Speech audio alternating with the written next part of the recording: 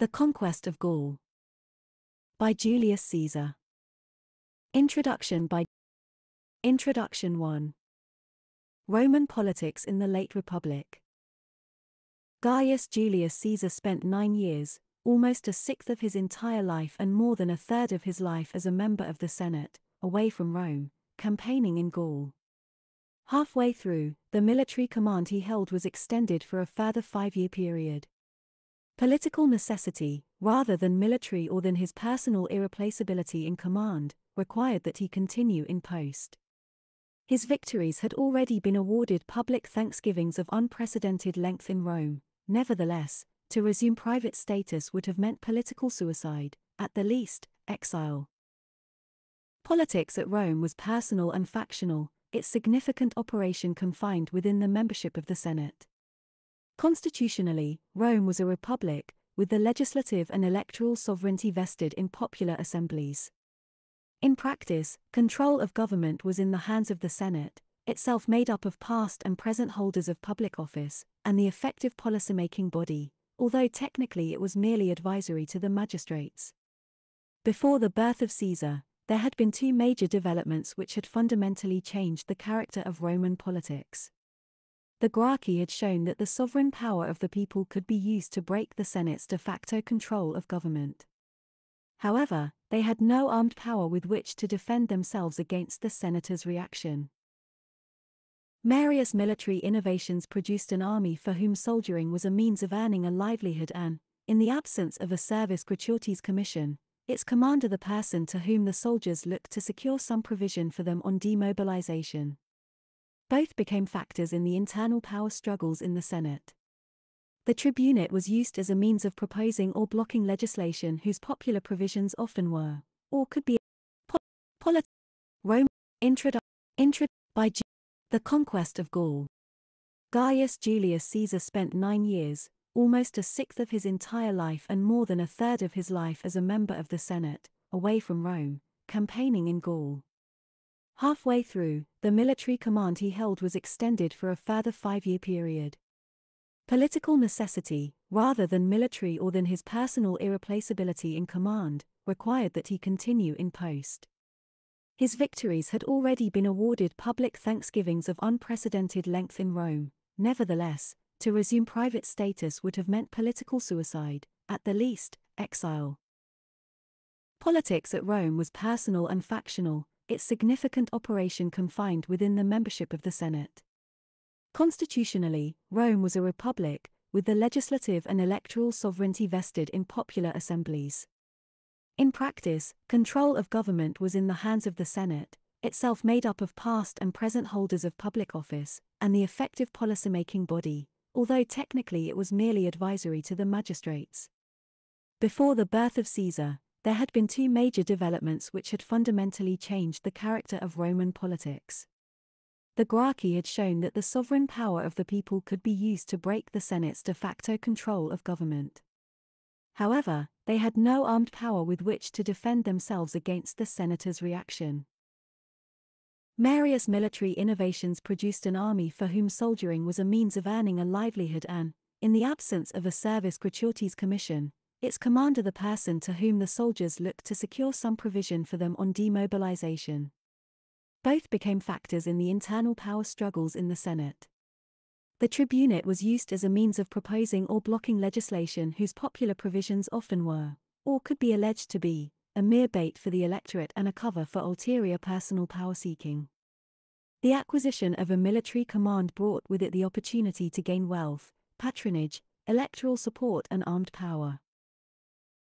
Sulla, who himself seized power by force of arms after a civil war, attempted to forestall any repetition of such events by a program of legislation which regulated the cursus honorum, the sequence of magisterial offices, expanded the judicial system and put it under exclusive senatorial control, and imposed restrictions on the powers of the tribunes.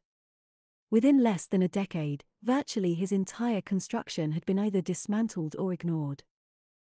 One of the prime agents in this was Pompey, whose own consulship in 70 BC flouted Sullan regulations. He was below the legal minimum age and had held none of the qualifying offices.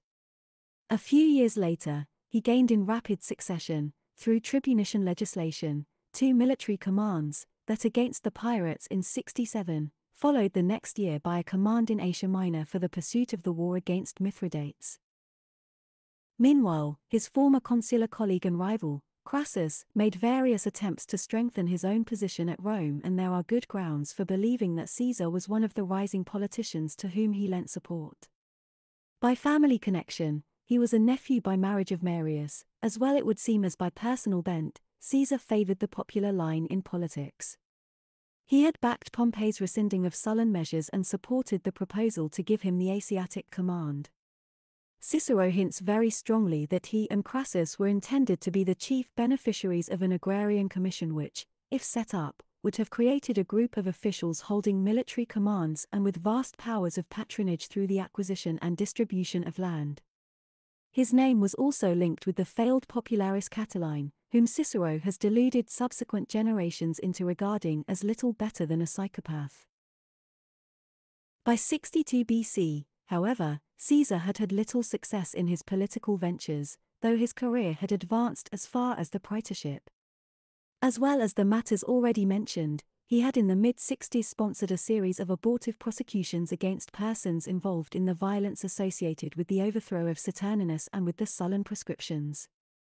His aim is uncertain but may have been to try to alert the Romans to the danger of leaving unresolved the question of the permissibility of the procedures by which, since the Gracchi, summary force had on several occasions been used by the state to deal with political opposition. In 62 BC Pompey returned from the east and to general surprise disbanded his armies and returned to private life. With his troops, however, he found that he also gave up his influence with the Senate. Delays and excuses were interposed to the ratification of his eastern settlement and the provision of land grants for his veterans.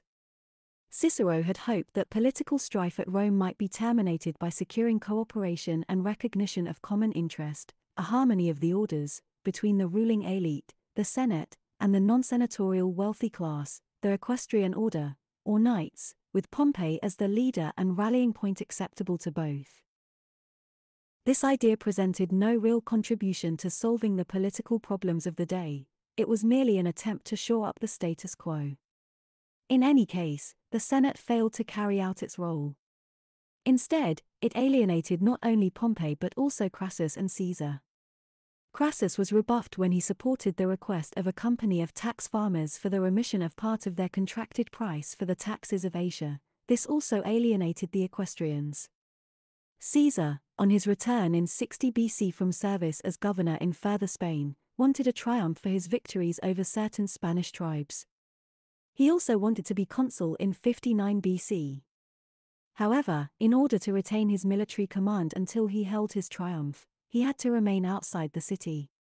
Accordingly, he requested exemption from the regulation requiring consular candidates to appear in person. His request was blocked by a filibuster. In the end, he gave up his triumph and secured election as consul, possibly with some help from Crassus and Pompey. The three men, somewhere about this time, formed an unofficial coalition, known to modern historians as the First Triumvirate, for mutual self help. As consul, Caesar secured the immediate wants of Pompey and Crassus and provided for himself as well. The Senate had tried to block his further advancement, before the election, by assigning as provinces for the consuls of 59 trivial responsibilities in Italy, the supervision of forests and cattle pastures. Caesar used a tribune to put through the popular assembly a law giving him Cisalpine Gaul and Illyricum for five years. When the governor of Transalpine Gaul died suddenly, the Senate assigned that province to him as well, partly perhaps in order to save themselves the humiliation of seeing it awarded to him in any case by a popular assembly.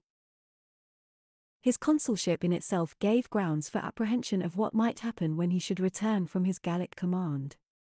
He had used Gracchian methods to bypass senatorial opposition, he had intimidated the opposition by the threat of armed force, from veterans supplied by Pompey, and he had carried through legislation in defiance of his consular colleagues' attempt to block business, by the technical device of announcement that he was watching for omens.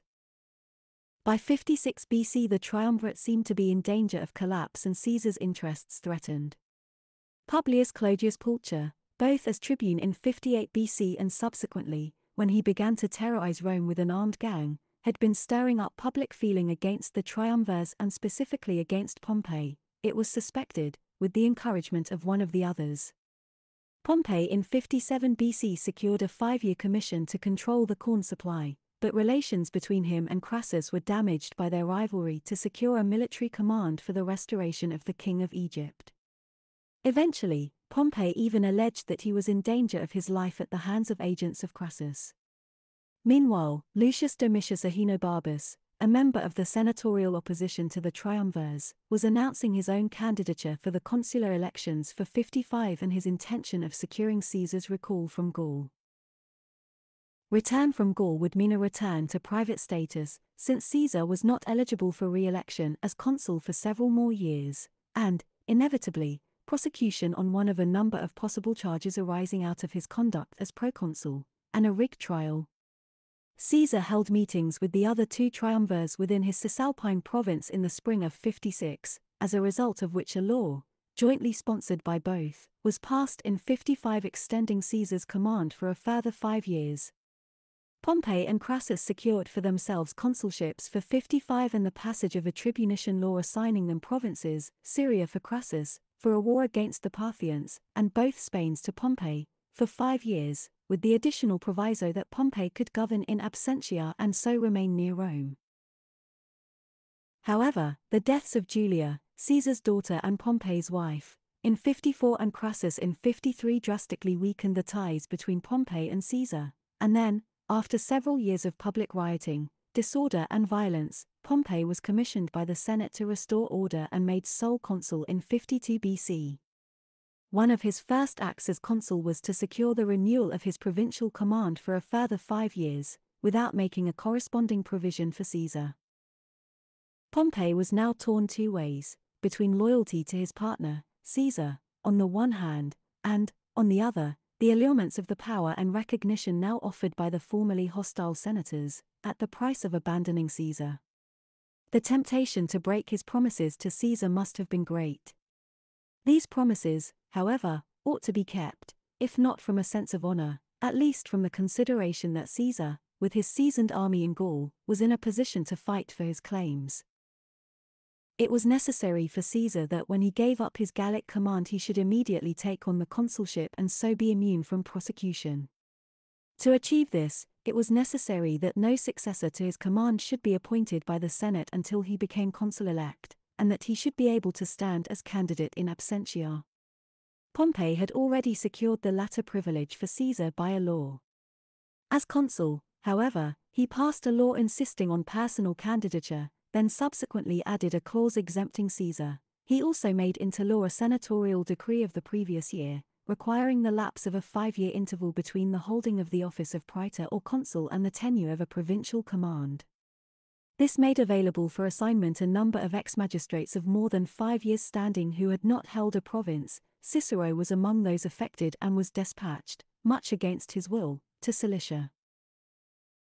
However, this law, unlike the Sempronian law it superseded, was not immune from tribunician veto, and Pompey himself, both in 51 BC and again in 50, helped to block discussion of a successor to Caesar. Thus he did his best, in his vacillating way, to ride both horses. In December 50 the consul Marcellus put separately to the Senate the two questions whether a successor should be sent to replace Caesar and whether Pompey should be required to resign his command. The first was carried, the second rejected. The tribune Curio countered with the proposal that both Caesar and Pompey should resign.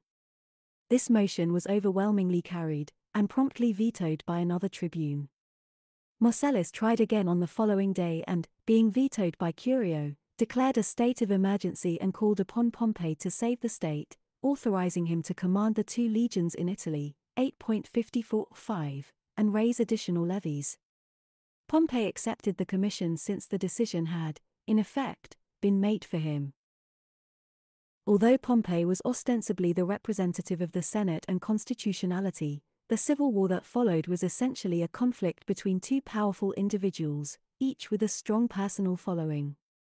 The same is true of the further civil fighting after Caesar's death.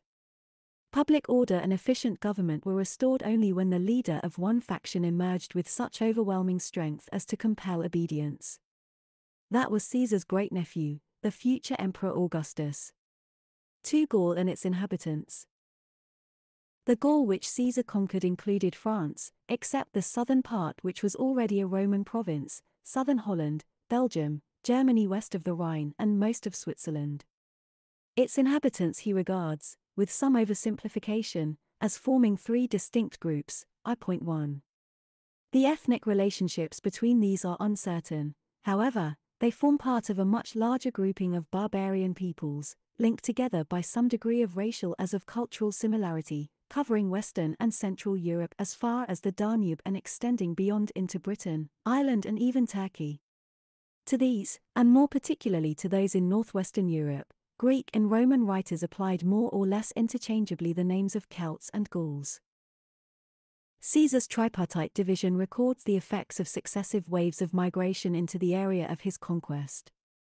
These folk movements had been going on at least since the 4th century BC, when a group penetrating Italy had actually sacked Rome in 390 BC, and the north of the Italian peninsula, later the province of Cisalpine Gaul, had received settlements, and they were still going on. In Britain, the archaeological record reflects invasion and settlement of the southeast by Belgic people in the first half of the 1st century BC and perhaps even some refugees from Caesar's activities in Gaul. Native hill forts are found to have been established or improved, presumably to meet the invasions, and their situations form a defensive arc complementary to the distribution of finds of Gallo-Belgic coins. There are also signs of intensified trading between Britain and the mainland, both that of the Veneti with the tin-producing southwest and of the Morini and Menapii with the southeast.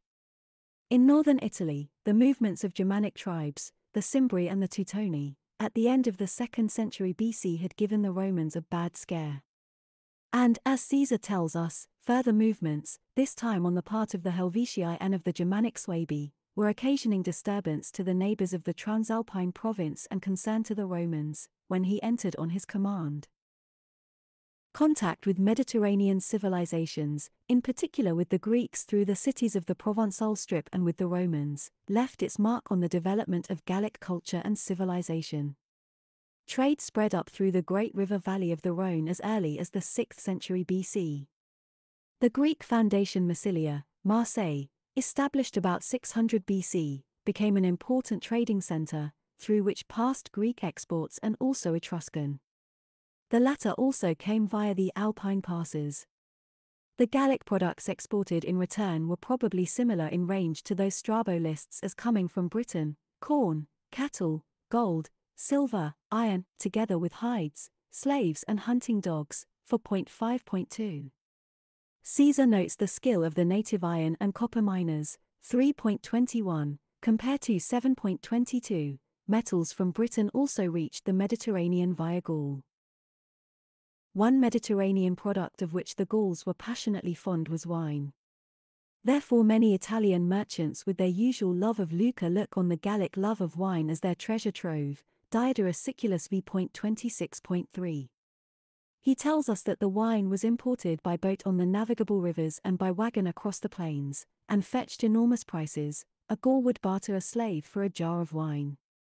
Finds of imported artifacts seem to bear this out. The most common imported vessels found in Gaulish graves are the large bronze beaked flagons of Etruscan make in the period 550 to 400 BC, and later imitated by Gaulish craftsmen. Large Etruscan wine jars are also found, and Athenian black and red figure cups. In Caesar's time, the vine was not yet cultivated in the Transalpine province. As early as the 3rd century BC, the Gauls were producing their own coinages, in imitation of Greek types. Distinctive Gallic decorative art appears, already full blown and highly developed, in the mid 5th century. This early style appears not as a gradual development from earlier native art but as a sudden efflorescence drawing heavily on foreign influences, particularly Greek, or Greco Etruscan, and Eastern. Motifs were not simply copied, but rather modified, adapted and elaborated. From Greek art certain plant forms in particular were taken over, especially palmette and lotus flower shapes. The fantastic animals and masks of frequent occurrence may owe something to Scythian art, or were perhaps mediated through Etruscan work. In its later phases, Celtic art becomes more stylized and less obviously connected with its alien models. There is increasing use and elaboration of certain types of motif and ornament. Characteristic are the three and four cornered whirligigs linked by spirals, motifs running out into symmetrically patterned tendrils and compass based designs. As with the coinage, decorative art in Gaul shows a fondness for natural motifs. On the Greek coin models, of course, those most commonly offered were horses and human heads, and a predilection for turning them into decorative patterns. Urban civilization was already considerably developed by Caesar's time. There were many wall towns, connected by good roads and river bridges. Metalwork was skilled and of a high standard. Many peoples even produced their own currency. Settled agriculture, particularly corn growing, was widespread. Political development varied in degree. Those areas most directly in contact with the province show most signs of being influenced by Roman political institutions. The Celtic tribes in particular, and especially three important sections singled out for mention by Caesar, the Arverni, the Aedui and the Helvetii, had already abandoned hereditary kingship and instead had magistrates, annually elected and answerable to councils, and public codes of law. The tribes further away, the northern Celts, the Aromorican tribes and the Belgae, both those on the mainland and those in Britain, still retained kingship. The Germanic tribes beyond the Rhine, according to Caesar, was still pastoral, without settled agriculture, accepted a centralized authority only in time of war, and positively rejected what they regarded as the enervating luxuries offered by traders, as did the Nervii. 2.15. Of these groups, the first, i.e., primarily the Celtic peoples, were already evolving out of the old tribal system into that of the primitive state, a type of government familiar to the Romans and with which they could deal by familiar methods. Treaties and promises of friendship already existed between some of them and the Romans. However, these governments were still far from stable. Caesar himself comments, 2.1, on the commonness of usurpation of monarchy. In the context, he appears to be referring to the Belgae, but in his narrative elsewhere we find monarchic ambitions imputed to the Helvetian Orgetorix, I.2, the and Dumnorix, I.9 ff, and hinted at in Vercingetorix, 7.4, 20, while the anxiety shown in the treatment of suspected usurpers is reminiscent of Livy's descriptions of the hypersensitive reactions of citizens of the infant Roman Republic. This political instability is linked by Caesar with an instability in character. There are frequent references, direct and indirect, to the Gallic character scattered through the first seven books. They are impulsive, emotional, easily swayed, fickle, loving change, credulous, prone to panic, scatterbrained. Hirtius, in the eighth book, also comments on their volatile nature, 8.13. In chapter 25 he says that the Treveri, neighboring the Germans and sharing then, ferocity, could be controlled only by armed force. Caesar was not the first ancient author to write about the Gallic temperament. Like his younger contemporaries, the geographer Strabo and the historian Diodorus Siculus, he drew some of his information about the ethnology and habits of the Gauls from the histories of Posidonius, written in the first half of the first century BC. The two later authors' descriptions of the Gauls include some comments on their character and disposition, probably also drawn from Posidonius. Strabo's account, in particular, resembles Caesar's, Strabo 4.4. 2. 4. The whole race, he says, is madly keen on war, brave and impetuous and easily outwitted. Because of their frankness and straightforwardness, their sympathies are easily roused to war in support of friends who think themselves wronged. In the first six books, although Caesar repeatedly characterizes the Gauls as a whole, with no distinction of race or tribe, Nearly all the contexts in which his remarks occur relate to the peoples remote from the province and not forming part of the pre existing system of alliances and friendship with the Romans, the Belgae, the Aromorican tribes, and the Aquitanians. It is noteworthy that several times, especially 2.1, 3.10, 4.5, 4.13, these references are made in the context of a situation where Caesar's forces have been or are about to be extending their operations beyond the territory already held, and a long way out of the province. It might be suspected that Caesar is trying to counter possible attacks on himself for having carried his offensive, on several occasions, beyond what might be regarded as strictly necessary for the safeguarding of the province. In 7.42 we find, for the first time since 2.1, his comments on the Gallic temperament applied to a Celtic people, in this instance, the Aedui. In both passages, anger against the Romans is being whipped up by agitators with ulterior personal motives. Thus, personal and political instability are linked to reinforce the theme of the need for military action. 3. The course of the war. It is not likely that when Caesar entered upon his provincial command he entertained the intention of conquering the whole of Gaul. Had that been so, he would hardly, in going first to Transalpine Gaul in 58 BC, have left three of his legions in northern Italy. The province he had chosen for himself was Cisalpine Gaul and Illyricum, firstly for its political value, since it kept him close to Italy, secondly because it nevertheless offered scope for military success in operations against the tribes bordering the northeast frontier. That his first intention was an Illyrian campaign is indicated by his having based the three legions in Aquileia. After the campaigning season of 57, he set out on a reconnaissance trip to Illyria, 3.7.1. He is perhaps attempting, at this point, to give the impression that he had still intended an Illyrian campaign in 56, had the Venetic revolt not intervened, but, as we shall see, there are grounds for suspecting that, while not ruled out for the future, this was not then his first priority. That Caesar himself had been instrumental in having Ariovistus declared friend of the Roman people in 59 BC suggests that he had hoped to delay the possible eruption of trouble for Rome's clients beyond the frontier of the Transalpine province. Events, however, moved otherwise. Campaigns beyond the frontier of a province needed justification, and this Caesar is at pains to provide for those of 58.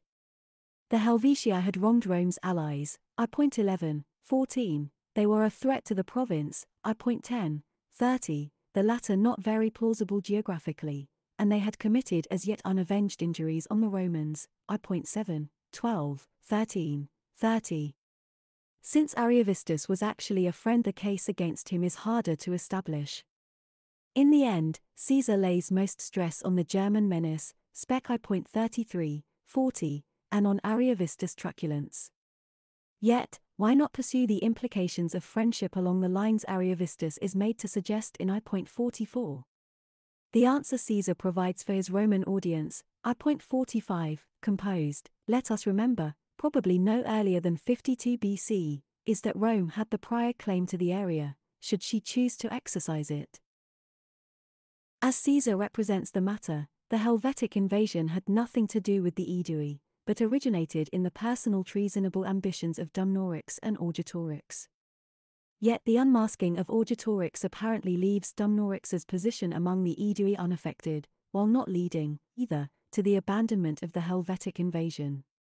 One may suspect that the Aedui, finding themselves warned off Ariovistus by the Romans in 59 rather than given any practical help against him, themselves invited the Helvetii to come in, on the pretense of merely passing through Celtic territory, to help them wage war on Ariovistus, thus forcing Caesar to take sides in a war between two of Rome's allies. In the second year, it is difficult to discern whether Caesar is reacting to events, as he seems to be trying to suggest in 2.1 ff, or had himself deliberately created provocation to the Belgae in order to justify further campaigning. His legions had wintered at Besançon, well outside the province, but strategically justifiable to guard against renewed hostilities by the Suebi. However, the effect, intentional or otherwise, was to provoke the Belgae, whose bravery, ferocity, and connections with some Germanic tribes are stressed 2.3 ff. In passing, we are told that the peaceful submission of the Aromorican tribes had been achieved, 2.34, but not why Roman troops had been sent there. Caesar is at pains to imply that, as far as he was concerned, Gaul was pacified by the end of the campaigning season of 57 and Illyria was his next objective, 2.34, 3.7. Most of the legions had wintered in central Gaul, plausibly enough, in view of the recent fighting with the Belgae, but in which direction had he intended moving them in the campaigning season of 56? Events in Rome menaced his continued tenure of his command, see I above, and Illyria could hardly be represented as an urgent priority. In the event, suppression of the Venetic revolt kept him in Gaul in 56, but there is reason to believe that he had intended to invade Britain in that year. Strabo, for point 4.1, says the reason for the Venetic revolt was to hinder Caesar's voyage to Britain and protect their trade there. An expedition to Britain could hardly be represented as an urgent necessity either. Caesar piles up rather too many, not all mutually compatible, excuses for his invasion at the end of the 55 campaigning season, for point 20. Again, as with the expedition across the Rhine in that year, Caesar justifies the extension of his field of operations by representing it as a punitive expedition, and by alleging the need to overawe the dubiously loyal, volatile, for point 13, Gauls. The publicity value of the British expeditions was enormous, their political value for Rome negligible. Caesar, said Tacitus, Agricola 13, had merely pointed the way to Britain, not acquired it. The major revolts in Gaul that occupied the rest of Caesar's time there go some way to justify his frequently repeated statement about the insecurity of the conquest. In the end, Gaul was pacified and Caesar had the credit of adding a large new province to the Roman Empire. Nothing succeeds like success, but it does not necessarily follow that the ultimate conquest proves Caesar's consistent brilliance as a strategist and tactician. According to one military historian, Caesar's great gift, apart from the invaluable ability to get the best out of his men, was his swiftness to react to and extricate himself from the consequence of his own errors. For Caesar the man, Caesar was from a patrician family said first to have come to Rome from Alba Longa when the latter was destroyed by the Roman king Tullus Hostilius. The family claimed descent through Iulus, otherwise Ascanius, the son of Aeneas the Trojan, who was the son of Venus herself. Thus, they were descended both from a god and from the ancestor of the founder of Rome, though when Caesar was born it was a considerable time since any of the family had risen beyond the praetorship. Caesar referred to his family's legendary descent in his funeral speech for his aunt Julia, wife of Marius. Both his father and his uncle had supported Marius, and the family was therefore regarded as belonging to the populares, radicals or demagogues, depending on one's political sympathies, and was viewed with suspicion by the optimates, the good men, upholders of the senatorial oligarchy's entrenched power and privilege. Caesar himself was at one stage in danger of losing his life during the dictatorship of Sulla, because of his Marian connection and his own early marriage to a daughter of Cinna, but influential friends persuaded the dictator to spare him. For the next ten years or so he was quiet, and was sufficiently well regarded by the patrician nobles to be co opted in 73 BC into the College of Priests. Within two years, however, he openly showed himself a supporter of popular measures, backing Pompey's work in undoing the Sullan constitution. From then right down to the Civil War, Caesar is consistently found supporting popular legislation and reforms. As dictator, his legislation, in marked contrast to that of Sulla, was directed towards bettering the conditions of Roman citizens and the inhabitants of the empire as a whole, rather than to strengthening the power and prosperity of the noble few. At the same time, his career is marked by evident and strong ambition, and more than once he showed himself ready to ignore constitutional restrictions in order to achieve his aims. His dignitas, the status and prestige within the state which he felt his due, was of prime importance to him, rather than the actual power involved in being dictator.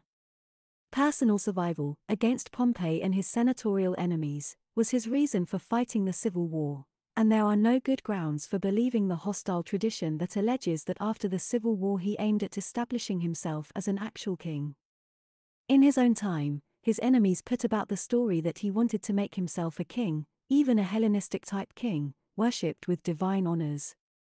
This has been taken seriously by some modern historians. Certainly, extravagant honors, divine and secular, were heaped upon him, by senatorial decree, quasi regal dress, a golden throne in the Senate house, his image on coins, a statue in the temple of Quirinus, etc. Many of these appear to have proceeded from the fearful adulation of a subservient Senate, some may have arisen from the misguided enthusiasm of his supporters. We do not know whether Caesar himself actually inspired any of these, or even what his attitude to them was, but it is doubtful whether he would value such tangible trivialities when he had achieved the intangible, weighty realities of power and status. Much of our evidence for the period of his dictatorship stems from a hostile tradition ready to put an adverse interpretation on his every passing remark and action, and to detect tyrannical arrogance and contempt for the Senate. This is the construction put on his appointment of Caninius to fill the vacancy caused by the sudden death of a consul on the last day of his term of office, although Caesar may have been behaving merely with excessive punctiliousness, admittedly, piquant, in view of his past record, in fulfilling the requirements of the Constitution. On a certain occasion, he failed to rise to receive the Senate when they came to inform him of their latest honorific decrees. However, one version of the story says that he stayed seated because of a sudden attack of faintness, often the forewarning of one of his epileptic fits. Certainly, he sometimes met opposition with impatience. In 49 BC, he gained access to the state treasury only by using physical force against the tribune who tried to bar his way. In 44 BC, he used the popular assembly to have two tribunes deposed.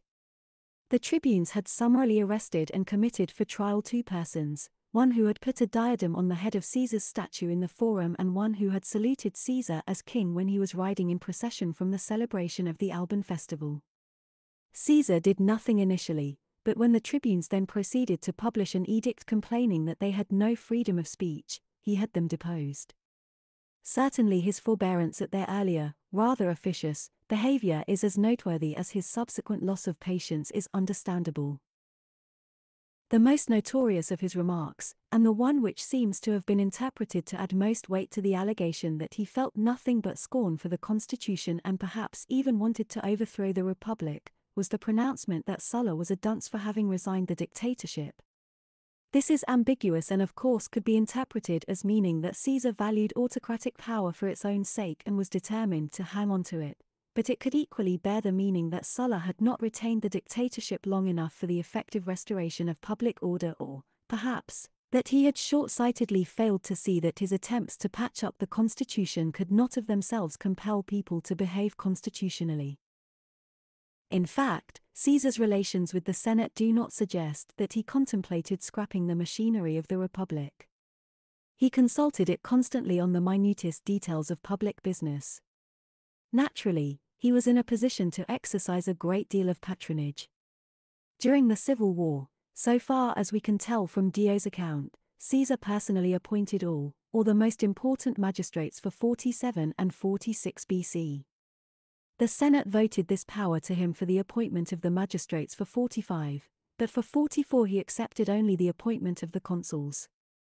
In the last year of his life, when the magistrates were appointed for three years in advance, in the prospect of Caesar's departure for a Parthian campaign, he chose only half, under a tribunician bill. Naturally, his personal commendation of candidates would carry considerable weight, but this service, scribes and the sons of freedmen could also be men of high social standing. Moreover, the needs of the government of Rome itself and of the provinces produced an automatic increase in the numbers of the Senate, since the number of annually elected quaestors, the office which, since Sulla's day, gave automatic entry to the Senate, was raised to 40 in 44 BC. Such care to preserve the effective strength of the Senate hardly seems to display contempt for it. It is fairly certain that Caesar intended to retain power indefinitely. His acceptance of the title Dictator Perpetuus indicates as much. This is not to say that he had any intention of converting his dictatorship into a monarchy. His dictatorship had been conferred on him by the vote of the Roman people, who were still the constitutional sovereign and could revoke it. There is no positive evidence that he had considered removing his power from popular control, or making provision for a successor to himself. The incident at the festival of the Lupercalia, when he put aside a crown offered to him by Mark Antony might have been intended by Caesar as a way of sounding public opinion, which proved hostile to kingship. Equally, it might have been intended to demonstrate that he did not want the title of king, or the initiative might have honesty of government, and to accelerate the Romanization of the provinces. It has been said that Caesar's rule marks the move from the old conception of the empire as a rich field for exploitation by the Romans, and especially the Roman ruling classes, to that of the empire as a community, to which the Roman government had responsibilities. In February 44 Caesar's dictatorship, which had previously been bestowed for only ten years, was declared perpetual. Only death could now remove him from power. A conspiracy was hatched, of rather mixed motivation. Some resented his autocracy and the loss of the freedom to conduct politics in the old way. Some of his own partisans felt they had a grievance in that they had not received the advancement they had hoped for. Some few idealists perhaps really thought they were striking a blow to end corrupt politics and establish a republic characterized by public order, efficient government, and a concern for the public good rather than personal or factional interest. On the 15th of March 1944 BC, Caesar was assassinated. The Gallic War and the Civil War are Caesar's only surviving works. He called both commentaries, and as the word originally meant something like memoirs or reports, his intention may have been to suggest that these were unvarnished, objective reportage. The title also incidentally disclaims for them the status of literary works, Rather, they are source material for working up into a historical narrative conformable to current ideas on literature. Cicero, however, writing in 46 BC, and echoed by Hirtius in his preface to Book 8 of the Gallic War, says in the Brutus, 262. They are like nude figures, upright and beautiful, stripped of all ornament of style as if they had removed a garment. His aim was to provide source material for others who might wish to write history, and perhaps he has gratified the insensitive, who may wish to use their curling tongs on his work, but men of good sense he has deterred from writing. That is, these bald reports are so elegantly and lucidly written that they compel our admiration even without the addition of further ornament. Nevertheless, the Civil War bears many signs of being intended as propaganda, and, as has been suggested in section 3 above, the Gallic War is perhaps not altogether a straightforward account of events. Moreover, certain matters, the part played by personal ambition in determining Caesar's course of action, and the large personal fortunes that he and some of his associates made from his conquests, are discreetly unmentioned while he sometimes seems to dissimulate his real intentions to conceal their relative failure. See, for example, the narrative of the Gergovia campaign. In particular, no indication is given that the expeditions into Germany and Britain achieved no lasting result.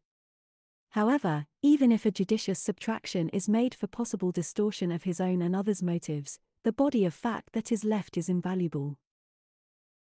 The Gallic War is our only direct source on the history and institutions of the Gauls in that period, and it is also the only narrative actually written by a great general of antiquity about his own campaigns. Like all Romans engaged in public life, Caesar had from time to time to practice the art of oratory, Quintilian, in his treatise on rhetorical training written in the 1st century AD, went so far as to say that, had Caesar been able to devote himself to forensic oratory, he and he alone of his time could have rivaled Cicero, Institutio Oratoria X.I.114. Among the qualities he ascribes to him is elegance of language, something by which Caesar himself set great store. He went so far as to write a work in two volumes, dedicated to Cicero, called De Analogia, on selection of words. From such references as survive, it seems that Caesar advocated that the orator should, on the one hand, avoid the use of foreign coinages and colloquialisms, on the other, he should avoid bizarre and unfamiliar words. His aim should be a lucid, pure Latinity. Caesar's own commentaries go a long way to fulfill this aim. They are simply written, without being dull or repetitive. Other lost works of which we hear include Anti-Cato, an answer to Cicero's eulogy of M. Porcius Cato, which appears to have been somewhat ungenerous in spirit and to have done the dictator little credit. He also wrote a work on astronomy, perhaps connected with his reform of the calendar, and a poem called The Journey, allegedly written on a journey to Spain, which took 24 days. Six lines survive of his poetry, hexameters which lament the lack of comic force of the dramatist Terence but praise him specifically as a lover of pure speech. 6 Preface to the second edition. S. A. Handford's accurate and elegant translation has been retained, with certain alterations in arrangement. The traditional order of the text has been restored, along with its conventional division into books and sections. A translation has been supplied of the preface to Book 8 in sections 48.10 to 11 and 50 to 5 of that book, omitted by Handford. Parts of the text which he presented as footnotes have been restored to an integral place in the text. The glossary has been completely redone and now contains more than twice as many items as the original. There are a few additional notes and also a few changes to some of Handford's more tendentious judgments. The editor has also seized the opportunity, in writing a new introduction, of being tendentious herself.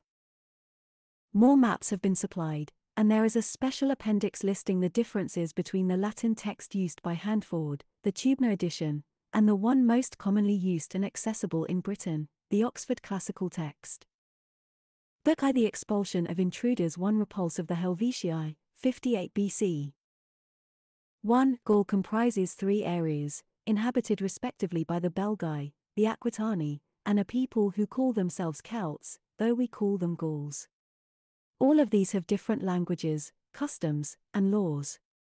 The Celts are separated from the Aquitani by the river Garonne, from the Belgae by the Marne and Seine. The Belgae are the bravest of the three peoples, being farthest removed from the highly developed civilization of the Roman province, least often visited by merchants with enervating luxuries for sale, and nearest to the Germans across the Rhine, with whom they are continually at war. For the same reason the Helvetii are braver than the rest of the Celts, they are in almost daily conflict with the Germans, either trying to keep them out of Switzerland or themselves invading Germany. The region occupied by the Celts, which has one frontier facing north, is bounded by the Rhone, the Garonne, the Atlantic Ocean, and the country of the Belgae, the part of it inhabited by the Sequani and the Helvetii also touches the Rhine. The Belgic territory, facing north and east, runs from the northern frontier of the Celts to the lower Rhine. Aquitania is bounded by the Garonne, the Pyrenees, and the part of the Atlantic coast nearest Spain, it faces northwest. 2. The foremost man among the Helvetii, in rank and wealth, was Orgetorix. In the consulship of Marcus Messala and Marcus Piso, 61 BC, he was induced by the hope of obtaining royal power to organize a conspiracy of noblemen, and persuaded his countrymen to emigrate en masse, one telling them that they were the best fighters in Gaul and could very easily conquer the whole country. They listened the more readily to his proposal because their territory is completely hemmed in by natural barriers, on one side by the Rhine, a very broad and deep river, which is the frontier between them and the Germans, on another side by the high mountain range of the Jura, between them and the Sequani, on a third, by the Lake of Geneva and the Rhone, which form the boundary between the Helvetii and the Roman province. These obstacles restricted their movement and made it more difficult to attack their neighbors, and as they are a warlike people, they greatly resented this restraint. Considering their large population, military prestige, and reputation for bravery, they felt that their territory, only 220 miles long, 165 wide, was unduly small. 3. Impelled by this feeling and by the influence of Orgetorix, they determined to prepare for emigration by buying up all the draft cattle and wagons they could, sowing as much land as possible in order to secure an adequate supply of corn for the journey, and establishing peaceful and friendly relations with their neighbors. They thought that two years would suffice for completing these preparations, and passed a formal resolution fixing their departure for the third year. Orgetorix was put in charge of the arrangements and undertook a mission to the neighboring peoples, in the course of which he persuaded a Sequanian named Casticus, whose father Catamantaloedes had been king of his tribe for many years and had been honored by the Senate with the title of friend of the Roman people, to seize the royal power which his father had held before him. He also induced the Aeduan Dumnorix, Diviciacus' brother, who at that time held the chief magistracy of his tribe and enjoyed great popularity, to make a similar attempt, and gave him his daughter in marriage. Orgetorix convinced them that these schemes were quite easy of achievement by telling them that he intended to usurp the sovereignty of his own state, which he said was beyond question the most powerful in Gaul, and that he would use his wealth and military strength to secure them the possession of their thrones. His arguments proved effective. The three men swore an oath of mutual loyalty, hoping that once they had made themselves kings, the great power of the warlike peoples they ruled would enable them to get control of all Gaul. Fourth, the intrigue was revealed to the Helvetii by informers, and in accordance with the national custom Orgetorix was summoned to stand his trial in chains. Since condemnation would mean death at the stake, he collected all his slaves, numbering some 10,000, from his various estates, and brought them to the place of trial on the day appointed for the hearing, together with all his numerous retainers and debtor bondsmen. By means of their protection, he escaped trial. His countrymen were angered by this behavior and attempted to assert their rights by armed force. But while the magistrates were calling up a large body of men from the countryside, Orgetorix died, perhaps, as the Helvetii believe, by his own hand. 5. The Helvetii, however, did not relax their efforts to carry out their intended migration.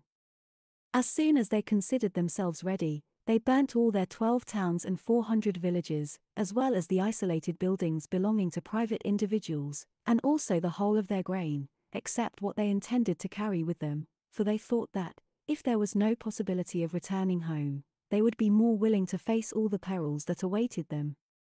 Every man was directed to take with him from home three months' supply of flour for his own use. They persuaded their neighbors the Raurici, Tulingi, and Latovici to follow their example, to burn their towns and villages and go with them, and were joined also by the Boii, who formerly lived on the other side of the Rhine, but had recently migrated into Austria and attacked the town of Noreia. 6. There were only two routes by which the Helvetii could leave their country. One led between the Jura Mountains and the Rhone through the land of the Sequani, and was so narrow and difficult that wagons could scarcely pass along it in single file and a high mountain overhung it, so that a mere handful of men could easily make it impassable. The other route, leading through the Roman province, was much easier and more convenient, for the Rhone, which forms the frontier between the Helvetii and the Allobroges, who had recently, 61 BC, been subdued by Rome, is fordable at several places. The frontier town of the Allobroges, nearest to Switzerland and connected with it by a bridge, is Geneva. The Helvetii thought that they could either induce the Allobroges to let them pass through, as they were believed to be still unfriendly towards the Romans, or compel them by force to do so. When everything was ready for their departure, they fixed a day for a general muster on the bank of the Rhone, the 28th of March in the consulship of Lucius Piso and Aulus Gabinius, 58 BC. 7. When Caesar was informed that they were attempting to pass through the province, he left Rome at once and travelled post haste to the neighbourhood of Geneva. As there was only one legion stationed in Gaul, he ordered as many fresh troops as possible to be raised throughout the province, and had the bridge at Geneva destroyed. On hearing of his arrival, the Helvetii sent an embassy, composed of their most illustrious citizens and headed by Nammeius and Verucloetius, to say that they intended to march through the province because there was no other route open to them. They promised to do no harm and asked for his consent. As Caesar remembered that the consul Lucius Cassius had been killed by the Helvetii, and his army routed and sent under the yoke 3, 107 BC, he was not disposed to grant their request. If people so hostile to Rome were permitted to go through the province, he did not think they were likely to refrain from damage to persons and property. However, to gain time for the assembly of the troops he had ordered to be levied, he told the envoys that he would consider the matter at leisure. If they wished to present their request again, they were to return on the 13th of April. 8. In the meantime, he employed the legion he had with him, and the troops that had been raised in the province, to fortify the bank of the Rhone for a distance of 18 miles between the Lake of Geneva and the Jura, the frontier between the Helvetii and the Sequani. This was effected by means of a rampart 16 feet high with a trench running parallel. He then placed redoubts at intervals along the fortification and garrisoned them with pickets, so that he could stop the Helvetii more easily, should they attempt to force a passage. When on the appointed day the envoys returned, he told them that it would be contrary to precedent and the traditions of the Roman state to allow anyone to march through the province, and that if they tried to use force he would stop them. Disappointed of this hope, some of the Helvetii endeavored, generally, though not always, by night, to get across by lashing boats together and making a number of rafts, others by wading through the shallowest places. But the Roman troops always hastened up to the danger points, and aided by the fortifications drove them back with volleys of missiles and forced them to abandon their attempts. 9. There remained only the route through the land of the Sequani, which was so narrow that it could not be used without their consent. Being unable to obtain permission by their own efforts, the Helvetii sent an embassy to Dumnorix the Aeduan, hoping by his intercession to gain what they desired. Dumnorix's popularity and open-handedness had won him great influence among the Sequani, and he was well disposed towards the Helvetii because he had married a woman of their country, a daughter of Orgetorix. His ambition for kingly power made him favor political change, and he wanted to lay as many tribes as possible under obligations to himself. Accordingly he undertook the commission, induced the Sequani to let the Helvetii go through, and arranged an exchange of hostages between them. The Helvetii undertook to pass through without harming anyone or doing any damage, the Sequani, to let them travel without interference. 10. Caesar was informed that the Helvetii intended to cross the territories of the Sequani and the Aedui and to enter the country of the Santoni, which is not far from that of the Tolosates, a tribe living in the Roman province. Point 4 He saw that it would be very dangerous to the province to have a warlike people, hostile to Rome, established close to its rich cornlands, which were without any natural defences.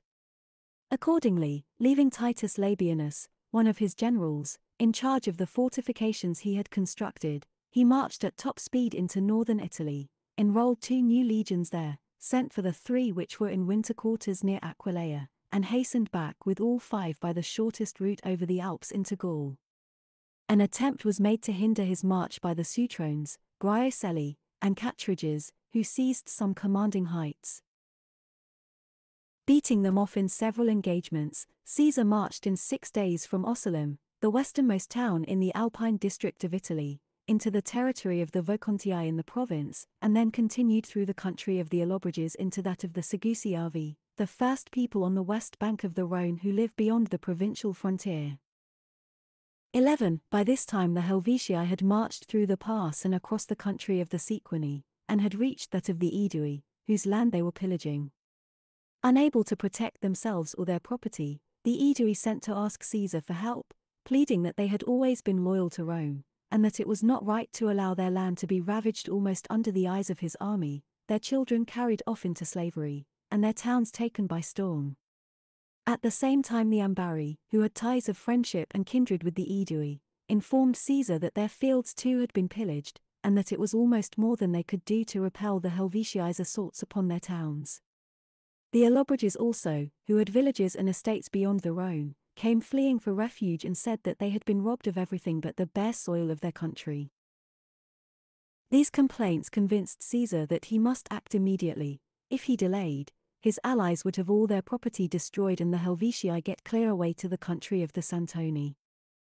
12. There is a river called the Saone, which flows through the territories of the Aedui and the Sequani into the Rhone with an extremely sluggish current, so that the eye cannot tell in which direction it is going. The Helvetii were crossing this river on rafts and small boats tied together. On learning from his patrols that they had got three quarters of their forces across, but that the remaining quarter was still on the east bank, Caesar left camp with three legions some time after midnight and came into contact with the division that had not yet crossed. Attacking them unexpectedly when they were hampered by baggage, he destroyed a large number, and the rest took to flight and hid in the neighboring woods. The troops in this division formed one of the four clans into which the Helvetian people was divided, known as the Tigurini. Fifty years earlier, the men of this clan had left home independently of the others, and after the battle in which the consul Cassius was killed had sent his army under the yoke. Thus, whether by accident or by divine providence, the section of the Helvetii that had inflicted a signal defeat upon Rome was the first to suffer for it. In thus punishing the Tigurini Caesar avenged a private injury as well as that done to his country, for a general named Lucius Piso, grandfather of the Lucius Piso who was Caesar's father-in-law, had been killed in the same battle as Cassius. 13. After this success Caesar wanted to pursue the remaining forces of the Helvetii. He therefore built a bridge over the Saone and led his army across. Alarmed by his unexpected arrival and seeing that he had effected in one day the crossing which they had the greatest difficulty in accomplishing in twenty days, they sent an embassy to him headed by Divico, who had been their commander in the campaign against Cassius. He told Caesar that if Rome made peace with the Helvetii, they would go and remain wherever Caesar chose to settle them. If, however, he persisted in making war upon them, he would do well to remember the Romans' previous reverse and the traditional bravery of the Helvetii. He had made a surprise attack on one clan at a moment when their comrades who had crossed the river could not come to their help, but he should not on that account exaggerate his own prowess or despise them. They had learned from their fathers and ancestors to fight like brave men, and not to rely on trickery or stratagem. So let him beware, or it might be that the place where they stood would become famous in future ages as the scene of a Roman disaster and the destruction of a Roman army. 14. Caesar replied that he had no hesitation about the action he should take, especially as he had not forgotten the Roman reverse to which the envoys referred, a misfortune that he resented all the more because it was undeserved. If the Romans at that time had been conscious of any act of oppression, it would have been easy to take precautions, they were caught off their guard because they knew they had done nothing to justify apprehension and thought it undignified to fear without cause. Even if he were willing to forget this old affront, could he banish the recollection of their fresh insults, their attempt to force a passage through the province in defiance of his prohibition, and their attacks upon the Aedui, the Ambarri, and the Allobroges? The victory of which he boasts so arrogantly, he said, and the surprisingly long time during which you have escaped punishment, are both due to the same cause. When the gods intend to make a man pay for his crimes, they generally allow him to enjoy moments of success and a long period of impunity, so that he may feel his reverse of fortune, when it eventually comes, all the more keenly. However, if you will give hostages as a guarantee that you mean to carry out your undertakings, and will recompense the Aedui and the Allobroges for the injury you have done to them and their allies, I am willing to make peace with you. Divico replied that it was the traditional custom of the Helvetii to demand hostages of others, but never to give them, as the Romans had good cause to know. With this rejoinder he departed. 15. The next day the Helvetii quitted their encampment. Caesar did the same, sending ahead, to discover in what direction they were marching, his entire force of 4,000 cavalry, raised from various parts of the province and from the Aedui and their allies. These pursued the Helvetian rearguard too eagerly, and engaging their cavalry on unfavorable ground suffered a few casualties. The Helvetii were elated at repulsing such a large force with only 500 horsemen, and with increased boldness halted several times and challenged the Romans with their rearguard. Caesar would not allow his men to fight them, and contented himself for the moment with preventing them from foraging, looting, and ravaging the country. So the two armies marched for about a fortnight, the enemy's rear and the Roman vanguard being never more than five or six miles apart. 16 Meanwhile Caesar was daily demanding from the Aedui the grain which, as he reminded them, their government had promised. For on account of the cold climate the standing corn was still unripe, and there was not even a sufficient supply of hay. Some grain that Caesar had brought up the Saone was of little use at the moment because the Helvetii had diverged from the river, and he did not want to lose contact with them. The Aedui kept putting him off from day to day, saying that the grain was being collected, was in transit, was on the point of arriving, and so forth. When he saw that there was going to be no end to this procrastination, and the day on which the soldiers' rations were due was approaching, he summoned the numerous Aeduan chiefs who were in the camp, including Diviciacus and Liscus, their chief magistrate, the vergobret as the Aedui call him, an annually elected officer holding power of life and death over his countrymen. Caesar reprimanded them severely for failing to help him at such a critical moment, when the enemy was at hand and it was impossible either to buy corn or to get it from the fields. He pointed out that it was largely in response to their entreaties that he had undertaken the campaign, and in still stronger terms than he had yet used accused them of betraying him by this neglect. 17. His remarks at last induced Liscus to drop concealment and speak out. There are a number of private individuals in our state, he said, who have great influence over the masses, and are more powerful than the magistrates themselves. It is these who, by criminal and seditious talk, work on the fears of the people to prevent them from bringing in the grain that is due. They argue that if the Aedui are no longer able to maintain their supremacy in Gaul, it is better to have Gauls as masters than Romans, and say they are certain that, if you defeat the Helvetii, you mean to rob the Aedui of their liberty along with all the rest of the Gauls. These men also keep the enemy informed of your plans and of all that goes on in the camp, and I have no power to control them. Indeed, in case you wonder why I have waited to be compelled before revealing these facts, I realize I am running a very grave risk in doing so. That is why I held my tongue as long as I could. 18. Caesar perceived that Liscus' remarks alluded to Diviciacus' brother Dumnorix, and as he did not want the matter discussed with a number of others present, he promptly dismissed the assembly, telling Liscus to stay behind. When they were alone, he questioned him about what he had said in the meeting, and Liscus now spoke with greater freedom and confidence. On putting the same questions to others in private, Caesar found that his report was true.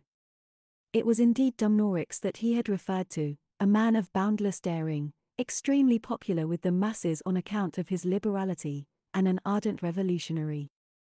For many years he had bought at a cheap price the right of collecting the river tolls and other taxes of the Aedui, because when he made a bid at the auction not a soul dared bid against him. In this way he had made a fortune and amassed large resources to expend in bribery. He maintained at his own expense a considerable force of cavalry, which he kept in attendance upon him, and his power was not confined to his own country, but extended over the neighboring tribes. To increase it, he had arranged a marriage for his mother with a nobleman of very great influence among the Bituriges. His own wife was a Helvetian, and he had married his half sister and other female relations to members of other tribes. On account of his matrimonial connection, he was a keen partisan of the Helvetii, and he had his own reasons for hating Caesar and the Romans, because their arrival in Gaul had decreased his power and restored his brother Diviciacus to his former position of honor and influence. If disaster should befall the Romans, he felt sure that with the aid of the Helvetii the throne was within his grasp, whereas a Roman conquest of Gaul would mean that he could not hope even to retain his present standing, much less make himself king. 5 Caesar also learnt in the course of his inquiries that, in the cavalry reverse a few days before, it was Dumnorix and the Aeduan horsemen under his command, sent to Caesar's aid by the tribal authorities, who had been the first to turn tail, and so made the rest of the cavalry lose their nerve. 19. The suspicions aroused by these revelations were confirmed by certain indubitable facts. Dumnorix had secured a passage for the Helvetii through the territory of the Sequani, and arranged an exchange of hostages between them. He had done this not merely without the authority of Caesar or the Aeduan government, but actually without their knowledge, and he was denounced by the chief magistrate of his tribe. Caesar therefore decided that he had good grounds for either punishing him himself or calling on his fellow tribesmen to do so. The one objection to this course was that he knew Dumnorix's brother Diviciacus to be an enthusiastic supporter of Roman interests, a very good friend to him personally, and a man of exceptional loyalty, fair-mindedness, and moderation, and there was reason to fear that he would be much displeased if his brother were executed. Accordingly, before taking any action he sent for Diviciacus, and dismissing the ordinary interpreters talked to him with the assistance of Gaius Valerius Troucillus, a prominent man in the province of Gaul and an intimate friend of his own, in whom he had entire confidence. He reminded Diviciacus of what he himself had heard said about Dumnorix in the meeting, informed him of what had been stated in his private interviews with various persons, and earnestly begged him not to take offense, but to consent to his either hearing the case himself and passing judgment on Dumnorix, or else instructing the Aeduan state to do so. 20. Bursting into tears, Diviciacus embraced Caesar and besought him not to deal too severely with his brother. I know, he said, that the allegations against him are true, and no one regrets it more than I do. For when I had great power at home and in the rest of Gaul, while he was too young to have much influence, it was I that raised him to greatness, and the resources and strength that he thus acquired he is now using, not only to weaken my position, but to bring me near to ruin. Nevertheless, he is my brother, and apart from my own feelings, I cannot afford to be indifferent to public opinion. If you take severe measures against him, everyone will think, in view of my friendly relations with you, that I desired it, and I shall become very unpopular throughout Gaul. He was continuing to plead at some length, with tears in his eyes, when Caesar grasped his hand, reassured him, and bade him say no more. So high is my regard for you, he said, that, since you wish it and beg me so earnestly, I will both overlook the injury to Roman interests and swallow my own indignation. He then summoned Dumnorix and in his brother's presence stated his reasons for complaint about his conduct, mentioning the information he had received and the charges made against him by his own government. He warned him to avoid henceforth giving any cause for suspicion, what was past, he would overlook for his brother's sake. However, he placed Dumnorix under surveillance in order to ascertain what he was doing and whom he talked with. 21. That same day the patrols brought word that the Helvetii had stopped at the foot of a hill eight miles from Caesar's camp, whereupon he sent a party to reconnoitre the hill and find out what the ascent was like on the farther side. They reported that it was quite easy. Shortly after midnight he explained his plans to Labienus, his second in command, and detailed him to climb to the summit with two legions, taking as guides the men who had reconnoitred the ground. In the early hours of the morning Caesar himself marched towards the enemy, following the route by which they had proceeded, and sending all the cavalry in front. They were preceded by a patrol under command of Publius Considius, who was reputed a first-class soldier, and had served under Sulla and later under Crassus. 22. At daybreak Labienus was actually in possession of the summit, while Caesar was not more than a mile and a half from the enemy's camp, and he learned afterwards from prisoners that neither his own approach nor that of Labienus had been observed. But suddenly Considius galloped up and said that the hill Labienus had been sent to occupy was held by the enemy. He knew this, he said, because he had recognized their Gallic arms and the crests of their helmets. Accordingly Caesar withdrew to a hill close by and formed his line of battle.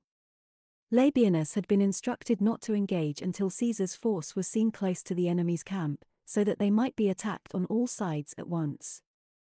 After occupying the hill, therefore, he was waiting for Caesar to appear, without offering battle. It was only quite late in the day that Caesar learned the truth from his patrols, that it was the Romans who were in possession of the hill, that the Helvetii had moved camp, and that Considius had lost his head and reported that he had seen what was not there to be seen. During that day Caesar followed the enemy at the usual interval and pitched his camp three miles from theirs. 23. Next day, as the distribution of rations was due in two days' time and he was only 17 miles from Bibracte, by far the largest and richest town of the Aedui, he thought it advisable to secure his food supply, and therefore diverged from the route that the Helvetii were following and marched towards the town. His movements were reported to the enemy by some runaway slaves of Lucius Aemilius, the commander of Caesar's Gallic cavalry. The Helvetii perhaps thought that we were breaking contact with them out of fear, especially as we had declined an engagement the day before, although we had the advantage of position, or it may be they were confident of being able to cut us off from access to supplies. In any case, they changed their plan, altered the direction of their march, and began to hang upon our rear and harass it. 24. Observing this, Caesar withdrew to a hill close at hand and sent out his cavalry to meet the enemy's attack. In the meantime, he formed up his four veteran legions in three lines halfway up the hill, and posted the two recently levied in Italy on the summit with all the auxiliaries, so that the whole of the hillside above him was occupied with troops. The baggage and packs he ordered to be collected in one place, and defense works to be dug round them by the veterans posted in the top line. The Helvetii, who were following us with the whole of their transport, now parked it all together, and, after repulsing our cavalry with a battle line drawn up in very close order, formed a phalanx six and climbed towards our first line. 25. Caesar had all the horses, starting with his own, sent away out of sight, so that everyone might stand in equal danger and no one have any chance of flight. Then he addressed the men and joined battle. By throwing down spears from their commanding position, the troops easily broke the enemy's phalanx, and then drew their swords and charged. The Gauls were much hampered in action because a single spear often pierced more than one of their overlapping shields and pinned them together, and, as the iron bent, they could not pull them out. With their left arms thus encumbered, it was impossible for them to fight properly, and many, after repeated attempts to jerk their arms free, preferred to drop the shields and fight unprotected. At length, exhausted by wounds, they began to fall back towards a hill about a mile away. They had gained the hill, and our men were approaching to dislodge them, when the 15,000 Boii and Tulingi who protected the rear of their column suddenly marched up, attacked us on the right flank, 7 and surrounded us. Thereupon the Helvetii who had retreated to the hill began to press forward again and renew the battle. We changed front and advanced in two divisions, the first and second lines to oppose the Helvetii whom we had already once defeated and driven back, the third to withstand the newly arrived troops. 26. This double battle was long and fiercely fought. When they could no longer sustain the Roman charges, the Helvetii resumed their retreat up the hill, while the Boii and Tulingi retired to the laager where the baggage was stacked, to continue the struggle, for throughout this battle, which lasted from midday till evening, not a single man of them was seen in flight. At the laager fighting actually continued until late at night, for the enemy had made a barricade of the wagons, and rained down missiles on all who approached, some also wounded our men with spears and javelins discharged low down between the wagons and between the wheels. After a long struggle we captured the laager and the baggage it contained, and also Orgetorix's daughter and one of his sons. About 130,000 Helvetii who survived the battle marched without halting all that night, and arrived after three days in the country of the Lingones. We had not been able to pursue immediately because we spent these days in attending to the wounded and burying the dead. But Caesar sent a letter and a message to the Lingones warning them not to supply the Helvetii with grain or aid them in any way, on pain of being treated as enemies, and three days later he started in pursuit with the whole army. 27. The Helvetii were compelled by want of all kinds of supplies to send envoys offering surrender. These met Caesar on the march, prostrated themselves before him, and with tears of supplication besought him to grant them peace. Caesar commanded that the Helvetii should stay where they were until he arrived. They obeyed, and on reaching the place he required them to give hostages and to surrender their arms and the slaves who had deserted to them. While these were being searched for and collected, 6,000 men of the clan known as the Verbigeni quitted the encampment in the early hours of the night and set out for the German frontier on the Rhine. Either they were afraid that they would be massacred when once they had given up their arms, or they hoped to escape punishment altogether, thinking that they could get away unobserved in such a large crowd of prisoners, and that the Romans might never learn of their departure. 28. But Caesar heard of it, and sent word to the tribes through whose territory the fugitives were passing that they were to hunt them down and bring them back, or he would hold them responsible. When they were brought back, he put them to death but all the rest were allowed to surrender after handing over the hostages, deserters, and arms. The Helvetii, together with the Tulingi, Latovici and Rauraci, were bidden to return to their own country, and as all their produce was gone, so that they had nothing at home to live on, Caesar directed the Allobroges to supply them with grain, and ordered the Helvetii themselves to rebuild the towns and villages they had burnt.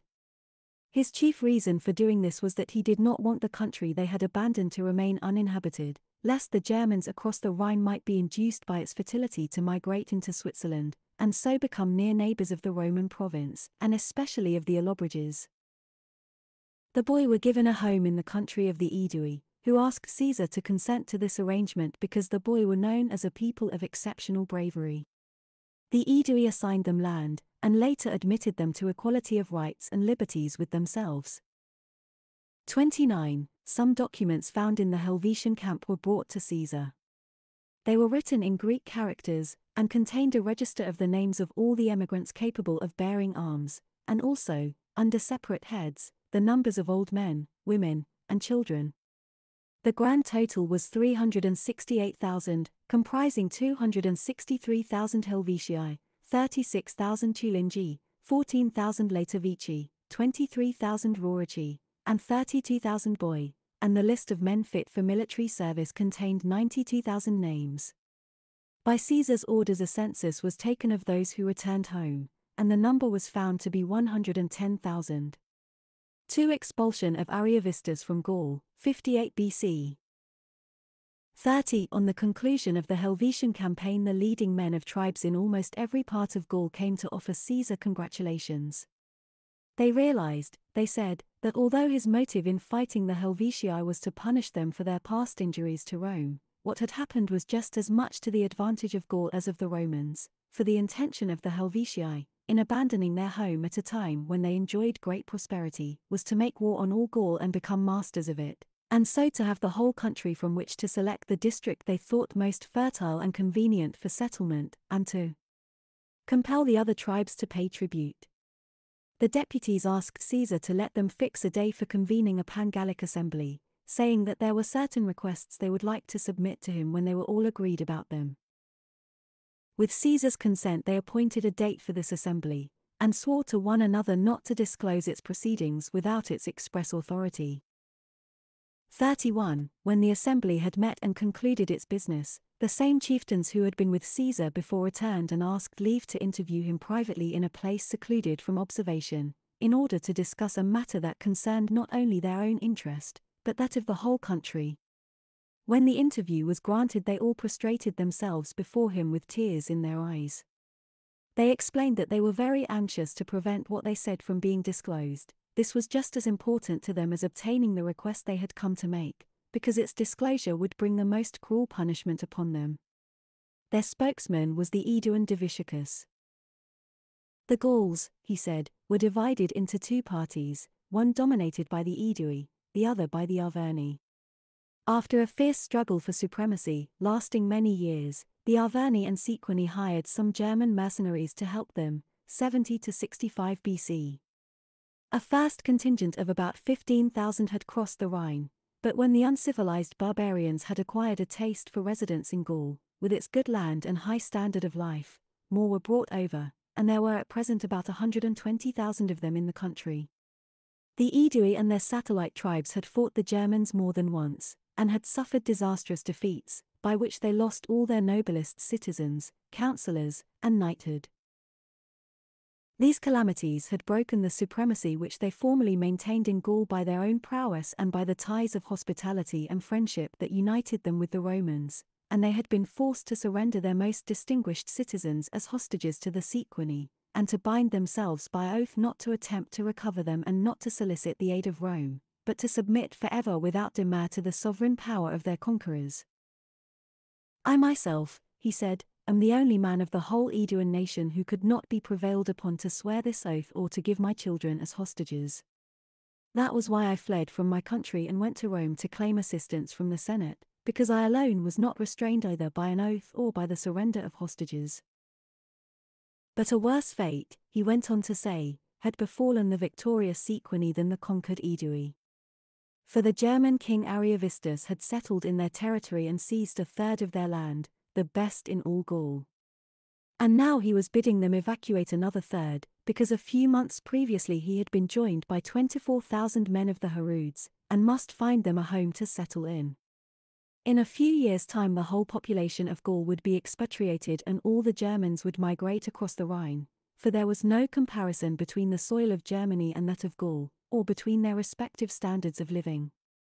After a single victory over the united Gallic forces at Admagetobriga, 61 BC, Ariovistus had shown himself an arrogant and cruel tyrant, demanding the children of every man of rank as hostages, and making an example of them by the infliction of all manner of torture, if the least indication of his will and pleasure was not instantly complied with.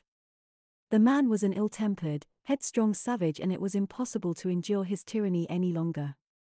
Unless Caesar and the Romans would help them, the Gauls must all do as the Helvetii had done leave their homes, seek other dwelling places out of reach of the Germans, and take their chance of whatever fortune might befall them. If my words come to the ears of Ariovistus, he concluded, I do not doubt that he will inflict the most inhuman punishment on all the hostages he has in his power. But your great prestige, the recent victory of your army, and the terror of the Roman name, could deter him from bringing fresh German hordes across and protect all Gaul from his depredations. 32. When Diviciacus had finished his speech, the whole deputation began with many tears to implore Caesar's aid. He noticed, however, that the Sequanian representatives did not follow the example of all the rest, but hung their heads in dejection with their eyes fixed on the ground. In astonishment, he asked them the reason for this behavior, but without making any reply, they maintained their attitude of silent dejection. After he had questioned them repeatedly without being able to get a word out of them, Diviciacus spoke again. The lot of the Sequani, he explained, was even more grievous and miserable than that of the rest, because they alone dared not, even in secret, complain or beg for relief. They stood in terror of Ariovistus' cruelty, even when he was far away, just as much as if they were in his presence, for while the others could at any rate flee away out of his reach, the Sequani, having admitted him into their midst and allowed all their towns to fall into his power, must submit to any atrocities he chose to commit against them. 33. On receiving this information, Caesar reassured the Gauls and promised to attend to the matter, adding that he had great hopes that the privilege he had secured for Ariovistus, as well as the weight of his authority, would induce him to cease his oppression. He then dismissed the meeting. In addition to what he had been told, many other considerations convinced him that this problem must be faced and some action taken. The most important was the fact that the Aedui, who had frequently been styled by the Senate brothers and kinsmen of the Roman people, were enslaved and held subject by the Germans, and that Aeduan hostages were in the hands of Ariovistus and the Sequani, which, considering the mighty power of Rome, Caesar regarded as a disgrace to himself and his country. Furthermore, if the Germans gradually formed a habit of crossing the Rhine and entering Gaul in large numbers, he saw how dangerous it would be for the Romans. If these fierce barbarians occupied the whole of Gaul, the temptation would be too strong for them, they would cross the frontier into the province, as the Cimbri and Teutoni had done before them, 109 to 101 BC, and march on Italy, for the Roman province lay just across the Rhone from the territory of the Sequani. This danger, he considered, must be provided against immediately. Moreover, Ariovistus personally had behaved with quite intolerable arrogance and pride.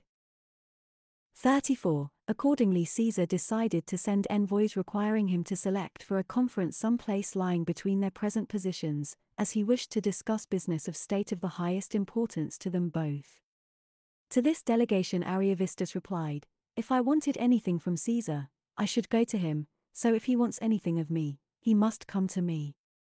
He added that he dared not come without the protection of his army into the part of Gaul occupied by Caesar, and that to concentrate his forces would mean making elaborate and troublesome arrangements for provisioning them. He could not imagine what business Caesar, or the Romans at all for that matter, had in the part of Gaul which was his by right of conquest. 35. At this Caesar sent a second embassy to remind Ariovistus of the important privilege conferred upon him by himself and the Roman government, when during Caesar's consulship, 59 BC, he received from the Senate the titles of king and friend. Since his way of showing his gratitude was to refuse an invitation to a conference for the discussion of matters affecting their common interest, the envoys were instructed to deliver him an ultimatum. First, he was not to bring any more large bodies of men across the Rhine into Gaul. Secondly, he was to restore the Aeduan hostages he held, and to authorize the Sequani to restore those whom they held. Finally, he was not to oppress the Aedui or to make war on them or their allies. On these conditions Caesar and the Roman government would maintain cordial and friendly relations with him. If these demands were refused, then, in accordance with a decree of the Senate passed in the consulship of Marcus Messala and Marcus Piso, 61 BC, directing all governors of the province of Gaul to do everything consistent with the public interest to protect the Aedui and other Roman allies, Caesar would not fail to punish his ill treatment of them.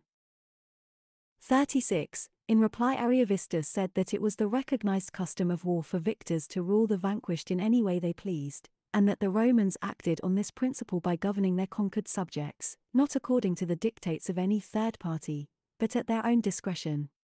Since he did not dictate to them how they were to exercise their rights, he ought not to be interfered with in the exercise of his. It was because the Aedui had tried the fortune of war, and were the losers in the fight, that they had to pay him tribute, and Caesar was doing him a serious wrong in coming to Gaul and causing him a loss of revenue.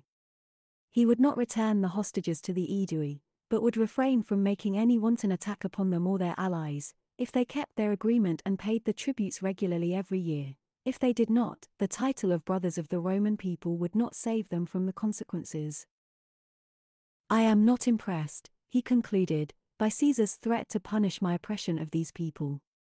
No one has ever fought me without bringing destruction upon himself. Let him attack whenever he pleases. He will discover what German valor is capable of.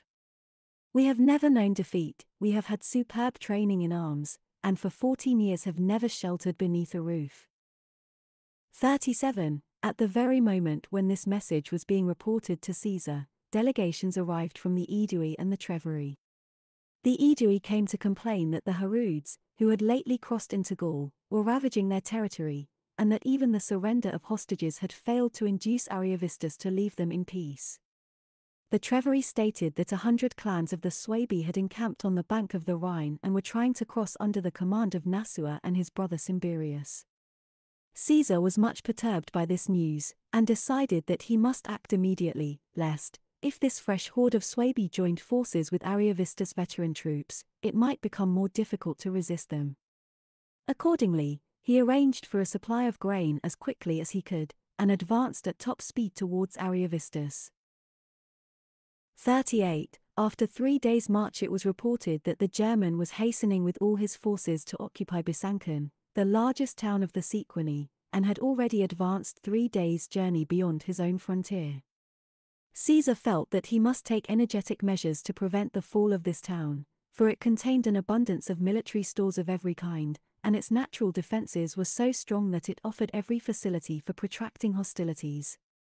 The river Doubs forms an almost complete and perfect circle round it, the gap left unprotected is little more than 500 yards wide, and is blocked by a high hill so completely that the spurs at its base run right down to the river bank on either side. This hill was girt by a wall which gave it the strength of a citadel and joined it with the town. Caesar hastened there by forced marches continued day and night, occupied the town, and placed a garrison in it. 39. During the few days that they spent near Besançon to lay in a stock of corn and other provisions, the soldiers began to question the Gauls and merchants there, who talked about the enormous stature, incredible courage, and splendid military training of the Germans. Some affirmed that on many occasions when they had met them in battle, the very expression on their faces and the fierce glance of their eyes were more than they could endure. This gossip threw all ranks into a sudden panic that completely unnerved them. It began with the military tribunes, the prefects of the auxiliary troops, and the men with little experience of war who had followed Caesar from Rome in order to cultivate his friendship. Most of these alleged some urgent reason or other for leaving camp, and asked Caesar's permission to go. Some stayed out of shame and a desire to avoid the suspicion of cowardice. But they were unable to hide their feelings, and at times could not help shedding tears, skulking in their tents, they bemoaned their fate or joined their friends in lamenting the peril that threatened them all alike. All over the camp men were signing and sealing their wills. The talk of these frightened people gradually affected even seasoned campaigners, including some centurions and cavalry officers. Those who wished to be thought less timid than the rest said that it was not the enemy they feared, but the narrow defiles through which they had to pass in the great forests that lay between them and Ariovistus, or pretended to be afraid that it would prove impossible to maintain an adequate supply of corn. Some even went so far as to tell Caesar that when he gave the command to strike camp and advance, the soldiers would be too panic stricken to obey. 40. Observing this state of affairs, Caesar summoned the centurions of every grade to a council, and began by severely reprimanding them for presuming to inquire or conjecture where he was leading them, or with what object. At the time of his consulship, he said, Ariovistus had sought the friendship of Rome with great eagerness, and what reason was there for thinking that he would so light-heartedly refuse to carry out his obligations? For his own part, he was convinced that when the king was acquainted with his demands and saw the fairness of the terms proposed, he would not reject the friendship offered by the Roman government and by himself. If, however, a mad impulse should lead him to make war, what reason had they after all for being afraid? Both their own courage and his careful attention to his duties gave good grounds for confidence. Our countrymen faced this enemy, he continued, in our father's time, when Gaius Marius won a victory over the Cimbri and Teutoni by which, as all agreed, the whole army earned as much glory as its commander. They faced them again more recently in Italy, when they defeated the rebellious slaves, eight aided though these were to some extent by the military training and discipline that they had acquired from their Roman masters. This shows what a great advantage resolute courage is. For a long time the Romans had an unreasoning fear of the slaves while they were still unarmed, yet afterwards defeated them when they were not only armed but flushed with victory. Moreover, these Germans are the same men whom the Helvetii have often met in battle, not only in Switzerland but also in Germany, and have generally beaten, yet the Helvetii were not a match for our army. If anyone is alarmed by the fact that the Germans have defeated the Gauls and put them to flight, he should inquire into the circumstances of that defeat. He will find that it happened at a time when the Gauls were exhausted by a long war. Ariovistus had remained for many months under cover of his camp and the surrounding marshes, so that they had no chance of fighting him, and then he attacked suddenly, when in despair of bringing him to battle they had broken up into scattered groups. Thus his victory resulted from his cunning strategy rather than the bravery of his troops. The employment of such strategy was possible against inexperienced natives, but even Ariovistus can have no hope of being able to trick our armies by such means. He went on to say that those who tried to disguise their cowardice by pretending to be anxious about the corn supply or the difficulties of the route were acting presumptuously. It was plain that they either lacked confidence in their general's sense of duty or else meant to dictate to him. He was attending to these matters. Corn was being supplied by the Sequani, Leuci, and Lingones, and the harvest was already ripe in the fields, and as to the route, they would soon be in a position to judge for themselves. The suggestion that the men would not obey orders to advance did not trouble him at all, for he knew that in all cases in which an army had refused obedience, it was either because their generals had been unsuccessful and were regarded as unlucky, or because they were proved dishonest by the discovery of some misconduct. His own integrity was attested by his whole life, his power of commanding success, by the campaign against the Helvetii. Therefore he was going to do that very night make their peace with him, professing that they had never entertained doubts or fears, and had never imagined that it was for them to direct the campaign, which they realized was their commander's business. Accepting their excuses, Caesar told Diviciacus to study the available routes, because he trusted him more than any of the other Gauls, and was advised by him to make a detour of some 50 miles, which would enable them to march through open country. Starting in the small hours, as he had said he would, he marched without interruption for six days, and was then informed by his patrols that Ariovistus' forces were 23 miles away. 9. 42. Hearing that Caesar had moved nearer, Ariovistus sent a message saying that he had no objection to arranging the interview previously requested, as he thought he could now do so without risk. Caesar did not reject his offer, thinking that Ariovistus was now coming to his senses again, since he undertook of his own accord to do what he had refused before when asked. He hoped too that the recollection of the great favors the king had received from himself and the Roman government would make him abandon his stubborn attitude, when he heard what was required of him. The interview was arranged for the fifth day following, and in the meantime messengers kept going to and fro between them. Ariovistus insisted that Caesar should not bring any infantry to the conference, he was afraid, he said, of being caught in a trap. Each earth, about equidistant from the camps of Caesar and Ariovistus here they came, as agreed, to hold their conference. The mounted legion that Caesar had brought was posted some 300 yards away from the mound, and Ariovistus' horsemen took up their position at an equal distance. The king stipulated that they should confer on horseback, each accompanied by ten men. On reaching the place Caesar began by recalling the favors that he himself and the Senate had conferred on Ariovistus, how he had been honored with the titles of king and friend, and had received handsome presents, pointing out that very few princes had been granted such distinctions, which were usually reserved for those who had rendered important services to Rome.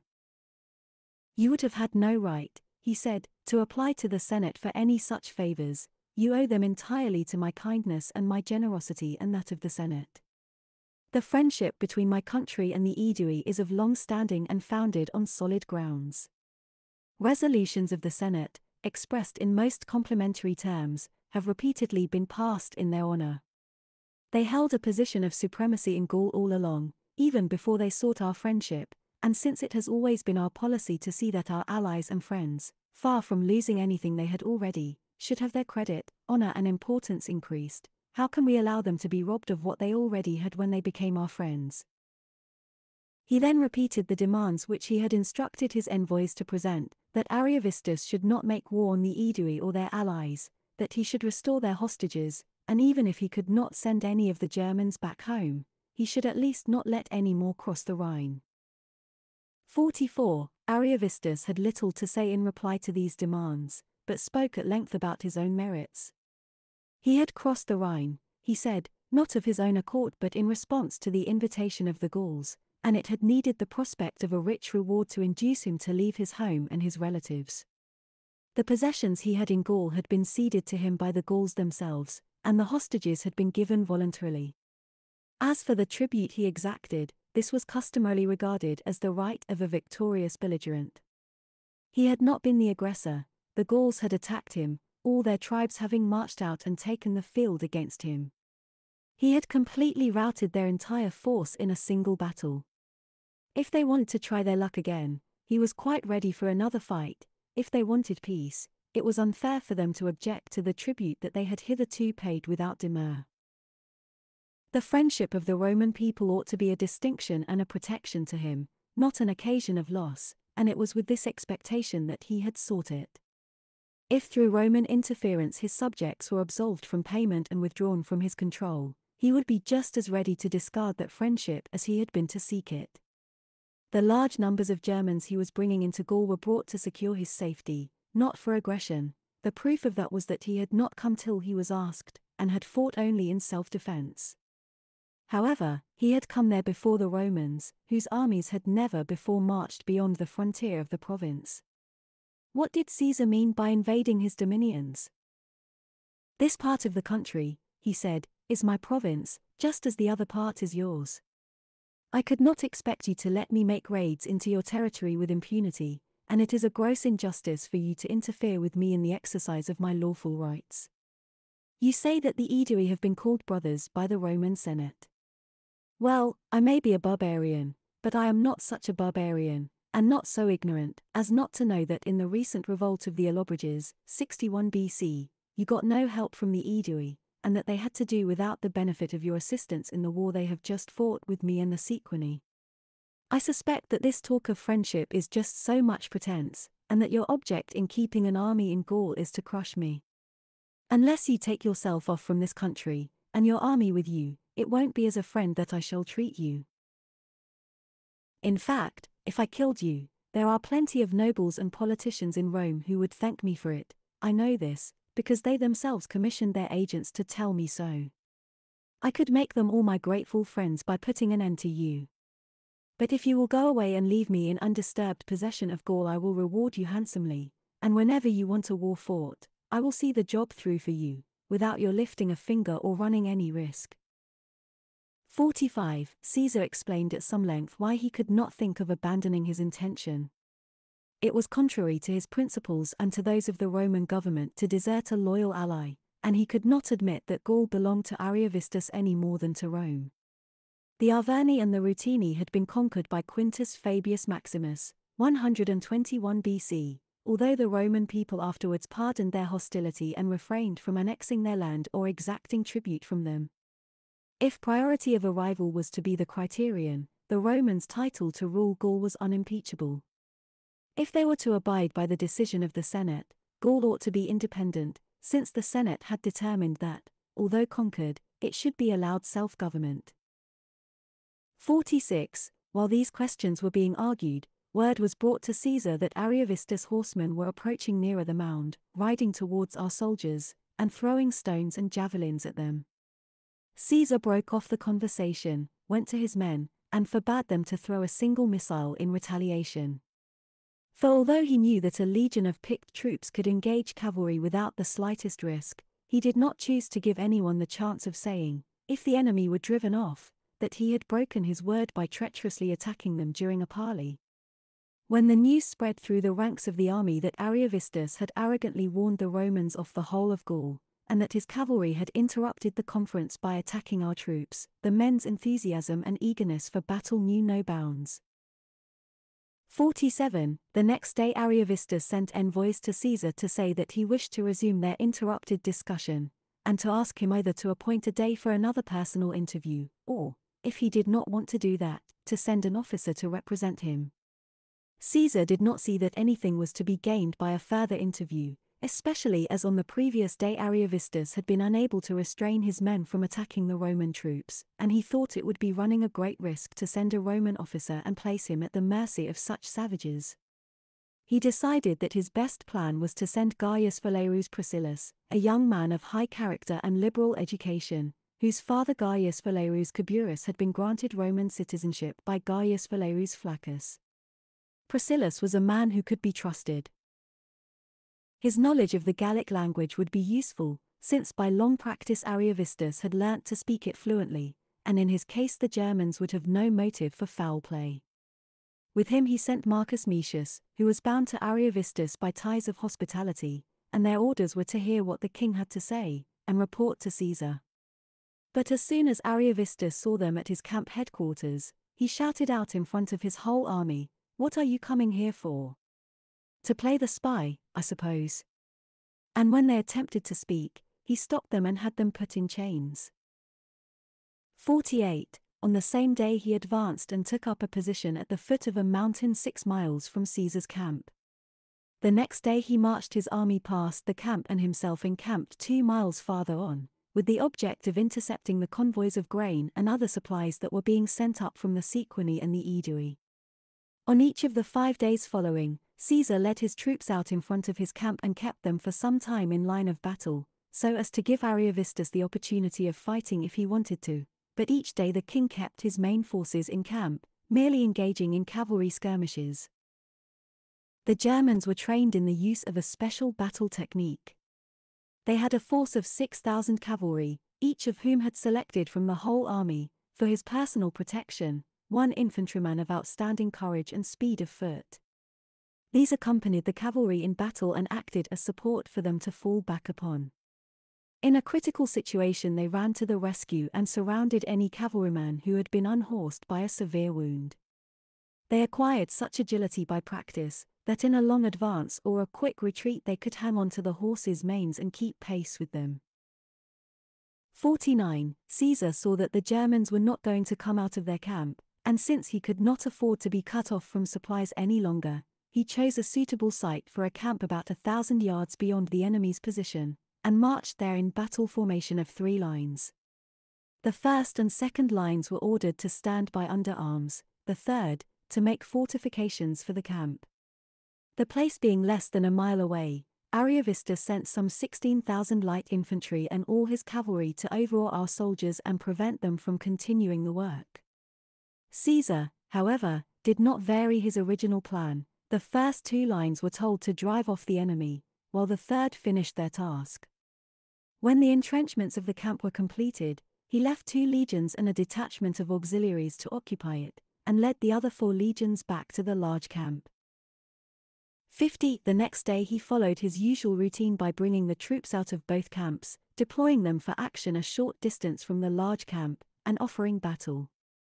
Finding that even then the enemy would not come out, he returned to camp about midday, whereupon Ariovistus at last sent a detachment to attack the small camp, and a hotly contested battle was kept up until evening.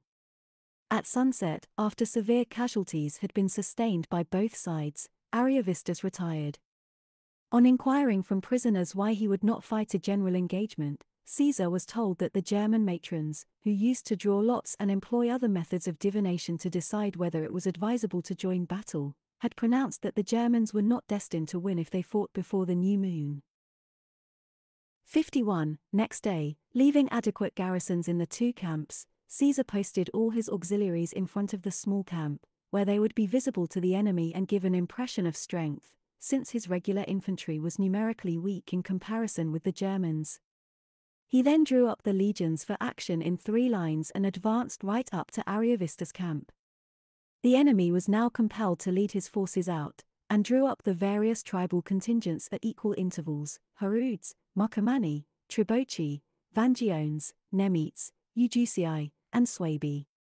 So that there might be no hope of escaping by flight, they formed a barrier of carriages and wagons along the rear of their whole line, and in them placed their women, who as the men marched to battle stretched out their hands and implored them with tears not to let them be enslaved by the Romans.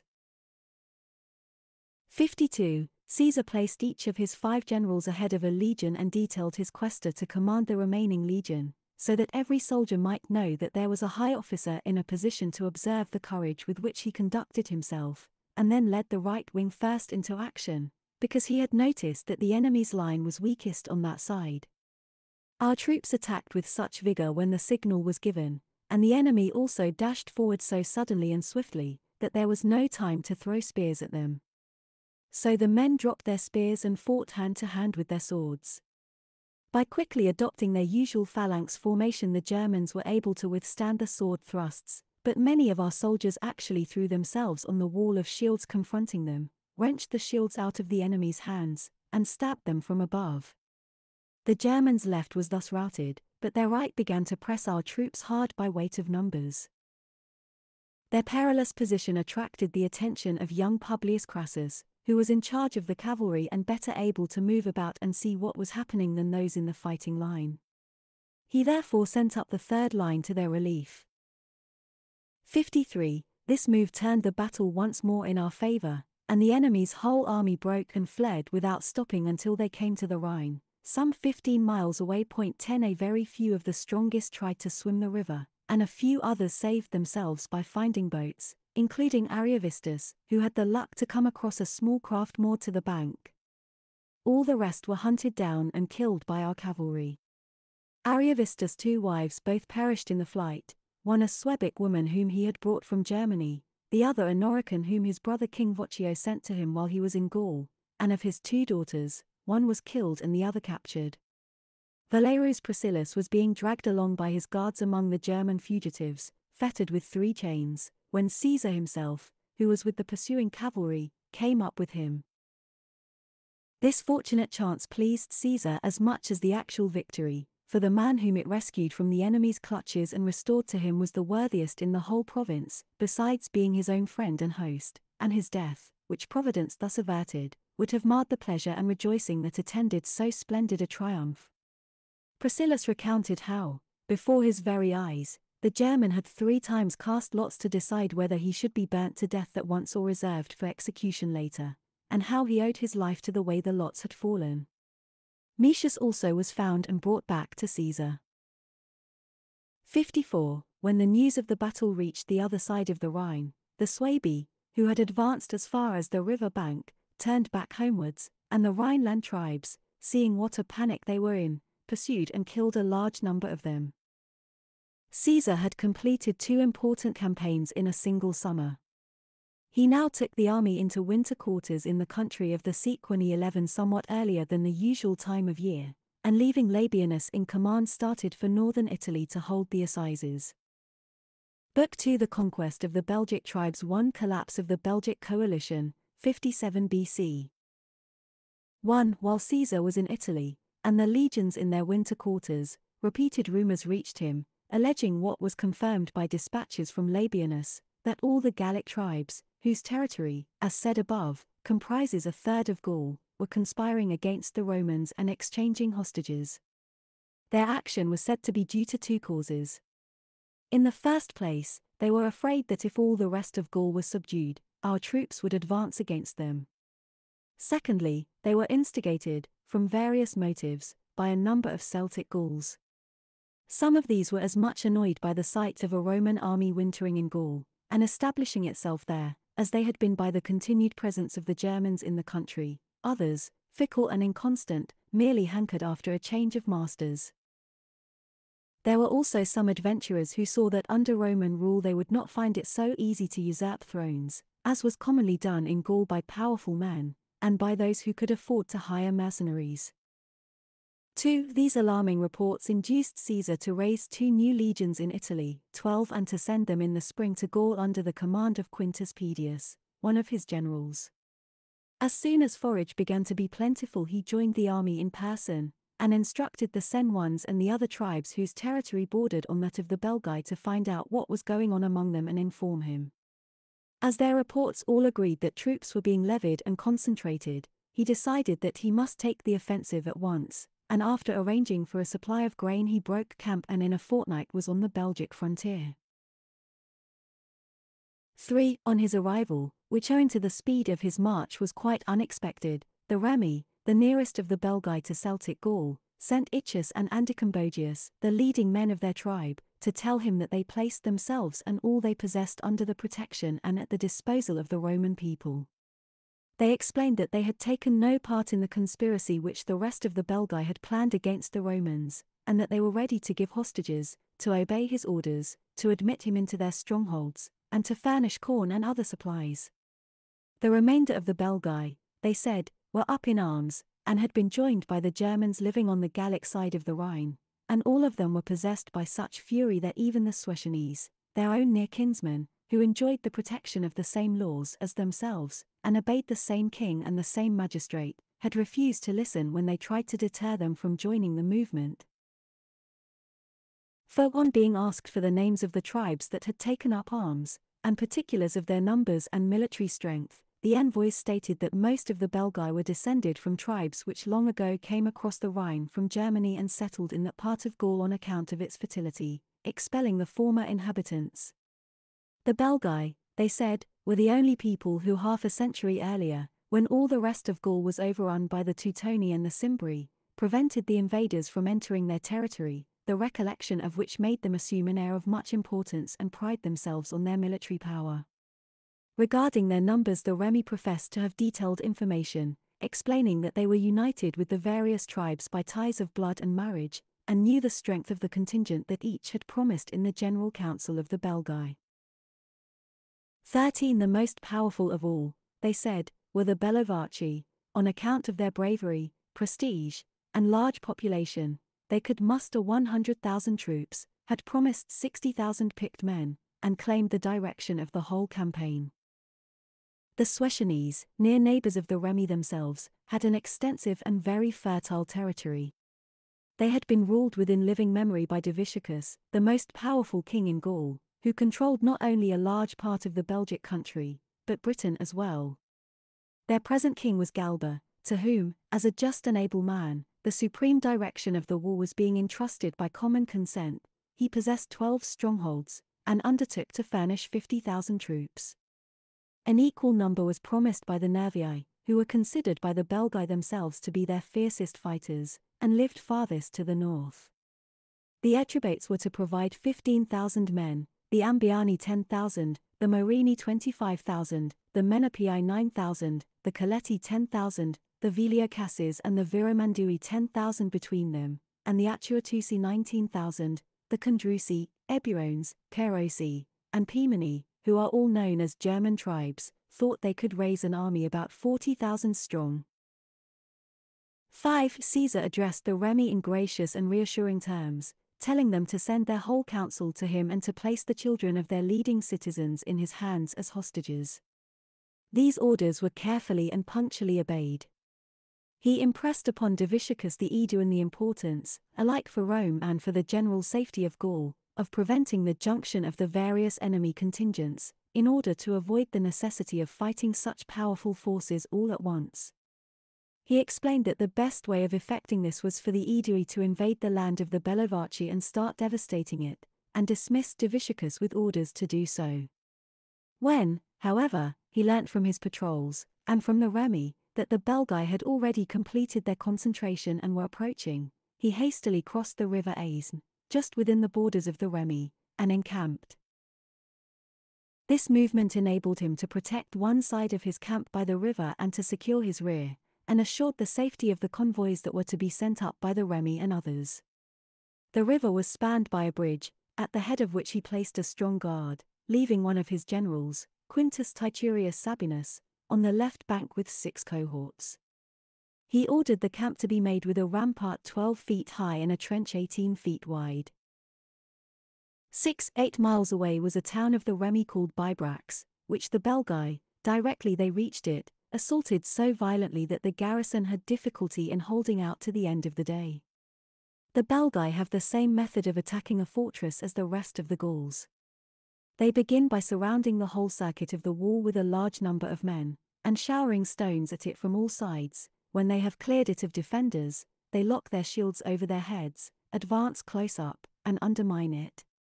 These tactics were easy to employ on the present occasion, for with such a large force hurling stones and javelins, no one could possibly stay on the wall. When night stopped the assault, Iccius, the governor of the town, a Roman nobleman, who was very influential with his countrymen and had been one of the envoys deputed to ask Caesar for peace, sent word that unless relieved he could not hold out longer. 7. Shortly after midnight, using as guides the men who had brought Iccius' message, Caesar sent some Numidians, 14 Cretan archers, and Balearic slingers to help him. Their arrival restored the morale of the Remi and filled them with fresh ardor for the defense of the town, while the enemy gave up hope of capturing it. Accordingly, after staying there a short time longer, the Belgae proceeded to ravage the countryside and to burn all the villages and homesteads within reach, and then marched their whole army towards Caesar's camp and themselves encamped barely two miles away. The smoke and flame of their watchfires showed that their camp stretched for about eight miles. 8. As the Belgic forces were very strong and had a great reputation for bravery, Caesar determined at first not to fight a general action, but he engaged every day in cavalry skirmishes, in order to discover what the enemy could really do, and how his own men stood up to them, and he soon found that his troops were as good as theirs. The ground in front of his camp was ideal for deploying the army for action. The low hill on which the camp stood was of just the right width, on the side facing the enemy, for the legions to occupy in battle formation. On each flank it descended steeply to the plain, while in front it formed a slight ridge and then sloped gently down. On either side of the hill Caesar had a trench dug, running for about 650 yards at right angles to the line along which the troops would be drawn up, and placed redoubts and artillery at both ends of each trench, to prevent the enemy from using their numerical superiority to envelop his men from the flanks while they were fighting. He left the two newly enrolled legions in camp, to be used as reinforcements wherever they were needed, and drew up the other six in front in line of battle. The enemy also had marched out and deployed for action. 9. There was a small marsh between the two armies. The Belgae waited in the hope that our troops would try to cross it, and our men stood with weapons in their hands, ready to pounce upon them at a disadvantage if they attempted to cross first, while in the meantime a cavalry skirmish went on between the lines. Since neither side would make the first move, as soon as the cavalry fight ended in our favor Caesar led the infantry back into camp. The Belgae then marched straight from their battle position to the Aisne, which I have explained was in the rear of our camp. They found a ford and tried to get a part of their forces across, intending to storm a redoubt commanded by Sabinus and break down the bridge, or, failing this, to deprive us of a very useful source of supplies for the campaign by devastating the land of the Remi, and to cut our communications. 10. On being informed of this by Sabinus, Caesar crossed the bridge with all the cavalry, the light armed Numidians, the slingers and the archers, and advanced against them. A fierce battle ensued. He attacked them in the river, which impeded their movements, and killed a large number. Others made a very daring attempt to cross over their dead bodies, but were driven back by a shower of missiles, while some of the first comers who had succeeded in getting across were rounded up and destroyed by the cavalry. The Belgae now realized that their hope of crossing the river was as vain as their hope of capturing Bibrax had proved to be, and that the Romans would not advance into an unfavorable position to fight. Their own supply of grain, too, was running short.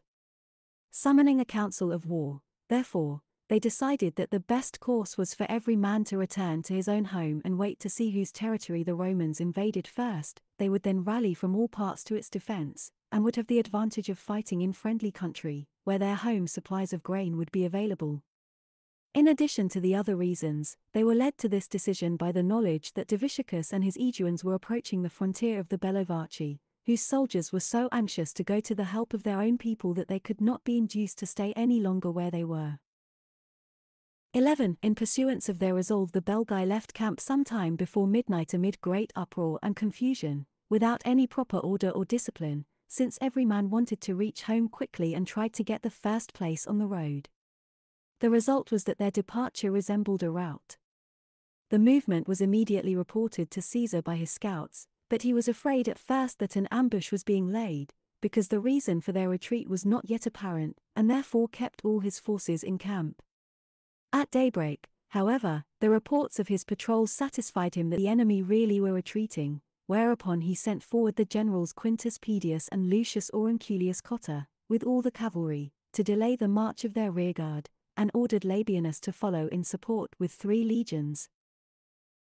These troops attacked their column from behind and pursued it for many miles, killing a large number as they fled, for while the rearguard, with which our men were actually in contact, halted and put up a gallant resistance, all those in front, imagining that they were far enough off to be safe, and not being under the immediate necessity of defending themselves or under the control of anyone in authority, broke their ranks directly they heard the shouting of the combatants, and tried to escape.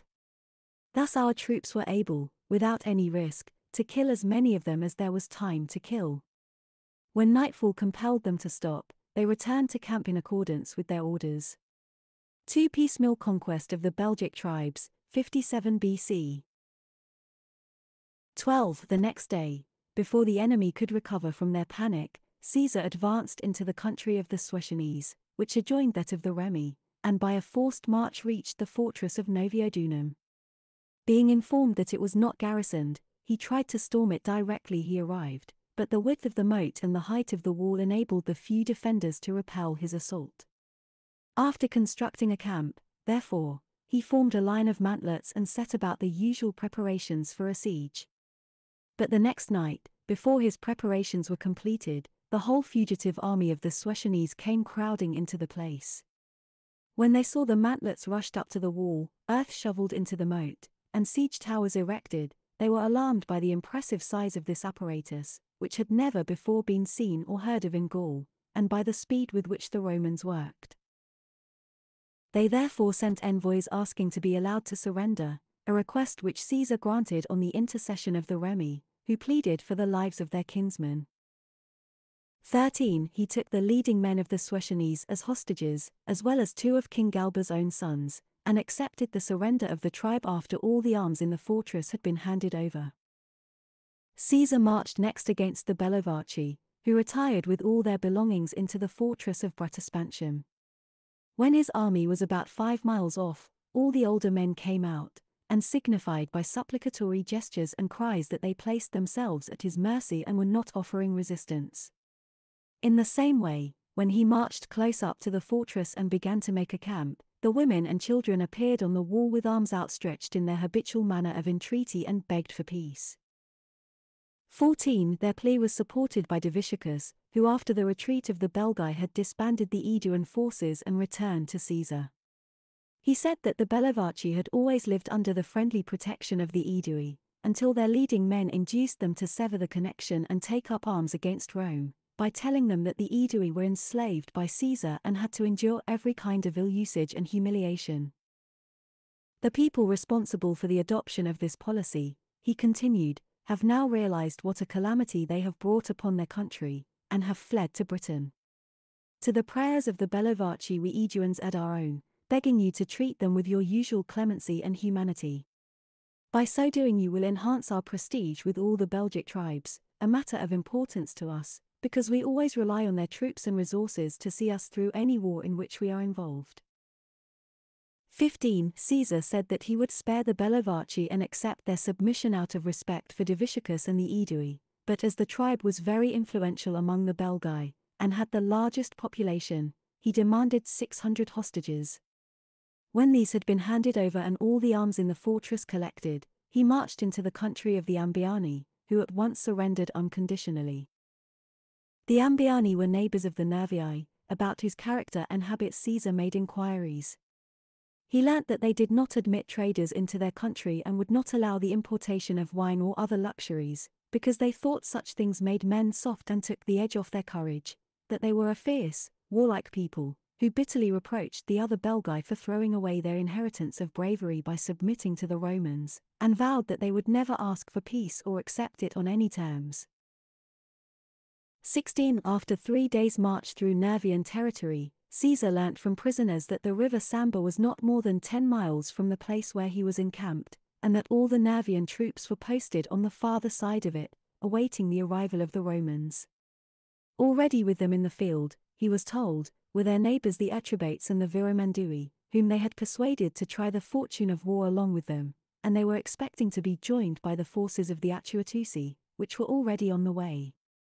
They had hastily thrust their women, and all who were thought too young or too old to fight, into a place which marshes made inaccessible to an army. 17. On receiving this information, Caesar sent forward a reconnoitering party, accompanied by some centurions to choose a good site for a camp.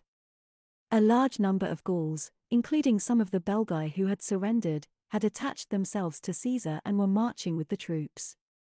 Some of these, as was afterwards ascertained from prisoners, had observed the order in which our army marched during the previous days, and at night made their way to the Nervii and explained to them that each legion was separated from the following one by a long baggage train, so that when the first reached camp the others would be far away. It would be quite easy to attack it while the men were still burdened with their packs, and when it was routed and its baggage plundered, the others would not dare to make a stand.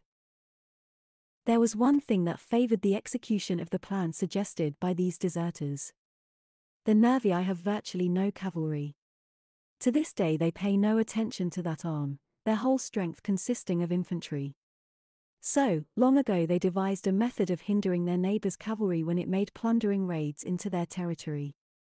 They cut off the tops of saplings, bent them over, and let a thick growth of side branches shoot out, in between them they planted briars and thorns, and thus made hedges like walls, which gave such protection that no one could even see through them, much less penetrate them.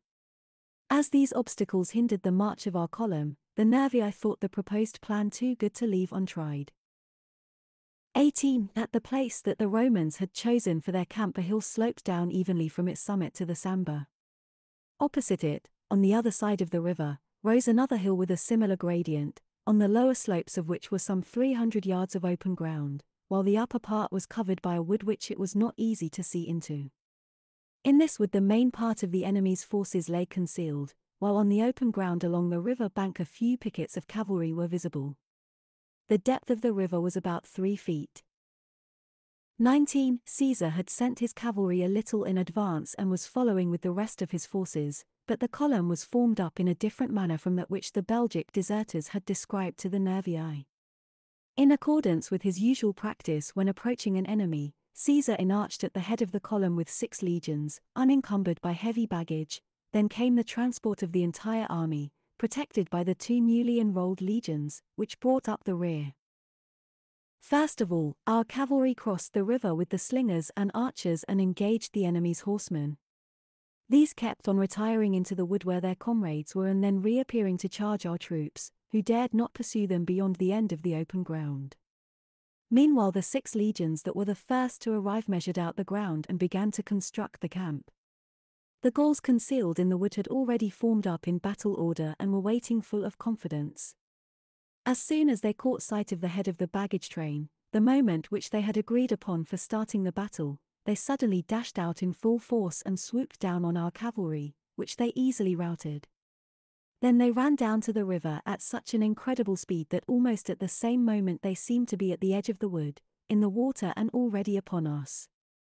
With equal rapidity they climbed the hill towards our camp to attack the men who were busy entrenching it. 20. Caesar had everything to do at once hoist the flag, which was the signal for running to arms, recall the men from their work on the camp, fetch back those who had gone far afield in search of material for the rampart, form the battle line, address the men, and sound the trumpet signal for going into action. Much of this could not be done in the short time left available by the enemy's swift onset. But the situation was saved by two things first, the knowledge and experience of the soldiers, whose training in earlier battles enabled them to decide for themselves what needed doing, without waiting to be told. Secondly, the order which Caesar had issued to all his generals, not to leave the work, but to stay each with his own legion until the camp fortifications were completed. As the enemy was so close and advancing so swiftly, the generals did not wait for further orders but on their own responsibility took the measures they thought proper. 21. After giving the minimum of essential orders, Caesar hastened down to the battlefield to address the troops and happened to come first upon the 10th Legion, to which he made only a short speech, urging them to live up to their tradition of bravery, to keep their nerve, and to meet the enemy's attack boldly. Then, as the Nervii were within range, he gave the signal for battle. On going to the other side of the field to address the troops there, he found them already in action.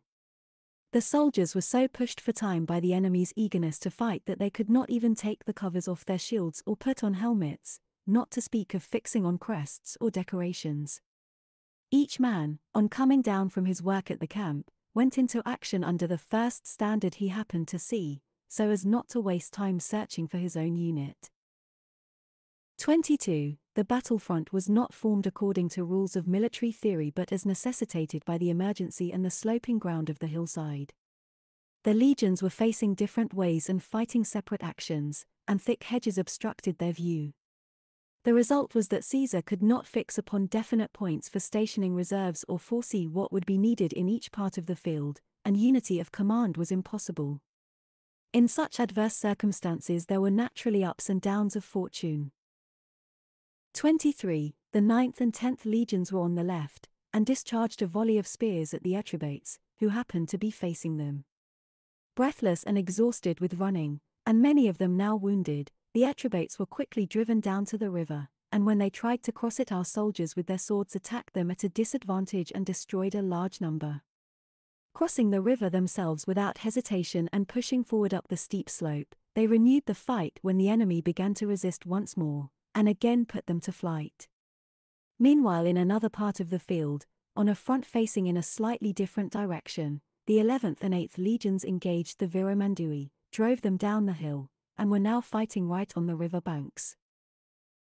By this time, however, the Roman camp was almost entirely exposed in front and on the left, and the 12th and 7th legions, which were posted fairly close together on the right, were attacked by the whole force of the Nervii, led in a compact mass by their commander-in-chief Boduognatus. Some of them began to surround the legions on their right flank, while the rest made for the hilltop where the camp stood. 24. At the same time, the Roman cavalry and light armed troops, routed by the first attack, were in the act of retreating into the camp, when they found themselves face to face with the Nervii and took to flight again in a different direction. The servants, too, who from the back gate on the summit of the hill had seen our victorious troops cross the river, and had gone out to plunder, on looking back and seeing the enemy in the camp immediately ran for their lives. Meanwhile, shouting and din arose from the drivers coming up with the baggage, who rushed panic stricken in every direction. With the army were some auxiliary cavalry sent by the Treveri, a people with a unique reputation for courage among the Gauls. When these horsemen saw the Roman camp full of the enemy, the legions hard pressed and almost surrounded, and the non combatants, cavalry, slingers, and Numidians scattered and stampeding in every direction, they decided that our case was desperate, and, riding off home in terror, reported that the Romans were utterly defeated and their camp and baggage captured. 25. After addressing the 10th Legion, Caesar had gone to the right wing, where he found the troops in difficulties. The cohorts of the 12th Legion were packed together so closely that the men were in one another's way and could not fight properly. All the centurions of the 4th cohort, as well as a standard bearer, were killed, and the standard was lost. Nearly all the centurions of the other cohorts were either killed or wounded, including the chief centurion Publius Sextius Baculus, a man of very great courage, who was so disabled by a number of severe wounds that he could no longer stand. The men's movements were slow, and some in the rear, feeling themselves abandoned, were retiring from the fight and trying to get out of range. Meanwhile, the enemy maintained unceasing pressure up the hill in front, and were also closing in on both flanks. As the situation was critical and no reserves were available, Caesar snatched a shield from a soldier in the rear, he had not his own shield with him, made his way into the front line, addressed each centurion by name, and shouted encouragement to the rest of the troops, ordering them to push forward and open out their ranks, so that they could use their swords more easily. His coming gave them fresh heart and hope, each man wanted to do his best under the eyes of his commander in chief, however desperate the peril, and the enemy's assault was slowed down a little. 26. Noticing that the 7th Legion, which stood close by, was likewise hard put to it, Caesar told the military tribunes to join the two legions gradually together and adopt a square formation, so that they could advance against the enemy in any direction. By this maneuver, the soldiers were enabled to support one another, and were no longer afraid of being surrounded from behind, which encouraged them to put up a bolder resistance. Meanwhile, the two legions which had acted as a guard to the baggage at the rear of the column, having received news of the battle, had quickened their pace, and now appeared on the hilltop, where the enemy could see them, and Labienus, who had captured the enemy's camp, and from the high ground on which it stood could see what was going on in ours, sent the 10th Legion to the rescue. The men of the 10th, who could tell from the flight of the cavalry and the non-combatants how serious things were, and what peril threatened the camp, their legions, and their commander-in-chief, strained every nerve to make the utmost speed. 27. Their arrival so completely changed the situation that even some of the Roman soldiers who had lain down, exhausted by wounds, got up and began to fight again, leaning on their shields. The non-combatants, observing the enemy's alarm, stood up to their attack, unarmed as they were, and the cavalry, anxious to wipe out the disgrace of their flight, scoured the whole battlefield and tried to outdo the legionaries in gallantry. But the enemy, even in their desperate plight, showed such bravery that when their front ranks had fallen those immediately behind stood on their prostrate bodies to fight and when these too fell and the corpses were piled high, the survivors still kept hurling javelins as though from the top of a mound, and flung back the spears intercepted by their shields. Such courage accounted for the extraordinary feats they had performed already. Only heroes could have made light of crossing a wide river, clambering up the steep banks, and launching themselves on such a difficult position. 28. So ended this battle, by which the tribe of the Nervii was almost annihilated and their name almost blotted out from the face of the earth. On hearing the news of it, their old men, who, as already said, had been sent away with the women and children into tidal creeks and marshes, decided that nothing could stop the victorious Romans or protect their conquered tribe, and with the consent of all the survivors they sent envoys to Caesar and surrendered. In describing the calamity that had befallen their state, they asserted that they had three councillors left out of 600, and scarcely 500 men capable of bearing arms out of 60,000. Caesar, wishing to let it be seen that he showed mercy to unfortunate suppliants, took great care to protect them from harm, confirmed them in possession of their territories and towns, and commanded their neighbors to refrain from injuring their persons or property, and to make their dependents do likewise. 29. The Atuatuci who, as mentioned above, were coming in full force to help the Nervii, on hearing of their defeat turned back without halting and went home. Abandoning their other strongholds and fortified refuges, they collected all their possessions into one town of great natural strength. Point 15 It was surrounded by very high and precipitous rocks, except at one point where there was a gently sloping approach not more than 200 feet wide. This place the garrison had fortified with a double wall of great height, on top of which they now fixed heavy stones and beams sharpened to a point. The Atuatuci were descended from the Cimbri and Teutoni, who on their march towards the Roman province and Italy deposited on the left bank of the Rhine the cattle and baggage that they could not take with them, with 6,000 men to guard it. After the destruction of their fellow countrymen, 102 to 101 BC, these settlers struggled for many years with the neighboring people, sometimes attacking them, at other times defending themselves against attack, until at length all the tribes made peace with them and allowed them to make their home in the district where they now live. 30. On the arrival of the Roman army, the Atuatuci at first made a series of sorties from their fortress and engaged in skirmishes, but when they found themselves enclosed by an earthwork 12 feet high, with a circuit of 5 miles and redoubts at frequent intervals, they stayed inside. The Romans formed a line of mantlets and constructed a siege terrace. When they began to erect a siege tower at some distance, the defenders on the wall at first made abusive remarks and ridiculed the idea of setting up such a huge apparatus so far away.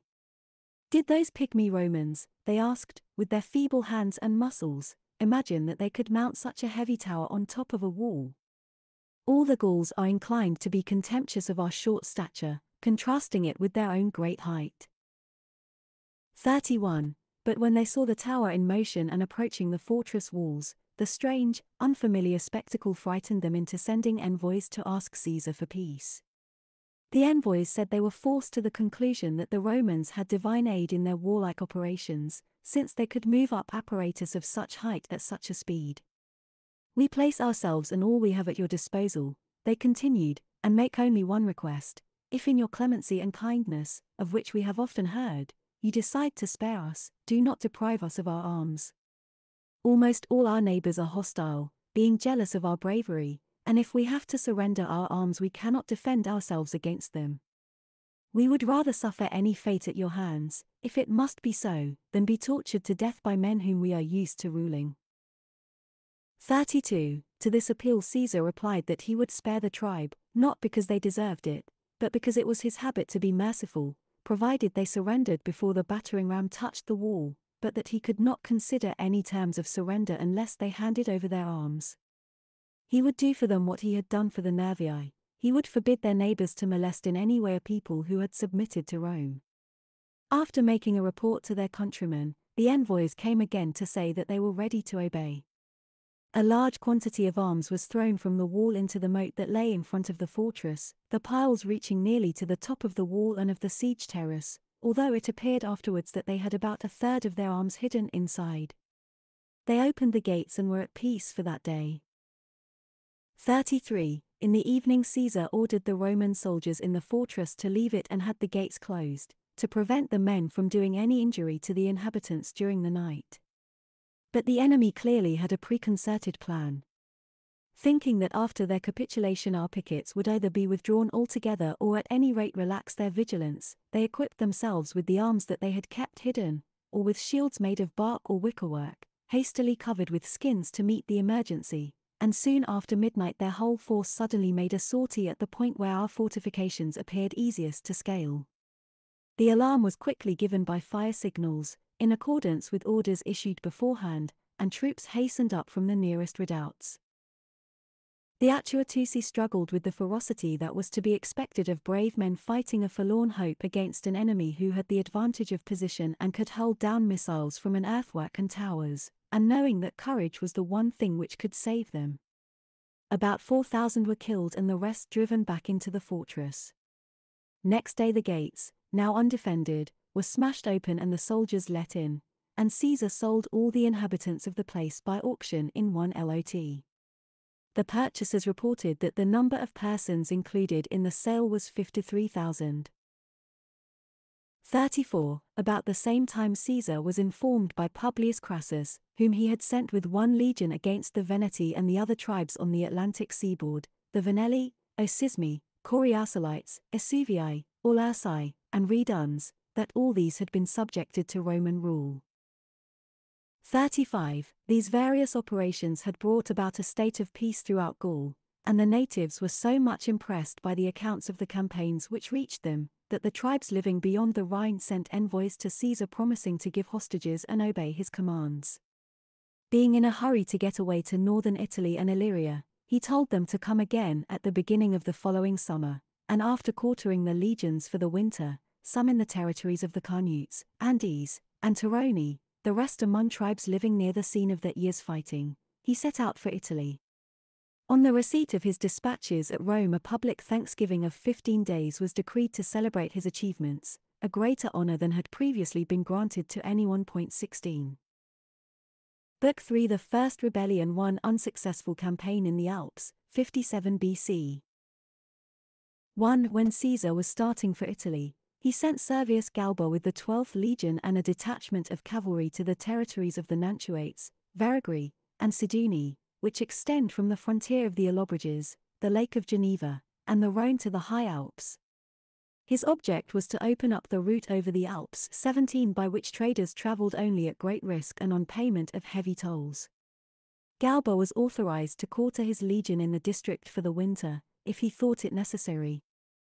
After he had won several victories and taken a number of enemy fortresses, and all the tribes had sent envoys and given hostages, he made peace.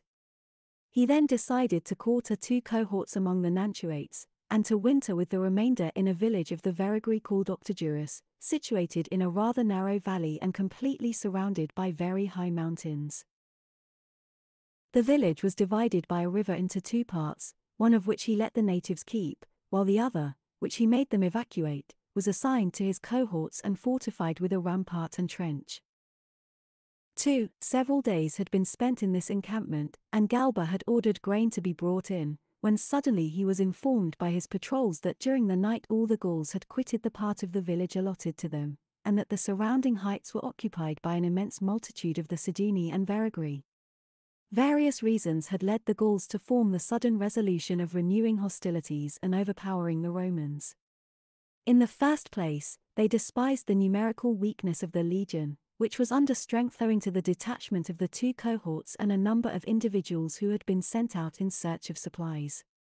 Secondly, they had the advantage of position, being able to run down and hurl their javelins into the valley beneath, and thought they would carry all before them at their very first charge.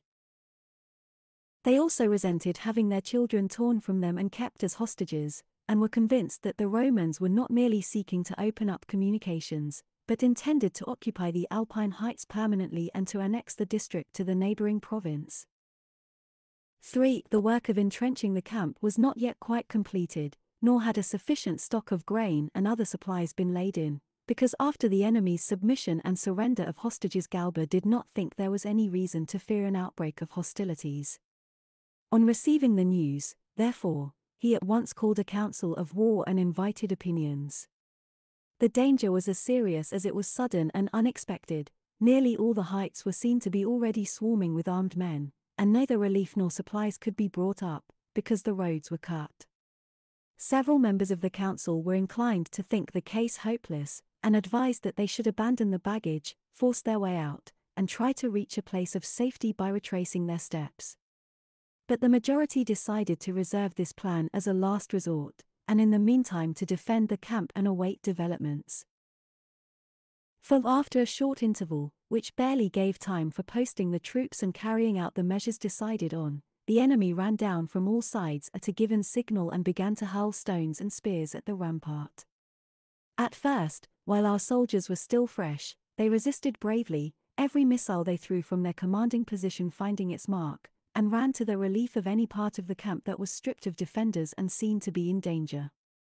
But what told against them was that the enemy, when exhausted by prolonged fighting, could retire from the battle and be relieved by fresh troops, which our men could not do on account of their small numbers. Not only had tired men to stay in the fighting line, but even the wounded had to remain at their posts without any chance of respite.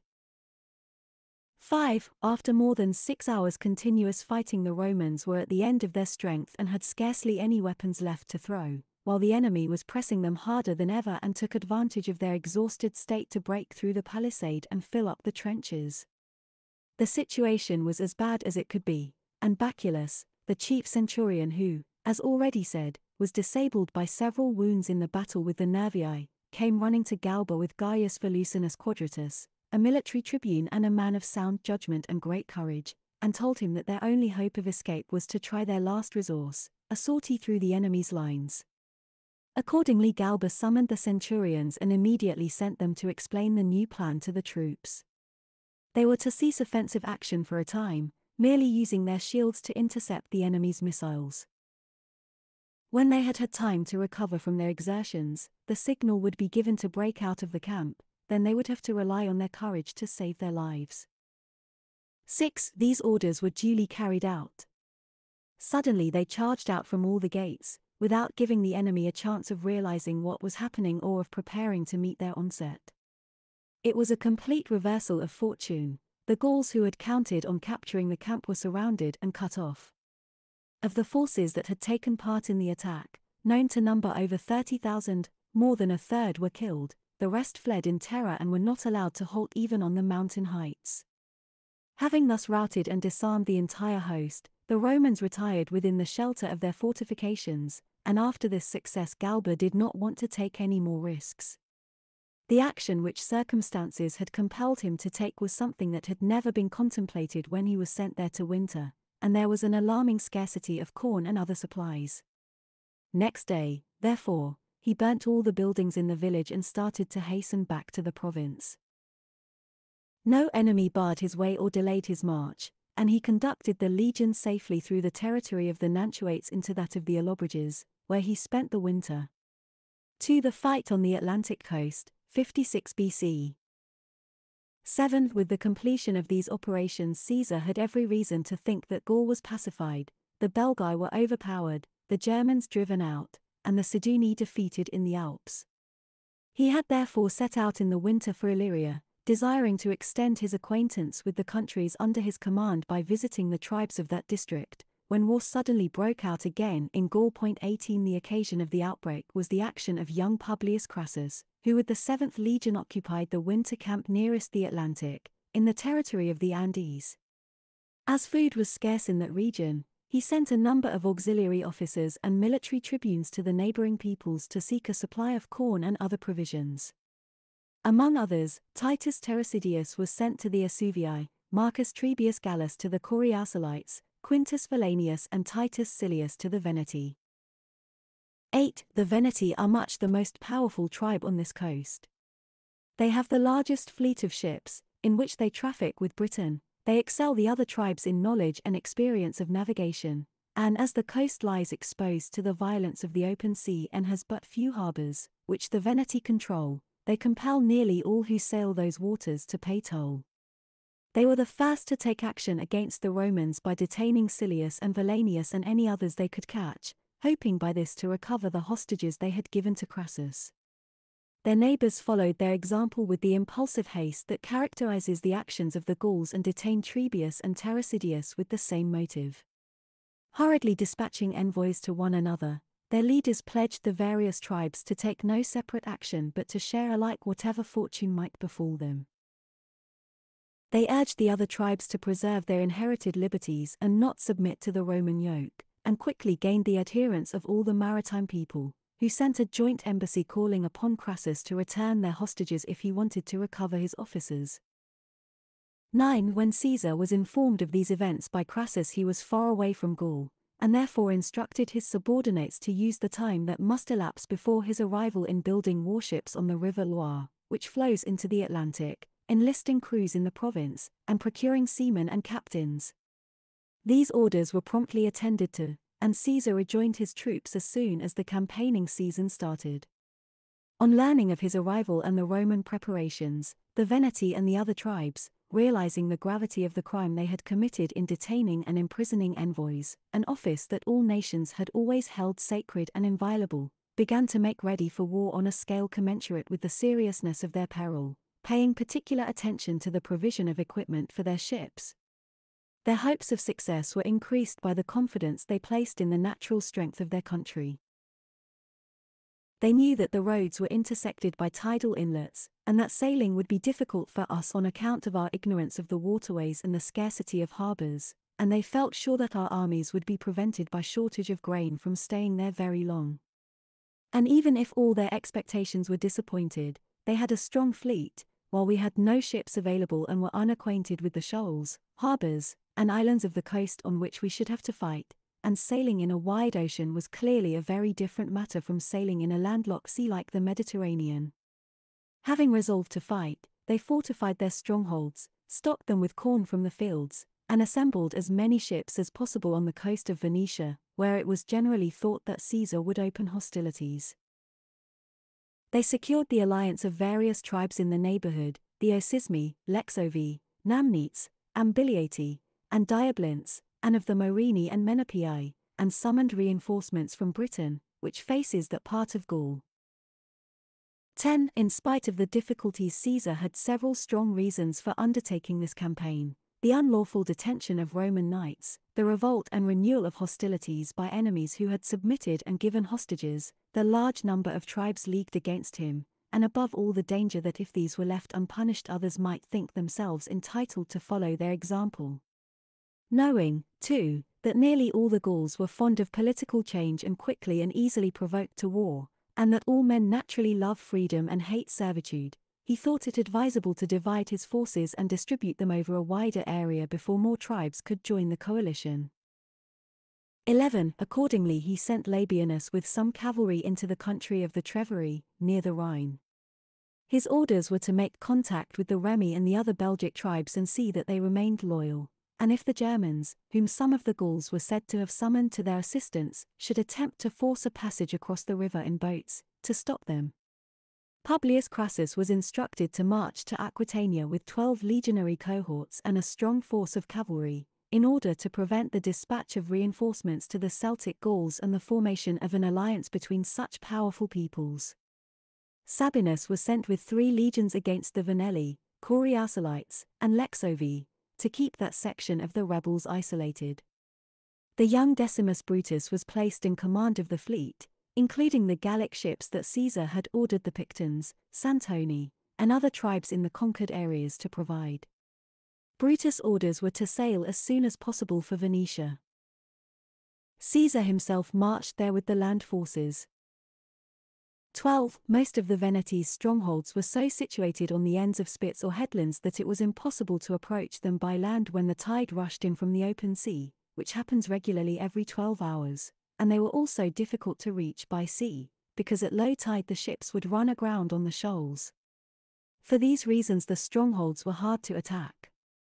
Sometimes the Romans made them untenable by building huge dikes, which both kept the sea away and enabled the besiegers to get on a level with the top of the walls, but as soon as the defenders saw that their position was hopeless, they would bring up numbers of ships, of which they had an unlimited supply, transfer all their property to them, and retire to neighboring strongholds equally well situated for defense. They found it easy to pursue these tactics during most of the summer, because our ships were weatherbound and sailing was very hazardous in that vast, open sea, where the tides were high and harbours almost non existent. 13. The Gauls' own ships were built and rigged in a different manner from ours. They were made with much flatter bottoms, to help them to ride shallow water caused by shoals or ebb tides. Exceptionally high bows and sterns fitted them for use in heavy seas and violent gales, and the hulls were made entirely of oak, to enable them to stand any amount of shocks and rough usage. The crosstimbers, which consisted of beams a foot wide, were fastened with iron bolts as thick as a man's thumb. The anchors were secured with iron chains instead of ropes. They used sails made of raw hides or thin leather, either because they had no flax and were ignorant of its use, or more probably because they thought that ordinary sails would not stand the violent storms and squalls of the Atlantic and were not suitable for such heavy vessels. In meeting them, the only advantage our ships possessed was that they were faster and could be propelled by oars. In other respects, the enemies were much better adapted for sailing such treacherous and stormy waters. We could not injure them by ramming because they were so solidly built, and their height made it difficult to reach them with missiles or board them with grappling irons. Moreover, when it began to blow hard and they were running before the wind, they weathered the storm more easily, they could bring into shallow water with greater safety, and when left aground by the tide had nothing to fear from reefs or pointed rocks, whereas to our ships all these risks were formidable. 14. After taking several strongholds, Caesar saw that all his labor was being wasted, capturing their strongholds did not prevent the enemy from escaping, and he was not in a position to cripple them.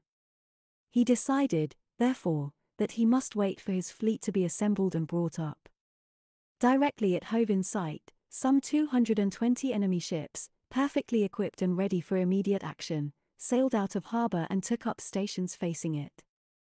Neither its commander Brutus nor the military tribunes and centurions in charge of the individual ships could decide what to do or what tactics to adopt. They knew that no injury could be inflicted on the enemy by ramming, and when they tried erecting turrets, they found that they were still overtopped by the foreigners' lofty sterns and were too low to make their missiles carry properly, while the enemies fell with great force.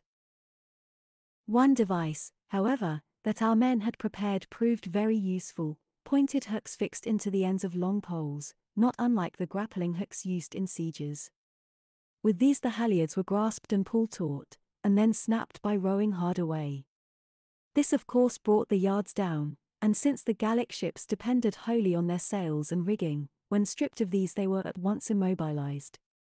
After that it was a soldier's battle, in which the Romans easily proved superior, especially as it was fought under the eyes of Caesar and the whole army, so that any act of special bravery was bound to be noticed, all the cliffs and hills that commanded a near view of the sea were occupied by the troops. 15. When the yards of an enemy ship were torn down in the manner described, two or three of ours would get alongside and the soldiers would make vigorous efforts to board it. When the natives saw what was happening, and after the loss of several ships could still find no answer to these tactics, they tried to escape by flight. They had already put their ships before the wind when suddenly such a dead calm fell that they could not stir. Nothing could have been more fortunate for us. It enabled us to complete the victory by pursuing and capturing the vessels one after another, and only a very few managed to make land when night came on after a battle that lasted from about 10 o'clock in the morning until sunset. 16. This victory ended the war with the Veneti and all the other maritime tribes, for besides assembling all their men of military age, and indeed all the older men of any standing or reputation for good judgment, they had also concentrated every one of their ships, and now that all these were lost, the survivors had no refuge left and no means of defending their strongholds, so they surrendered themselves and all their possessions to Caesar. He resolved to make an example of them in order to teach the natives to be more careful in future about respecting the rights of ambassadors. He had all their counselors executed and the rest of the population sold as slaves. Point 19.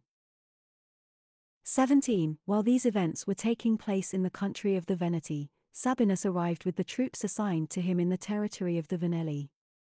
Their leader was Viridovix, the commander-in-chief of all the rebel tribes, from which he had raised a large army. Within a few days of Sabinus' arrival the Aulerci Eburovices and the Lexovi massacred their councillors because they would not sanction the policy of going to war, shut their gates and joined Viridovix, and there had also assembled from all over Gaul a host of desperadoes and bandits, to whom the prospect of fighting and plunder was more attractive than farming and regular work. Sabinus refused to leave his camp, which was ideally situated, while Viridovix, who had encamped opposite him at a distance of two miles, led his troops out daily and offered battle. The Gauls began to despise Sabinus, and even some of his own troops made insulting remarks, in the end, he so convinced the enemy of his timidity that they ventured close up to the rampart of the camp.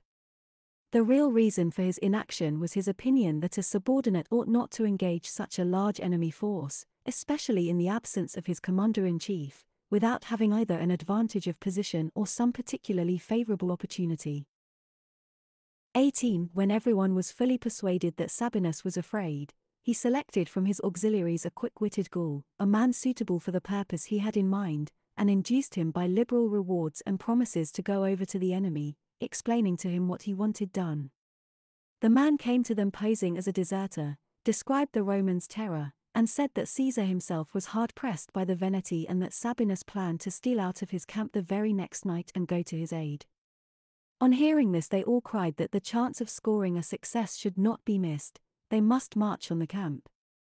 In coming to this decision, they were influenced by several things the recent hesitation of Sabinus, the assurances of the deserter, their lack of supplies, for which they had not made proper provision, the hope of a victorious outcome of the Veneti's campaign, and the general tendency of mankind to wishful thinking.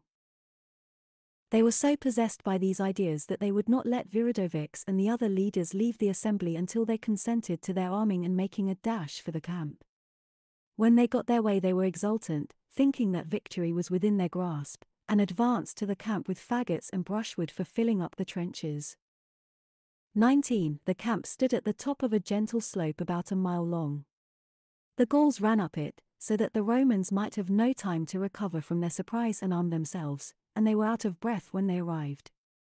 After addressing his men, Sabinus gave the signal which they were eagerly awaiting, while the enemy were hampered by the loads they carried he ordered a sudden sortie from two of the gates. Thanks to the favorable position of the camp, the enemy's unskillfulness and exhausted condition, our soldiers' courage and the experience they had gained in previous battles, the very first charge made the Gauls turn tail. But they were in no condition to escape, and it was easy for our fresh troops to overtake them and to kill a large number. The remainder were rounded up by the cavalry, with the exception of a few who got clean away. Sabinus heard of the naval battle at the same time as his own victory was reported to Caesar, and all the rebel states immediately submitted to him, for while the Gauls are quick and impetuous in taking up arms, they have not the strength of character to stand up against reverses. 3. Victorious campaign in Aquitania, 56 BC. 20. About the same time Publius Crassus reached Aquitania. Point 20 This area, as already said, must be reckoned to be a third of Gaul, because of its extent and population. Knowing that he had to fight in a country where some years previously, 78 BC, the general Lucius Valerius Praeconinus had been defeated and killed, and the proconsul Lucius Manlius compelled to retreat with the loss of all his heavy equipment, he realized that he must proceed with extreme caution. Accordingly, he arranged for a supply of provisions, raised auxiliaries and cavalry, and called up individually many men of proved courage from Toulouse, Carcassonne, and Narbonne, towns in the province not far distant from Aquitania. He then marched into the territory of the Sotiates, who on hearing of his approach assembled a large force and sent on ahead their cavalry, in which they were very strong. They attacked our column on the march, first of all with the cavalry, when this was repulsed and pursued by ours, they suddenly unmasked their infantry, which was ambushed in a valley. The infantry renewed the action by falling upon our troops while they were in disorder. 21. A prolonged and fierce struggle ensued, for the Sotiates were emboldened by their past victories and thought that the fate of all Aquitania depended on their bravery, while our men wanted to show what they could do without their commander-in-chief and the other legions, and under a youthful leader. At length, exhausted by wounds, the enemy turned and fled. After killing a large number Crassus advanced on their town and marched straight to the assault. As the garrison offered a stout resistance, he moved up mantlets and towers. Against these they first attempted a sortie, and then tunneled in the direction of the siege terrace and the mantlets. The Aquitani excel in this work, as there are copper mines and quarries in many parts of their country. But when they found that the vigilance of our troops prevented their effecting anything by this means, they sent envoys to Crassus asking him to accept their surrender. He consented, and at his command they handed over their arms. 22. While everyone's attention was occupied by these events, the king of the tribe, Adiatuanus, attempted a sortie from another part of the town with 600 followers who were bound to him by a vow of loyalty. The Sotiates call such persons soldurii. The friend to whom they attach themselves undertakes to share with them all the good things of life, on the understanding that, if he meets with a violent end, they shall either share his fate or make away with themselves, and within the memory of man none has yet been known to refuse to die when the friend to whom he had sworn allegiance was killed. Shouts arose from the nearest part of the fortifications, and the soldiers ran to arms. After a hard fight Adiatuanus was driven back into the town, but in spite of what had happened he prevailed on Crassus to let him surrender on the same terms as the rest. 23. After receiving the arms and hostages Crassus started for the country of the Vocates and Tarusates. The natives were now thoroughly alarmed, hearing that a town well protected both by its situation and by fortifications had fallen within a few days of our army's arrival. They therefore sent envoys to their neighbors on every side, made promises of mutual loyalty, exchanged hostages, and mobilized their troops. They even sent to the nearest tribes of northern Spain, and obtained from them reinforcements and generals, whose arrival enabled them to take the field with large forces under commanders of great prestige, men who had served throughout the Spanish War under Quintus Sertorius and were reputed military experts. Following Roman practice, they occupied carefully chosen positions, entrenched a camp, and took measures to intercept our convoys of supplies. Crassus' own forces were so small that they could not very well be divided, whereas the enemy could scour the countryside and block the roads, and at the same time leave an adequate guard in camp.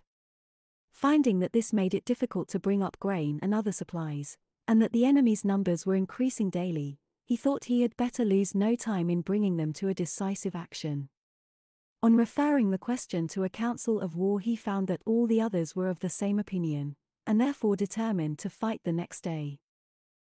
24. At daybreak, he brought out all his forces and deployed them in two lines, with the auxiliaries in the center, and waited to see what plan of action the enemy would adopt. Although the Gauls, with their great numerical superiority and illustrious military record, had every confidence in the result of an engagement, they thought an even safer way would be to gain a bloodless victory by obstructing the roads and cutting off the army's supplies. And if a shortage of food compelled the Romans to retreat, their idea was to attack them on the march, when they would be hampered by the presence of the transport and dispirited by having to fight with their packs on their backs. Their leaders approved these plans, and when the Romans deployed their troops, the Gauls remained in camp. Crassus took note of this, and as the enemy's reluctance to fight gave the impression that they were afraid, and increased the fighting spirit of his own men, who were all heard saying that the camp should be attacked without delay, he delivered the customary address and complied with their unanimous desire by advancing to the assault. 25. Some filled up the trenches, others drove the defenders from the rampart and entrenchments with a rain of missiles, while the auxiliaries, in whose fighting quality Crassus had little confidence, supplied the rest with stones and weapons and brought up sods for making a bank of earth, and so made a convincing show of fighting. The enemy, too, put up a determined and brave resistance, and the javelins that they hurled down from their elevated position did good execution. Meanwhile, some cavalrymen who had ridden round the camp reported to Crassus that the back of it was not so carefully fortified, and offered easy access.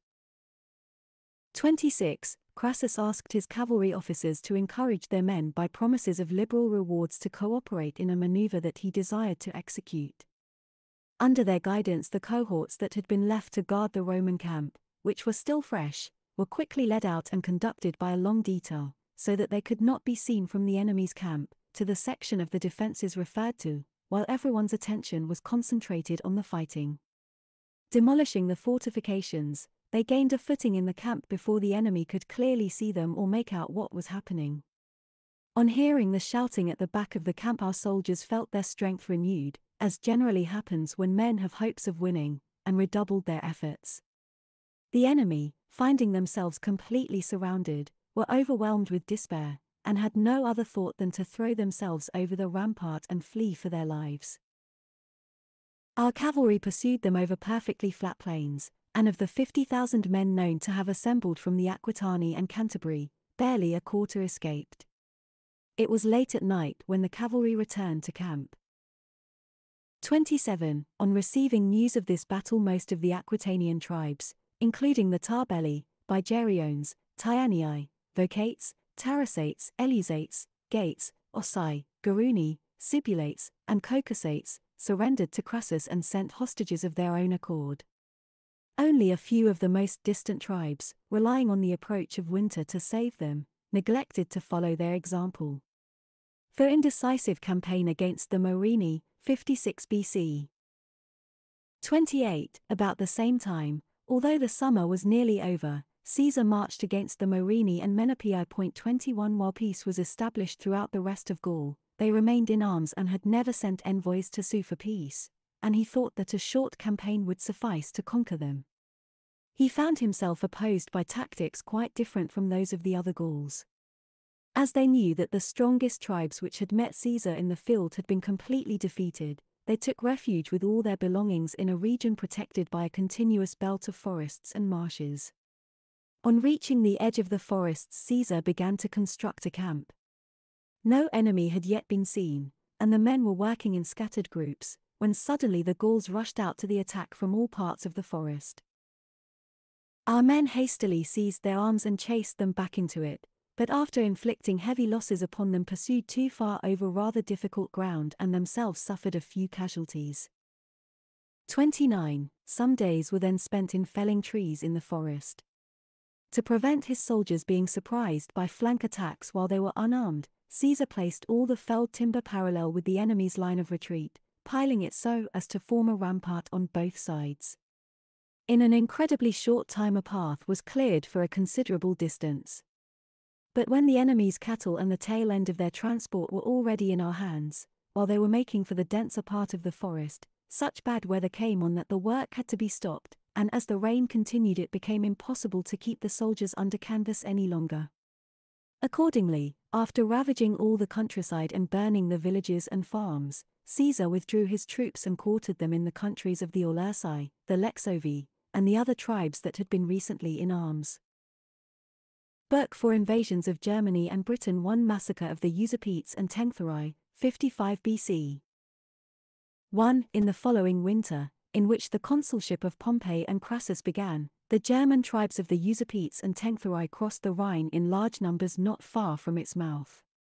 They were forced to migrate because for several years they had been subjected to harassing attacks by the Suebi and prevented from tilling their land. The Suebi are by far the largest and most warlike of the German nations. It is said that they have a hundred cantons, each of which provides annually a thousand armed men for service in foreign wars. Those who are left at home have to support the men in the army as well as themselves, and the next year take their turn of service, while the others stay at home. Thus, both agriculture and military instruction and training continue without interruption. No land, however, is the property of private individuals, and no one is allowed to cultivate the same plot for more than one year. They do not eat much cereal food, but live chiefly on milk and meat, and spend much time in hunting. Their diet, daily exercise, and the freedom from restraint that they enjoy, for from childhood they do not know what compulsion or discipline is, and do nothing against their inclination, combine to make them strong and as tall as giants.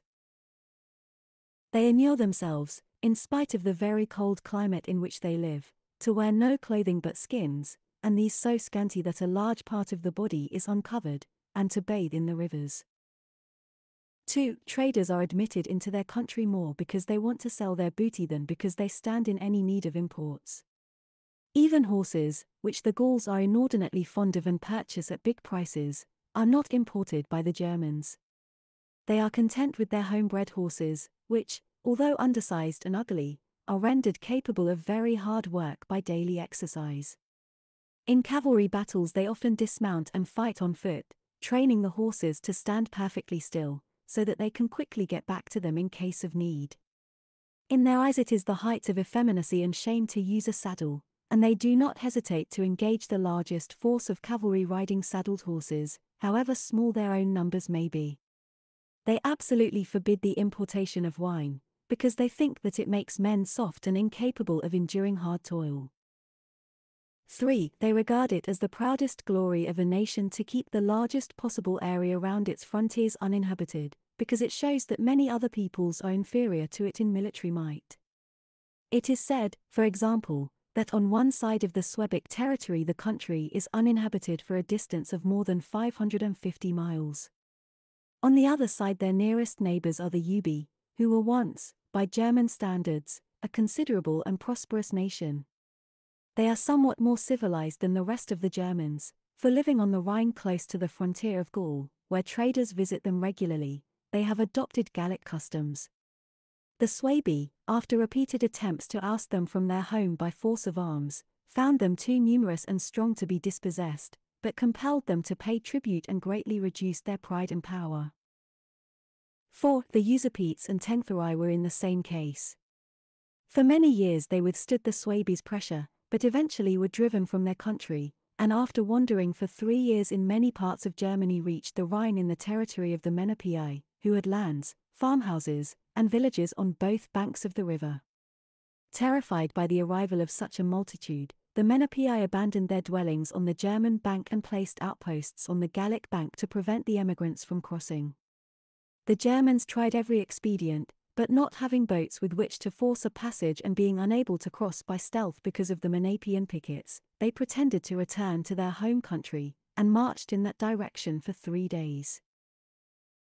Then they turned back again, and recovering the whole distance in a single night, their cavalry made a surprise attack on the unsuspecting Menapii, who, on being informed by their patrols of their enemy's departure, had fearlessly recrossed the Rhine and returned to their villages.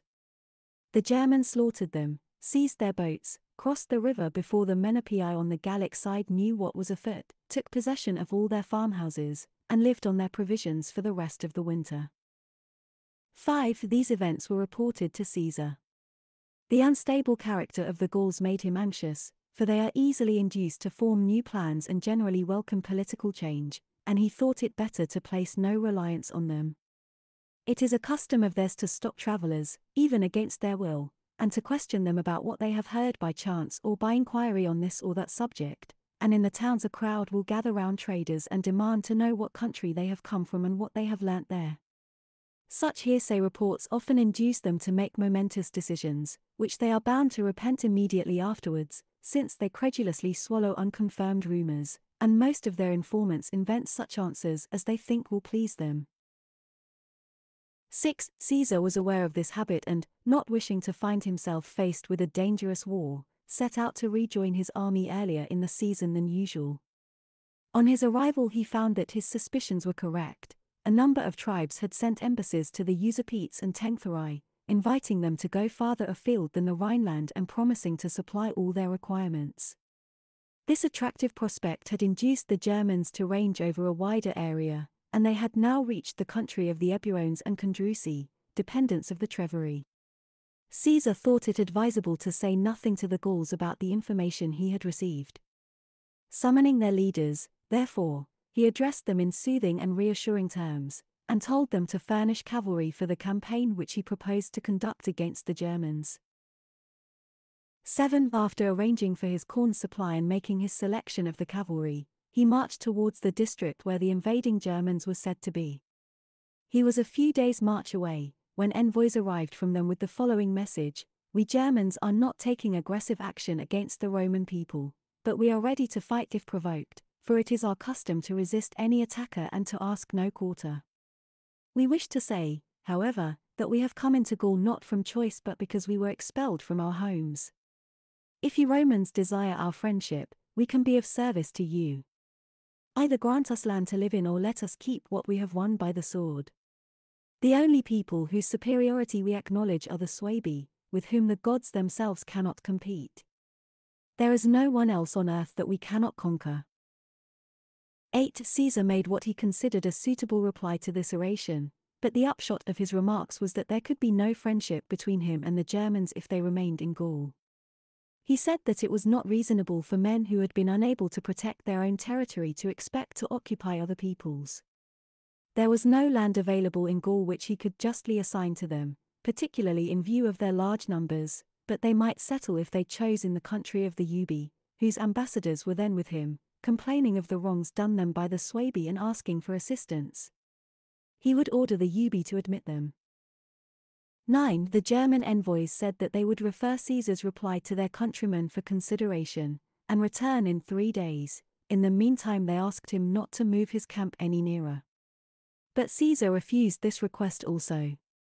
He knew that a large detachment of their cavalry had been sent across the Meuse some days before to the country of the Ambivariti, in search of corn and plunder, and he thought that they must be expecting these back, and that this was their reason for trying to gain time. 10. The Meuse rises in the Vosges Mountains, 22 in the country of the Lingones. It is joined by a tributary from the Rhine, called the Waal, making the island of the Batavians, and flows into the Rhine some 75 miles from the sea. The Rhine rises in the country of the Lepontii in the Alps, and flows swiftly for a long distance through the lands of the Helvetii, Sequani, Triboci, Nemetes, Mediomatrici, and Treveri. As it nears the sea, it divides into several channels, forming a number of very large islands, many of them inhabited by wild barbarian tribes, some of whom are supposed to live on fish and birds' eggs, and discharges itself by several mouths into the North Sea. 11. When Caesar was not more than 12 miles from the Germans, their envoys returned according to agreement, and meeting him on the march earnestly begged him to advance no farther.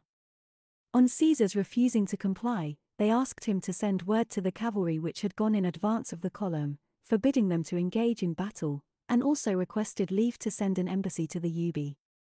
They said that if the Ubian chiefs and council would swear to keep faith with them, they would avail themselves of the offer that Caesar had made, and asked for three days to complete the necessary negotiations. Caesar believed that all these suggestions had the same object as their previous maneuver to obtain a further three days' delay to give time for the return of the German cavalry from their foray. However, he said that he would restrict his advance that day to four miles, the distance that was necessary to get water. On the next day, if as many of them as possible would assemble at his halting place, he would give their requests a formal hearing. In the meantime, he sent orders to the officers who had gone on in front with the whole cavalry force that they were not to attack the enemy and, if attacked themselves, were to remain on the defensive until he approached with the main army. 12. But when the enemy caught sight of our cavalry, 5,000 strong, although they themselves had not 800 horse, those who had crossed the Meuse to get corn having not yet returned, they immediately charged. Our men, who thought themselves safe from attack because the enemy's envoys had only just left Caesar and had asked for a truce for that day, were at first thrown into disorder. When they rallied, the German horsemen, following their usual practice, jumped down, unhorsed a number of our men by stabbing their horses in the belly, put the rest to flight, and kept them on the run in such a panic that they did not stop until they came in sight of the marching column of infantry. In this engagement, 74 of our cavalrymen were killed, including Piso, a gallant Aquitanian of very good family, whose grandfather had been king of his tribe and had been granted the title of friend by the Roman Senate. He went to the assistance of his brother, who was cut off by some of the Germans, and succeeded in rescuing him, but his own horse was wounded and threw him. As long as he could, he resisted with the utmost bravery, but eventually was surrounded and fell covered with wounds. When his brother, who by this time had got well away from the fight, saw what had happened, he galloped straight up to the enemy and let them kill him too. 13. After this treacherous and unprovoked attack by an enemy who had asked for peace, Caesar dismissed all further thought of giving audience to their envoys or accepting any overtures. At the same time, he thought it would be sheer madness to wait till they were reinforced by the return of their cavalry. The Gauls were so scatterbrained that even this single German success had no doubt made a great impression upon them, and they must not be given time to concert plans. He told his generals and quaestor of his decision, and, not wanting to lose a single day in bringing the enemy to battle, marched forward. The next morning he had a great stroke of luck.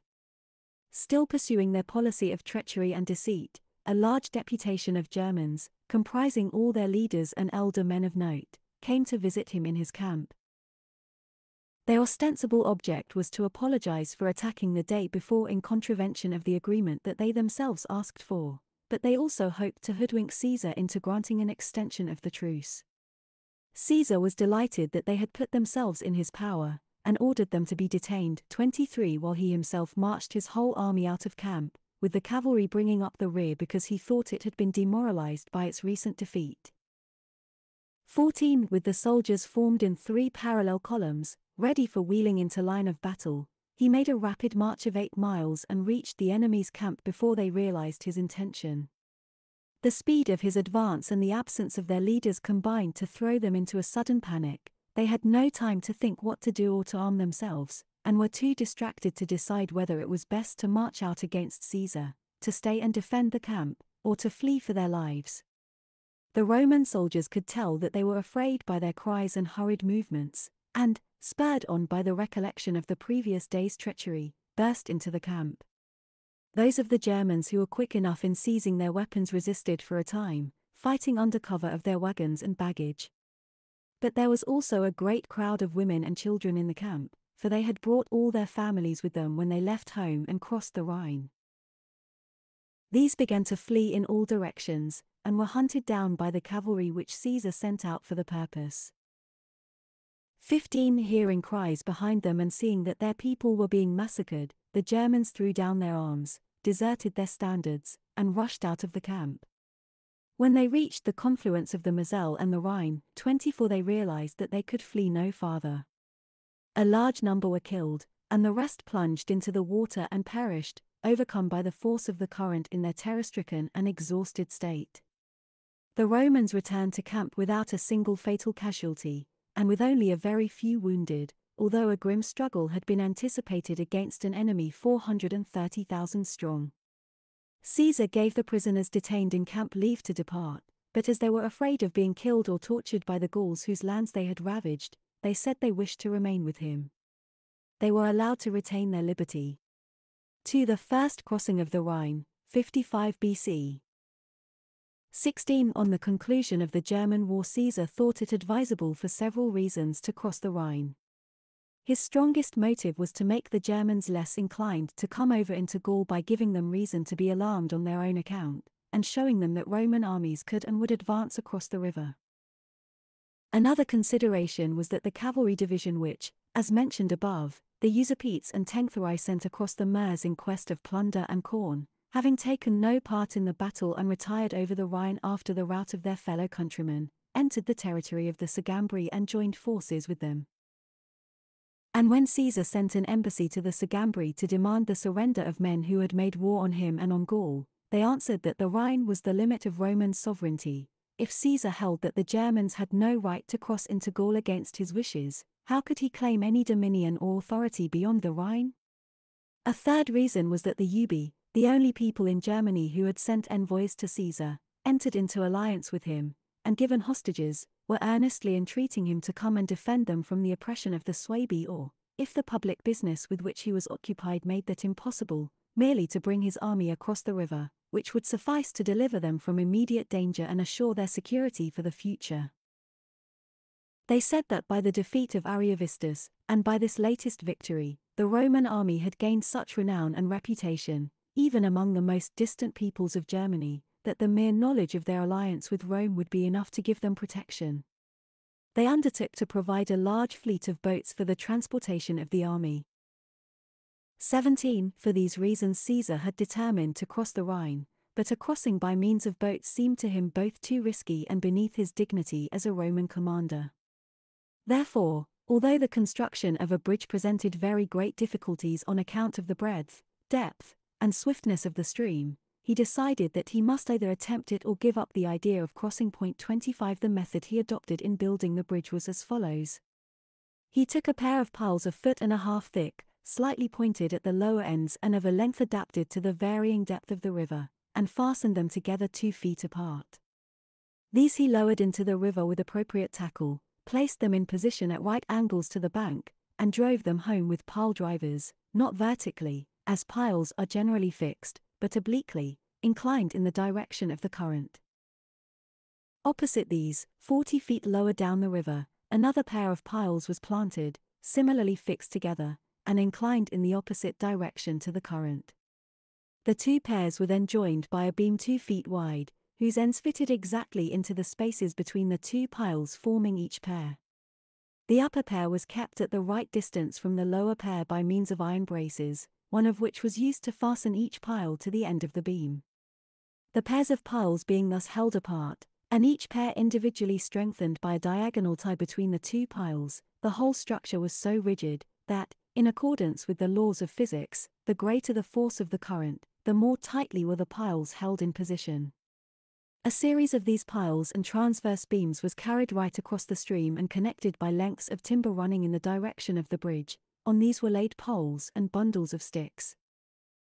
In spite of the strength of the structure, additional piles were fixed obliquely to each pair of the original piles along the whole length of the downstream side of the bridge, holding them up like a buttress and opposing the force of the current. Others were fixed also a little above the bridge, so that if the natives tried to demolish it by floating down tree trunks or beams, these buffers would break the force of the impact and preserve the bridge from injury. 18. Ten days after the collection of the timber had begun, the work was completed and the army crossed over. Leaving a strong guard at each end of the bridge, Caesar marched into the territory of the Sugambri. Meanwhile, a number of tribes sent envoys with requests for peace and friendship, which Caesar graciously granted, bidding them bring hostages. But the Sugambri, who as soon as the construction of the bridge was begun had been advised by the fugitive Usipetes and Tencteri to prepare for flight, had left their country with all their belongings and hidden themselves in forests and uninhabited districts. 19. Caesar remained for a few days in their territory, burning all the villages and farm buildings and cutting down the crops, and then returned to the Ubii, to whom he promised help if they were molested by the Suebi. They informed him that the Suebi, on learning from their scouts that a bridge was under construction, had convened a council, their usual procedure in such cases, and sent out word in all directions that the people should abandon their towns and hide their wives and children and property in the forests. All men capable of bearing arms had been ordered to assemble in one place, almost exactly in the middle of their territory. There they were awaiting the Romans, and had determined to fight a decisive battle on the spot. On receiving this news, Caesar recrossed the bridge into Gaul and destroyed it behind him. He had achieved all the objects for which he had come, to overawe the Germans, punish the Sugambri, and relieve the Ubii from the harassing pressure of the Suebi, and after spending a total of 18 days across the Rhine he considered that he had done all that honor or interest required. Point 26 3 The first invasion of Britain, 55 BC. 20. It was now near the end of summer, and winter sets in early in those parts, because all that coast of Gaul faces north. Nevertheless, Caesar made active preparations for an expedition to Britain, because he knew that in almost all the Gallic campaigns the Gauls had received reinforcements from the Britons. Point 27 Even if there was not time for a campaign that season, he thought it would be of great advantage to him merely to visit the island, to see what its inhabitants were like, and to make himself acquainted with the lie of the land, the harbours, and the landing places. Of all this the Gauls knew next to nothing, for in the ordinary way traders are the only people who visit Britain, and even they know only that part of the coast which faces Gaul. And so, although he interviewed traders from all parts, he could not ascertain anything about the size of the island, the character and strength of the tribes which inhabited it, their manner of fighting and customs, or the harbors capable of accommodating a large fleet of big ships. 21. In order to get this information before risking an expedition, he sent a warship in command of Volusinus, whom he considered a suitable man for the job. His orders were to make a general reconnaissance and return as soon as he could. Meanwhile Caesar marched the whole army into the country of the Morini, from which there was the shortest crossing to Britain, and ordered ships to assemble there from all the neighbouring districts, as well as the fleet that had been built the previous summer for the Venetian War. His design had become known in the meantime, and when the news was brought by traders to the Britons, envoys were sent by a number of tribes, offering to give hostages and submit to Rome. Caesar gave them audience, made them generous promises, and urged them to abide by their resolve. He then sent them home, accompanied by Commius, whom he had made king of the Atrebates after the conquest of that tribe, a man of whose courage, judgment, and loyalty he had a high opinion, and who was greatly respected in Britain. He instructed Commius to visit as many tribes as possible, to urge them to entrust themselves to the protection of Rome, and to announce his impending arrival. Volusinus reconnoitred the coast as far as he could without disembarking and putting himself into the power of the natives, which he dared not do, and returned four days later with his report. 22. While Caesar was waiting in the country of the Morini for his fleet to be assembled, a large section of the tribe sent envoys to apologize for their previous hostile action, pleading that they were foreigners and ignorant of Roman ways, and promising to obey his commands in future. Caesar thought this very fortunate. He did not want to leave an enemy in his rear, yet it would have been too late in the season to start another campaign, and the expedition to Britain was much more important than the conquest of these petty tribes. He therefore demanded a large number of hostages, and on their arrival accepted the submission of the Morini. In due course about eighty transports, which Caesar considered sufficient to convey two legions, were obtained and assembled, and also a number of warships, which were assigned to the quaestor, the generals, and the officers of the auxiliary troops. Besides these there were 18 transports at a point 8 miles along the coast, which were allotted to the cavalry. Point 28 The remainder of the army was entrusted to Sabinus and Cotta, with orders to march against the Menapii and those clans of the Morini which had not sent envoys. Another general, Publius Sulpicius Rufus, was ordered to hold the harbour and was given a force considered adequate for the purpose. 23. After the completion of these arrangements, Caesar took advantage of favourable weather and set sail about midnight, ordering the cavalry to proceed to the farther port, embark there, and follow him. As these conducted the operation too slowly, their transports were carried back to land by the tide. Caesar himself reached Britain with the first ships about nine o'clock in the morning, and saw the enemy's forces posted on all the hills.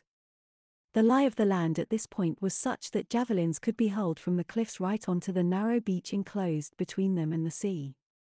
Caesar thought this a quite unsuitable place for landing, and therefore rode at anchor until three o'clock, in order to give the rest of the ships time to come up.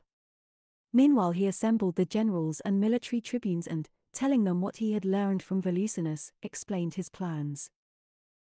He warned them that the exigencies of warfare, and particularly of naval operations, in which things move rapidly and the situation is constantly changing, required the instant execution of every order. On dismissing the officers, he found that both wind and tidal current were in his favor.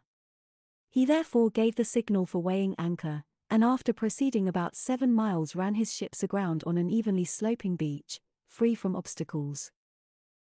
24. The natives, on realizing his intention, had sent forward their cavalry and a number of the chariots which they are accustomed to use in warfare. The rest of their troops followed close behind and were ready to oppose the landing. The Romans were faced with very grave difficulties.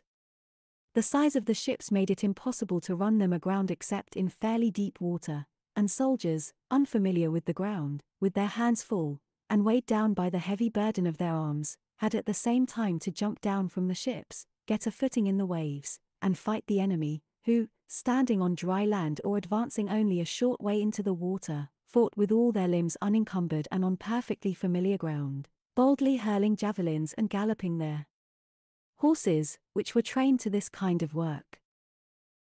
These perils frightened our soldiers, who were quite unaccustomed to battles of this kind, with the result that they did not show the same alacrity and enthusiasm as they usually did in battles on dry land.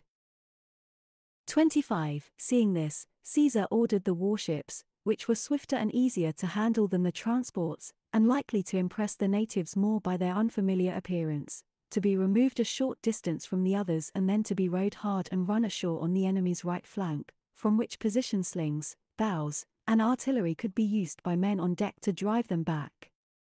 This maneuver was highly successful.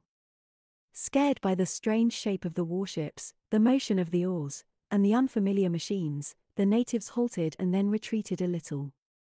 But as the Romans still hesitated, chiefly on account of the depth of water, the man who carried the eagle of the 10th legion, after praying to the gods that his action might bring good luck to the legion, cried in a loud voice, Jump down, comrades, unless you want to surrender our Eagle 29 to the enemy, I, at any rate, mean to do my duty to my country and my general. With these words he leapt out of the ship and advanced towards the enemy with the eagle in his hands. At this the soldiers, exhorting each other not to submit to such a disgrace, jumped with one accord from the ship, and the men from the next ships, when they saw them, followed them and advanced against the enemy. 26 both sides fought hard. But as the Romans could not keep their ranks or get a firm foothold or follow their proper standards, and men from different ships fell in under the first standard they came across, great confusion resulted. The enemy knew all the shallows, and when they saw from the beach small parties of soldiers disembarking one by one, they galloped up and attacked them at a disadvantage, surrounding them with superior numbers, while others would throw javelins at the right flank of a whole group. Caesar therefore ordered the warships' boats and the scouting vessels to be loaded with troops, so that he could send help to any point where he saw the men in difficulties. As soon as the soldiers had got a footing on the beach and had waited for all their comrades to join them, they charged the enemy and put them to flight, but could not pursue very far, because the cavalry had not been able to hold their course and make the island. This was the one thing that prevented Caesar from achieving his usual success. 27. The defeated enemy, as soon as they rallied after their flight, hastened to send an embassy to ask for peace, promising to give hostages and carry out Caesar's commands. With these envoys came Commius the Atrebatian, whom Caesar had sent on ahead to Britain, as said above. When he had disembarked, and was delivering Caesar's message to them in the character of an ambassador, the natives had arrested and bound him. Now, after the battle, they sent him back, and in asking for peace threw the blame for this proceeding on the common people, begging Caesar to pardon an error due to ignorance. Caesar reproached them for making war on him without provocation, after sending envoys to the continent of their own accord to sue for peace, but said that he would pardon their ignorance, and demanded hostages. Some of these they handed over at once, the rest they said would have to be fetched from a distance, and should be delivered in a few days' time. Meanwhile they bade their men return to the fields, and the chiefs began to come from all parts to solicit Caesar's favour for themselves and their tribes. 28. Peace was thus concluded. On the fourth day after Caesar's arrival in Britain, the 18 transports on which the cavalry had been embarked, as mentioned above, sailed from the northern port before a gentle breeze. When they were approaching Britain and were visible from the camp, such a violent storm suddenly arose that none of them could hold its course. Some were driven back to their starting point, others, at great peril, were swept westwards to the south of the island. In spite of the danger they cast anchor, but as they were being filled with water by the waves, they were forced to stand out to sea into the darkness of the night and return to the continent. 29. It happened to be full moon that night, at which time the Atlantic tides are particularly high, a fact unknown to the Romans. The result was that the warships used in the crossing which had been beached, were waterlogged, and the transports, which were riding at anchor, were knocked about by the storm, without the soldiers having any chance of interfering to save them.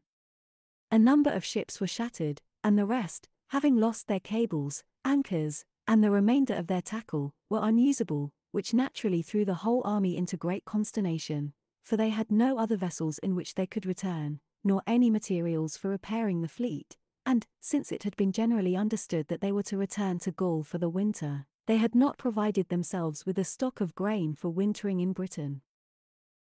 30. On learning of this accident, the British chiefs who had assembled after the battle to execute Caesar's commands put their heads together. Knowing that Caesar had no cavalry, ships, or corn, and inferring the weakness of his forces from the small size of the camp, which was all the smaller because he had come without most of the heavy luggage, they decided that their best course was to renew hostilities, to hinder the legions from obtaining corn and other supplies, and to prolong the war into the winter. If this army was conquered or prevented from returning, they felt confident that no one would come across to invade Britain.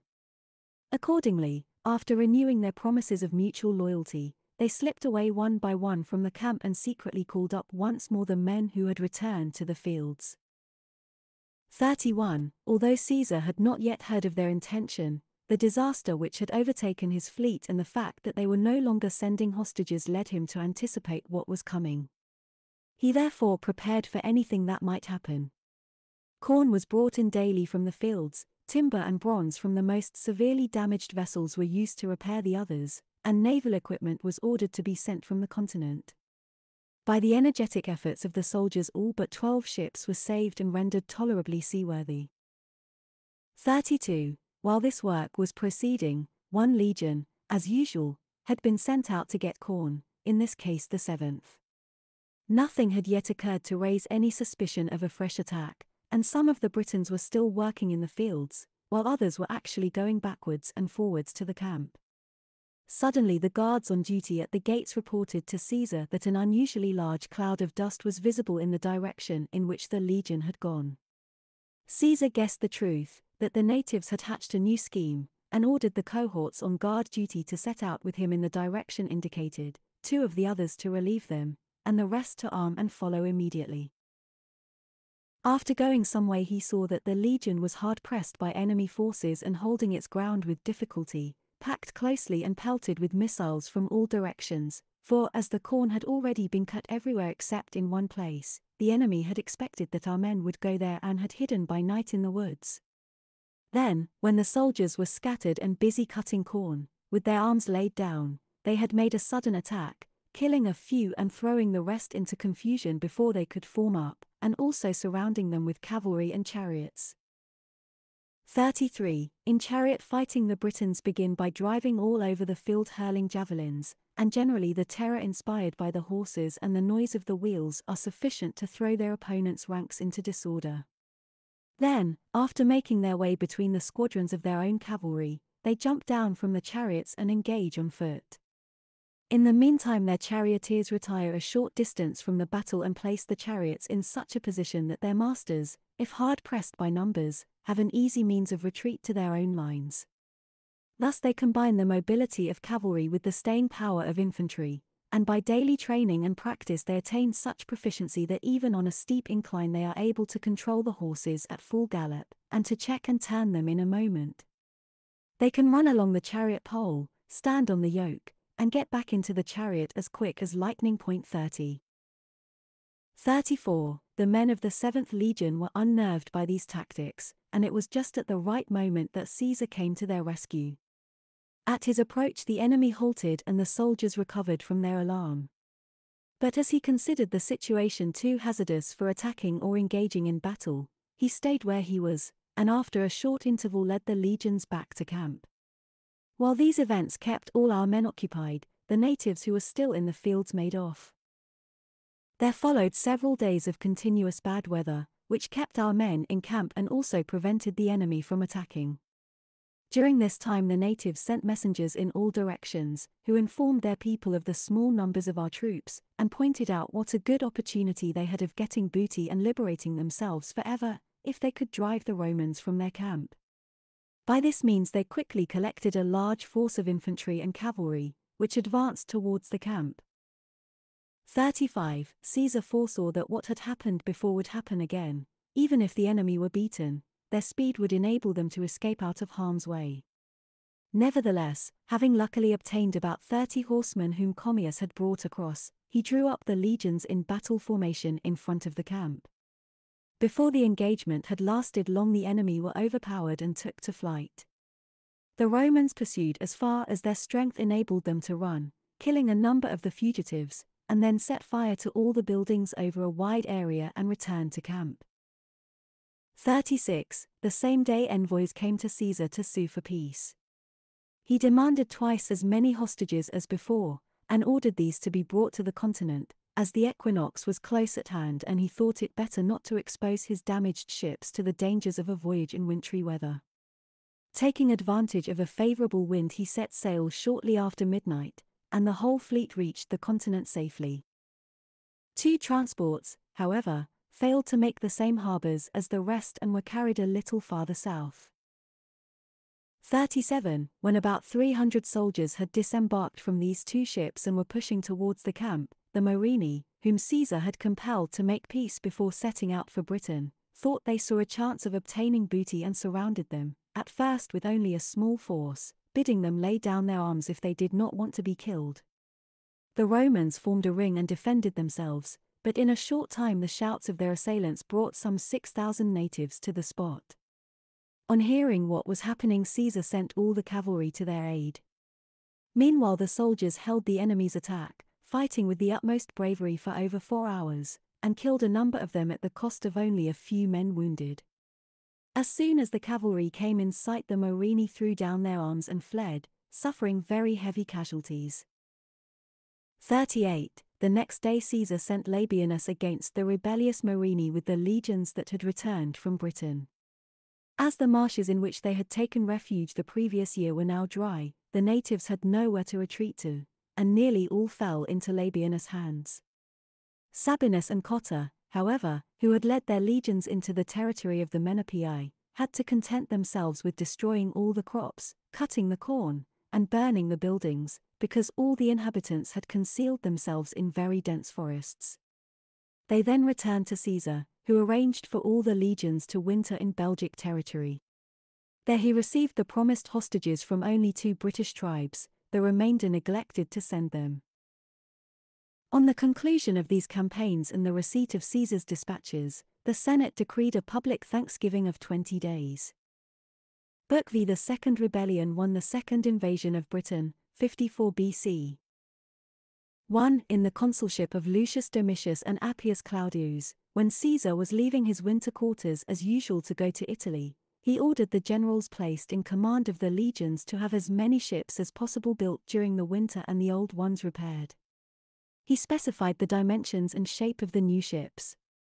To enable them to be loaded quickly and beached easily, he had them made slightly lower than those which we generally use in the Mediterranean, especially as he had found that owing to the frequent ebb and flow of the tides, the waves in the channel were comparatively small. To enable them, however, to carry a heavy cargo, including a large number of animals, they were made somewhat wider than the ships we use in other waters. They were all to be of a type suitable for both sailing and rowing, an arrangement which was greatly facilitated by their low freeboard. The materials required for fitting them out were to be imported from Spain. On the completion of the assizes in northern Italy, Caesar set out for Illyria, because he heard that the Pirosti were making damaging raids over the frontier of that province. On his arrival, he ordered the tribes to Levi troops and appointed a place for their assembly. When they heard this news, the Pirosti sent representatives to say that their government was not responsible for what had happened, and that they were ready to make full reparation for the damage.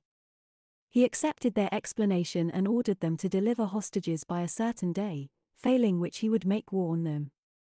The hostages were punctually delivered in obedience to his orders, and he then appointed arbitrators to assess the damage sustained by the various communities and fix the reparation.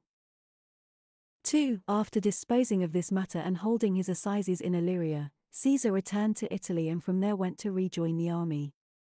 On his arrival, he made a tour of all the winter camps and found that, in spite of a serious shortage of materials, the men had worked with such enthusiasm that they had built and equipped 600 vessels of the type described and 28 warships.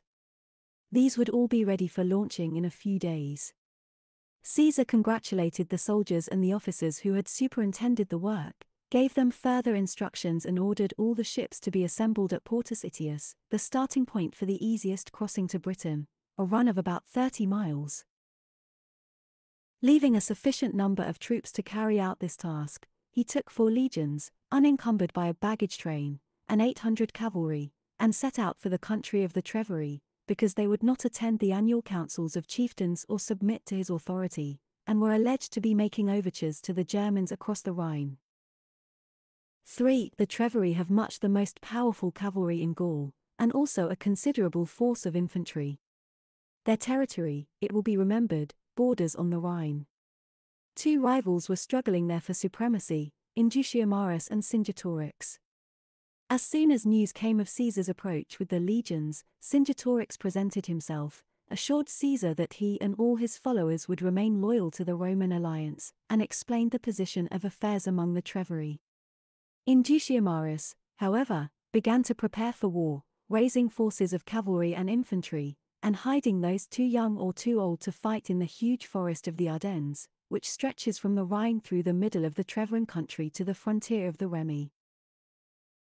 Some of the other leaders of the tribe, who were friends of Cingetorix, were alarmed by the approach of the Roman army, and since it was not in their power, they said, to help their country, they came to Caesar and petitioned for their personal safety. Indutiomarus was now afraid of being completely isolated, and sent to Caesar to say that the reason why he had not wanted to leave his followers and wait upon him was that by remaining he had a better chance of keeping the tribe loyal. If all the men of rank left the country, the common people in their ignorance might fall into error. In this way he had kept control of his countrymen, and with Caesar's permission would come to his camp and place himself and the tribe under his protection. For Caesar understood his motive in saying this, and knew what deterred him from prosecuting his original design. Nevertheless, to avoid having to waste the summer thereafter making all preparations for a campaign in Britain, he told Indutiomarus to present himself with 200 hostages, including his son and all his relations, who were mentioned by name. When these were brought, Caesar reassured him and urged him to remain loyal. But he also summoned the other leaders of the tribe and called on them individually to support Cingetorix. He thought that Cingetorix deserved this help, and that it was important to do all he could to increase the power of a man who had proved himself so devoted a friend. This abatement of his influence provoked Indutiomarus to bitter resentment, which greatly inflamed the hostility that he already felt towards the Romans. 5. After settling this matter Caesar proceeded with the legions to Portus Itius. He found that 60 ships which were built in the country of the Meldi had been driven out of their course by a storm and had returned to their starting point. Point 31 All the rest were completely equipped and ready for sea. Four thousand cavalry from all parts of Gaul assembled at the port, and the leaders of all the tribes. Caesar had decided to leave behind only a few of these who had proved their loyalty, and to take all the rest with him as hostages, because he was afraid of a rising in Gaul during his absence. Sixth among the Gallic leaders was Dumnorix the Aeduan, spoken of above. He was one whom Caesar was particularly determined to keep with him, because he knew him to be a political intriguer, ambitious, bold, and very influential with the Gauls. Moreover, Dumnorix had said in the Aeduan council that Caesar had offered to make him king of the tribe, a statement that was much resented by the Aedui, although they dared not protest to Caesar or ask him to give up the idea. Caesar learnt these facts from some Gauls in whose house he had lodged.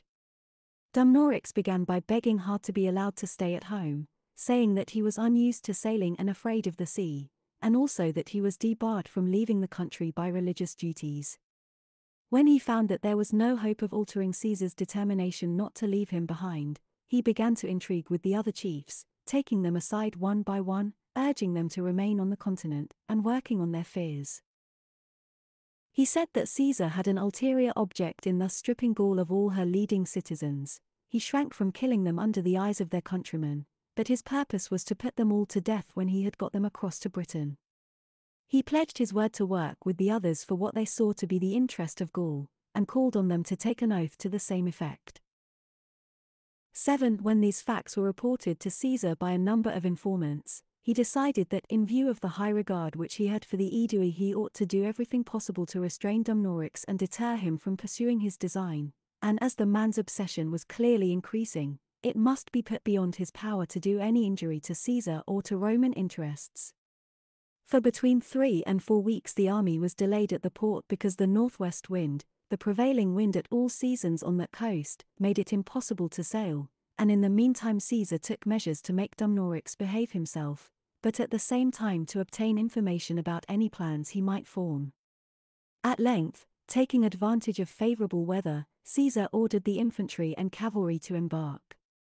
But while everyone's attention was occupied with this operation, Dumnorix took some Aeduan horsemen out of the camp without Caesar's knowledge and started for home. On hearing of this Caesar postponed the sailing. Letting everything else wait, he sent a strong detachment of cavalry to pursue him and bring him back. If he showed fight and refused to obey, their orders were to kill him, since Caesar thought that a man who flouted his authority under his very eyes could not be expected to behave rationally behind his back. On being summoned to return Dumnorix began to resist, sword in hand, begging his followers to protect him, and shouting over and over again that he was a free man and a citizen of a free state.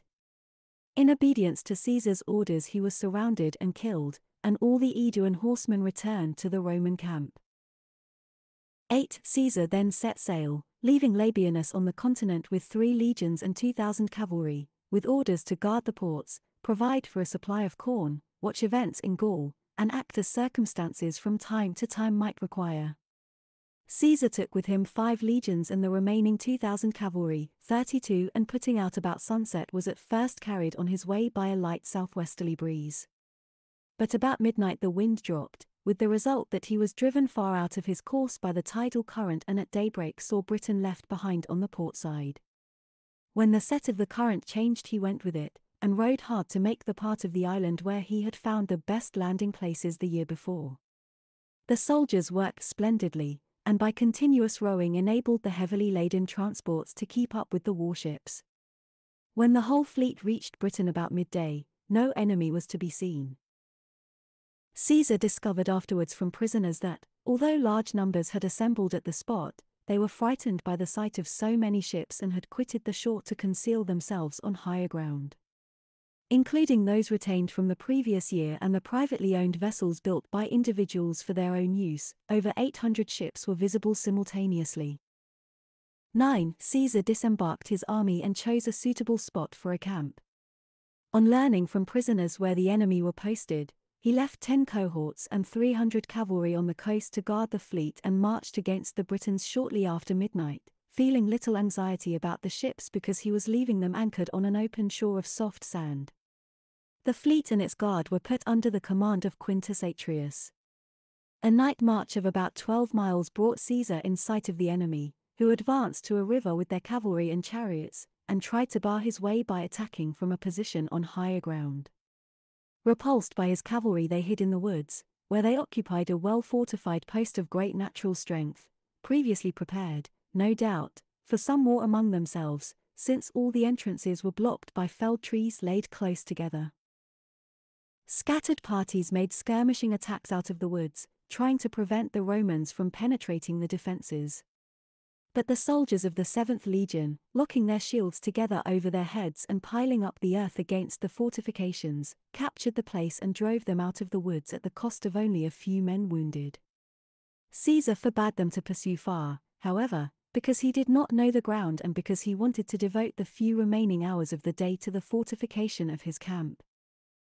10. The next morning he sent out a force of infantry and cavalry in three columns to pursue the fleeing enemy. They had advanced some way and were in sight of the nearest fugitives, when dispatch riders brought news from Atrius of a great storm in the night, by which nearly all the ships had been damaged or cast ashore, the anchors and cables had not held, and the sailors and their captains could not cope with such a violent gale, so that many vessels were disabled by running foul of one another. 11. Caesar at once ordered the legions and cavalry to be halted and recalled. He himself went back to the beach, where with his own eyes he saw pretty much what the messengers and the dispatch described. About 40 ships were a total loss, the rest looked as if they could be repaired at the cost of much trouble. Accordingly, he called out all the skilled workmen from the legions, sent to the continent for more, and wrote to tell Labienus to build as many ships as possible with the troops under his command. Further, although it was a task involving enormous labor, he decided that it would be best to have all the ships beached and enclosed together with the camp by one fortification. This work, although it was continued day and night, took some ten days to complete. As soon as the ships were hauled up and the camp strongly fortified, Caesar left the same units as before to guard them, and returned to the place from which he had come. On arriving there, he found that larger British forces had now been assembled from all sides by Cassivellaunus, to whom the chief command and direction of the campaign had been entrusted by common consent. Cassivellaunus' territory is separated from the maritime tribes by a river called the Thames, and lies about 75 miles from the sea. Previously, he had been continually at war with the other tribes, but the arrival of our army frightened them into appointing him their supreme commander. 12. The interior of Britain is inhabited by people who claim, on the strength of an oral tradition, to be Aboriginal, the coast, by Belgic immigrants who came to plunder and make war, nearly all of them retaining the names of the tribes from which they originated, and later settled down to till the soil. The population is exceedingly large, the ground thickly studded with homesteads, closely resembling those of the Gauls, and the cattle very numerous. For money they use either bronze, or gold coins, or iron ingots of fixed weights. Tin is found inland, and small quantities of iron near the coast, the copper that they use is imported. There is timber of every kind, as in Gaul, except beech and fir. Hares, fowl, and geese they think it unlawful to eat, but rear them for pleasure and amusement. The climate is more temperate than in Gaul, the cold being less severe. 33. 13. The island is triangular, with one side facing Gaul. One corner of this side, on the coast of Kent, is the landing place for nearly all the ships from Gaul, and points east, the lower corner points south. The length of this side is about 475 miles. Another side faces west, towards Spain. In this direction is Ireland, which is supposed to be half the size of Britain, and lies at the same distance from it as Gaul. Midway across is the Isle of Man, and it is believed that there are also a number of smaller islands, in which according to some writers there is a month of perpetual darkness at the winter solstice. Our inquiries on this subject were always fruitless, but we found by accurate measurements with a water clock that the nights are shorter than on the continent. This side of Britain, according to the natives' estimate, is 665 miles long. The third side faces north, no land lies opposite it, but its eastern corner points roughly in the direction of Germany. Its length is estimated at 760 miles. Thus the whole island is 1,900 miles in circumference. 34. 14. By far the most civilized inhabitants are those living in Kent, a purely maritime district, whose way of life differs little from that of the Gauls.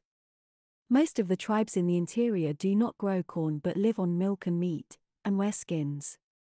All the Britons dye their bodies with woad, which produces a blue color, and shave the whole of their bodies except the head and the upper lip. Wives are shared between groups of 10 or 12 men, especially between brothers and between fathers and sons, but the offspring of these unions are counted as the children of the man with whom a particular woman cohabited first.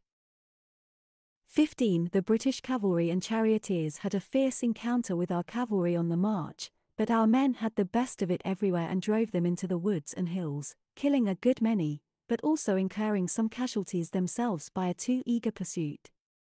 The enemy waited for a time, and then, while our soldiers were off their guard and busy fortifying the camp, suddenly dashed out of the woods, swooped upon the outpost on duty in front of the camp, and started a violent battle.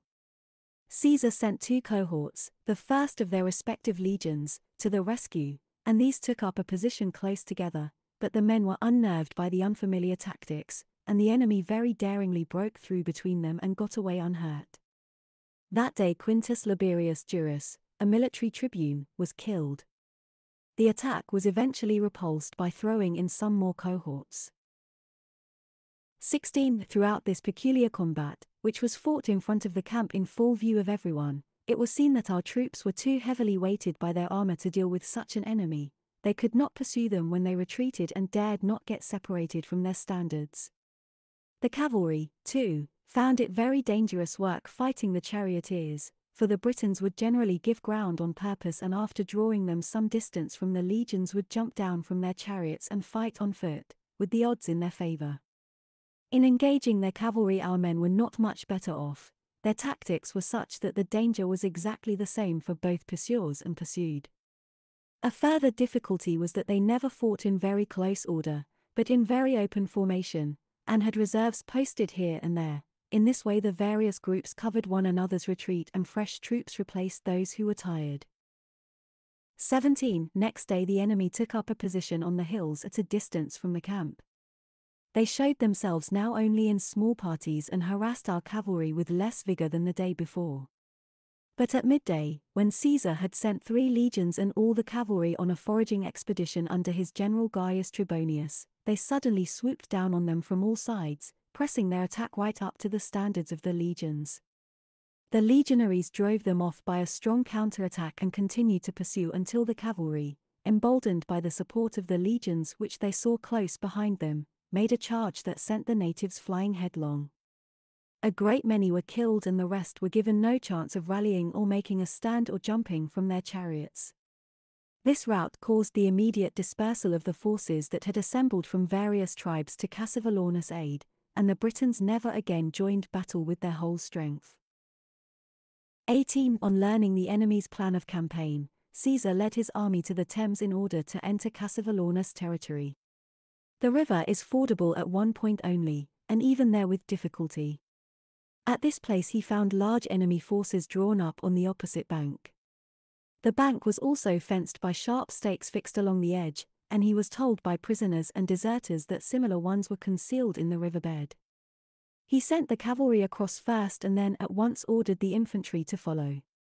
But the infantry went with such speed and impetuosity, although they had only their heads above water, that they attacked at the same moment as the cavalry.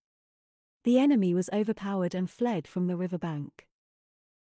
19. Cassivellaunus had now given up all hope of fighting a pitched battle. Disbanding the greater part of his troops, he retained only some 4,000 charioteers, with whom he watched our line of march. He would retire a short way from the route and hide in dense thickets, driving the inhabitants and cattle from the open country into the woods wherever he knew we intended to pass. If ever our cavalry incautiously ventured too far away in plundering and devastating the country, he would send all his charioteers out of the woods by well known lanes and pathways and deliver very formidable attacks, hoping by this means to make them afraid to go far afield. Caesar was thus compelled to keep the cavalry in touch with the column of infantry and to let the enemy off with such devastation and burning as could be done under the protection of the legionaries, tired as they often were with marching. 20. During this march envoys arrived from the Trinovantes, about the strongest tribe in southeastern Britain. Mandubratius, a young prince of this tribe, had gone over to the continent to put himself under Caesar's protection, having fled for his life when his father the king of the Trinovantes was killed by Cassivellaunus. The envoys promised to surrender and obey Caesar's commands, and asked him to protect Mandubratius from Cassivellaunus and send him home to rule this people as king. Caesar demanded 40 hostages and grain for his troops, and then allowed Mandubratius to go. The Trinovantes promptly sent the required number of hostages and the grain. 21. When they saw that the Trinovantes had been protected against Cassivellaunus and spared any injury on the part of the Roman troops, several other tribes, the Cenimagni, Segontiaci, Ancalites, Bibrochi, and Cassi, sent embassies and surrendered. From them Caesar learnt that he was not far from Cassivellaunus' stronghold, which was protected by forests and marshes and had been filled with a large number of men and cattle. The Britons apply the term strongholds to densely wooded spots fortified with a rampart and trench, to which they retire in order to escape the attacks of invaders. He marched to the place with his legions, and found that it was of great natural strength and excellently fortified. Nevertheless, he proceeded to assault it on two sides. After a short time, the enemy proved unable to resist the violent attack of the legions and rushed out of the fortress on another side. A quantity of cattle was found there, and many of the fugitives were captured or killed. 22. While these operations were proceeding in his territory, Cassivellaunus sent envoys to Kent ordering the four kings of that region, Cingetorix, Carvilius, Taximagulus, and Segovax, to collect all their troops and make a surprise attack on the naval camp. When these forces appeared, the Romans made a sortie, in which without suffering any loss they killed a great many of them and captured Lugotorix, a leader of noble birth. On receiving news of this action, Cassivellaunus, alarmed by so many reverses, by the devastation of his country, and above all by the defection of his allies, sent envoys to Caesar to obtain terms of surrender, employing Commius as an intermediary. Caesar had decided to return to the continent for the winter, for fear any sudden rising should break out in Gaul. The summer, too, was nearly over, and he knew that the Britons could easily hold out for the short time that remained. Accordingly, he granted Cassivellaunus' request for terms, demanding hostages, fixing an annual tribute to be paid by the Britons to the Roman government, and strictly forbidding Cassivellaunus to molest Mandubratius or the Trinovantes. 35. 23. As soon as the hostages were delivered, he led the army back to the coast, where he found the ships repaired. He had them launched, and as he had a large number of prisoners, and some of the ships had been destroyed by the storm, decided to make the return voyage in two trips. It happened that of all these large fleets, which made so many voyages in this and the preceding year, not a single ship with troops on board was lost, while very few of the vessels coming over empty from the continent, i.e., those which had returned to Gaul after landing troops in Britain and 60 that Labienus had built after the start of the expedition, reached their destination, nearly all the rest being forced back to land. After waiting a long time for them in vain, Caesar was afraid of being prevented from sailing by the approaching season of the equinox, and so had to pack the men more tightly than usual on the ships he had. The sea becoming very calm, he set sail late in the evening and brought all the fleet safely to land at dawn. 2. Destruction of Sabinus' army by the Eburones, 54 BC. 24. The harvest that year in Gaul was a poor one on account of drought. Accordingly, after beaching the ships and holding a council of Gallic leaders at Samarobriva, Caesar was compelled to change his previous method of quartering the army for the winter, and distribute the legions among a larger number of tribes. One was sent to the Morini under the general Gaius Fabius, another to the Nervii under Quintus Tullius Cicero, a third to the Esuvii under Lucius Roscius. A fourth, under Labienus, was ordered to winter in the country of the Remi near the frontier of the Treveri, and three more were placed in Belgic territory under the quaestor Marcus Crassus and the generals Lucius Munatius Plancus and Gaius Trebonius. One of the legions recently raised in the country north of the Po, and a further detachment of five cohorts, were sent under the command of Sabinus and Cotta 36 to the Eburones, who live principally between the Meuse and the Rhine, and were at that time ruled by Ambiorix and Catuvolcus. This wide distribution Caesar thought would be the easiest way of meeting the shortage of corn. In fact, however, the quarters of all the legions except that under Roscius, which had been sent to a perfectly quiet and peaceful district, were within a hundred miles of one another. Caesar determined to stay in Gaul himself until he knew that all the troops had reached their destinations and fortified their camps. 25. In the land of the Carnutes was a man of noble birth called Tasgetius, whose ancestors had been kings of the tribe. In recognition of his merit and devotion, for in all the campaigns his services had been exceptionally valuable, Caesar had placed him upon the throne of his ancestors. In the third year of his reign, he was assassinated by enemies with the avowed approval of many members of the tribe. The crime was reported to Caesar, and, as the number of persons implicated was large, he feared lest they might instigate the tribes to revolt. Accordingly, he at once transferred Plancus to the country of the Carnutes from his quarters among the Belgae, with orders to stay there for the rest of the winter, and to arrest and send to him those whom he found to be responsible for Tasgetius' death.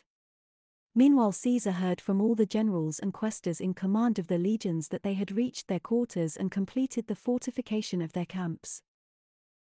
26. About a fortnight later an open revolt was suddenly started by the Eburonians Ambiorix and Catuvolcus.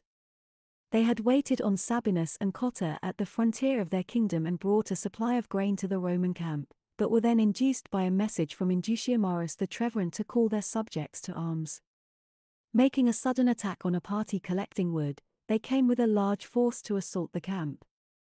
The legionaries quickly armed and mounted the rampart, and some Spanish horsemen who were sent out by one of the gates were victorious in a cavalry engagement. The Eburones realized that they had no hope of success, and retired from the attack, then they shouted aloud, after the manner of their nation, for someone from our side to go out and parley with them, declaring that they had something to say which concerned us as well as themselves, and which they hoped might bring the conflict to an end. 27. Gaius Arpinius, a Roman knight and a friend of Sabinus, was sent to confer with them, accompanied by a Spaniard named Quintus Junius, who had already been employed by Caesar on many missions to Ambiorix. They were addressed by Ambiorix in the following terms I admit, he said, that I am greatly indebted to Caesar for the services which he has rendered me. It was he who relieved me of the tribute that I used to pay to my neighbors the Atuatuci, and restored to me my son and my brother's son, who, when sent to them as hostages, had been enslaved and kept in chains. In attacking your camp, I acted against my better judgment and my own wishes. I was constrained by my subjects, for I am not an absolute ruler, the people have as much power over me as I have over them. And the reason why the tribe took up arms was because it could not oppose the movement in which all the Gauls suddenly leagued themselves together. The insignificance of my power clearly proves the truth of what I say. I am not so ignorant as to imagine that my army by itself is strong enough to defeat the Romans. The whole of Gaul is united in this attempt, and they have arranged to attack all the camps today simultaneously, so that the legions shall not be able to help one another. It would have been difficult for us to refuse help to our fellow countrymen, especially as we knew that their object was the recovery of our national liberty. But having now discharged the duty which patriotism required of me, I remember what I owe to Caesar for his favors, and I urge and implore Sabinus, as my friend and host, to consider his own and his soldiers' safety. A large force of German mercenaries has crossed the Rhine and will be here in a couple of days. It is for you to decide whether you will withdraw your troops from the camp before the neighboring tribes can find out what you are doing, and take them either to Cicero, who is less than 50 miles away, or to Labienus, a somewhat greater distance. I swear to grant them safe conduct through my territory. In so doing, I am acting in the interest of my people, who will be relieved from the burden of the camp in their midst, and at the same time repaying Caesar for his kindnesses. After making this speech, Ambiorix retired. 28. These remarks were reported by Arpinius and Junius to the generals, who heard them with surprise and alarm, and although the suggestion came from an enemy, they did not think it ought to be disregarded. The most disquieting thing was that it really did seem scarcely credible that an obscure and insignificant tribe like the Eburones could have dared of its own initiative to make war on Rome. Accordingly, the matter was referred to a council of war, where it was hotly debated. Cotta and many of the military tribunes and first-grade centurions thought that they ought not to take any hasty step or leave the camp without Caesar's authority. We can resist any number of Gauls, they said, and a large force of Germans into the bargain, in this fortified camp. We have proof of that, for the men put up a very brave resistance against the enemy's first attack, and indeed took the offensive and inflicted heavy loss upon them. We are not short of grain, and before we run short help will come from the nearest camps and from Caesar. In any case, what could be more irresponsible or unsoldierly than to follow the advice of an enemy in a matter of prime importance? 29. In reply to this, Sabinus insisted that it would be too late to do anything when the Gauls had assembled in greater numbers, reinforced by the Germans, or when some disaster had occurred in the other camps that were within reach. We have only a short time to decide, he said, and as for Caesar, I think he must have started for Italy. Otherwise, the Carnutes would not have resolved on the murder of Tasgetius, nor would the Eburones, if Caesar had been in Gaul, have held us in such contempt as to attack the camp. It is irrelevant to say that the suggestion comes from the enemy. It is the facts of the case that I am looking at. The Rhine is close by, and the Germans are bitterly resentful of Ariovistus' death and of our victories in earlier campaigns. Gaul is blazing with indignation at all the humiliations she has suffered by being brought under Roman dominion, and at the eclipse of her former military prestige. And it is inconceivable that Ambiorix would have taken such action without being sure of his ground. My policy is safe either way. If nothing serious is afoot, we shall make our way to the nearest legion without any risk. If the Gauls are united and in league with the Germans, our only chance of escape is to act quickly. As to the plan recommended by Cotta and the others who differ from me, what would be the result of adopting it? It may or may not involve immediate danger, it certainly means a long blockade and the threat of starvation. 30 After these divergent views had been put forward, Cotta and the centurions continued to oppose Sabinus vigorously. Have your own way, then, if you will, cried Sabinus, raising his voice so that many of the soldiers could hear. I am not more afraid of death than the rest of you. The men will understand, if disaster follows, it is you, Cotta, that they will hold responsible. If you would give your consent, by the day after tomorrow they would have reached the nearest camp, and would have their comrades by their side to share the fortune of war with them, instead of remaining isolated like outcasts and exiles, to be massacred or to die of starvation. 37. 31. The officers rose from their places, laid hold of the two generals, and implored them not to persist in a dispute which must gravely imperil the army. Whether we go or stay, they said, there is no real difficulty, if only we all agree on one course of action, but if we go on quarrelling, there is no chance of escape. The debate dragged on till midnight, but at last Cotta, greatly distressed, gave in. Sabinus' plan was adopted, and it was announced that they would march at dawn. The soldiers stayed up for the rest of the night, each man going through his kit to see what he could take with him, and how much of his winter equipment must be abandoned. They thought of every possible argument to persuade themselves that there was no danger in going, and considerable danger in remaining, and tired themselves so much with loss of sleep that the actual peril was increased. At daybreak they started out, apparently quite convinced that the enemy who had suggested the plan was the best of friends, for they went in a long, straggling column, encumbered with a very heavy load of baggage. 32. Hearing the sound of voices in the night, the Gauls knew that the soldiers were awake, and concluded that they were leaving the camp. They therefore placed two ambushes at a likely place some two miles away in the woods, where they were screened from observation, and there awaited the Roman column. When the greater part of it had descended into a large defile, they suddenly appeared at either end, harassed the rearguard, prevented the head of the column from climbing the hill which led out of the defile, and forced the soldiers to fight on very unfavorable ground. 33. Sabinus, having failed to foresee what might happen, now got excited and ran to and fro arranging the cohorts, but even this he did nervously and in a way which showed that he was at his wits' end, as generally happens to those who are compelled to make decisions when a battle has actually begun. Cotta, however, who had foreseen the possibility of a surprise attack on the march, and for that reason had opposed the idea of leaving the camp, did everything possible to save the army, calling upon the men and encouraging them as their commander in chief might have done, and fighting in the ranks like any soldier. As the length of the column made it difficult for the generals to attend to everything personally and to see what was required in every part of the field, they passed word along to abandon the baggage and form a circle. Although this measure cannot be condemned in such circumstances, it had unfortunate results. It discouraged the soldiers and increased the enemy's ardor for the fight, because it clearly indicated an extremity of fear and desperation. It inevitably meant, too, that men were everywhere leaving their units and running to the baggage to look for their most cherished possessions and pull them out, amid a hubbub of shouting and cries.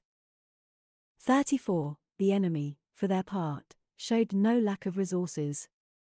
Their leaders passed word along the whole line that no one was to leave his post, all the plunder that the Romans left would be theirs, and should be kept for them alone, so they must realize that everything depended on victory. The Gauls were equal to our troops in fighting quality, and superior in numbers. Yet our men, although their general had failed them and fortune deserted them, relied on their courage to save them, and every tune a cohort charged, a large number of the enemy fell. Seeing this, Ambiorix ordered his men to throw their javelins without going too close, and to give ground before the Roman charges, being lightly armed and trained by daily practice to execute such maneuvers, they would still be able to inflict heavy casualties. As soon as the Romans began to retire to their main body, they were to give chase. 35. These instructions were carefully obeyed. Whenever a cohort made a charge out of the circle, the enemy retreated at full speed. A temporary gap was bound to be left in the circle, so that the unit which stood next was exposed to missiles on its right flank, and when the cohort began to return to its original place, it was surrounded by the Gauls who had fallen back and by the nearest of those who had remained in position. If the Romans tried simply holding their ground in the circle, there was no scope for any courageous effort, and they were huddled together too closely to avoid the javelins that the huge Gallic host rained upon them. Yet, notwithstanding all the disadvantages that they had to contend with, and in spite of heavy losses, they still held out, and throughout a fight that lasted for a considerable part of the day, from dawn till two o'clock, did nothing to be ashamed of. In this battle Titus Balventius, who the previous year had been chief centurion of his legion, a brave and highly respected man, had both his thighs pierced by a javelin, another centurion of the same rank, Quintus Lucanius, was killed in a very courageous attempt to rescue his son, who had been surrounded, and Cotta himself, while engaged in cheering on each cohort and company, was wounded by a sling stone which struck him full in the face. 36. Sabinus was so much alarmed by these events that on catching sight of Ambiorix, who was addressing his troops at some distance, he sent his interpreter Gnaeus Pompeius to ask for quarter for himself and his soldiers. In response to this appeal Ambiorix said that Sabinus might speak to him if he wanted. He hoped that his men could be induced to spare the Roman soldiers' lives, in any case Sabinus himself should come to no harm, that much he would personally guarantee. Sabinus proposed to the wounded Cotta that they should withdraw from the fight and together confer with Ambiorix, who he hoped could be induced to spare them and the troops. But Cotta refused to go to an enemy who had not laid down his arms, and would not budge from his resolve. 37. Sabinus ordered the military tribunes who were with him at the moment, and the first grade centurions, to follow him. On approaching Ambiorix, he was told to lay down his arms. He obeyed, and commanded the others to do the same. While he was discussing terms with Ambiorix, who purposely prolonged the conversation, he was gradually surrounded, and then killed. At this the Gauls raised their customary shout of triumph, and with a loud yell charged and broke our ranks. Cotta fell fighting where he stood, and most of the soldiers with him. The survivors retreated into the camp from which they had come. Lucius Petrosidius, the standard bearer of the legion, seeing himself beset by a large crowd of Gauls, threw his eagle inside the rampart and died fighting heroically outside the camp. The rest had hard work to withstand the enemy's onslaught till nightfall. In the night, seeing that all hope was gone, every single man committed suicide. A few who had escaped from the battle made their way by scarcely distinguishable woodland tracks to Labienus' camp and told him what had happened. 38 3 Attack by the Nervii on Cicero's winter camp, 54 BC. 38. Elated by his victory, Ambiorix at once started with his cavalry for the country of the Atuatuci which bordered on his kingdom, marching day and night without a halt. His infantry had orders to follow. Explaining to the Atuatuci what had occurred, he roused them to arms. The next day he reached the Nervii, and urged them not to lose the chance of freeing themselves forever and avenging the wrongs they had suffered at the hands of the Romans. Two generals, he told them, were killed, and a large part of the Roman army annihilated, it would be easy to surprise and destroy Cicero's legion in its winter quarters. Point 39 He promised to aid them in this enterprise, and easily persuaded them to undertake it. 39. Accordingly, the Nervii hastened to send messengers to the tribes under their rule, the Ceutrones, Grudii, Levaci, Pleumoxii, and Geidumni, and, raising as large a force as they could, swooped down on Cicero's camp before he had received news of Sabinus' death. Like him, Cicero could not help being taken by surprise. Some soldiers who had gone into the woods to get firewood and timber for building fortifications were cut off by the unexpected arrival of the enemy's cavalry. Then a large-scale attack on the legion was begun by the Eburones, Nervii, and Atuatuci, accompanied by their allies and satellites. The soldiers rushed to arms and mounted the rampart. A very hard day's fighting ensued, because the enemy staked all their hopes on swift action, and were confident that success in that engagement would assure them final victory. 40. Cicero immediately wrote to Caesar, and offered large rewards to the couriers if they succeeded in delivering his letter, but all the roads were guarded, and they were intercepted. During the night, the timber that had been collected for the defense works was used to build towers, as many as 120 of these being run up with incredible speed, and all defects in the fortifications were made good. Next day the enemy, considerably reinforced, renewed their attack on the camp and filled up the trench, while the Romans resisted with the same determination. Similar attacks followed day after day, and work had to be continued throughout the night, so that even the sick and the wounded could get no sleep. Everything necessary for repelling the next day's assault was got ready by night, including large numbers of siege spears and stakes charred at the point. The towers were provided with additional stories, and with wicker breastworks surmounted by a crenellated top. Cicero himself, though in very poor health, would not rest even at night, until a crowd of soldiers actually went to him and by their remonstrances made him take care of himself. 41. At length a number of the Nervian leaders and chieftains, who had some claim to consider themselves friends of Cicero, and therefore entitled to speak to him, asked for an interview. Their request was granted, and they told him the same as Ambiorix had told Sabinus, that the whole of Gaul was in arms, the Germans had crossed the Rhine, and the camps of Caesar and the other generals were being attacked. They also described the death of Sabinus, and, to prove the truth of their account, pointed to the presence of Ambiorix with their army. You are mistaken, they continued, if you expect any help whatever from troops who know that they are in extreme peril themselves. However, we have no quarrel with Cicero or the Roman people, except that we object to the establishment of winter camps in our country, and do not want it to become a regular practice. As far as we are concerned, you can leave the camp without being molested, and go where you please without fear. By way of reply, Cicero contented himself with saying that it was not the habit of the Roman people to accept any terms from an armed enemy. If they would lay down their arms, and send an embassy to Caesar to ask for terms, he would support their request, and hoped that Caesar in his justice would grant it. 42. After this disappointment, the Nervii surrounded the camp with a rampart 10 feet high and a trench 15 feet wide. They had learnt something of the art of entrenchment by observing our methods in previous years, and also got hints from prisoners belonging to our army whom they had taken. But as they lacked the proper tools for the work, they had to cut the sods with their swords, and remove the earth in their hands and in their cloaks. From this one could get some idea of their great number. In less than three hours, they completed a fortified line three miles in circumference and during the next few days set to work, under the prisoner's instruction, to erect towers high enough to overtop the rampart of the camp, and to make grappling hooks and sappers' huts.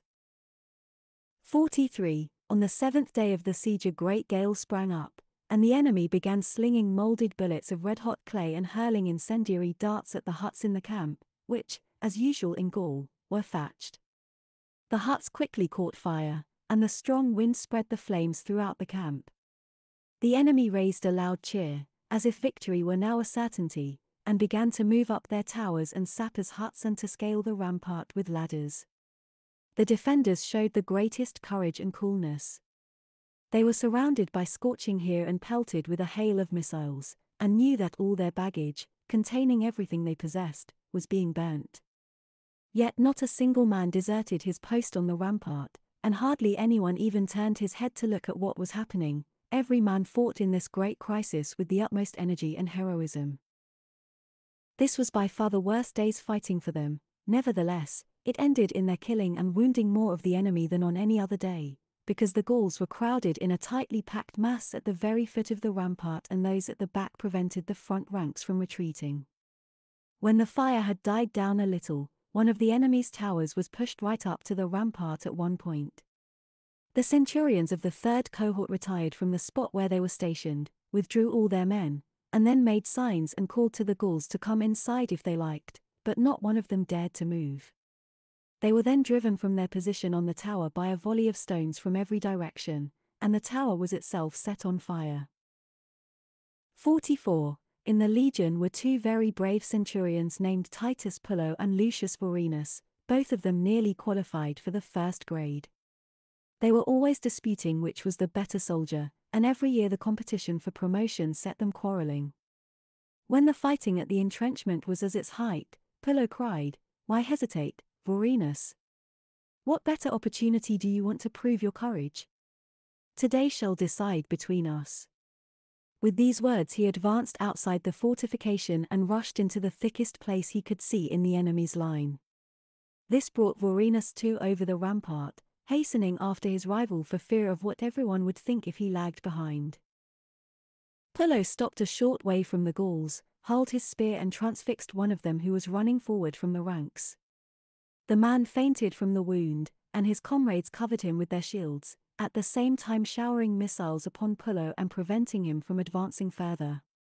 His shield was pierced by a javelin, which stuck in his sword belt, and as the blow knocked his scabbard out of place, he could not get his hand quickly to his sword when he tried to draw it, and was surrounded by the enemy while unable to defend himself. His rival Vorenus ran up to rescue him in his distress, and all the Gauls immediately left Pullo, who they thought had been mortally wounded by the javelin, and turned upon Vorenus. Vorenus drew his sword and fighting hand to hand killed one of his assailants and drove the rest back a little, but pressing on too eagerly he stumbled down a steep slope and fell. It was now his turn to be surrounded, but Pullo came to his aid, both of them escaped unhurt and after killing a number of the enemy returned to camp covered with glory. Thus fortune played with them in their struggle for preeminence, bitter rivals though they were, each helped and saved the other, so that it could not be decided which was the more deserving of the prize of valor. 45. Day by day the peril and hardship of the siege increased, especially as so many of the men were incapacitated by wounds that few were now available for the defense. As the situation became worse, Cicero made still more frequent attempts to get a letter through to Caesar. Some of the messengers were detected at once and tortured to death under the eyes of the soldiers. There was one Nervian in the camp, a man of good birth named Vertico, who had deserted to Cicero at the start of the siege and served him very faithfully. The man induced his slave, by the promise of freedom and a large reward, to carry a dispatch to Caesar. He took it tied round a javelin, passed through his fellow countrymen's lines without exciting any suspicion, and reached Caesar, who learned from him the perils that surrounded Cicero and his legion. 46. On receiving the dispatch in the late afternoon, Caesar at once sent a messenger to his quaestor Marcus Crassus, whose camp was 24 miles away in the country of the Bellovaci, ordering him to march at midnight with his legion and join him with all speed. Accordingly, Crassus left his camp with the messenger. Another message was sent to Fabius, bidding him march his legion into the country of the Atrebates, through which Caesar would have to pass on his way to Cicero's camp. He also directed Labienus to bring his legion to the frontier of the Nervii, if he could do so without risk. As the remaining legions were a long way off, Caesar did not think it advisable to wait until they could be assembled, but he collected about 400 cavalry from the nearest camps.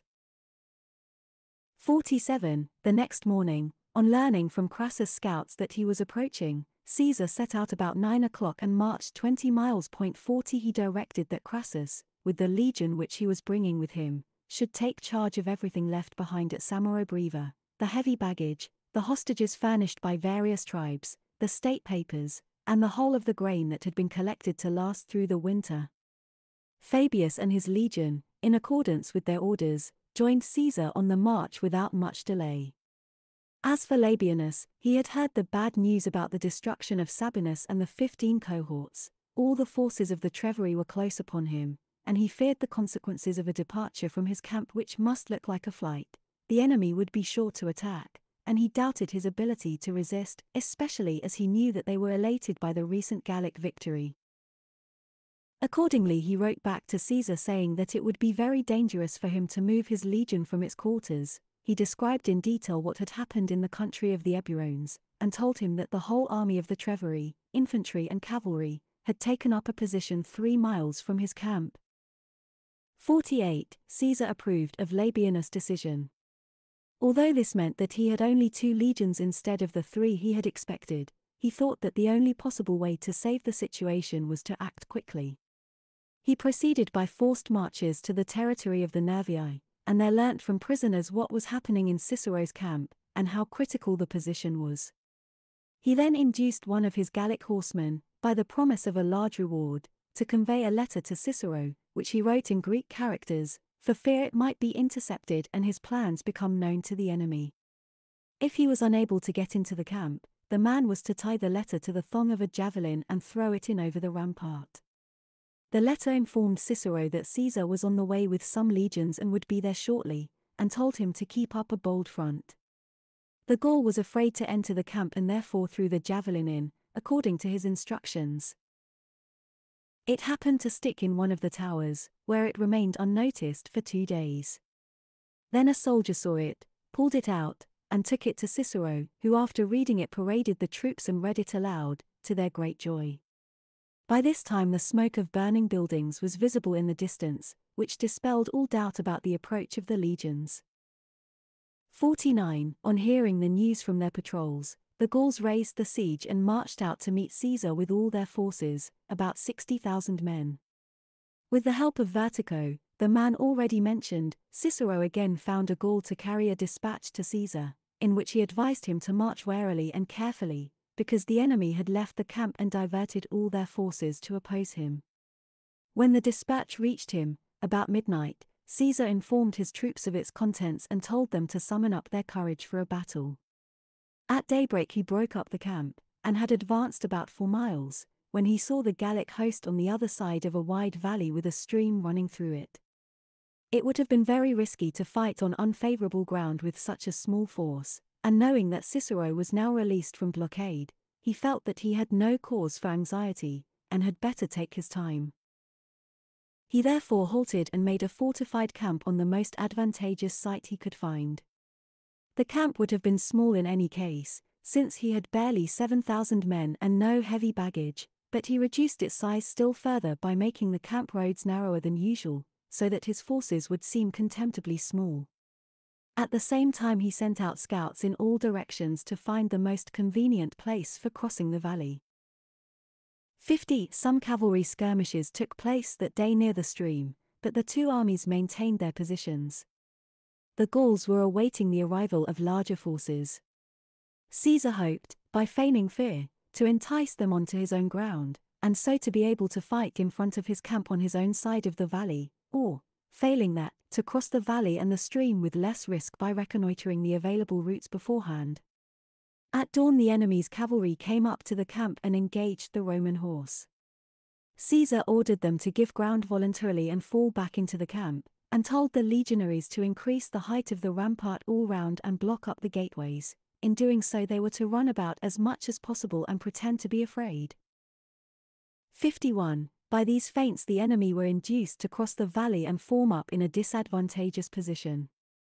After Caesar had enticed them still nearer by withdrawing his men from the rampart, they threw javelins from all directions over the fortifications, and sent heralds round with orders to announce that anyone, Gaul or Roman, who liked to come over and join them might safely do so before nine o'clock, after that, no one would be admitted.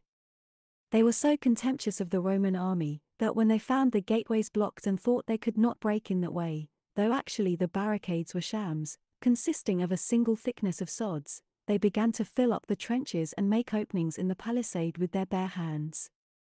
Suddenly, while the infantry made sorties from all the gates, Caesar sent out the cavalry. The Gauls fled so precipitately that not a single one stayed to strike a blow, many were killed, and all the rest threw away their arms. 52. Caesar was afraid to pursue too far, because there were woods and marshes in the way, and because he saw that he would incur serious losses by abandoning his position. As it was, he joined Cicero the same day without having suffered any casualties. He saw with astonishment the towers, sappers' huts, and earthworks constructed by the Gauls, and, when Cicero's legion was paraded, found that not one man in ten remained unwounded.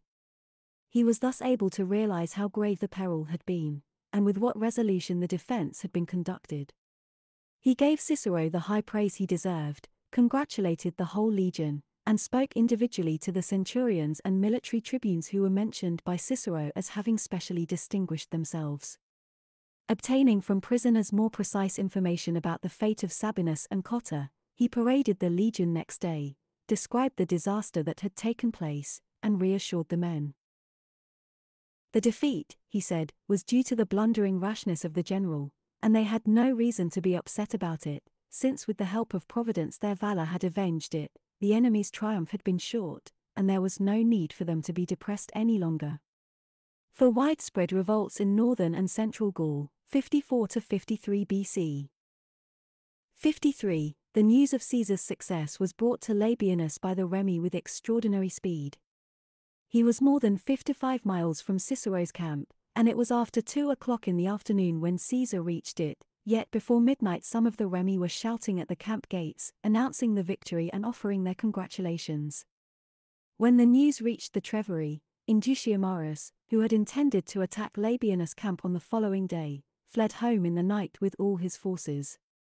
Caesar sent Fabius back to his camp with his legion, and decided to winter himself with three legions in separate camps near Samorobriva, and in view of the serious disturbances that had occurred to remain with the army throughout the winter. 41 Since the disaster in which Sabinus met his death became generally known, nearly all the tribes had been discussing warlike projects, sending messengers and embassies in all directions, trying to find out one another's plans and see who would take the initiative, and holding meetings at night in deserted spots. All through the winter Caesar had scarcely a moment's respite from anxiety, he was continually receiving some report about plans for revolt. The Quaestorocius, for example, whom he had placed in command of the 13th Legion, reported that large forces belonging to the tribes called Armorican had assembled to attack him and had been within eight miles of his camp, but on hearing of Caesar's victory had made off with a haste that suggested an army in flight. 54. Caesar summoned the leading men of each tribe and partly by intimidation, letting them know that he was aware of what was going on, partly by persuasion, succeeded in keeping a large part of the country obedient. The government of the Senones, however, a very powerful tribe with great influence over the others, tried to kill their king Cavarinus, whom Caesar had set on his ancestral throne in succession to his brother Moritasgus, who occupied it at the time of Caesar's arrival in Gaul. When Cavarinus got wind of their intention and fled, they pursued him as far as the frontier, dethroned him, and banished him. On receiving a deputation sent to justify their action, Caesar ordered the whole of the tribal council to appear before him, but they disregarded his command. The fact that someone had been bold enough to take the initiative in hostile action made a deep impression on the ignorant natives, and produced such a profound change in their attitude that nearly every tribe was suspected by Caesar of disloyalty. Almost the only exceptions were the Aedui, whom he always held in special esteem for their long-standing record of unbroken loyalty, and the Remi, who had earned similar regard by their recent services in the Gallic campaigns. Perhaps there is nothing very surprising in their readiness to revolt, among many other reasons, tribes which were considered the bravest and most warlike in the world naturally felt bitter resentment at the complete loss of this reputation which submission to Rome rule entailed. 55, Indutiomarus and the Treveri were particularly active. All through the winter they never ceased sending embassies across the Rhine, intriguing with the German tribes, promising them money, and assuring them that the great losses which the Roman army had sustained had left only a small part of it in existence. Not a single German tribe, however, could be induced to cross the river, they said that they had twice had experience of the Roman arms, in the campaign of Ariovistus, and at the tune of the migration of the Tencteri, and did not intend to tempt fortune again. In spite of this disappointment Indutiomarus proceeded to raise and drill troops, to procure horses from the neighboring states, and by large rewards to entice exiles and condemned criminals from all over Gaul to join him. Indeed, he soon acquired such prestige in the country by these measures that embassies poured in from all quarters, requesting his favor and alliance either for tribal governments or for individuals. 56. From these unsolicited overtures he inferred that he would have no lack of volunteers when he began to advance beyond his own frontier. In one direction were the Senones and Carnutes, incited to revolt by their consciousness of guilt, while on another side the Nervii and Atuatuci were preparing to attack the Romans. So he gave notice of a muster in arms, this is the customary method of opening hostilities in Gaul. A law, common to all the tribes alike, requires all adult males to arm and attend the muster, and the last to arrive is cruelly tortured and put to death in the presence of the assembled host. At this meeting Indutiomarus declared his son-in-law Cingetorix a public enemy and confiscated his property. Cingetorix was the leader of the rival party and had remained faithful to Caesar since putting himself under his protection, as described above. Indutiomarus next announced to the assembly that his aid had been invoked by the Senones, the Carnutes, and several other tribes. He intended in due course to march to their country, ravaging the territory of the Remi on his way, but would first attack Labienus' camp. He then gave the necessary orders. 57. Labienus was safe in a camp well protected both by its situation and by fortifications, and felt no anxiety for himself or his legion. His only concern was not to lose any opportunity of scoring a success against the enemy. Accordingly, when Cingetorix and his relatives told him what Indutiomarus had said in the assembly, he sent messages to all the neighboring tribes, calling upon them to supply contingents of cavalry by a certain date. Meanwhile Indutiomarus came prowling round the camp nearly every day with all his cavalry, either to reconnoitre its position or to get into conversation with the soldiers, and usually all the horsemen tried to frighten them by throwing javelins over the rampart. Labienus kept his men within the entrenchment and did all he could to confirm the enemy's belief that they were afraid. 58. Each day as he moved up to the Roman lines Indutiomarus showed greater contempt for his adversary. Eventually Labienus brought into the camp, in a single night, the cavalry which he had summoned from all the neighboring tribes, and by setting a guard succeeded so well in keeping all his men inside, that there was no means by which the news could get abroad or be carried to the Treveri. Indutiomarus came up to the camp as usual and spent the greater part of the day there, his cavalrymen throwing javelins and shouting insults to provoke the soldiers to fight. They got no reply, and towards evening, when they felt like it, went off in scattered groups. Suddenly Labienus sent out all his cavalry through two of the gates.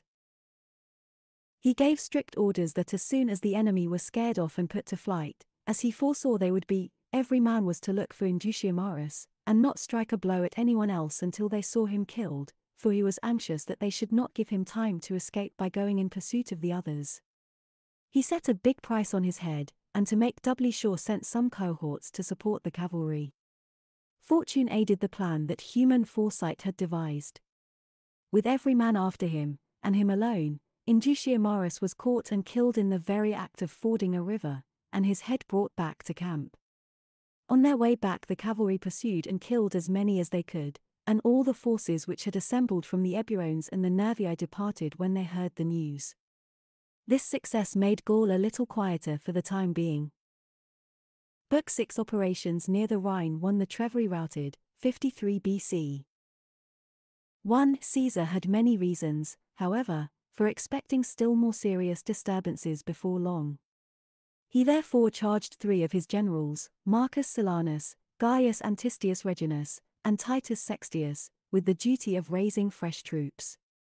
He also sent a message to Pompey, who, though vested as proconsul with military command, was remaining for political reasons in the neighborhood of Rome, requesting him to mobilize the recruits from northern Italy whom he had sworn in during his consulship and to send them out to him. Caesar considered it very important, with a view to making a permanent impression upon the tribesmen, to let it be seen that the manpower of Italy was sufficient not only to repair speedily any loss sustained in the field, but actually to increase the size of the expeditionary force. Pompey acceded to this request from motives of patriotism as well as of friendship, and Caesar's officers promptly enlisted further recruits, so that before the end of the winter three legions were formed and brought to Gaul, making double the number of the cohorts lost under Sabinus. This large reinforcement, and the speed with which it was effected, showed what Roman organization and resources were capable of. Point 42. 2. After the death of Indutiomarus, related above, his command was transferred by the Treveri to members of his family, who persisted in trying to obtain the support of the nearest German tribes by promises of money. Failing in this, they made overtures to more distant tribes, a number of which consented. The alliance was confirmed by an exchange of oaths, and hostages were given as security for the payment of the money. Ambiorix also was admitted as a partner to the League. Caesar was informed of these intrigues, and saw warlike preparations going on all around. The Nervii, Atuatuci, and Menapii, together with all the tribes of German origin on the west bank of the Rhine, were in arms, the Senones refused to attend at his bidding, and were concerting plans with the Carnutes and others of their neighbors, and the Treveri was sending embassy after embassy to obtain German aid. He therefore decided that he must take the field in advance of the usual season. 3. Accordingly, before the winter was over, he assembled the four nearest legions and made an unexpected attack on the country of the Nervii. Before they could either concentrate their forces or flee, a large number of cattle and prisoners were captured and handed over as booty to the soldiers, the country was ravaged, and the Nervii forced to surrender and give hostages. After this quick success, Caesar took the legions back into winter quarters. In the early spring, he convoked the usual Gallic council, which was attended by all those summoned except the Senones, Carnutes, and Treveri. He regarded their non appearance as the first step towards an armed revolt, and in order to make it clear that he considered its suppression of paramount importance, he decided to transfer the meeting to Lutetia, a town of the Parisii. They inhabited a territory adjoining that of the Senones, and a generation before had united with them to form one state, but they appeared to have had no hand in the present policy of the Senones. After announcing his decision from the platform in his camp, Caesar started with his legions the same day and made his way by forced marches to the country of the Senones. For, on learning of his approach, Acco, the ringleader of the conspiracy, ordered the population to gather in their strongholds. Before they had time to complete this operation, they heard that the Romans were at hand. The Senones had no choice but to abandon their project and send envoys to ask Caesar's pardon. These were introduced by the Aedui, under whose protection their tribe had been from ancient times. Caesar willingly pardoned them at the request of the Aedui and accepted their excuses, for he thought that the summer should be devoted to the impending war, and not wasted in holding an inquest. He ordered them, however, to provide a hundred hostages, whom he entrusted to the custody of the Aedui. The Carnutes, too, sent envoys and hostages while Caesar was in the district, pleading their cause with the support of the Remi, whose dependents they were, and received the same reply. Caesar then completed the business of the council and requisitioned cavalry from the various tribes. 5. Now that this part of Gaul was tranquilized, Caesar devoted all his energies to the war against the Treveri and Ambiorix. He bade Cavarinus accompany him with the cavalry of the Senones, lest his hasty temper or the hatred that he had earned should cause trouble in the tribe. Then, since he felt certain that Ambiorix did not intend to fight a battle, he cast about to discover what other plans he might have. Close to the Eburones and protected by a continuous line of marshes and forests dwelt the Menapii, the only Gallic people who had never sent envoys to Caesar to sue for peace. He knew that Ambiorix was united to them by ties of hospitality and also that, through the agency of the Treveri, he had formed an alliance with the Germans. He thought it advisable to deprive Ambiorix of these allies before attacking him directly, for fear desperation should make him hide among the Menapii or join the tribes beyond the Rhine. Therefore, after sending the baggage of the entire army to Labienus' camp in the country of the Treveri and ordering two legions to proceed thereto, he started himself for the territory of the Menapii with five legions in light marching order. The Menapii did not collect any troops, but relying on the protection of the terrain took refuge with all their belongings in the forests and marshes. 6. Caesar put Fabius and the quaestor Marcus Crassus in command of detachments, and the three columns advanced with the aid of hastily constructed causeways, burning farms and villages, and taking a large number of cattle and prisoners. By this means the Menapii were compelled to send envoys to sue for peace. Caesar took the hostages they offered and told them that he would treat them as enemies if they admitted Ambiorix or his agents into their territory. With this warning, he left Commius the Atrebatian with a force of cavalry to keep the Menapii under surveillance, while he marched against the Treveri.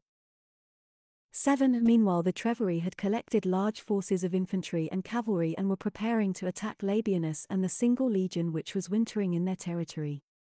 They were within two days' march of his camp, when they heard of the arrival of the two legions dispatched to him by Caesar and, encamping at a distance of 15 miles, they decided to wait for reinforcements from the Germans. Apprised of their intention, Labienus hoped that their imprudence would give him some opportunity of bringing them to action.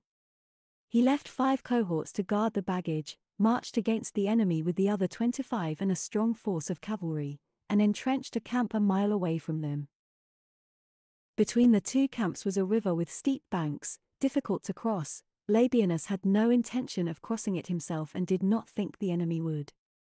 The Gauls' hope of being reinforced was increasing daily, and Labienus purposely let the soldiers hear him say that, since the Germans were said to be approaching, he would not jeopardize their safety and his own by remaining, but would break up the camp next morning at dawn. This remark was soon reported to the enemy, since among the large number of Gallic horsemen it was only natural that there should be some who sympathized with their fellow countrymen's cause. At night Labienus summoned the military tribunes and first-grade centurions and explained his plans. Then, to help in making the enemy think they were afraid, he ordered the camp to be broken up with more noise and disturbance than is customary with Roman armies, and so made his departure resemble a flight. This also was reported to the Gauls by their patrols before daybreak, for the camps were very close together. 8. They urged one another not to let the hoped for prize slip from their grasp, to wait for German aid when the Romans were panic stricken would mean unnecessary delay, and with such a large army, it would be disgraceful to shrink from attacking a mere handful of men, especially men who were running away and hampered by baggage. Accordingly, when the rearguard of the Roman column had barely got outside the entrenchment, they boldly began to cross the river and join battle in an unfavorable position. Labienus had expected this, and enticed them all across by continuing to advance slowly, keeping up the pretense that he was marching away. Then, sending the baggage a short distance ahead and parking it on a piece of rising ground, he said to the soldiers, Here is your chance. You have got the enemy where you wanted them, in a bad position, where they are not free to maneuver. Fight as bravely under me as you often have under the commander in chief, imagine that he is here, watching the battle in person. With these words, he bade the units turn to face the enemy and form a line of battle, sent a few squadrons of cavalry to protect the baggage, and posted the rest on the flanks. The men at once raised a shout and launched their spears. The enemy were amazed to see the enemy that they thought to be in flight advancing to the attack. They had not the courage to face its charge, directly the lines met, they turned tail and made for the nearest woods.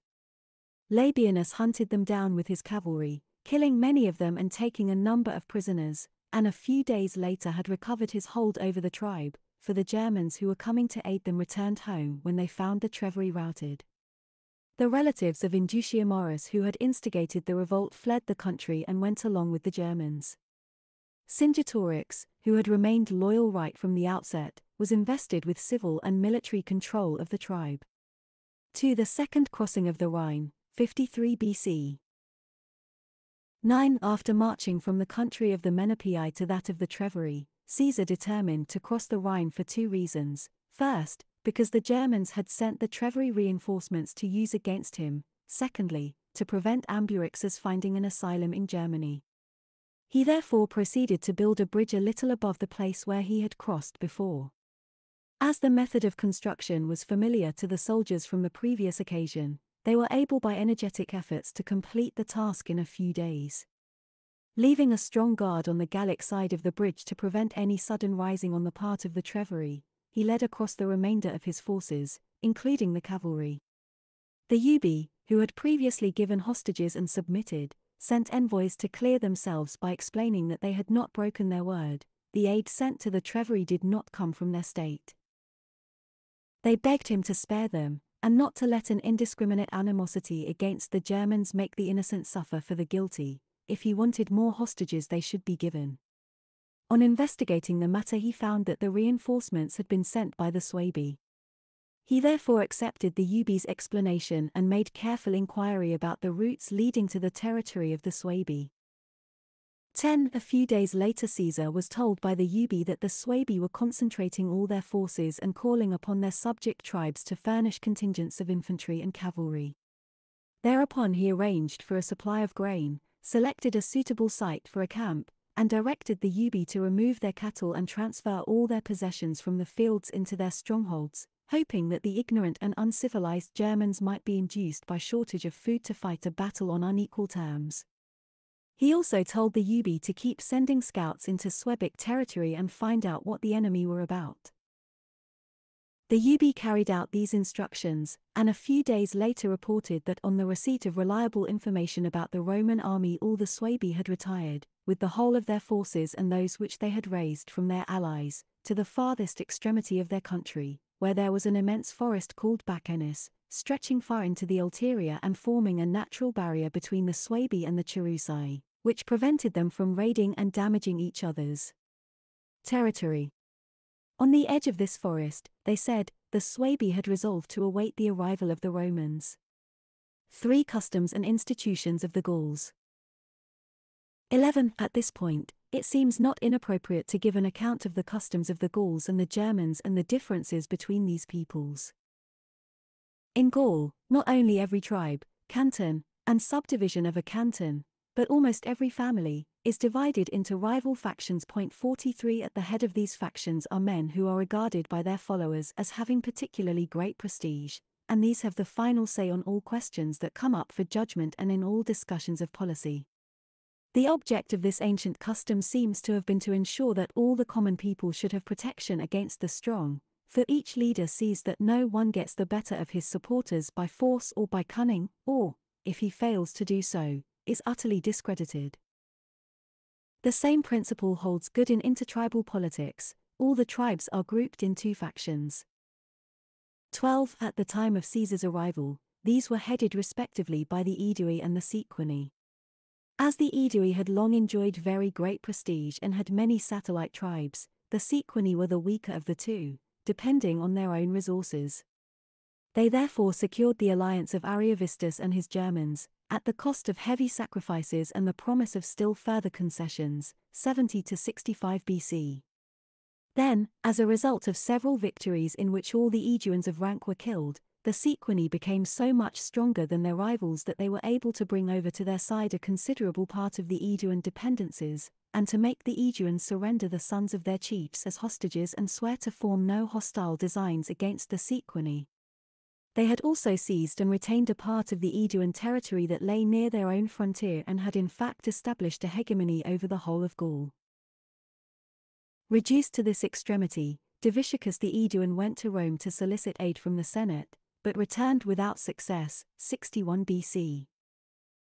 Caesar's arrival changed the situation, the Aedui had their hostages restored to them, and not only regained their former dependencies but acquired new ones with Caesar's help, because those who became their allies found that they were better off and more equitably governed than before. In other respects, too, their influence and standing were enhanced, and the Sequani lost their supremacy. Their place was taken by the Remi, and as it was known that they stood as high in Caesar's favor as the Aedui, tribes which on account of old feuds could not be induced to join the Aedui were placing themselves under the protection of the Remi, who by taking good care of them were able to maintain the unaccustomed power that they had suddenly acquired. At this time, therefore, the position was that, while the Aedui were acknowledged to be easily ahead of all the other tribes, the Remi came next in importance. 13. Everywhere in Gaul there are only two classes of men who are of any account or consideration. The common people are treated almost as slaves, never venture to act on their own initiative, and are not consulted on any subject. Most of them, crushed by debt or heavy taxation or the oppression of more powerful persons, bind themselves to serve men of rank, who exercise over them all the rights that masters have over slaves. The two privileged classes are the Druids 44 and the Knights. The Druids officiate at the worship of the gods, regulate public and private sacrifices, and give rulings on all religious questions. Large numbers of young men flock to them for instruction, and they are held in great honor by the people. They act as judges in practically all disputes, whether between tribes or between individuals, when any crime is committed, or a murder takes place, or a dispute arises about an inheritance or a boundary, it is they who adjudicate the matter and appoint the compensation to be paid and received by the parties concerned. Any individual or tribe failing to accept their award is banned from taking part in sacrifice, the heaviest punishment that can be inflicted upon a Gaul. Those who are laid under such a ban are regarded as impious criminals. Everyone shuns them and avoids going near or speaking to them, for fear of taking some harm by contact with what is unclean. If they appear as plaintiffs, justice is denied them, and they are excluded from a share in any honor. All the Druids are under one head, whom they hold in the highest respect.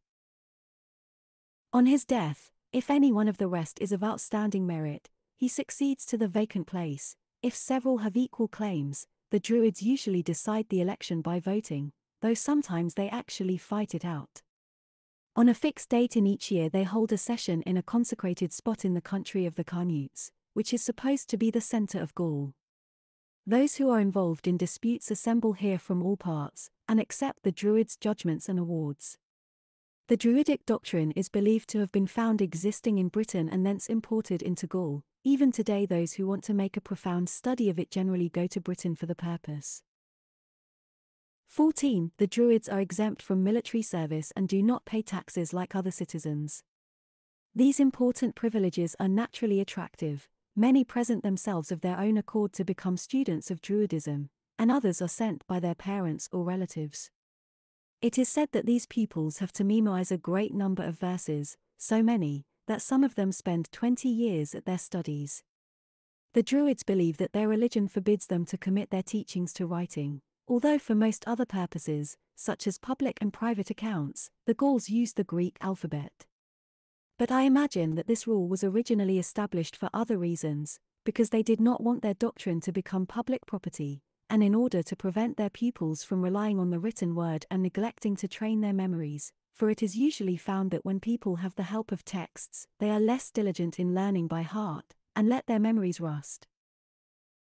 A lesson which they take particular pains to inculcate is that the soul does not perish, but after death passes from one body to another, they think that this is the best incentive to bravery, because it teaches men to disregard the terrors of death. They also hold long discussions about the heavenly bodies and their movements, the size of the universe and of the earth, the physical constitution of the world, and the power and properties of the gods, and they instruct the young men in all these subjects. 15. The second class is that of the knights. Point 45 When their services are required in some war that has broken out, and before Caesar's arrival in the country, the Gallic states used to fight offensive or defensive wars almost every year, these all take the field, surrounded by their servants and retainers, of whom each knight has a greater or smaller number according to his birth and fortune. The possession of such a following is the only criterion of position and power that they recognize.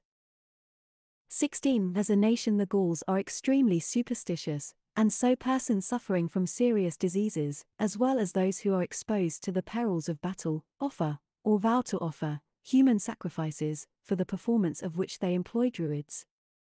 They believe that the only way of saving a man's life is to propitiate the god's wrath by rendering another life in its place, and they have regular state sacrifices of the same kind. Some tribes have colossal images made of wickerwork, the limbs of which they fill with living men, they are then set on fire, and the victims burnt to death. They think that the gods prefer the execution of men taken in the act of theft or brigandage, or guilty of some offense, but when they run short of criminals, they do not hesitate to make up with innocent men. 17. The god they reverence most is Mercury. They have very many images of him, and regard him as the inventor of all arts, the god who directs men upon their journeys, and their most powerful helper in trading and getting money. Next to him they reverence Apollo, Mars, Jupiter, and Minerva, about whom they have much the same ideas as other nations, that Apollo averts illness, and Minerva teaches the principles of industries and handicrafts, that Jupiter is king of the gods, and Mars the lord of war. When they have decided to fight a battle, they generally vow to Mars the booty that they hope to take, and after a victory, they sacrifice the captured animals and collect the rest of the spoil in one spot.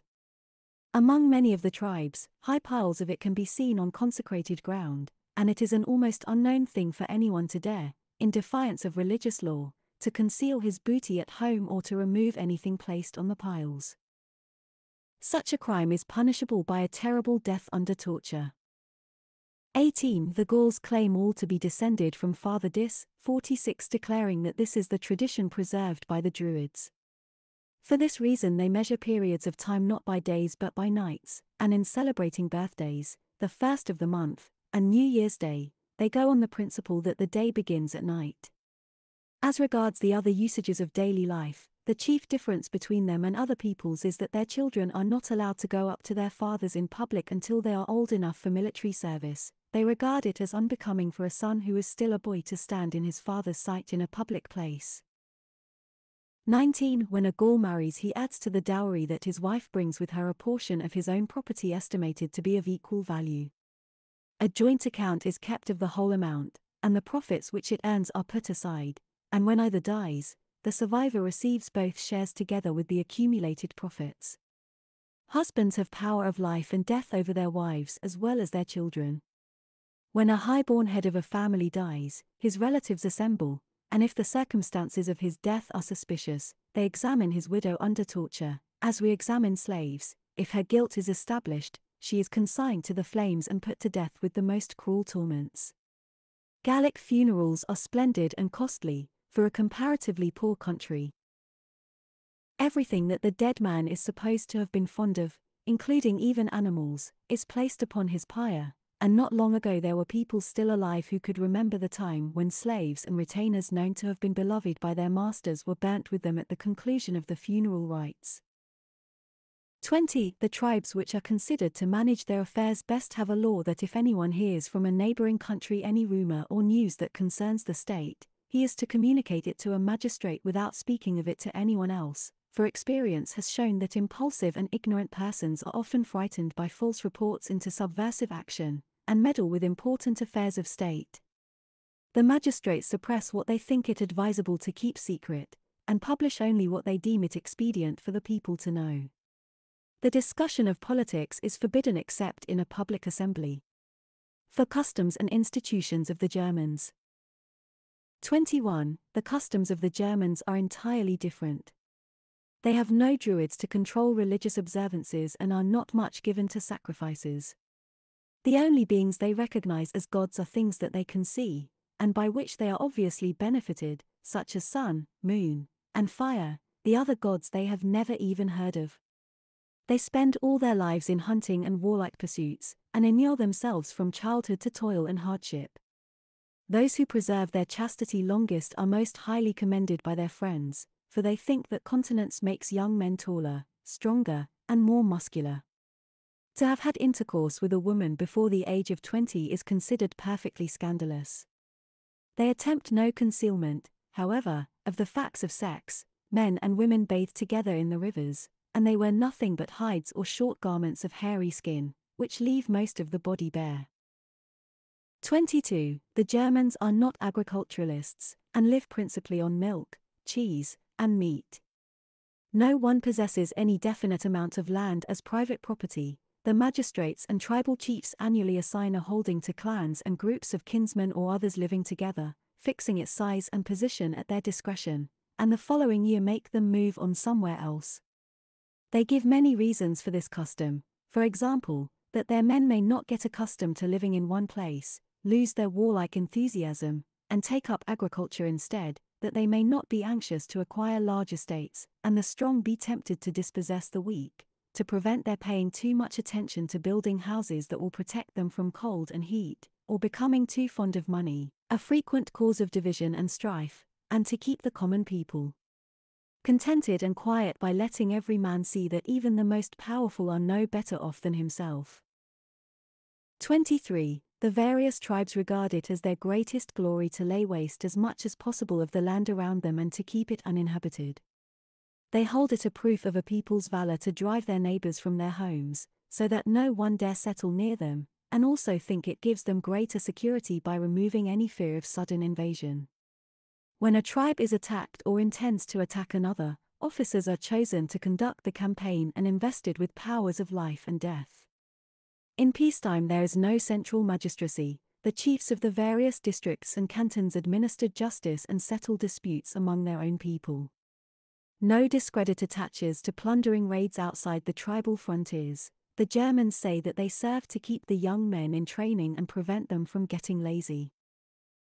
When a chief announces in an assembly his intention of leading a raid and calls for volunteers, those who like the proposal, and approve of the man who makes it, stand up and promise their assistance amid the applause of the whole gathering. Anyone who backs out afterwards is looked on as a deserter and a traitor, and no one will ever trust him again.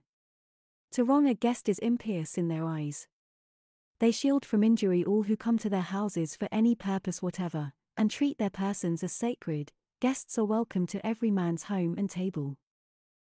24. There was a time when the Gauls were more warlike than the Germans, when they actually invaded German territory, and sent colonists across the Rhine because their own country was too small to support its large population.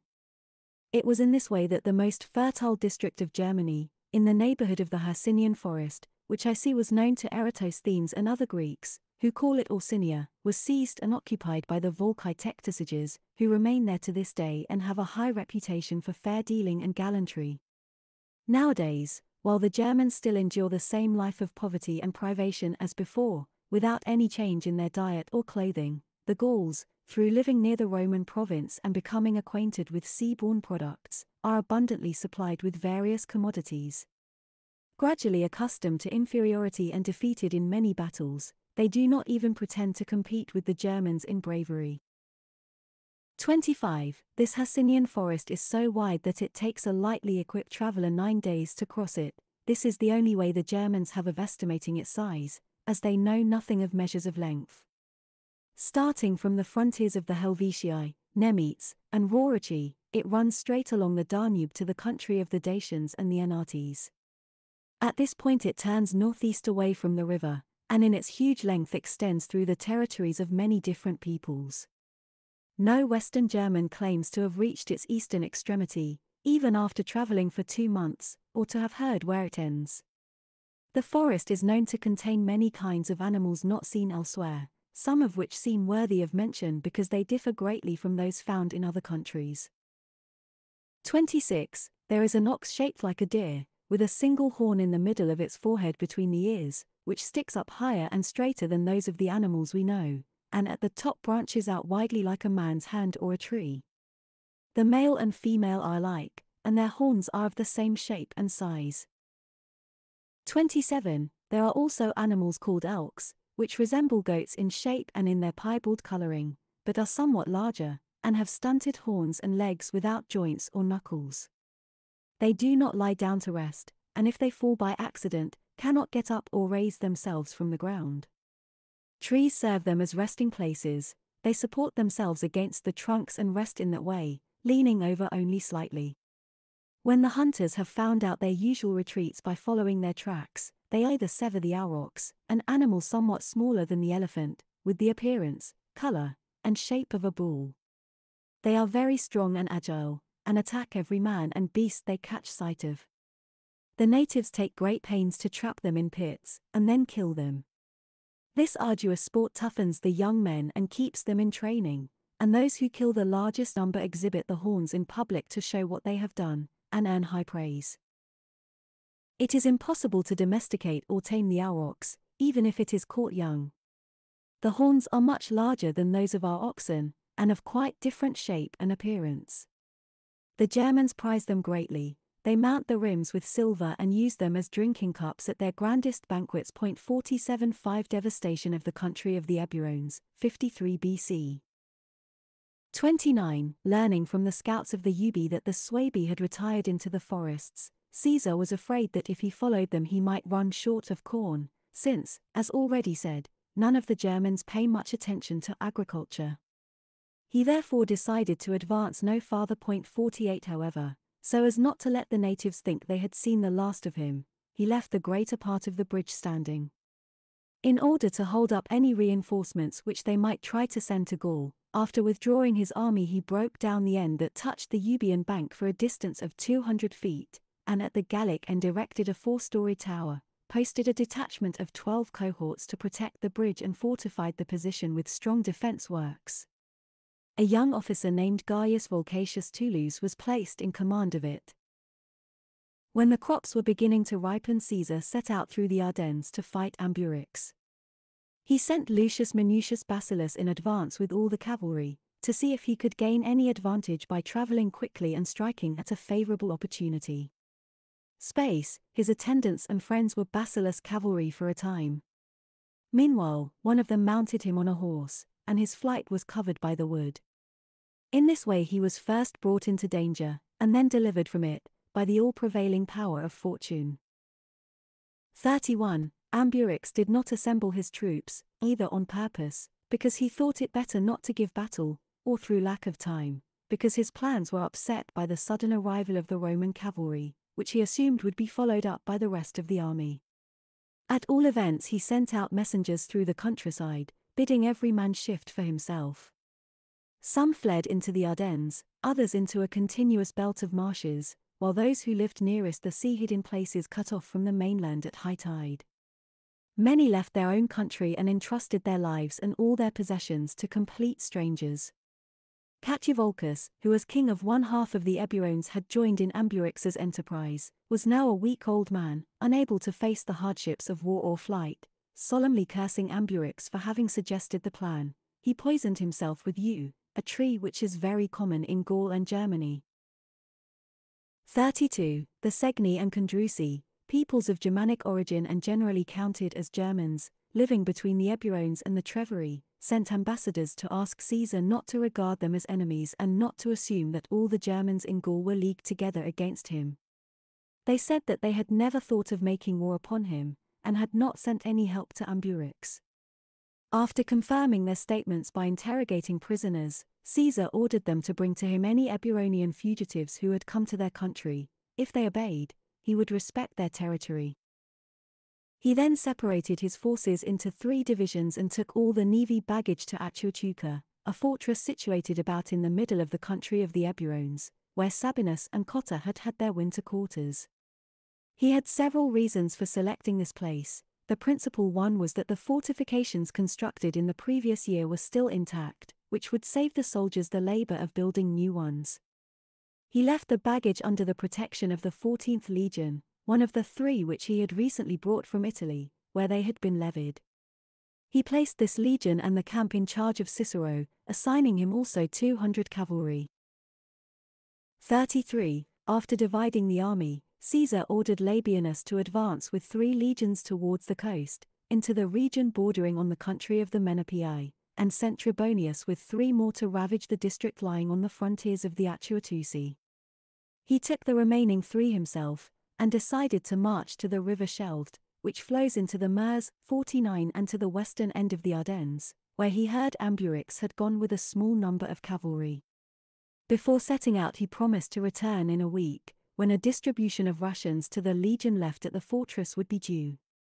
He asked Labienus and Trebonius to return by the same date if the military situation allowed, so that after holding a further discussion they might be able to restart the campaign on new lines, in the light of what they would have learnt by that time of the enemy's plans. 34. It has been explained that the Eburones had no regular force assembled, no stronghold, and no garrison capable of armed resistance, their population was scattered in all directions. Each man had installed himself in any remote glen, any wooded spot, or impenetrable morass, that offered a chance of protection or escape. These hiding places were known to the natives living in the neighborhood, and great care was needed to ensure the safety of the Roman troops. So long as they kept together, they were in no danger from a panic stricken and scattered enemy, but losses severe enough to weaken the army might easily be sustained by the waylaying of individual soldiers, who were tempted far afield by the hope of plunder, or got separated from the rest because the ill defined and half concealed paths through the woods were not practicable for columns in close formation. The only way to make an end of the business, and exterminate this race of criminals, would have been to break up the army into a large number of detachments which could be sent out separately but it was safer to keep the companies in their regular formation, according to the established practice of the Roman army, although this meant that they could not injure the Gauls in such country. Even so, any men who strayed apart from the main body were liable to be ambushed and surrounded by some of the bolder spirits among them. In these difficult circumstances, the most careful precautions were taken. Caesar thought it better to let the enemy off comparatively lightly, in spite of the men's burning desire for revenge, than to punish them severely at the cost of serious loss to his own troops. He preferred to expose Gauls, instead of Roman legionaries, to the dangers of fighting in the forests, and also wanted to envelop the Eburones with a great multitude of men, in order to punish their heinous crime with total annihilation. Large numbers soon assembled from every side. 35. While the whole of the Eburonian territory was being plundered, it was getting near the day on which Caesar had intended to return to the legion left in charge of the baggage.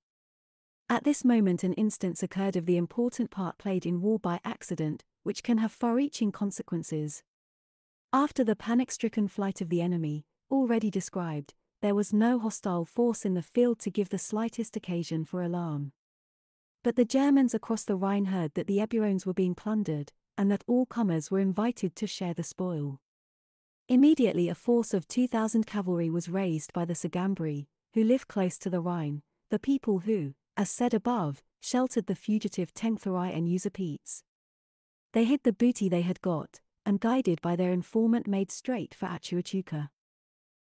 They hid the booty they had got, and guided by their informant made straight for Atuatuca.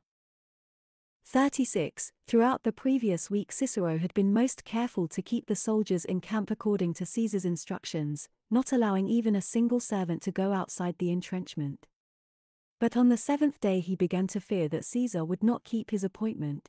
It was said that he had advanced a long way, and there was no news of his return.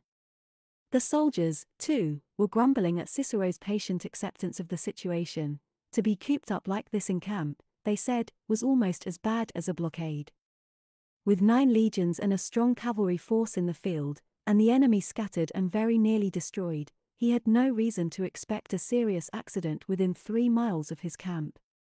Accordingly, he sent five cohorts to get corn from the nearest fields, which were separated from the camp by only a single hill. A number of sick men had been left behind by the legions, from these there went with the cohorts, as a separate detachment, some 300 men who had recovered from illness during the week, and permission to accompany them was granted also to a large number of servants, who took out a great many of the animals that were being kept in the camp. 37. It happened that just at this moment the German cavalry appeared and, riding right on without slackening speed, tried to break in by the back gate. As the view was obstructed by woods on that side, they were not seen until they were quite close to the camp, so close that the traders who had their tents at the foot of the rampart had no time to get away. The suddenness of the attack upset the soldiers, and the cohort on guard had difficulty in withstanding the first rush. The enemy spread out all round, trying to find a way in. The soldiers had hard work to defend the gates, elsewhere the lie of the land and the entrenchments gave protection. The whole camp was in a state of alarm, the men were asking one another the cause of the disturbance, and could not tell where to assemble or in which direction to advance.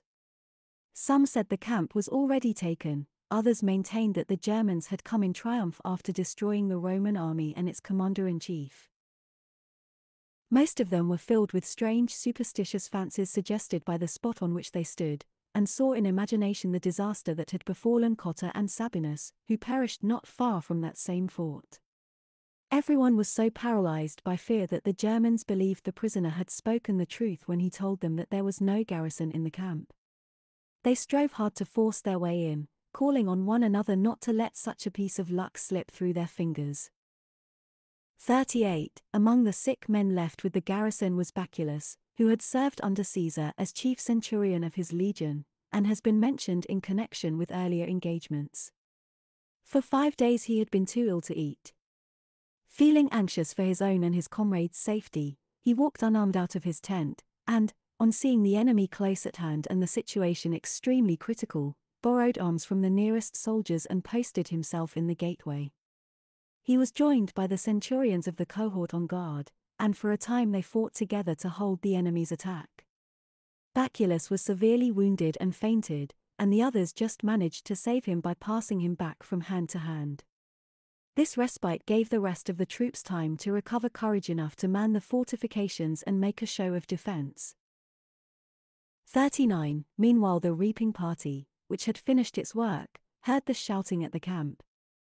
The horsemen hurried on, and discovered how serious the peril was. Out there in the open, there was no fortification to shelter the frightened men, raw recruits without any experience, and they turned to the military tribune and centurions, waiting to be told what to do, even the bravest were unnerved by the emergency. The Germans caught sight of the standards in the distance, and desisted from their attack on the camp. At first they thought it was the legions, returned from the distant expedition on which the prisoners said they had gone, but when they saw how small the force was, they regarded it with contempt and attacked from all sides. Point 50. 40. The servants ran forward to the nearest rising ground, from which they were quickly dislodged and, by rushing to the standards round which the companies were formed up, increased the nervous soldiers' alarm. Since the camp was so near, some were for adopting a wedge formation and making a quick dash through, feeling confident that, though a few might be surrounded and killed, the rest could escape.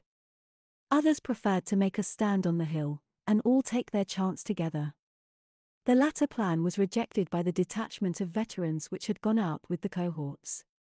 The veterans, therefore, with words of mutual encouragement, advanced under their commander Gaius Trebonius, a Roman knight, broke right through the enemy, and reached the camp without a single casualty. Close behind them, in the gap made by their courageous charge, the servants and the cavalry got safely through. But those who had taken their stand on the hill showed that they had still learnt nothing of the art of war. They failed either to stick to the plan they had chosen of defending themselves on the high ground, or to imitate the swift and vigorous action which they could see had saved their comrades. Instead, in an attempt to regain the camp, they let themselves be caught in a bad position on low lying ground.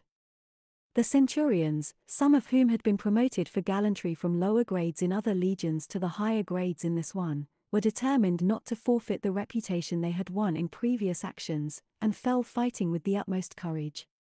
Some of the soldiers were saved by the centurion's brave stand, which made the enemy fall back, and, to their surprise, reached the camp in safety. The rest were surrounded by the enemy and killed. 41. As the Germans saw that the Roman troops had now manned the fortifications, they gave up hope of taking the camp by storm, and retired across the Rhine with the booty that they had hidden in the woods.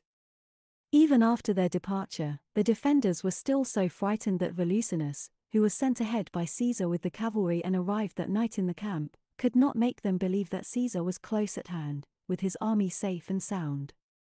Fear had so completely possessed them all that they nearly took leave of their senses, and would have it that the whole army had been cut to pieces, and that the cavalry had managed to escape by flight. If the army were not destroyed, they maintained, the Germans would never have attacked the camp.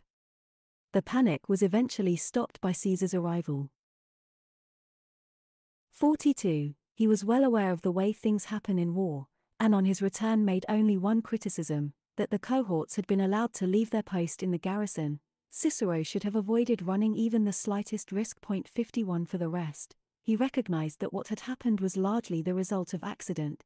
It was a strange chance that had brought the enemy to the camp so suddenly, and a still stranger chance that had sent them away when they were almost masters of the rampart and gates. And the strangest thing of all was that although their object in crossing the Rhine was to plunder Ambiorix's country, circumstances had led them to attack the Roman camp instead, and thus render Ambiorix the greatest service he could have desired. 43. Setting out once more to harass the Eburones, Caesar sent out in all directions a large force of cavalry that he had collected from the neighboring tribes. Every village and every building they saw was set on fire, all over the country the cattle were either slaughtered or driven off as booty, and the crops, a part of which had already been laid flat by the autumnal rains, were consumed by the great numbers of horses and men. It seemed certain, therefore, that even if some of the inhabitants had escaped for the moment by hiding, they must die of starvation after the retirement of the troops.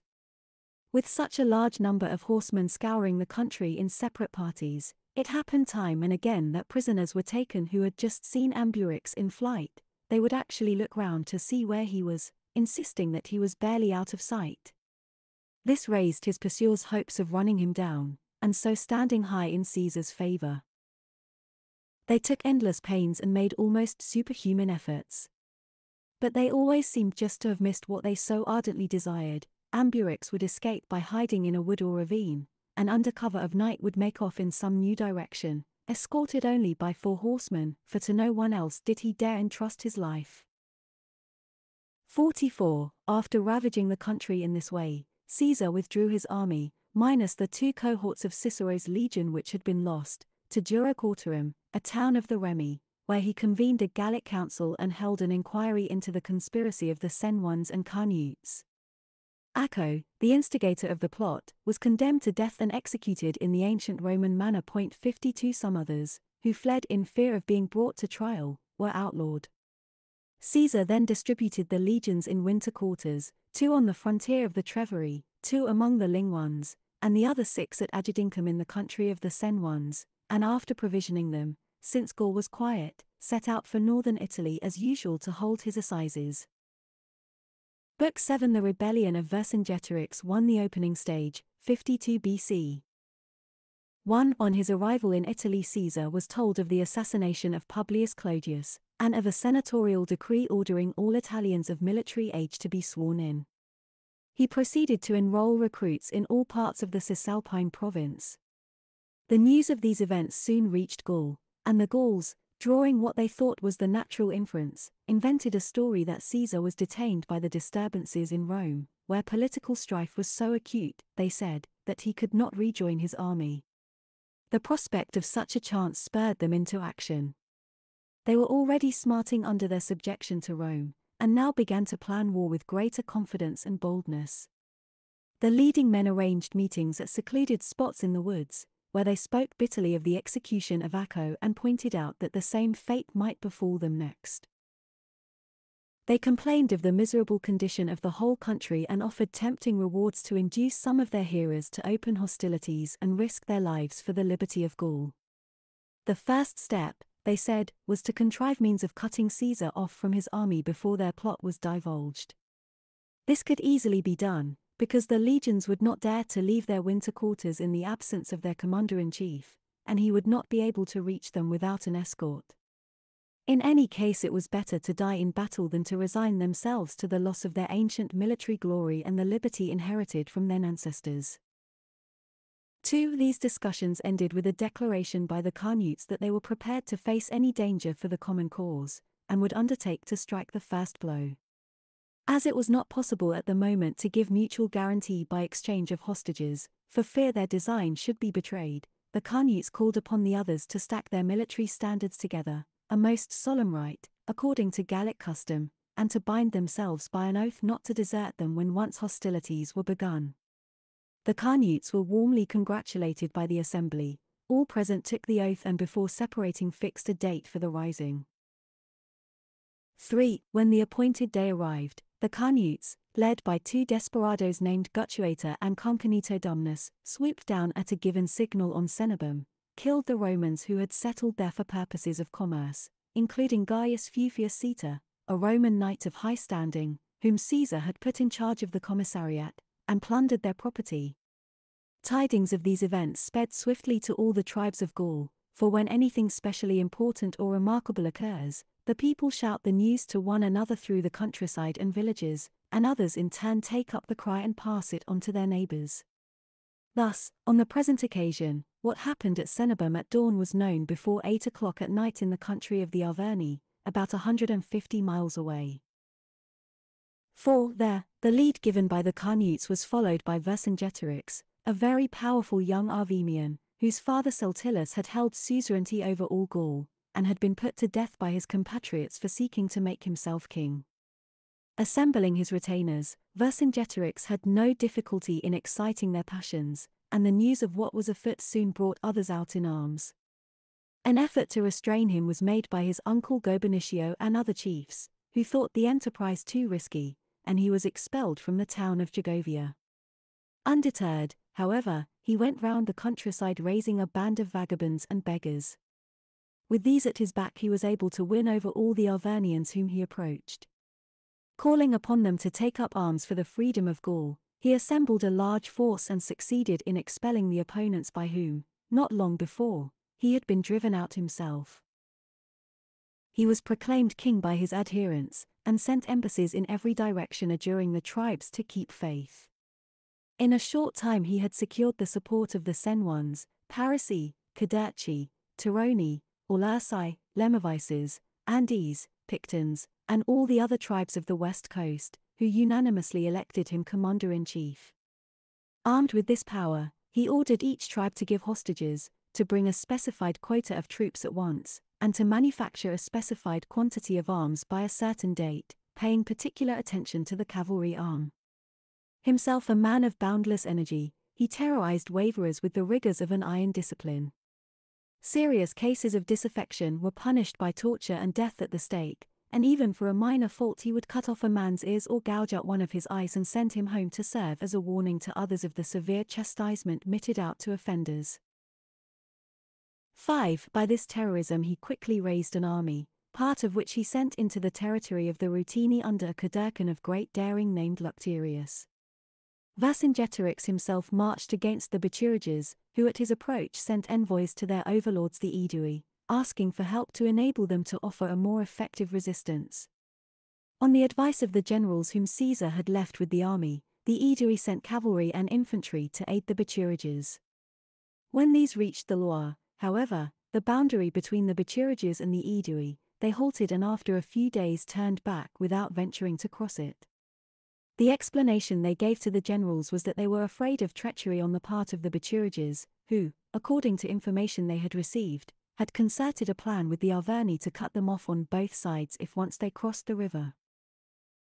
Whether they really acted for the reason they alleged, or from motives of treachery, I do not know for certain, and therefore do not feel justified in making a positive statement. On the departure of the Aedui, the Bituriges immediately joined forces with the Arverni. 6. By the time news of these events reached Caesar in Italy, the situation in Rome had improved, thanks to the resolute action of Pompey, and accordingly he set out for Gaul. On arriving, he was faced with a difficult problem how was he to rejoin his army? If he summoned the legions to the Transalpine province, they would clearly have to fight a pitched battle on the march without him, and to travel across Gaul without an escort would mean risking his own life, since in the circumstances even the tribes that were apparently quiet could not be relied upon. 7. In the meantime Lucterius, the Cadurcan who had been sent to the Ruteni, induced them to join the Arverni. Advancing into the territories of the Nitiobroges and Gabali, he took hostages from both, and after assembling a strong force attempted to make a raid into the province in the direction of Narbonne. Caesar decided that he must let everything else wait. Marching at once to the town, he reassured the frightened inhabitants and posted detachments of the garrison troops in the districts that lay near the point of attack, i.e., the part of the province inhabited by the Ruteni, Volcae Arecomici, and Tolosates and the neighborhood of Narbonne itself. He also ordered a part of the provincial garrison and a fresh draft that he had brought from Italy to concentrate in the territory of the Helvii, which adjoins that of the Arverni. 8. These measures checked Lucterius and made him keep his distance, because he was afraid to venture into the area encircled by the Roman detachments. Accordingly, Caesar joined the forces assembled in the country of the Helvii. The Cevennes Mountains, which form a barrier between the Helvii and the Arverni, were at this season, the severest part of the winter, covered with very deep snow, and the passes blocked. But the soldiers cleared stretches of the path by shoveling away drifts up to six feet deep, and by prodigious exertions enabled Caesar to get across into the land of the Arverni.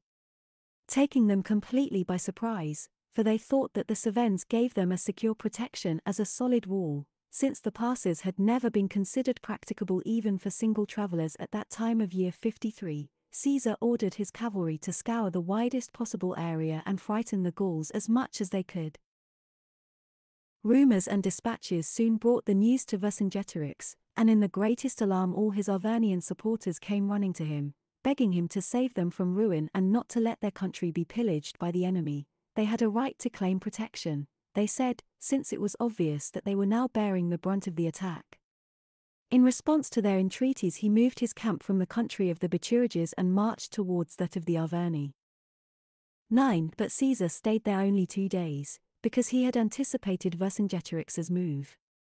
Then, on the pretext of collecting reinforcements and cavalry, he went away, leaving the troops under the command of the young Brutus.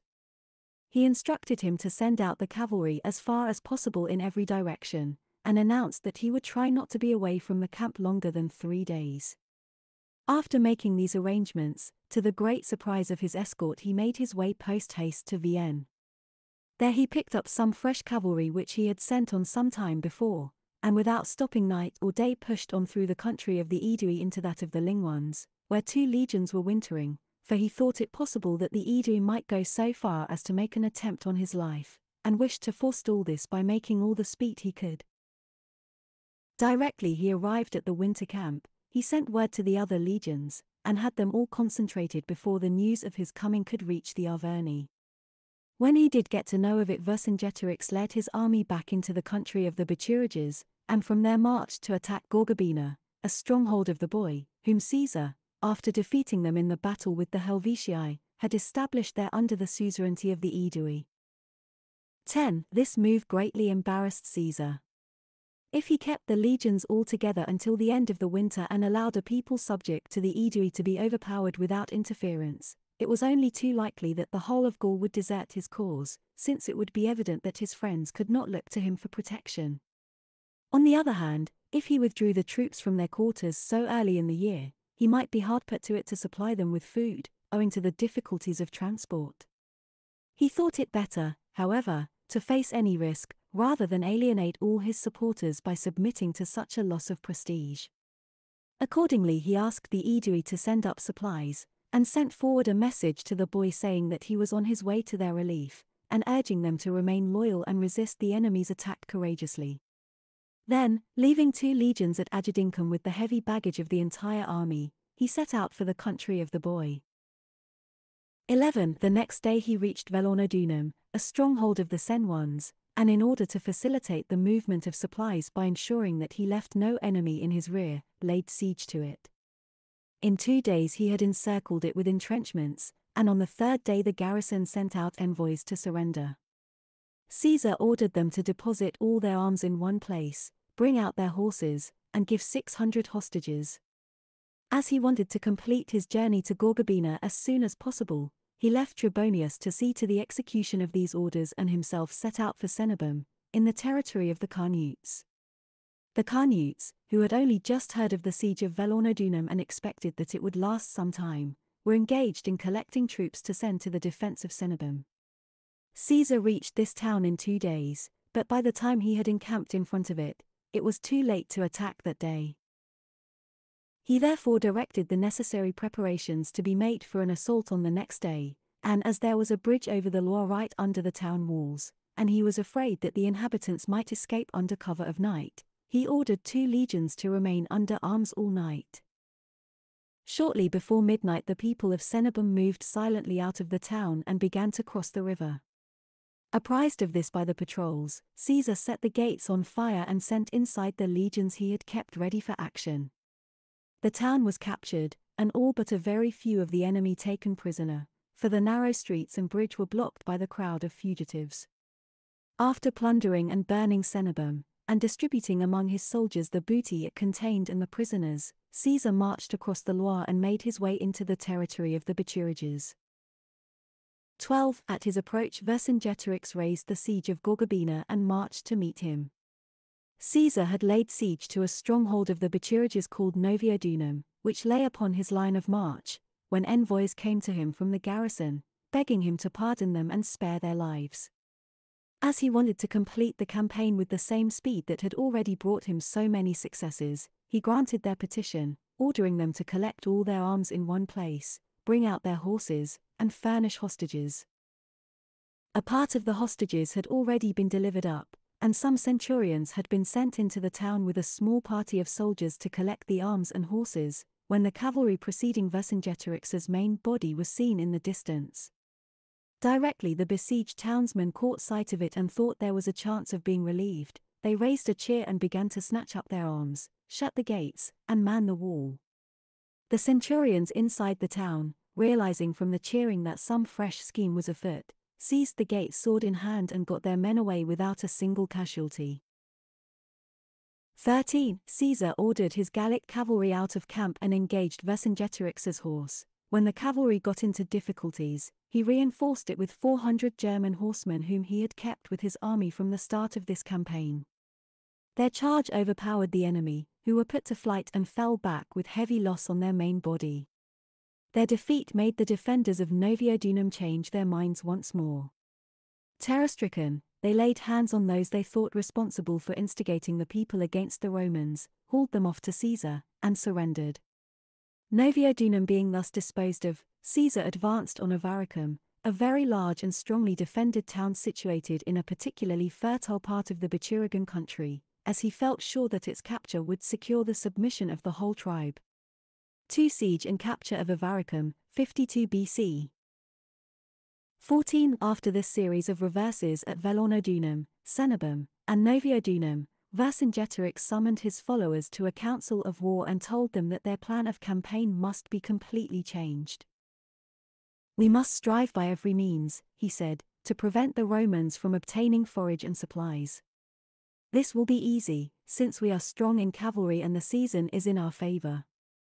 There is no grass to cut, so the enemy will be forced to send out parties to get hay from the barns, and our cavalry can go out every day and see that not a single one of them returns alive. What is more, when our lives are at stake, we must be prepared to sacrifice our private possessions. Along the enemy's line of march, we must burn all the villages and farms within the radius that their foragers can cover. We ourselves have plenty of supplies, because we can rely upon the resources of the people in whose territory the campaign is conducted, but the Romans will either succumb to starvation or have to expose themselves to serious risk by going far from their camp in search of food. We can either kill them or strip them of their baggage, which will be equally effective, since without it they cannot keep the field. We should also burn all the towns except those which are rendered impregnable by natural and artificial defenses, otherwise they may serve as refuges for shirkers among our own numbers, and give the enemy the chance of looting the stores of provisions and other property that they contain. You may think these measures harsh and cruel, but you must admit that it would be a still harsher fate to have your wives and children carried off into slavery and be killed yourselves, which is what will inevitably befall you if you are conquered. 15. This proposal was unanimously approved, and in a single day, more than 20 of the Bituriges towns were fired.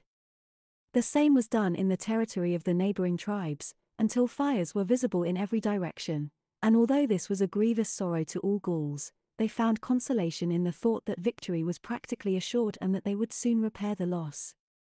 In a second joint council of war, the question was debated whether Avaricum was to be burnt or defended.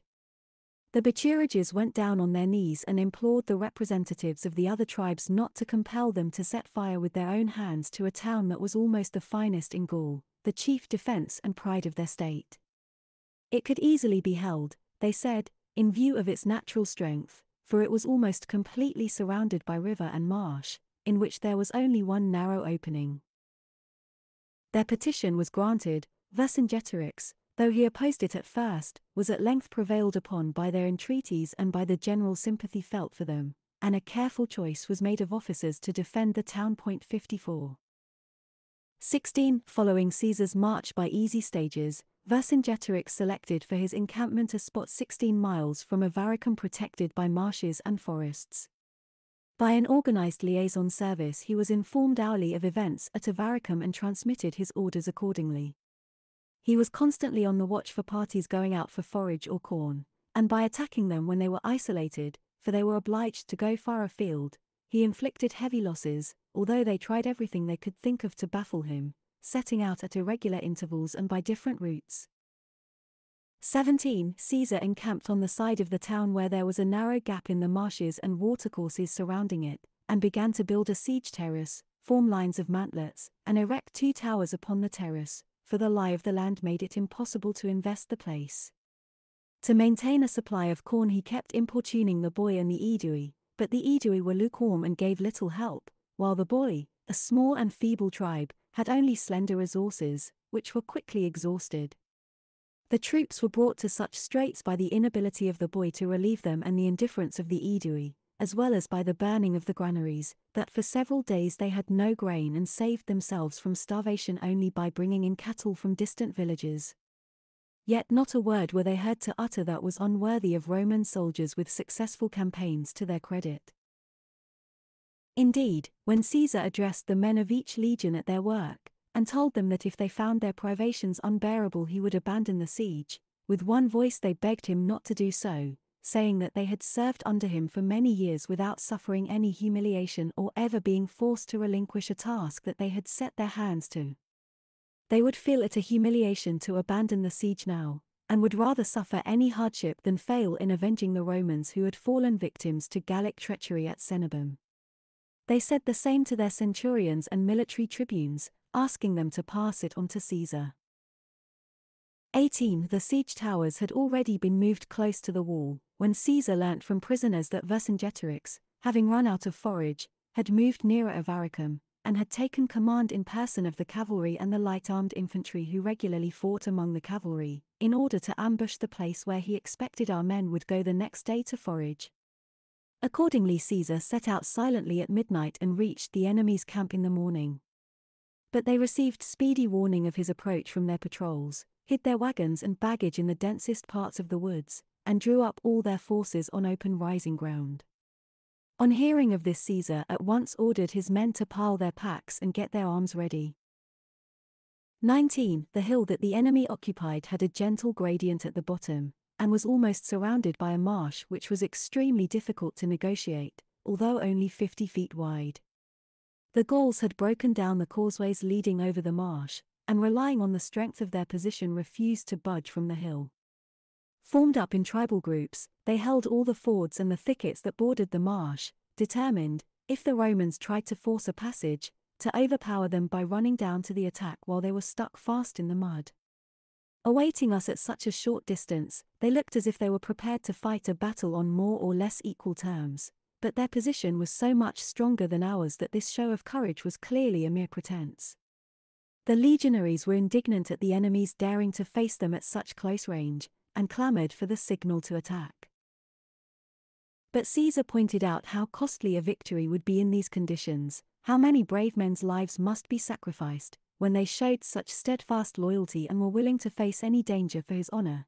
He would be guilty of the grossest injustice if he did not consider their lives before his own interests. After addressing them in this way to alleviate their disappointment, he led them back to camp the same day and proceeded to complete his preparations for the siege of the town. 20. On returning to his main body, Vercingetorix was accused of treachery for having moved his camp nearer the Romans, for going off with all the cavalry, and for leaving such a large army without anyone in supreme command, with the result that the Romans had taken advantage of his departure to make a swift move against it. All this could not have happened by chance, they said, but must have been deliberately planned. Evidently, he would rather become king of Gaul by Caesar's favor than by the gift of his fellow countrymen. To these charges, Vercingetorix replied that he moved camp because he was short of forage, and they themselves had pressed him to do so. He went nearer the Romans because he had found a very favorable position, so well protected by nature that no defense works were required. I knew, he continued, that the cavalry would not be missed on this marshy ground, whereas it was very useful in the place to which I took it. I purposely did not delegate the command to anyone when I went away, for fear the person I chose might be induced by the enthusiasm of the rank and file to give battle, for I could see that that was what they all desired, because they were soft and incapable of prolonged exertion. If the arrival of the Romans during my absence was an accident, it was a stroke of luck for us, if it was the result of information conveyed by a traitor, you ought to be grateful to him for enabling you to see from your commanding position how weak are their forces and how contemptible is their cowardice, since they slunk back ignominiously to their camp without daring to fight. I have no need to obtain from Caesar by treachery the power that I can secure by victory, a victory already in my grasp, and to be shared by the whole Gallic people. You may take back the command you entrusted me with, if you imagine that you are conferring a favor on me when in reality you owe your lives to me. To satisfy yourselves that what I say is true, hear what these Roman soldiers have to say. With these words, he brought forward some camp servants whom he had captured on a foraging expedition some days previously and had subjected to the tortures of chains and starvation. These he had carefully primed beforehand with the answers they were to make when questioned. They said that they were legionaries, and that the hunger and want they had suffered made them steal out of camp to see if they could find any corn or cattle in the fields. The whole army, they added, was in the same plight, every man was at the end of his strength and unfit for work and their commander had decided to raise the siege in three days' time unless some progress was made. That, cried Vercingetorix, is what you owe to me, whom you charge with treachery. Thanks to me, without shedding a drop of your own blood, you see a great and victorious army almost destroyed by starvation, and when it is routed and retreats in disgrace, I have taken good care that no people shall admit it into their territory. 21. The whole concourse cheered and clashed their weapons, as the Gauls are accustomed to do when they approve of what a speaker says. Vercingetorix was a great leader, they declared, his loyalty above suspicion, and no one could conduct the campaign with greater skill. They determined to send into Avaricum 10,000 men picked from all the contingents, not wishing to entrust the national cause to the Bituriges alone, because they realized that if the Bituriges saved the town the victory would be entirely theirs. 22. To baffle the extraordinary bravery of our troops, the Gauls resorted to all kinds of devices, for they are most ingenious people and very clever at borrowing and applying ideas suggested to them. They pulled aside our wall hooks with lassos, for example, and when they had made them fast hauled them inside with windlasses. They made our terraces fall in by undermining, at which they were expert because they have extensive iron mines in their country and are thoroughly familiar with every kind of underground working. They had also equipped the whole circuit of the wall with towers, furnished with platforms and protected by hides. They made frequent sorties by day and night, either to set fire to the terrace or to attack our soldiers at work. As our towers were raised higher by the material added each day to the terrace, they increased the height of theirs correspondingly by inserting floors between the upright posts forming the framework. They countermined the subterranean galleries that we were digging towards the walls, and prevented their continuation by throwing into them stakes sharpened and hardened in a fire, boiling pitch, and very heavy stones. 23. Gallic walls are always built more or less on the following plan. Balks of timber are laid on the ground at regular intervals of two feet along the whole line on which the wall is to be built, at right angles to it. These are made fast to one another by long beams running across them at their center points, and are covered with a quantity of rubble, and the two foot intervals between them are faced with large stones fitted tightly in. When this first course has been placed in position and fastened together, another course is laid on top. The same interval of two feet is kept between the balks of the second course, but they are not in contact with those of the first course, being separated from them by a course of stones two feet high, thus every balk is separated from each of its neighbors by one large stone, and so held firmly in position. By the addition of further courses the fabric is raised to the required height. This style of building presents a diversified appearance that is not unsightly, with its alternation of balks and stones each preserving their own straight lines. It is also very serviceable and well adapted for defending a town. The masonry protects it from fire, the timber from destruction by the battering ram, which cannot either pierce or knock to pieces a structure braced internally by beams running generally to a length of 40 feet in one piece.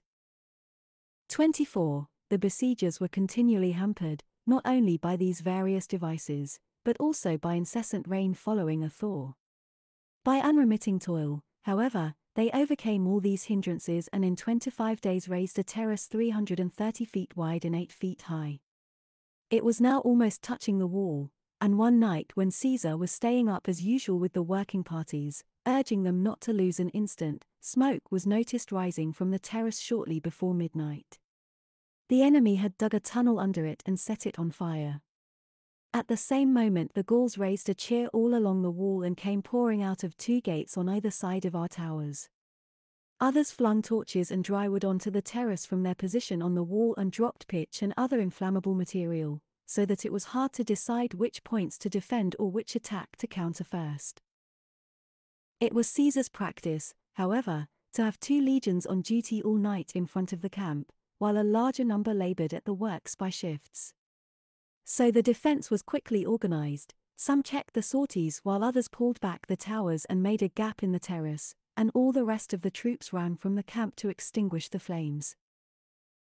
25. The fight went on everywhere throughout the remainder of the night, and the enemy's hope of victory was continually renewed, especially as they saw that the sheds used to protect the men who moved the towers were burnt and that it was not easy for our soldiers to advance without cover to help their comrades, while in their own ranks fresh men kept relieving those who were worn out. They felt that the fate of Gaul depended entirely on what happened at that moment, and performed before our eyes an exploit so memorable that I felt I must not leave it unrecorded. There was a Gaul standing before one of the gates and throwing into the flames, opposite one of our towers, lumps of tallow and pitch that were passed along to him. An arrow from a catapult pierced his right side and he fell dead. Another near him stepped over his prostrate body and took over his job. When he likewise was killed by the catapult, a third took his place, and so they went on. The post was not abandoned by the defenders until the fire on the terrace was extinguished, the Gauls repulsed all along the line, and the battle at an end. 26. The enemy had now tried everything without success, and the next day determined to abandon the town, a course to which Vercingetorix was urgently pressing them.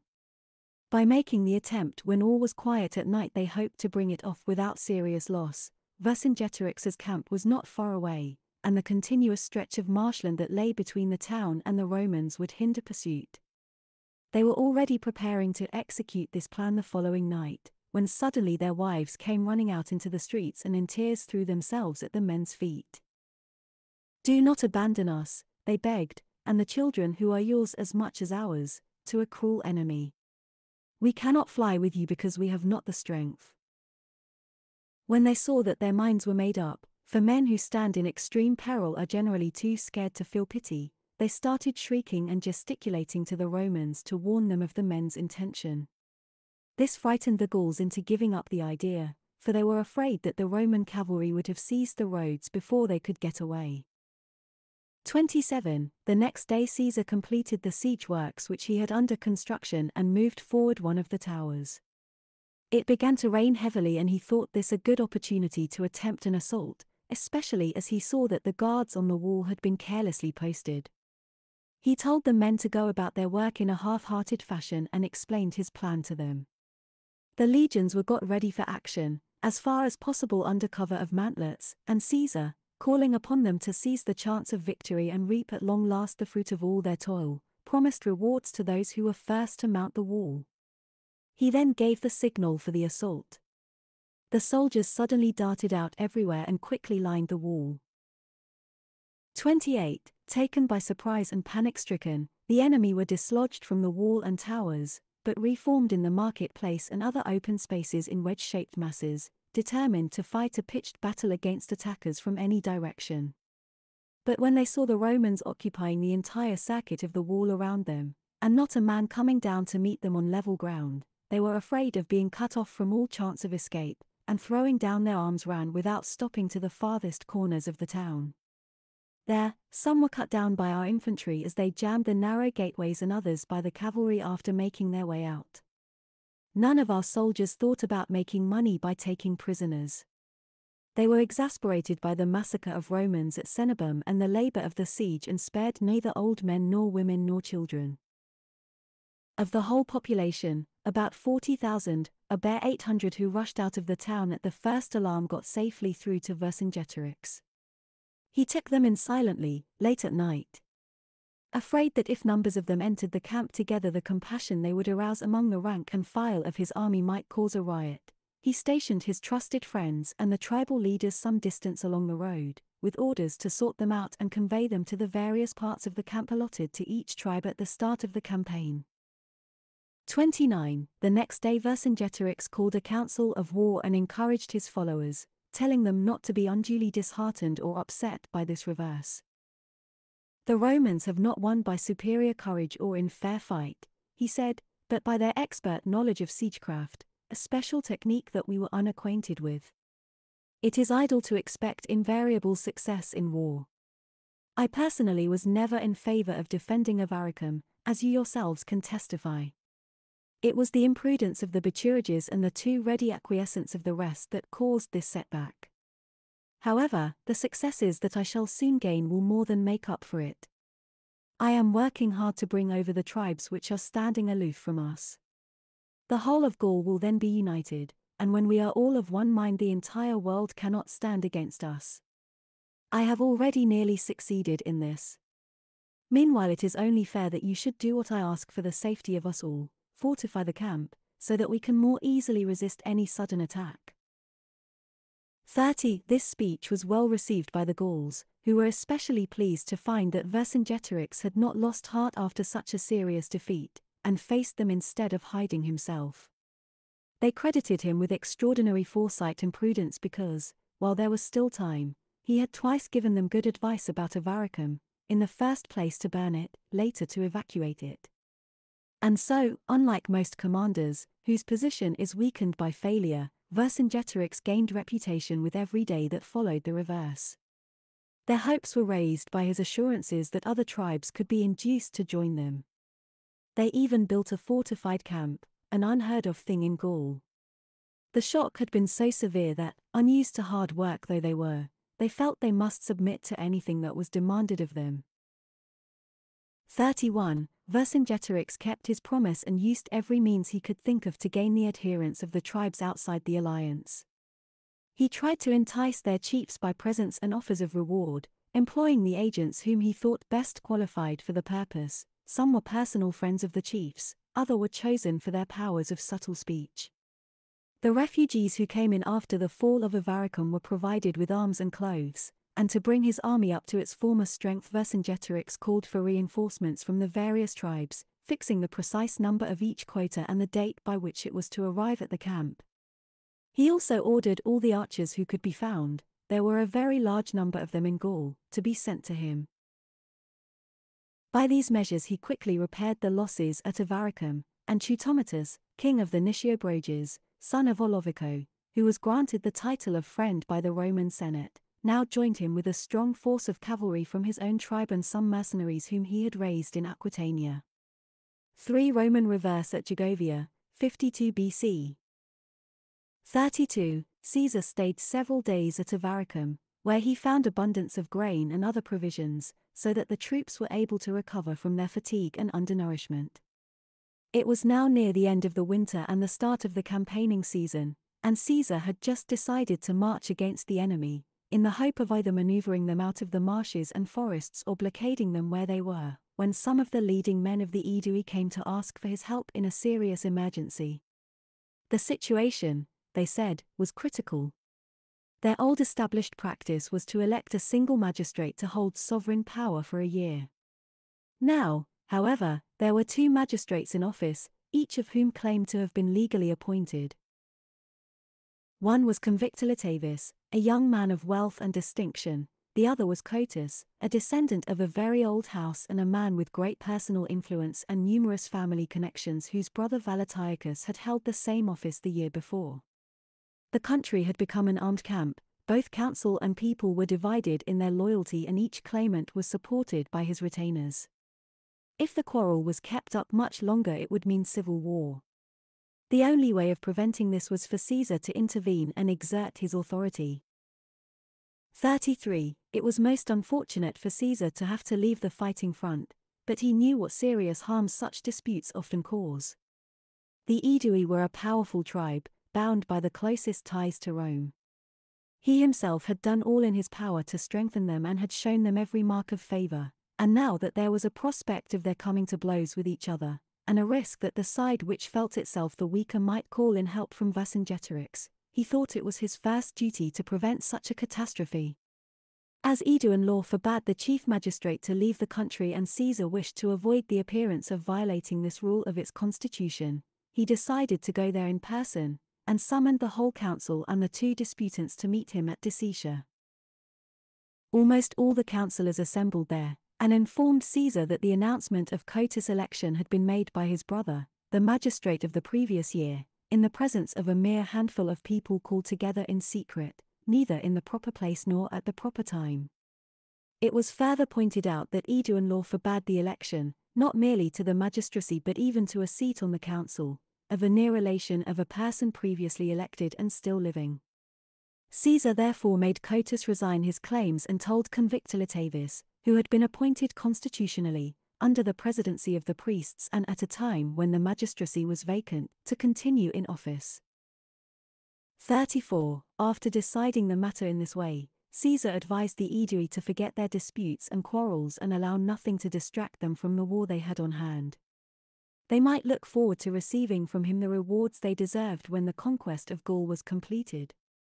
In the meantime, they must send him without delay all their cavalry, and 10,000 infantry to be distributed at various places for the protection of his convoys. He then divided his army into two parts. Four legions and a part of the cavalry were assigned to Labienus to lead against the Senones and Parisii.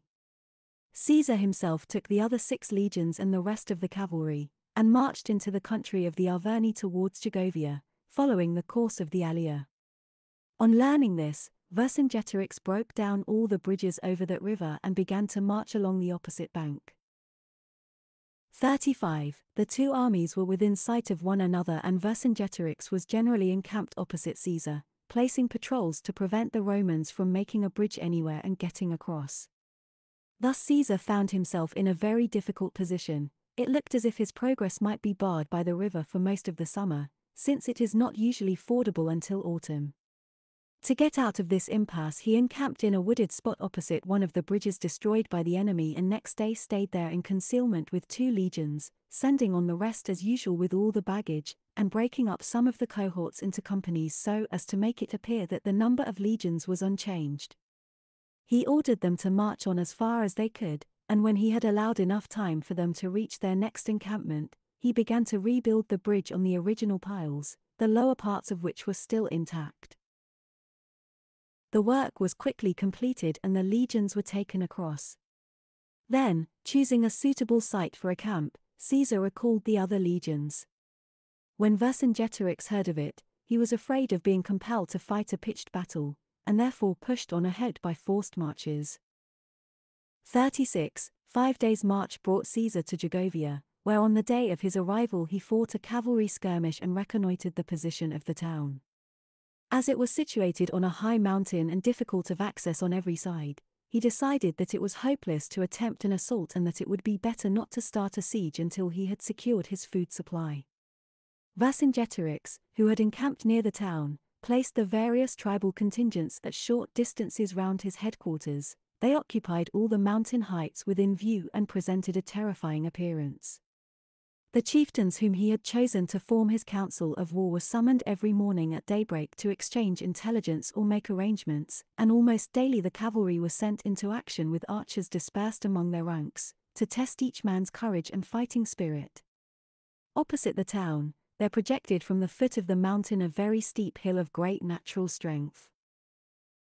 Once in possession of this, we should clearly be able to deprive the enemy of a considerable part of his water supply and restrict the movements of his foragers, but it was held by a fairly strong garrison.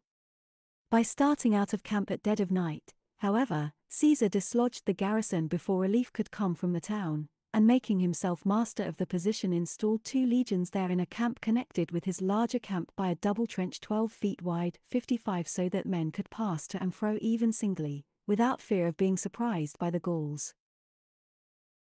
37. While these events were taking place at Gergovia, Convictolitavis, the Aeduan in whose favour, as told above, Caesar had decided the dispute about the magistracy, was bribed by the Arverni and entered into negotiation with certain young men of his tribe, chief among whom were Litaviccus and his brothers, members of a very illustrious family. He shared the money with them and bade them remember that they were free men and born to rule. It was the Aedui alone, he said, who hindered the Gallic victory which, but for them, would be certain. Their influence kept the other tribes loyal to Rome, and if they changed sides, the Romans would be unable to maintain their position in Gaul. It is true, he went on, that I am under some obligation to Caesar, though the justice of my case was so apparent that he could hardly help deciding in my favor. But the cause of national liberty outweighs any such consideration. Why should we call Caesar in to adjudicate questions involving our rights and the interpretation of our laws? We do not expect him to submit questions of Roman law to our arbitration. The young men soon yielded to the combined persuasions of Convictolitavis' eloquence and gold, and professed themselves ready to take the lead in the enterprise, but how to put it into execution required some thought, since they knew that it would be no easy task to induce the Aeduan people to take up arms against Rome. It was decided that Litaviccus should march at the head of the 10,000 men who were to be sent to Caesar as reinforcements, while his brothers hurried on ahead to Caesar, and the remainder of their program was agreed upon. 38. On taking command of the army Litaviccus marched to a point within 30 miles of Gergovia, and then suddenly halted and paraded his troops. Soldiers, he said with tears in his eyes, where are we going? All our cavalry and all our men of high rank have perished. Two of our leading citizens, Eporedorix and Viridomarus, have been accused of treason and put to death by the Romans without trial. Learn the facts from these men who have escaped from the actual scene of the massacre. I cannot bear to describe what has happened myself, for my brothers and all my other relations have been killed. He then produced some men whom he had carefully coached and they repeated to the troops the tale that he had already told. All the Aeduan cavalry, they said, had been butchered because it was alleged that they had entered into negotiation with the Arverni, they themselves had hidden among the crowd of soldiers and escaped while the slaughter was still going on. With shouts of indignation, all the Aedui begged Litaviccus to consider what they were to do. It needs no consideration, he replied. Obviously, we must march straight to Gergovia and join the Arverni. After such a crime, can we doubt that the Romans are even now hastening here to kill us too? So, if we have a spark of courage in us, let us avenge this foul murder by wiping out these ruffians. With these words, he indicated some Romans who had been traveling with him in reliance on his protection. The Gauls cruelly tortured and killed them and plundered a large quantity of grain and other supplies that they had with them. Litaviccus then sent messengers into every part of the Aeduan country and inflamed the people by the same propaganda about the massacre of cavalrymen and chiefs, calling on them to avenge their wrongs by doing the same as he had done. 39. The two Aeduans who were alleged to have been killed were serving in the contingent of Gallic cavalry, having been called up by a special summons from Caesar.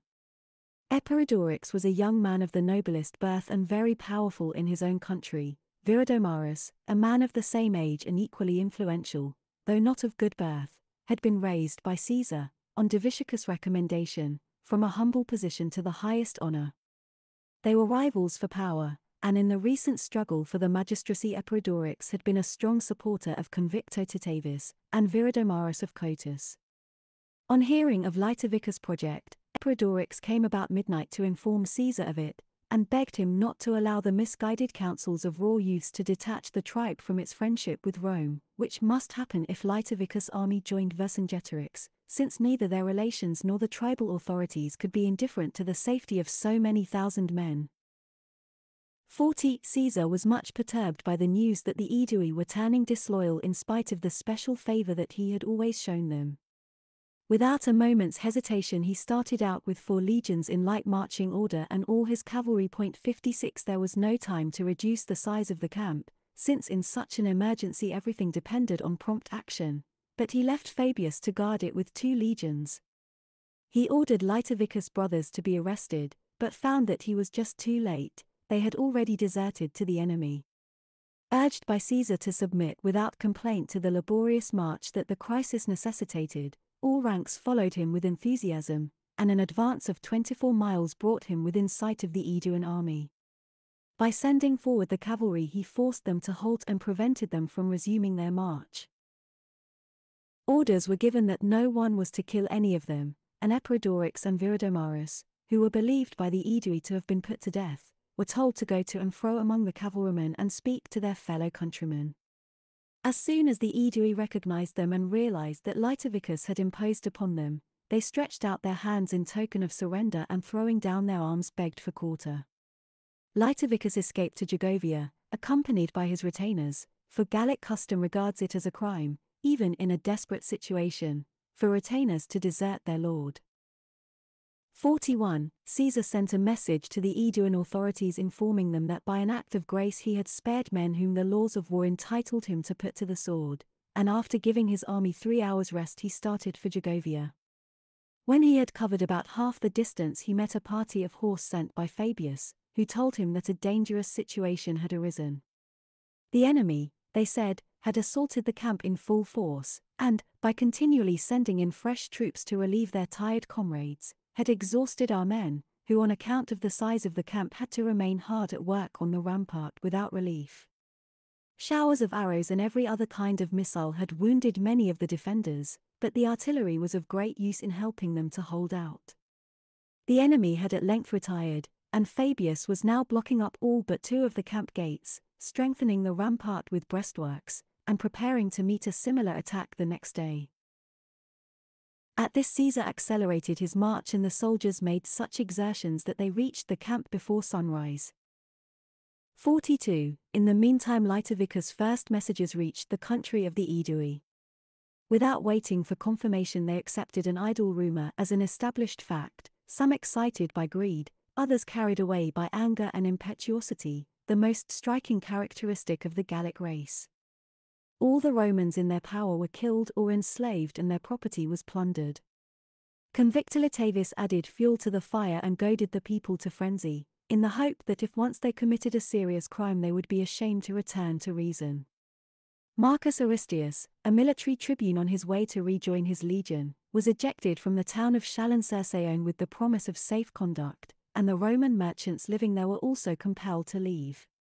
Directly they started the Gauls set on them and stripped them of all their baggage. As the Romans resisted, they continued harassing them all that day and the following night, and when many had been killed on both sides, called a larger number of their countrymen to arms. 43. Meanwhile, news arrived that the whole Aeduan army was in Caesar's power. At this, the tribal leaders came running to Aristius, saying that the government had no hand in what had occurred. They ordered an inquiry into the robberies, confiscated the property of Litaviccus and his brothers, and sent a deputation to make their excuses to Caesar. The object of these moves was to secure the release of their army. But the number of people involved in the outrages was large. Fascinated by the profits of the plunder, yet at the same time dreading retribution for their crimes, they began to make secret preparation for war and sent envoys to obtain the support of other tribes. Caesar understood this perfectly well, but answered the deputation in the most conciliatory terms, in spite of the ignorance and irresponsibility of the populace, he still felt the same goodwill towards the Aedui and would not judge them too harshly. Anticipating a widespread rising, however, and afraid of being surrounded by rebellious tribes, he began to consider how he could draw off from Gergovia and reunite the whole army without making his departure look like a flight occasioned by the fear of revolt. 44 he was still occupied with this problem when he thought he saw a chance of striking an effective blow. On going to inspect the defense works at the smaller of his two camps, he noticed that a hill within the enemy's lines was completely deserted, although previously they had been so thick upon it that the ground was scarcely visible. He inquired the reason for this surprising circumstance from the deserters who daily flocked to him. They all confirmed what he had already discovered from his patrols, that the heights adjoining this hill formed a ridge that was almost level, but narrow and wooded where it gave access to the farther side of the town. The Gauls, they said, were very anxious for the safety of this ridge, feeling sure that if they lost a second height in addition to the one already occupied by the Romans, it would be obvious to everyone that they were all but imprisoned and unable to get away or to send out foraging parties, so every man who could be spared had been summoned by Vercingetorix to fortify the ridge. 45. About midnight, therefore, Caesar sent several squadrons of cavalry in that direction with orders to scour the whole district and make as much disturbance as possible. At daybreak, he had a large number of pack horses and mules brought out of camp, unsaddled them, and ordered the drivers to put on helmets and ride round over the high ground masquerading as cavalry. A few cavalrymen who were sent with them were told to range over a wide area with the object of letting themselves be seen all were to make a long circuit and converge upon the same place. These movements could be seen from the town, which commanded a view of the camp, but at such a distance it was impossible to make out with certainty what was going on. Next, a single legion was sent along the same line of heights by which the horsemen had gone, and after advancing a short way was stationed on lower ground, concealed in a wood. The Gauls now became even more alarmed and the whole of their forces were transferred to the threatened ridge to aid in the work of fortification. When he saw their camps empty, Caesar told his soldiers to cover the crests of their helmets, hide their standards, and move across in small parties, so as not to attract the defenders' attention, from the larger to the smaller camp. He explained his plan to the generals in command of the various legions, warning them above all to keep their men well in hand and not let them be tempted to advance too far by overeagerness for battle or hope of plunder. He pointed out that their inferior position placed them at a disadvantage which could be remedied only by quick action. It was a case for a surprise attack, not a regular battle. He then gave the signal to advance, at the same time sending the Aedui up the hill by another route on the right. 46. The distance, as the crow flies, between the town ramparts and the point on the plain from which the ascent began was a little over a mile, but the turns that had to be made in order to ease the ascent increased its length. About halfway up, the Gauls had built a six foot wall of large stones, which followed the contour of the mountain and was intended to impede any attack. All the lower part of the slope was left unoccupied, while the higher part, between this wall and the town ramparts, was covered with their camps, placed close together. Advancing at the signal, the Romans soon reached the wall, climbed over, and captured three of the camps, so quickly that Teutomatus, king of the Nitiobriges, was surprised in his tent, where he was taking his siesta, and only just managed to escape, naked to the waist and riding a wounded horse, from the soldiers who entered in search of plunder. 47. As his purpose had now been achieved, Caesar ordered the recall to be sounded 57 and the 10th legion, which was with him, immediately halted. The other legions did not hear the trumpet, because a fairly wide hollow intervened, but the military tribunes and the generals did their best, in accordance with Caesar's orders, to hold them back. The soldiers, however, elated by the hope of a quick victory, by the enemy's flight, and by the recollection of their past triumphs, thought that nothing was too hard for their valor to achieve, and continued their pursuit until they got close to the ramparts and gates of the town. Then shouts came from every part of the fortress, and those of the defenders who were farthest away, alarmed by the sudden uproar, thought that the attackers were inside the gates and rushed out. The married women threw clothes and money down from the ramparts and leaning over with bared breasts and outstretched hands besought the Romans to spare them, and not to kill the women and children as they had done at Avaricum. Some were lowered from the rampart by their companions and gave themselves up to the soldiers. Lucius Fabius, a centurion of the Eighth Legion, who had said that day in the hearing of his men that he meant to win a reward such as Caesar had offered at Avaricum, by mounting the rampart before any other man, got three men of his company to hoist him up, and after clambering to the top himself, pulled up each of the others after him. 48. Meanwhile, the Gauls who had assembled, as related above, on the other side of Take Town to construct defense works had heard the shouting and were recalled by a succession of messengers telling them that the town was in the Romans' hands. Their cavalry loped up first, with the whole horde of infantrymen racing after them. Every man as he arrived took his stand under the ramparts and swelled the ranks of fighters. When a great crowd of them had gathered, the women who a moment before had been holding out their hands in supplication to the Romans began to appeal to their own folk, leaning over the wall with their hair flung loose in Gallic fashion, and bringing out their children for the men to see. It was an unequal struggle for the Romans, with both position and numbers against them, tired out with hurrying uphill and fighting a long engagement, they found it difficult to hold their own against troops just come fresh into action. 49. Seeing his men harassed on such unfavorable ground by continually increasing numbers, Caesar became anxious for their safety, and sent orders to Titus Sextius, the general left in charge of the small camp, to lead his cohorts out immediately and station them at the foot of the hill, facing the enemy's right flank, where he could cover the legion's retreat, if he saw them driven from their position, by frightening off their pursuers. Caesar also moved his own legion to a slightly more forward position and there awaited the issue of the battle.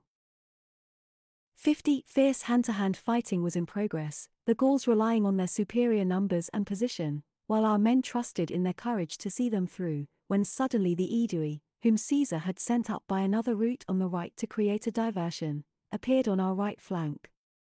The similarity of their arms to those of the enemy gave our soldiers a bad fright, for although they could see that the newcomers had their right shoulders uncovered, the sign always agreed upon to mark friendly troops, they imagined that this was a ruse employed by the enemy to trick them.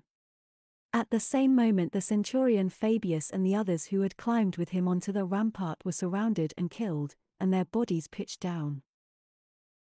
Marcus Petronius, another centurion of the same legion, tried to break down the gate, but was overwhelmed by a host of assailants, and realizing that he was a doomed man, he was already covered with wounds, shouted to the men of his company who had followed him, I can't save myself and you. It's my fault you're in this tight corner, because I was so keen to distinguish myself. So at least I'll help you to get away with your lives. Now's your chance, look after yourselves. With these words, he charged into the middle of the enemy, killed two of them and forced the rest a short way back from the gate. The men still tried to rescue him. It's no use, he cried, trying to save me. I've lost too much blood and haven't any strength left. So get away while you have the chance and fall back to your legion. So he went on fighting and a few moments later fell dead. But he had saved his men. 51. Harassed on every side, our men held their ground till they had lost four to six centurions. When eventually they were driven back, the Gauls began to pursue relentlessly, but were checked by the 10th Legion, which was posted in reserve on fairly level ground, and the 10th was in turn supported by the cohorts of the 13th under Sextius, which after leaving the small camp had moved forward to higher ground. As soon as they reached the plain, all the legions halted and reformed facing the enemy, and Vercingetorix withdrew his men from the foot of the hill and led them within his entrenchments. Our losses that day amounted to nearly 700.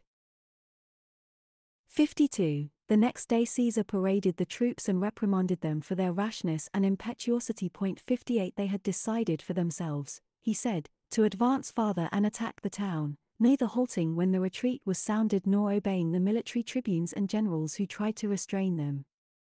He stressed the disadvantage of an unfavorable position, explaining the motives which had dictated his action at Avaricum, when, although he had caught the enemy without their general or their cavalry, he preferred to sacrifice a certain victory rather than incur even light casualties by fighting on unfavorable ground. Much as I admire the heroism that you showed, he went on, in refusing to be daunted by a fortified camp, a high mountain, and a walled fortress, I cannot too strongly condemn your bad discipline and your presumption in thinking that you know better than your commander in chief how to win a victory or to foresee the results of an action.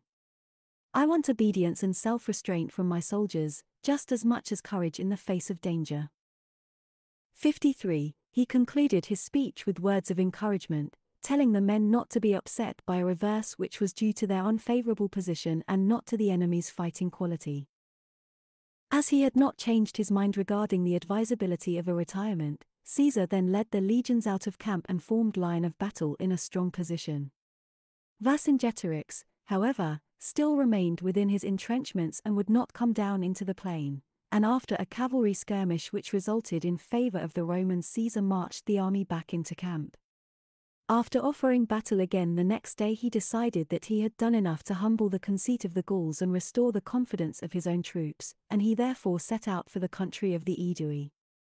Still the enemy did not follow, and on the third day Caesar reached the river Allier, repaired a broken-down bridge, and marched his army across. For Vercingetorix's defeat in open warfare, 52 BC.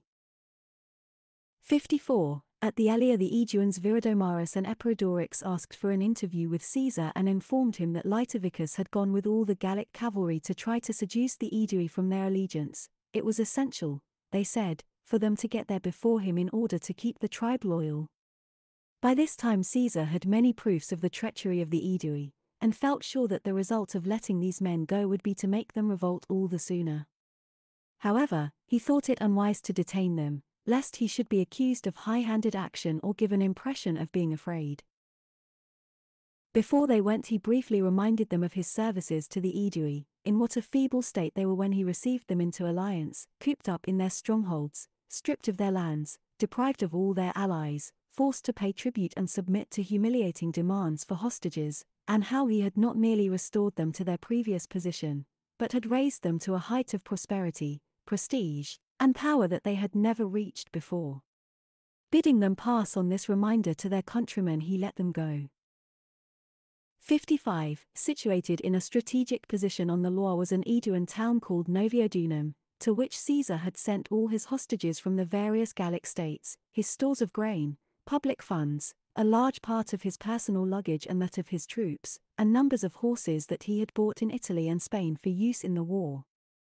On reaching this town Eporedorix and Viridomarus heard the latest news about the Aedui, that Litaviccus had been received at Bibracte, one of their most important towns, and visited by the chief magistrate Convictolitavis and a large number of councillors, and that an official embassy had been sent to Vercingetorix to conclude a treaty of peace and alliance. This was too good a chance, they thought, to be missed. Accordingly they massacred the garrison of Noviodunum and the merchants who lived there, shared the money and horses, had all the hostages taken to the magistrates at Bibracte, and carried away as much grain as they had time to stow into boats, the rest being thrown into the river or burnt. The town itself they thought they could not possibly hold, so they burnt it to prevent its being of use to the Romans. Then they set about collecting troops from the neighborhood, placing detachments and pickets along the Loire, and making demonstrations here and there with their cavalry to intimidate the Romans. In this way, they hoped either to starve them out or to force them by stress of famine to retire into the province. They were greatly encouraged in this hope by the swollen state of the river, the result of melting snow, which made it to all appearance quite unfordable. 56. Caesar decided that he must act quickly. If he had to build bridges, a battle might be forced upon him, and in that case it would be better to fight before enemy reinforcements arrived. The only alternative was to alter his whole plan of campaign and retire to the province, a course which some of his frightened officers thought unavoidable. But there were many reasons against it. It was undignified and humiliating, the route was a difficult one leading over the Cevennes, above all he was anxious about the legions under command of Labienus, who was separated from him. Accordingly he made a series of extraordinarily long marches, by day and night, and astonished everyone by appearing on the bank of the Loire. The cavalry found a ford good enough for an emergency, all that was needed for the men to be able to keep their shoulders and arms above water, so as to carry their shields and weapons. Cavalrymen waded in upstream to break the force of the current, and, as the shock of Caesar's appearance unnerved the enemy, the crossing was effected without loss. After provisioning the army with some grain and a quantity of cattle that were found in the neighboring fields, he marched towards the country of the Senones. 57. Meanwhile Labienus, 59 leaving the draft recently arrived from Italy at Agedincum to protect the baggage, started with his four legions for Lutetia, a town of the Parisii situated on an island in the Seine. When the Gauls knew of his approach, large forces assembled from the neighboring tribes and the chief command was given to an Aulercan named Camulogenus, who although enfeebled by age was called out of retirement to this post of honor on account of his unrivaled knowledge of warfare. Camulogenus noticed a long stretch of marsh which drained into the Seine and rendered a wide area almost impassable. Encamping nearby he prepared to prevent the Roman troops from crossing it. 58. Labienus first tried, under cover of a line of mantlets, to make a causeway across the marsh on a foundation of fascines and other material. Finding this too difficult, he silently quitted his camp some time after midnight and retraced his steps to Metlosedum, a town of the Senones situated like Lutetia on an island in the river. He seized some fifty boats, quickly lashed them together to form a bridge, and sent troops across to the island. Such of the inhabitants as were left in the town, many had been called up to the war, were terrified by this unexpected attack and surrendered the place without a fight. After repairing a bridge recently broken down by the enemy, Labienus crossed to the right bank of the river, marched downstream to Lutetia, and encamped near it. The enemy, informed of this by refugees from Metlosedum, sent orders to burn Lutetia and destroy its bridges, they then moved from their position by the marsh and encamped on the left bank opposite Labienus. 59. By this time, people were saying that Caesar had retreated from Gergovia, and rumors were circulating about the insurrection of the Aedui and the success of the general Gallic rising. Gauls who got into conversation with Roman soldiers said that Caesar had been prevented from continuing his march across the Loire and compelled by famine to return to the province. The news of the Aeduan rebellion encouraged the Bellovaci, who had already been meditating revolt, to mobilize and make open preparations for war. Now that the situation was so much changed, Labienus saw that he must completely revise his plans. He no longer had any idea of making conquests or attacking, but was only concerned to get his army safely back to Agedincum. On one side he was threatened by the Bellovaci, reputed the bravest fighters in Gaul, on the other, Camulogenus had a well-equipped army ready for action, and Labienus' own legions were separated from their reserves and their baggage by a great river. Confronted suddenly by such formidable difficulties, he realized that only resolute courage could save him. 60 Towards evening he assembled his officers. Urging them to execute his orders with energy and care, he placed a Roman knight in charge of each of the boats which he had brought from Metlosedum, and ordered them to move silently for miles downstream in the early part of the night and wait for him there. He detailed to guard the camp the five cohorts which he considered least reliable in action, and told the remaining five of the same legion to start upstream with all the luggage shortly after midnight, making as much commotion as possible. He also requisitioned some smaller boats, which he sent in the same direction at high speed, with loud splashing of the oars, and then himself moved quietly out of camp with the other three legions and marched downstream to the place where he had ordered the main flotilla to put in. 61. The enemy patrols posted all along the river were taken by surprise, because a sudden heavy storm concealed the approach of the legions, and both infantry and cavalry were quickly ferried across under the superintendence of the knights in charge of the boats. Just before dawn, the enemy received several reports almost simultaneously that there was an unusual commotion in the Roman camp, that a strong force was marching upstream, that the sound of oars was audible from the same direction, and that a little way downstream soldiers were being ferried across. This news made them think that the Romans were crossing at three different places and preparing for a general retreat in alarm at the revolt of the Aedui. They therefore divided their own troops into three sections. One section remained on guard opposite the Roman camp, a small force was dispatched towards Metlosedum with orders to advance upstream as far as the boats had gone, and the remainder were led against Labienus. 62. By dawn, the whole of the three Roman legions had been taken across and were in sight of the enemy. Labienus urged them to remember their long standing tradition of courage and brilliant successes, and to imagine that Caesar, who had so often led them to victory, was present in person. He then gave the signal to attack. At the first onset, the right wing, where the 7th Legion was posted, drove back the enemy and put them to flight.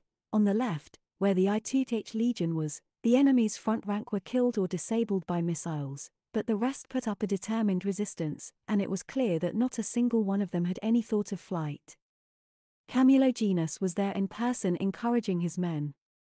The issue still hung in the balance, when the 7th Legion, whose military tribunes had received a report of what was happening on the left wing, appeared in the enemy's rear and charged.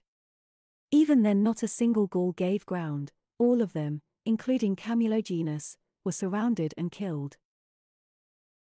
The detachment left on guard opposite Labienus' camp, on hearing that a battle was being fought, went to lend a hand and occupied a hill, but could not withstand the charge of the victorious Romans and joined their fleeing comrades. All who could not escape into woods or hills were killed by the cavalry. On the completion of this action, Labienus returned to Agedincum, where he had left all the baggage, and then rejoined Caesar with his entire force. 63. The defection of the Aedui was the signal for a further extension of the war.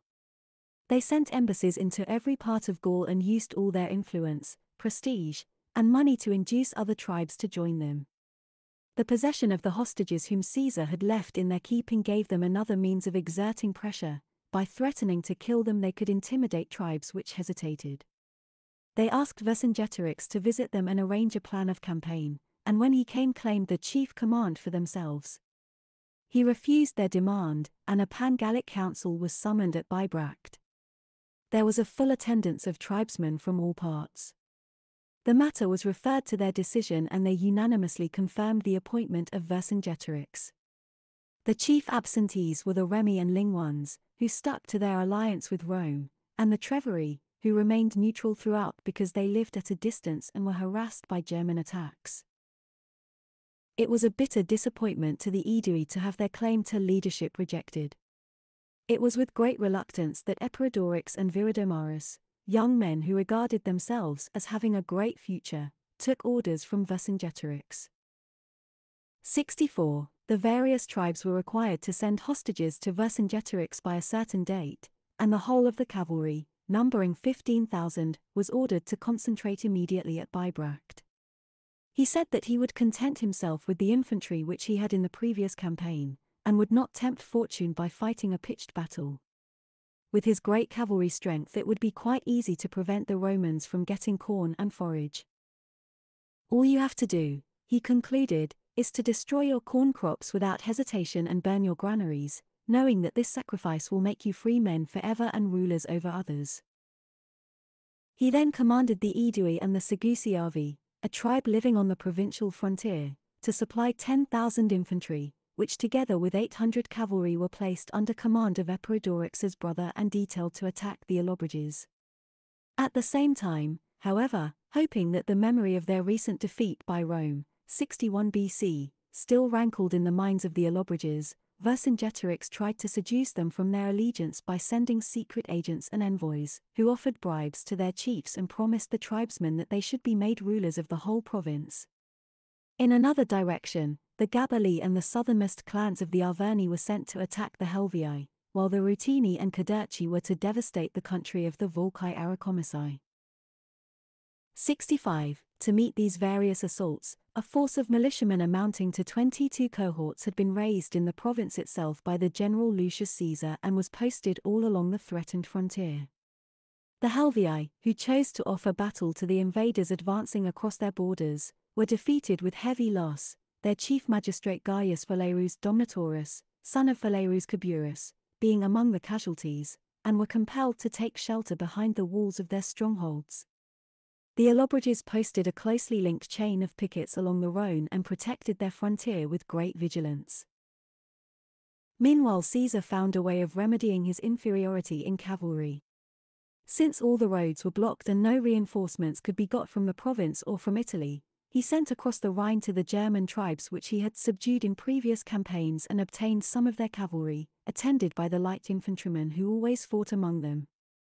As their horses were unsuitable for the service required of them, he mounted the Germans on horses requisitioned from the military tribunes and other Roman knights serving with him, and from the time expired volunteers. 66. During all this time, the Gauls were concentrating the troops which had been operating in the country of the Arverni and the cavalry levied from all over Gaul.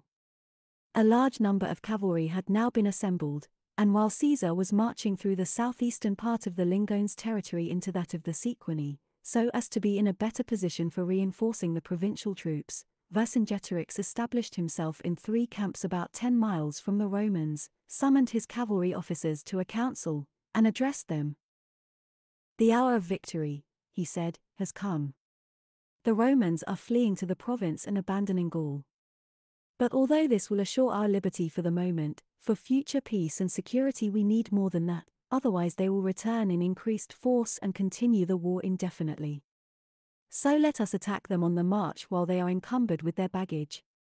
If the whole column of infantry halts to come to the rescue, they cannot continue their march. If, which I feel sure is more likely, they abandon the baggage and try to save their own skins, they will be stripped of the supplies without which they cannot live, and disgraced into the bargain. As for their cavalry, not a man of them will dare even to stir outside the column, you ought to know that as well as I do. To encourage your men, I will draw up all my troops in front of the camps and overawe the enemy. The cavalrymen cried that they should, all swear a solemn oath not to allow any man who had not ridden twice through the enemy's column to enter his home again or to see his wife, children, or parents. 67. This proposal was approved and every man was duly sworn. Next day their cavalry was divided into three sections, two of which made a demonstration on either flank of the Roman column while the third barred the way of the vanguard. Caesar also divided his cavalry into three sections and ordered them to advance against the enemy. Simultaneous engagements took place all along the column, which halted and formed a hollow square with the baggage inside. If Caesar saw the cavalry in difficulties anywhere or especially hard pressed, he moved up some of the infantry and formed line of battle, which hindered the enemy's pursuit and encouraged the cavalry by the assurance of support. At length the German horse gained the top of some rising ground on the right, dislodged some of the enemy, and chased them with heavy loss to a river where Vercingetorix's infantry was posted.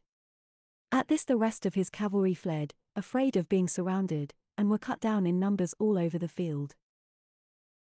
Three Aeduans of the highest rank were brought to Caesar as prisoners the cavalry commander Cotus, who had been Convictolitavis' rival at the recent election, Cavarillus, who after Litaviccus deserted the Roman cause had been placed in command of the Aeduan infantry, and Eporedorix, 60 leader of the Aedui in their war with the Sequani before Caesar's arrival in Gaul, 70 to 65 BC. 5. Siege and capture of Alesia, 52 BC. 68. After the rout of his cavalry Vercingetorix withdrew his troops from their position in front of the camps and marched straight for Alesia, a stronghold of the Mandubii, leaving orders for the heavy baggage to be packed up immediately and brought after him. Caesar, after removing the army's baggage with a guard of two legions to the nearest hill, followed the enemy as long as daylight lasted and killed some 3,000 of their rearguard. the next day he encamped near Alesia. The Gauls were terrified by the defeat of their cavalry, the arm on which they placed the greatest reliance.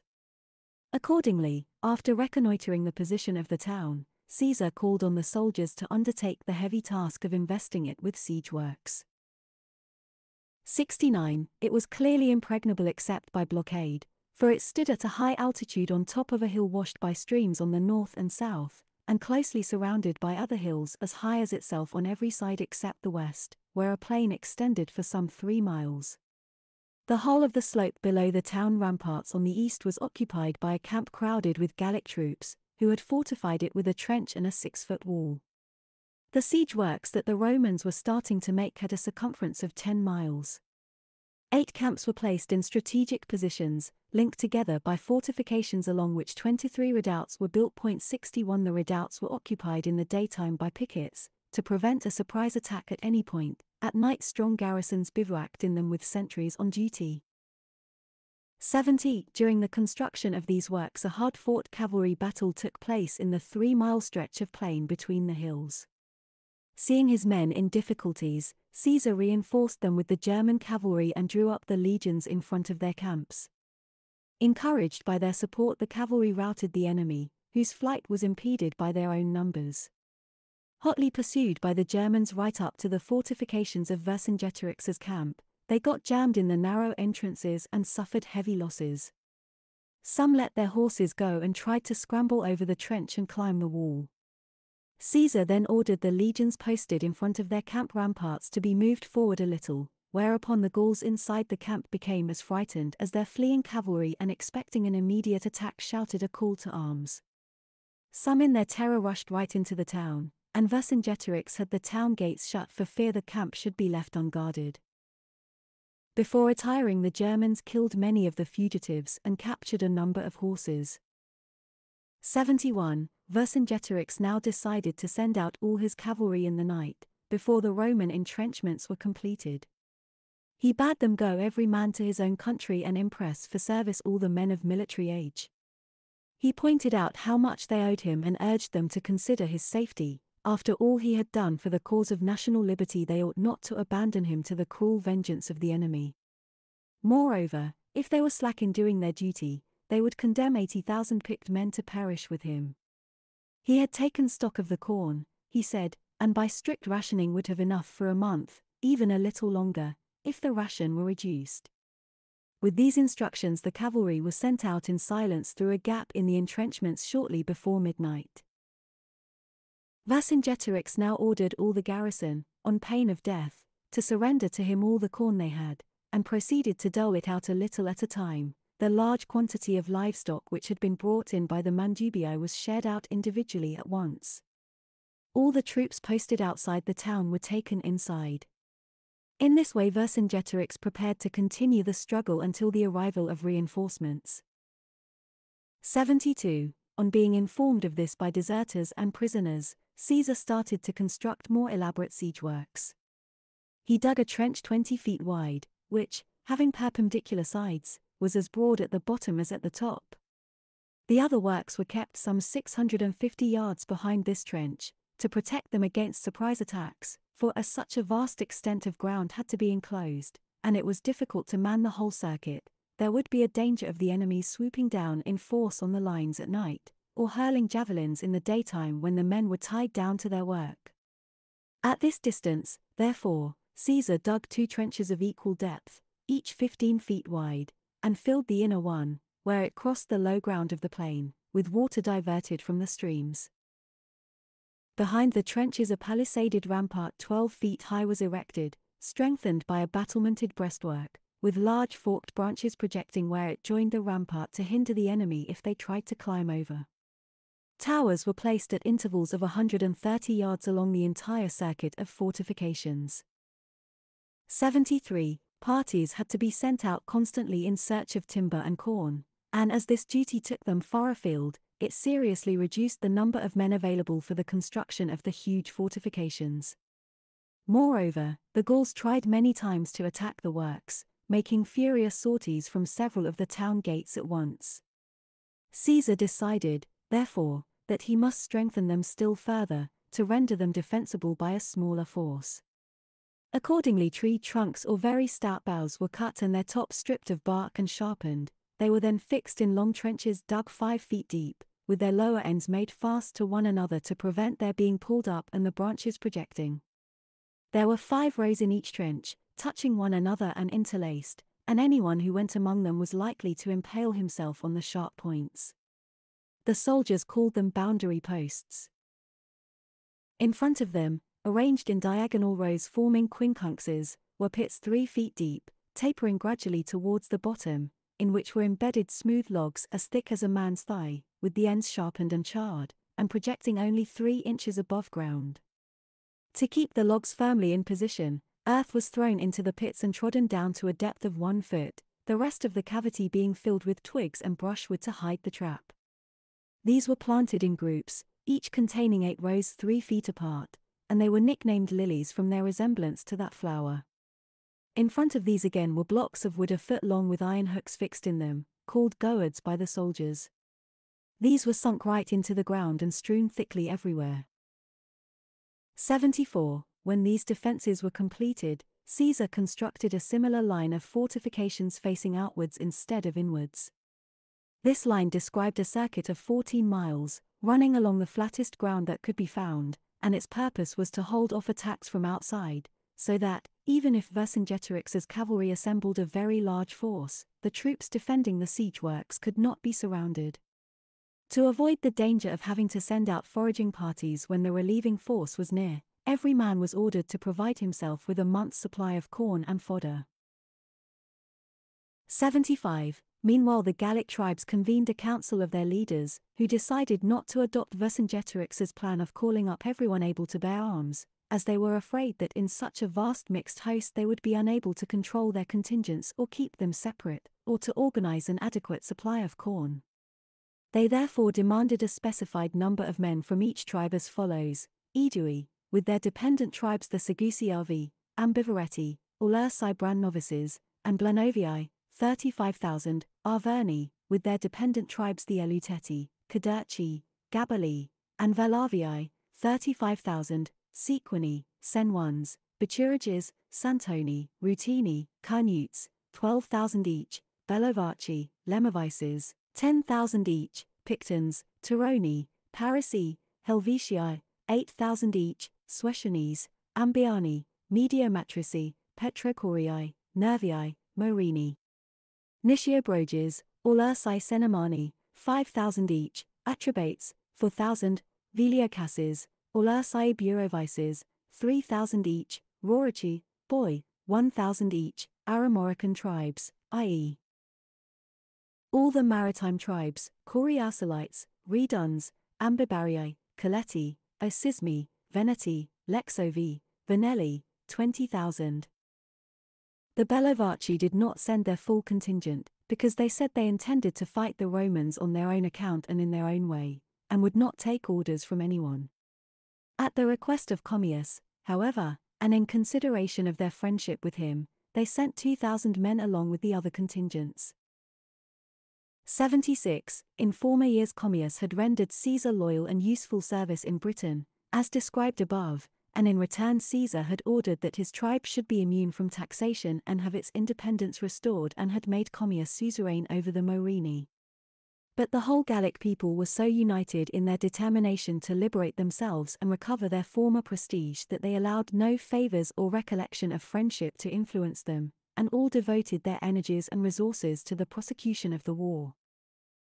When 8,000 horse and about 250,000 infantry had been assembled in the country of the Aedui, a start was made to the task of reviewing and counting them and choosing officers. The chief command of this relieving army was entrusted to Commius the Atrebatian, the Aeduans Viridomarus and Eporedorix, and the Arvernian Vercassivellaunus, a cousin of Vercingetorix. With them were associated representatives of the various tribes, to act as an advisory committee for the conduct of the campaign. They all started for Alesia full of enthusiasm and confidence. Every single man believed that the mere sight of such an enormous host of infantry and cavalry would be enough to make the enemy turn tail, especially as he would be attacked on two fronts, for the besieged would sally out from the town at the same time as the relieving force came into view. 77. In Alesia, however, they knew nothing of these preparations, the time by which they had expected relief was past and their corn was exhausted. So they summoned an assembly and considered what their fate was to be. Among the various speeches that were made, some advising capitulation, others recommending a sortie while they still had the strength, the speech of Critognatus, a noble Arvernian whose opinion commanded great respect, deserves to be recorded for its unparalleled cruelty and wickedness. I do not intend, he said, to make any comment on the views of those who advise capitulation, the name they give to the most shameful submission to enslavement, in my opinion they ought not to be regarded as citizens or allowed in the assembly. I will concern myself only with those who advocate a sortie. You all approve their suggestion, as showing that we have not forgotten our traditional courage. But it is not courage, it is weakness, to be unable to endure a short period of privation. It is easier to find men who will voluntarily risk death than men who will bear suffering patiently. Even so, I would support their proposal, so much do I respect their authority, if it involved no loss beyond that of our own lives. But in making our decision, we must consider all our fellow countrymen, whom we have called to our aid. If 80,000 of us are killed in one battle, what heart do you suppose our relatives and kinsmen will have when they are compelled to fight almost over our corpses? Do not leave them to continue the struggle alone when for your sakes they have counted their own danger as nothing, and do not by folly and rashness, or by lack of resolution, ruin all Gaul and subject it to perpetual servitude. Because they have not come on the appointed day, do you doubt their loyalty or constancy to our cause? What? Do you suppose the Romans are working day after day on those outer fortifications to amuse themselves? Since our countrymen cannot get messengers through the cordon that is drawn round us, to assure you that they are coming soon, believe what the enemy are telling you by their actions, for it is the fear of their coming that keeps the Romans hard at work night and day. What counsel, then, have I to offer? I think we should do what our ancestors did in a war that was much less serious than this one, 109 to 102 BC. When they were forced into their strongholds by the Cimbri and Teutoni, and overcome like us by famine, instead of surrendering, they kept themselves alive by eating the flesh of those who were too old or too young to fight. Even if we had no precedent for such an action, I think that when our liberty is at stake, it would be a noble example to set to our descendants. For this is a life and death struggle, quite unlike the war with the Cimbri, who, though they devastated Gaul and grievously afflicted her, did eventually evacuate our country and migrate elsewhere, and left us free men, to live on our own land under our own laws and in possession of our rights. The Romans, we know, have a very different purpose. Envy is the motive that inspires them. They know that we have won renown by our military strength, and so they mean to install themselves in our lands and towns and fasten the yoke of slavery on us forever. That is how they have always treated conquered enemies. You do not know much, perhaps, of the condition of distant peoples, but you need only look at the part of Gaul on your own borders that has been made into a Roman province, with new laws and institutions imposed upon it, ground beneath the conqueror's iron heel in perpetual servitude. 78. At the conclusion of the debate, it was decided to send out of the town those whom age or infirmity incapacitated for fighting. Critognatus' proposal was to be adopted only as a last resort, if the reinforcements still failed to arrive and things got so bad that it was a choice between that and surrendering, or accepting dictated peace terms. So the Mandubian population, who had received the other Gauls into their town, were compelled to leave it with their wives and children. They came up to the Roman fortifications and with tears besought the soldiers to take them as slaves and relieve their hunger, but Caesar posted guards on the ramparts with orders to refuse them admission. Point 62. 79. Meanwhile, Commius and the other commanders arrived before Alesia with the whole of their relief force and encamped on a hill outside the Roman lines, not more than a mile away. Next day they brought out their cavalry and occupied all the plain, three miles long, it will be remembered. Their infantry was moved away a short distance and posted on the slopes of the hill. As the town commanded a view over the plain, the besieged saw the troops who had come to their relief, and all crowding together in excitement rejoiced and congratulated one another on their deliverance. Then they brought out their forces, posted them in front of the town, and filled the nearest trench with fascines and earth, ready for a sortie and all the perils it would entail. 80 Caesar placed the whole of his infantry along the two lines of entrenchments, so that in case of need every man could know his post and hold it. He then ordered out the cavalry to battle. The plain was visible from all the camps on the surrounding hilltops and the whole army was intently watching to see the result of the engagement. The Gauls had placed archers and light-armed infantrymen here and there among their cavalry, to support them if they had to give ground and to help them meet our cavalry charges. These took a number of our men by surprise and forced them to retire wounded from the battle. Feeling confident that their cavalry was whining, since it was obvious that our force was heavily outnumbered, the Gauls on every side, both the besieged and the relieving force, encouraged them with shouts and yells.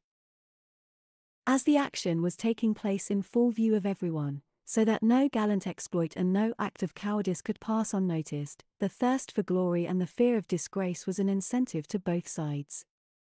They had fought from midday till near sunset and the issue was still in doubt, when the German horse massed all their squadrons at one point, charged the Gauls, and hurled them back. When their cavalry broke and fled, the archers were surrounded and killed.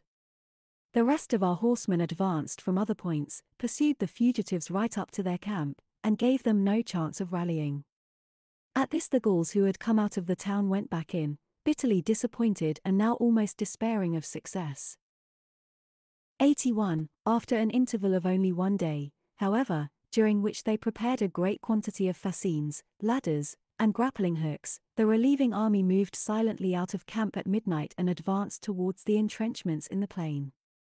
Suddenly raising a shout to inform the besieged of their approach, they began to throw fascines into the trenches, drove the Romans from the rampart with arrows and stones discharged from slings or by hand, and employed every other method of assault. Meanwhile, hearing the distant shouting, Vercingetorix sounded the trumpet and led his men out of the town.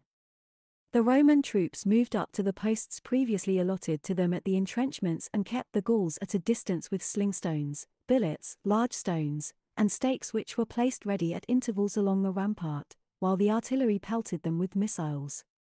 It was too dark to see, and casualties were heavy on both sides. The generals Mark Antony and Gaius Trebonius, who had been detailed for the defense of this particular sector, reinforced the points where they knew the troops were hard pressed with men brought up from redoubts well behind the fighting line.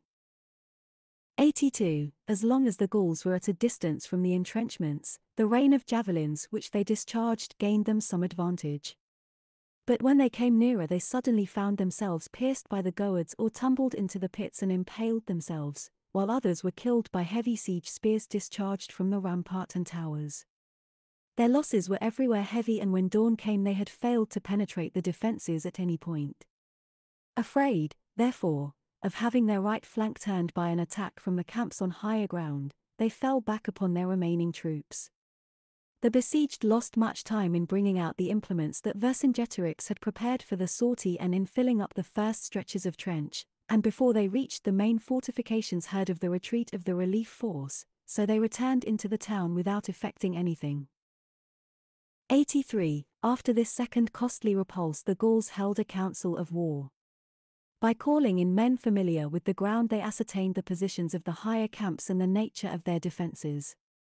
There was a hill on the north which had such a wide sweep that the Romans were unable to include it within the circuit of the siege works and were compelled to place the camp there on a slight slope, in what would ordinarily be considered a bad position. It was garrisoned by two legions under the generals Gaius Antistius Reginus and Gaius Caninius Rebilus. After sending out scouts to reconnoitre the ground, the enemy commanders selected from their whole force 60,000 men belonging to the tribes with the highest reputation for courage, secretly decided on their objective and plan of action, and ordered them to begin an attack at noon under Vercassivellaunus the Arvernian, one of their four generals and a relative of Vercingetorix.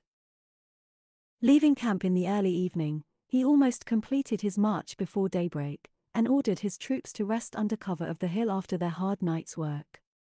When he saw that it was getting on for midday, he marched towards the Roman camp referred to above, while at the same time the Gallic cavalry moved up to the fortifications in the plain and the rest of the army made a demonstration in front of their own camp.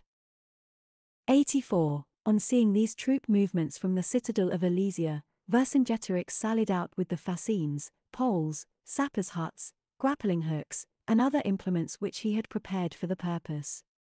There was fighting simultaneously all over the field, and the Gauls tried every expedient, concentrating on the weakest point of the defences.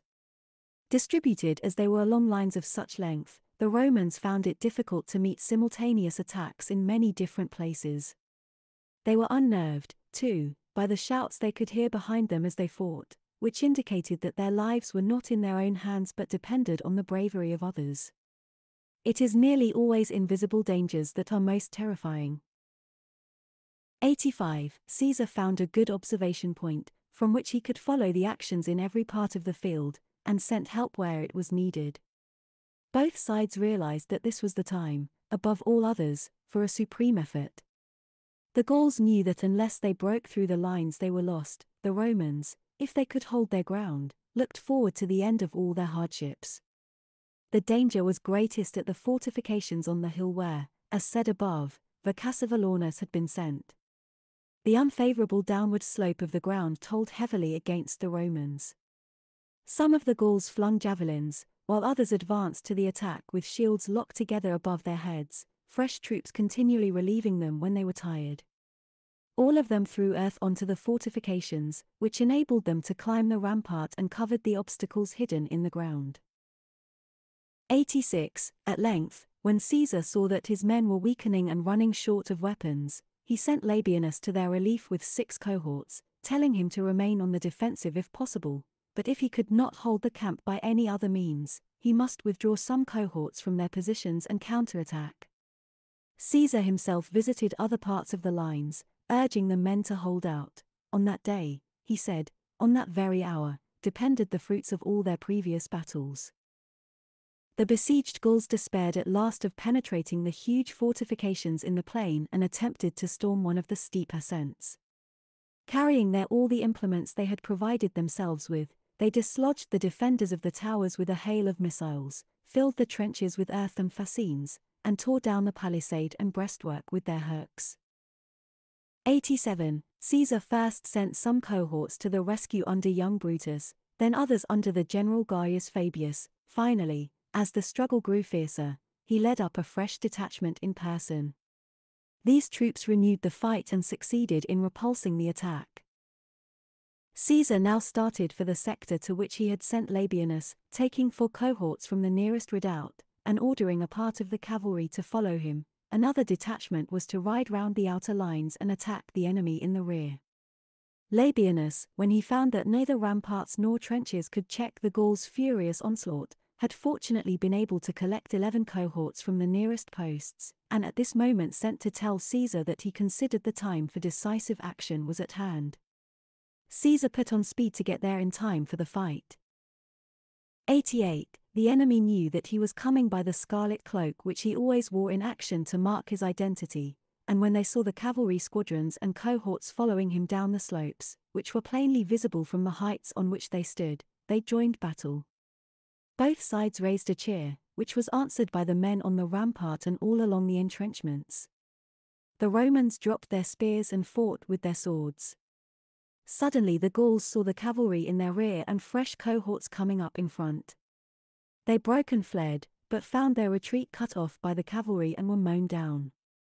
Sedullus, chieftain and commander of the Lemovices, was killed, Vercassivellaunus was taken prisoner in the rout, 74 standards were brought into Caesar, and only a few men of all the large army got back unhurt to their camp. When the Gauls in the town saw their countrymen being slaughtered in flight, they gave up hope and recalled their troops from the entrenchments.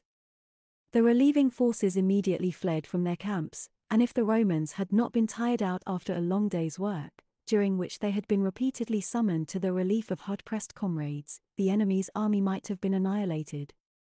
As it was, a large number were taken or killed by the cavalry, which was sent in pursuit and came up with their rear soon after midnight. The survivors dispersed to their homes. 89. The next day Vercingetorix addressed an assembly. I did not undertake the war, he said, for private ends, but in the cause of national liberty. And since I must now accept my fate, I place myself at your disposal. Make amends to the Romans by killing me or surrender me alive as you think best. A deputation was sent to refer the matter to Caesar, who ordered the arms to be handed over and the tribal chiefs brought out to him. He seated himself at the fortification in front of his camp, and there the chiefs were brought, Vercingetorix was delivered up, 63 and the arms laid down. Caesar set apart the Aeduan and Arvernian prisoners, in the hope that he could use them to regain the allegiance of their tribes, the rest he distributed as booty to the entire army, allotting one to every man. 90 He then went to the country of the Aedui and received their submission. Envoys from the Arverni waited upon him there, undertaking to obey any orders he gave, and were commanded to supply a large number of hostages. Some 20,000 prisoners were restored to the Aedui and Arverni. Finally, the legions were distributed in winter quarters. Two legions and some cavalry were sent to the Sequani under the charge of Labienus, with Marcus Sempronius Rutilius under him, two were placed under Fabius and Basilus among the Remi, to protect them from injury at the hands of their neighbors the Bellovaci. Reginus was sent to the Ambivaretti, Titus Sextius to the Bituriges, and Caninius to the Ruteni, each with one legion. And Cicero and Sulpicius Rufus were quartered in Aeduan territory at Chalon-sur-Saône and Macon, to collect grain. Caesar himself decided to winter at Bibracte. When the results of this year's campaign were reported in his dispatches, a thanksgiving of 20 days was celebrated in Rome. Book 8 The Final Rebellion 1 Hirtius Preface 64 Under constant pressure from you, Balbus, and since my regular refusal was beginning to look like a cover for laziness rather than a justified plea of the difficulty involved, I have undertaken this task, a very difficult one. I have written a continuation of our friend Caesar's commentaries on his achievements in Gaul, since his earlier writings do not link up with the later. His latest work, which leaves off at the events in Alexandria, I have completed up to the end of Caesar's life, though not to the end of civil dissension, for no end of that is in sight. I hope my readers will realize how reluctantly I undertook writing, so that I may the more easily avoid the imputation of foolish arrogance in having thrust myself in the middle of Caesar's writings. It is an accepted fact that all the most strenuous literary efforts of others are surpassed by the elegance of these commentaries. They were published to provide writers with information about such important events, but they have received such general approbation that future writers appear to have been forestalled, rather than provided with an opportunity. Yet we may feel greater admiration than the others, for they know how well and faultlessly he wrote, while we also know with what ease and speed he completed the work. Caesar not only had the gift of writing with consummate elegance, but also knew how most exactly to convey what his intentions were. I myself did not, as it happens, even take part in the Alexandrian and African campaigns. Although they are in part known to me from conversation with Caesar, it is one thing to listen to accounts which captivate one with the novelty and remarkable nature of the events described, but quite another to listen with the aim of later putting them on record. However, I should not be surprised if, while amassing reasons against my being compared with Caesar, I should lay myself open to a charge of being conceited in supposing that anyone should think I could be compared with him. Farewell. Two revolts of the Bituriges, Carnutes, and Bellovaci, 52 to 51 BC. 1. The whole of Gaul was now conquered. Caesar had been fighting almost continuously since the summer of the previous year, and after such grueling work wanted to recruit his soldiers' strength by a winter's rest. But he heard that many of the tribes were plotting together and concerting plans for a renewal of hostilities. His informants pointed out the most probable explanation of this. The Gauls all realized that they could not resist the Romans even with the largest possible army, if it was concentrated in one place, but thought that if a number of tribes made simultaneous attacks in different places, the Romans would not have enough men or resources to meet them all in time. Any tribe which had to suffer in consequence, it was argued, must be prepared to accept its fate, if by delaying the enemy it could enable the rest to assert their liberty. 2. Caesar did not want to let the Gauls be confirmed in this idea. So leaving his quaestor Mark Antony in charge of his headquarters at Bibracte, he set out with a cavalry escort on the 29th of December 65 to join the 13th Legion, quartered in the territory of the Bituriges not far from the Aeduan frontier, and reinforced it with the 11th, which was nearest to it. He left two cohorts from each legion to guard the baggage and led the rest into the most fertile part of the Bituriges country. This tribe possessed a number of towns and an extensive territory, too big for the single legion quartered among them to be able to prevent them from plotting and planning war. 3. Caesar's sudden march found them unprepared and scattered, tilling the fields without any thought of danger, and naturally they were caught by the cavalry before they could take refuge in the towns. They had not even the usual warning of a hostile invasion, the sight of burning buildings, for Caesar had commanded that nothing should be set on fire, in order to avoid giving the alarm, and to save the corn and hay, which he would need if he decided to advance far. The capture of thousands of prisoners threw the Bituriges into a panic, and those who managed to escape the first onset fled to the neighboring tribes, either trusting to personal friends to take them in or hoping to be protected by the tribal authorities, since all alike were leagued together against the Romans. But they were disappointed, Caesar frustrated their design by making forced marches in every direction, which kept all the tribes so busy protecting themselves that they had no time to think about anyone else's safety. By this prompt action he confirmed the friendly tribes in their loyalty and frightened the waverers into accepting peace terms. When the Bituriges saw that his clemency offered them a chance of regaining his friendship, and that no punishment was inflicted on the neighboring tribes which submitted and gave hostages, they availed themselves of the opportunity to follow the others' example. For as a reward to the soldiers for enduring such a hard campaign with the utmost patience and perseverance, marching through the short winter days over very bad roads in intolerable cold, Caesar promised each soldier a gratuity of 200 sesterces in lieu of booty, and each centurion 2,000. He then sent the legions back to their whiter quarters and returned to Bibracte after an absence of 40 days. While he was engaged there in hearing cases, envoys came from the Bituriges, complaining that the Carnutes had attacked them and asking for help. At this, although he had been only 18 days at Bibracte, he summoned the 14th and 6th Legions 66, the two that were quartered, as said above, on the Saone to procure corn, and marched out to punish the Carnutes. 5. When they heard that a Roman army was coming, they took warning from the fate that had befallen other tribes, abandoning their villages and towns, where they were living in small buildings hastily constructed to meet the immediate need of winter shelter, for their recent defeat had involved the loss of many of their towns, they fled in all directions. Caesar did not want to expose his men to the rigors of the weather, which was particularly bad just then, and therefore encamped at Cenabum, the capital of the Carnutes. Some of the legionaries were lodged in houses belonging to the Gauls, the rest were protected by shelters erected to cover the tents and hastily thatched. The cavalry and auxiliary troops, however, were sent out wherever the enemy was reported to have gone, a policy justified by its results, for they generally returned loaded with spoil. The Carnutes suffered from the severity of the winter, and were greatly terrified, driven from their homes, they dared not stay long anywhere and the woods did not give them much shelter in such inclement weather. At length, after sustaining very heavy losses, they scattered among the tribes on their borders. 6. At this season, when campaigning was so difficult, Caesar thought it sufficient to prevent an attack by dispersing the enemy forces that were assembling, and he was now reasonably certain that no serious outbreak could occur there before the summer. So, putting the two legions he had with him in the charge of Trebonius, he installed them in quarters at Cenabum, and turned to the next matter requiring attention.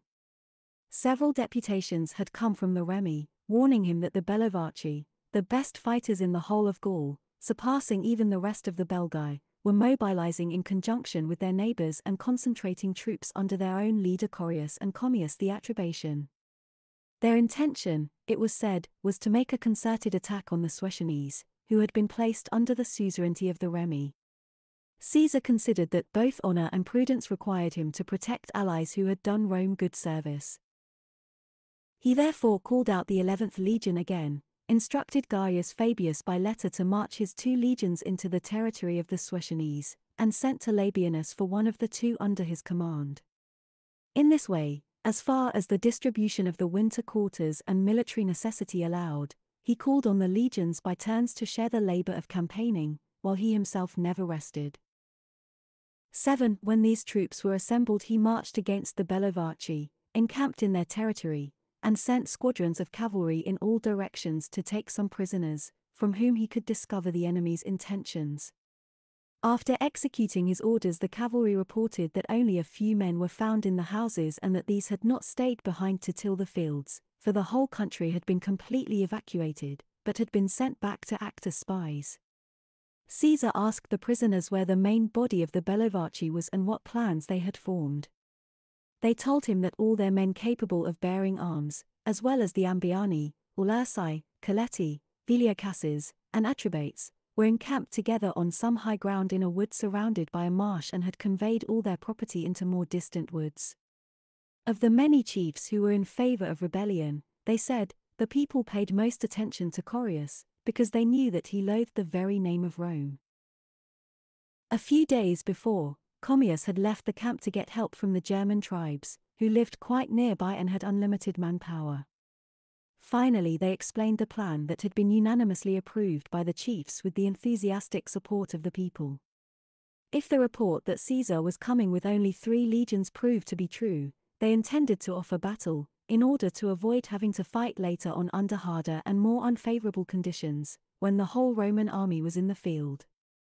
If, however, he brought a larger force, they would remain in the position that they had chosen and by means of ambushes prevent the Romans from getting corn, forage, which at that time of year was scarce and could be found only here and there, and other supplies.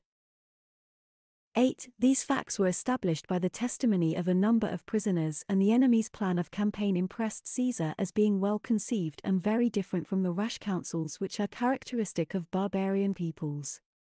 He therefore decided to do his best to bring them quickly to battle by making them think that they could afford to despise the force he was leading against them.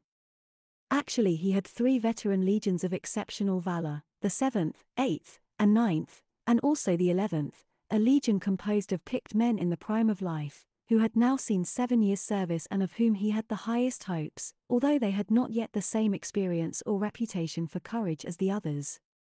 Summoning his officers, he communicated to them all the information he had received and told them to encourage the men by passing it on to them. In the hope of enticing the enemy to fight by giving the impression that he had only three legions, he made the three veteran legions march side by side in front, followed by the baggage train, which even when placed all together was quite small, as is usual in such expeditions, with the 11th Legion bringing up the rear. In this way, the enemy would be able to see only the number of legions they had declared themselves willing to encounter. The column came into view earlier than the Gauls had expected. 9. They suddenly caught sight of it advancing with a firm step and formed almost into a hollow square as if for immediate action. In spite of the bold front they were reported to be showing, they did not quit the high ground, whether frightened at the prospect of an engagement, or taken aback by our sudden appearance, or waiting to see what we would do, but merely deployed in front of their camp. Caesar had intended to join battle, but he was surprised to see how strong their forces were and therefore encamped opposite them on the other side of a deep but not very wide valley. The Roman camp had a 12 foot rampart with a breastwork of proportionate height, two trenches 15 feet wide with perpendicular sides and three storied towers at frequent intervals, joined together by floored galleries protected on the outside by wicker breastworks. Thus, in addition to the double trench, it could be guarded by two rows of defenders, one on the galleries, where they were less exposed on account of the height, and could therefore hurl their missiles with greater confidence and make them carry farther, the other on the actual rampart, where, although nearer the enemy, they were protected by the galleries from falling missiles. The gateways were fitted with doors and flanked with specially high towers.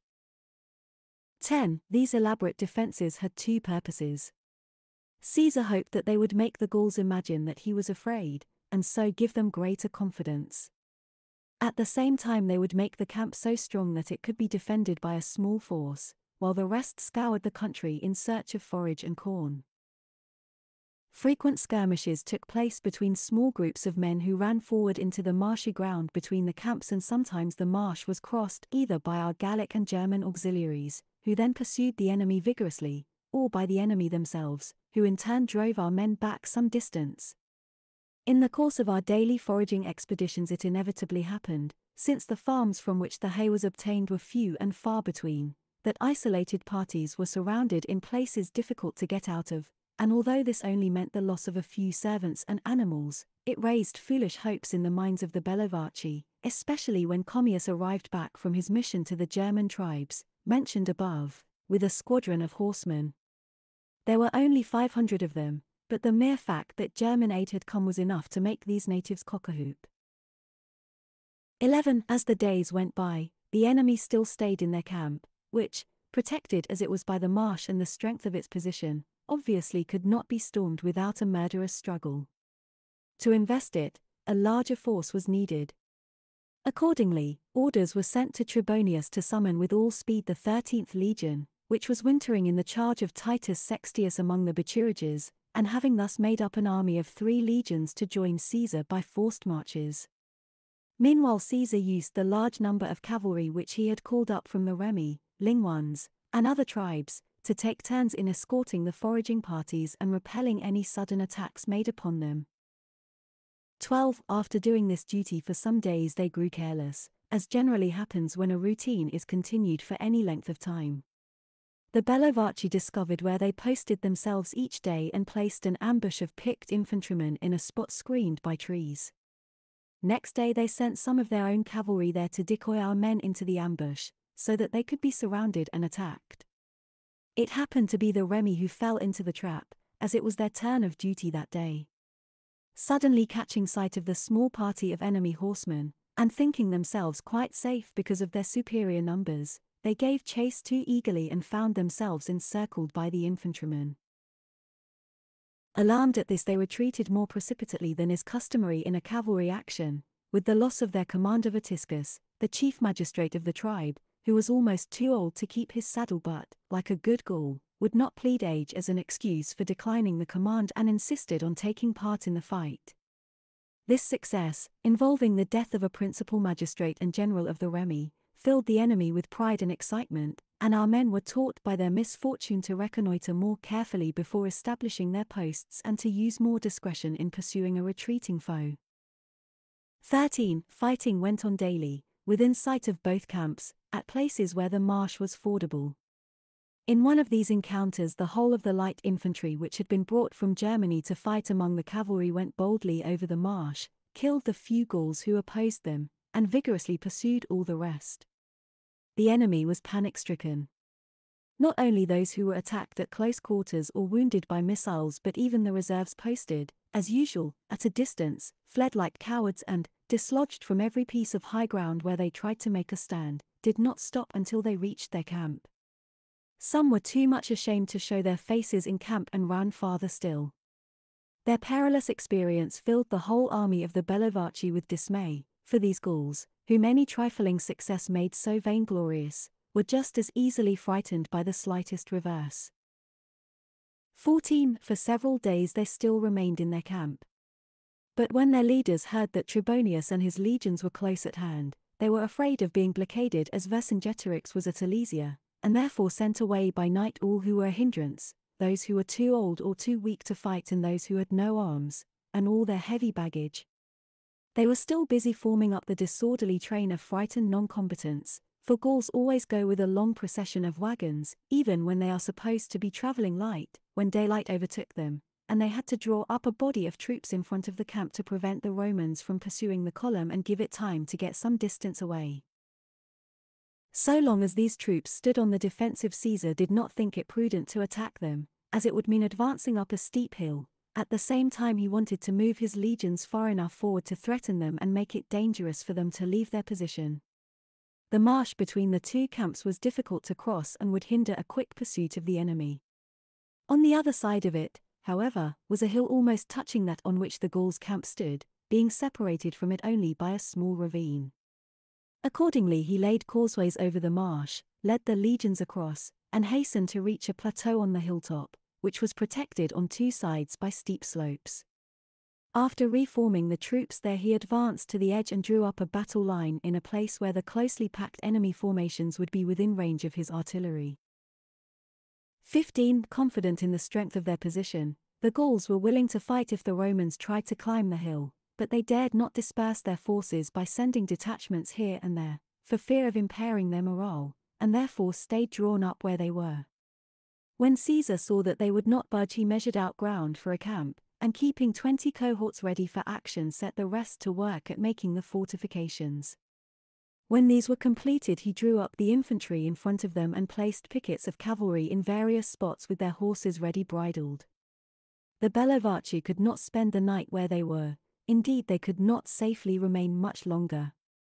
As they saw that the Romans were ready to pursue if they moved, they employed a ruse to get away. They had in the camp a large number of bundles of straw and twigs, which they had been using to sit on. These were passed along from hand to hand and placed in front of their battle line. Towards the evening, the word was given to set fire to them all together, so that a curtain of flame suddenly hid their entire army from the Romans, and the natives seized the opportunity to run away as hard as they could. 16. Although the barrier of fire prevented Caesar from actually seeing them go, he guessed that its purpose was to cover their escape and therefore sent some cavalry in pursuit.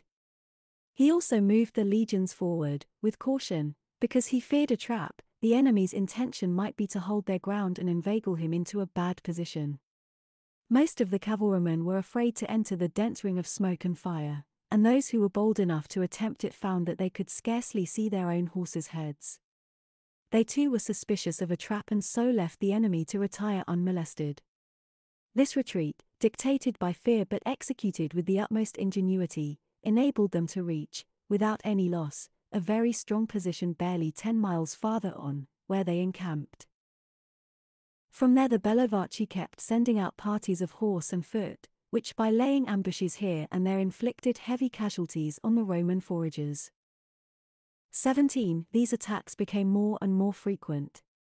Eventually Caesar learnt from a prisoner that Correus had assembled a picked force of 6,000 of his bravest infantrymen and a thousand cavalry, with which he intended to lay an ambush at a place where he expected the abundance of corn and hay would attract the Romans.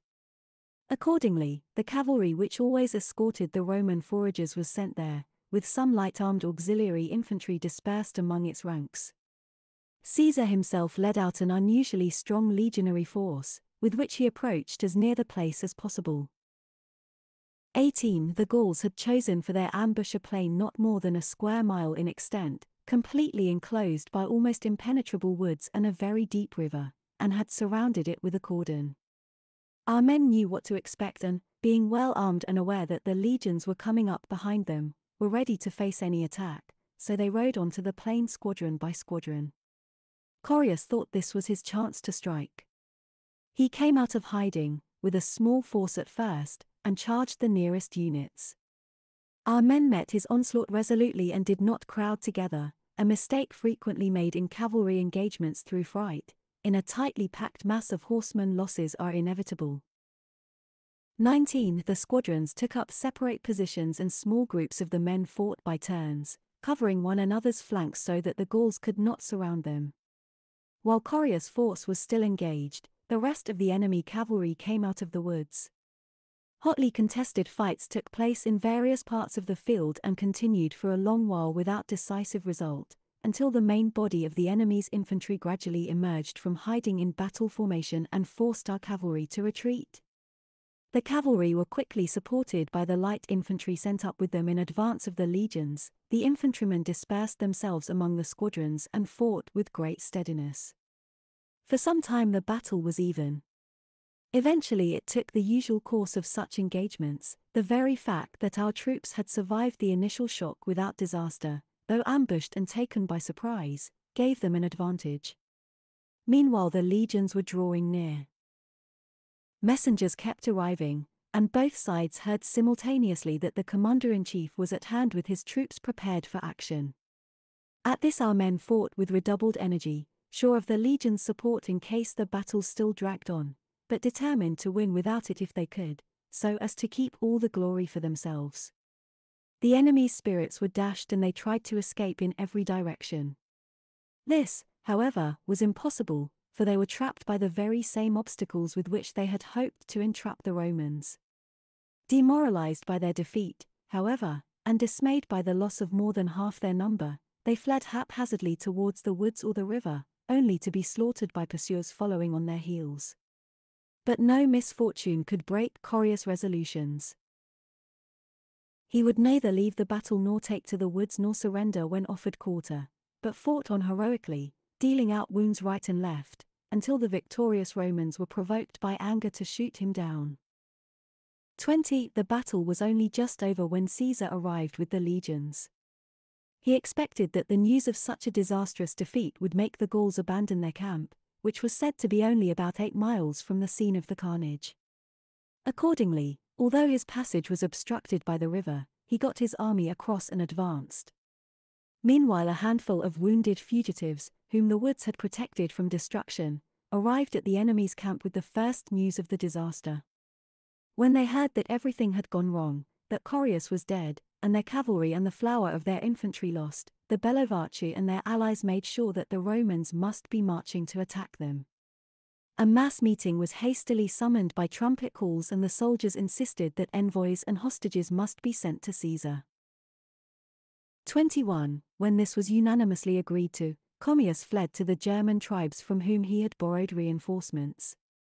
The rest dispatched envoys on the spot and begged Caesar to be content with the punishment that they had undergone, a heavier one, they were sure, than a man of his clemency and humanity could ever inflict in cold blood, even upon a foe who had not suffered already. Our strength was broken, they said, in the action against your cavalry. We lost many thousands of picked soldiers, indeed, hardly any escaped to tell the tale of the massacre. However, we must be thankful for small mercies at such a time, and the battle has at least brought us one piece of good fortune. Correus, the popular agitator who was responsible for the war, has been killed.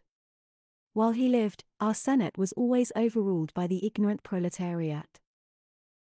22. In reply to this appeal, Caesar pointed out to the envoys that the Bellovaci had taken part in the general rising of the previous year and had persisted in their hostility more stubbornly than any of the other tribes, instead of being brought to reason by their surrender. It was very easy, of course, to lay the blame for their misdeeds at a dead man's door, but no man could be powerful enough, with only the feeble assistance of the populace, to start and carry on a war against the will of the tribal leaders and in face of opposition from the council and all patriotic citizens. However, he would be content with the punishment that they had already brought on themselves. 23. Returning to their countrymen at night, the envoys reported Caesar's reply and obtained the required number of hostages. The deputies of the other tribes, who had been waiting to see what success the Bellovaci had, now hastened to make their own submission, to supply the necessary hostages, and to comply with the demands made upon them. Only Commius kept away, being afraid to entrust his life to any man. For the year before, when Caesar was away holding the assizes in northern Italy, Labienus had discovered that Commius was intriguing with various tribes and plotting against Caesar, and decided that it would be no treachery to destroy such a traitor. It was useless to summon him to the camp, he would not have come, and the summons would have put him on his guard.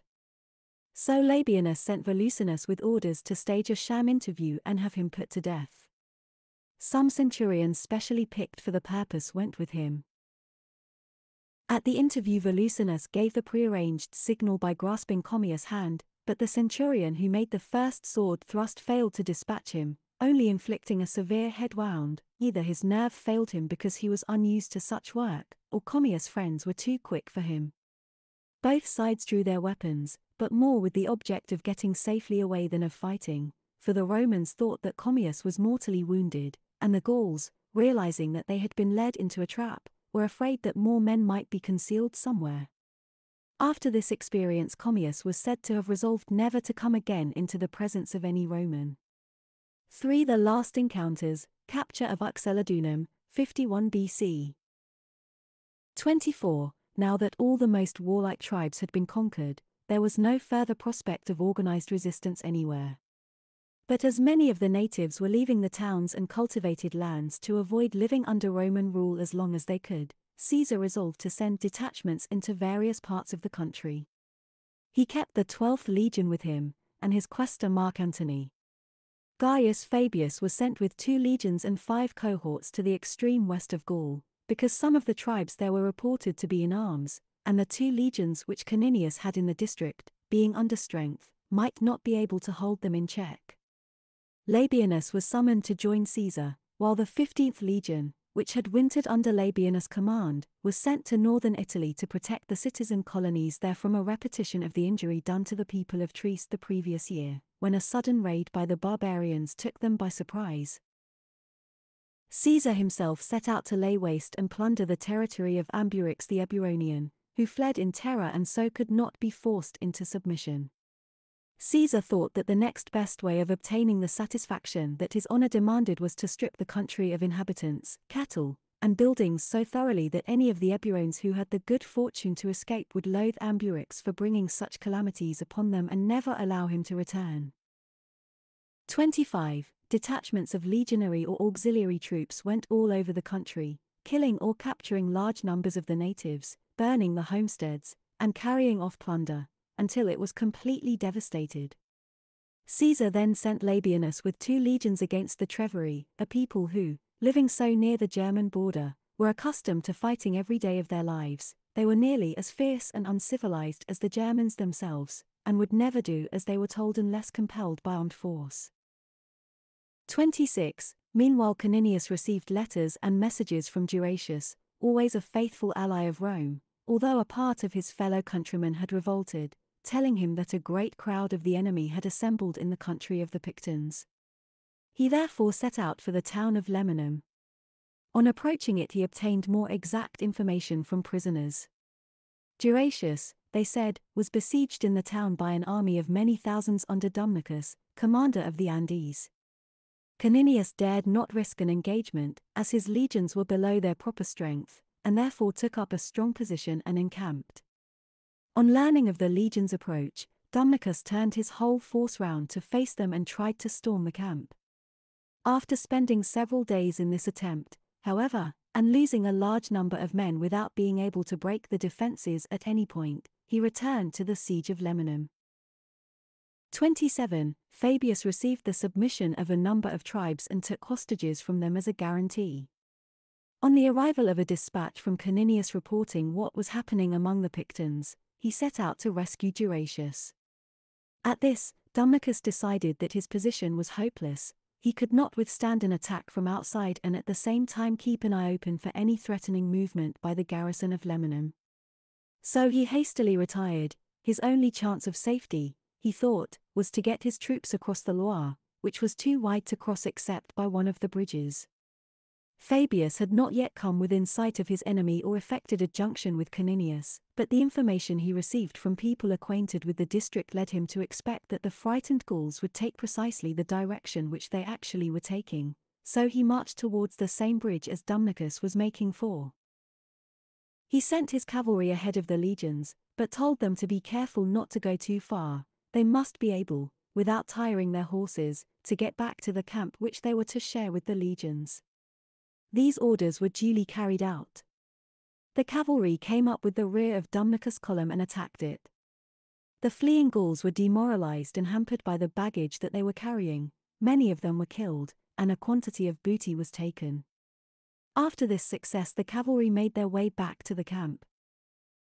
28. The next night, Fabius sent the cavalry out with orders to engage the enemy and delay their march until he came up.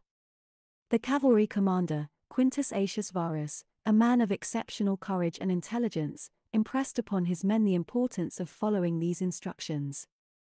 On catching up with Dumnorchus' column, he placed some of his squadrons in convenient positions to act as reserves, and with the rest engaged the enemy's cavalry.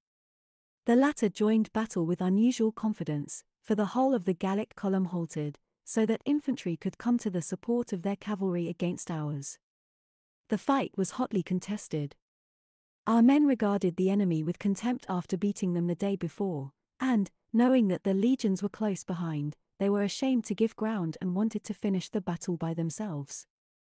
So they struggled with desperate courage against the infantry.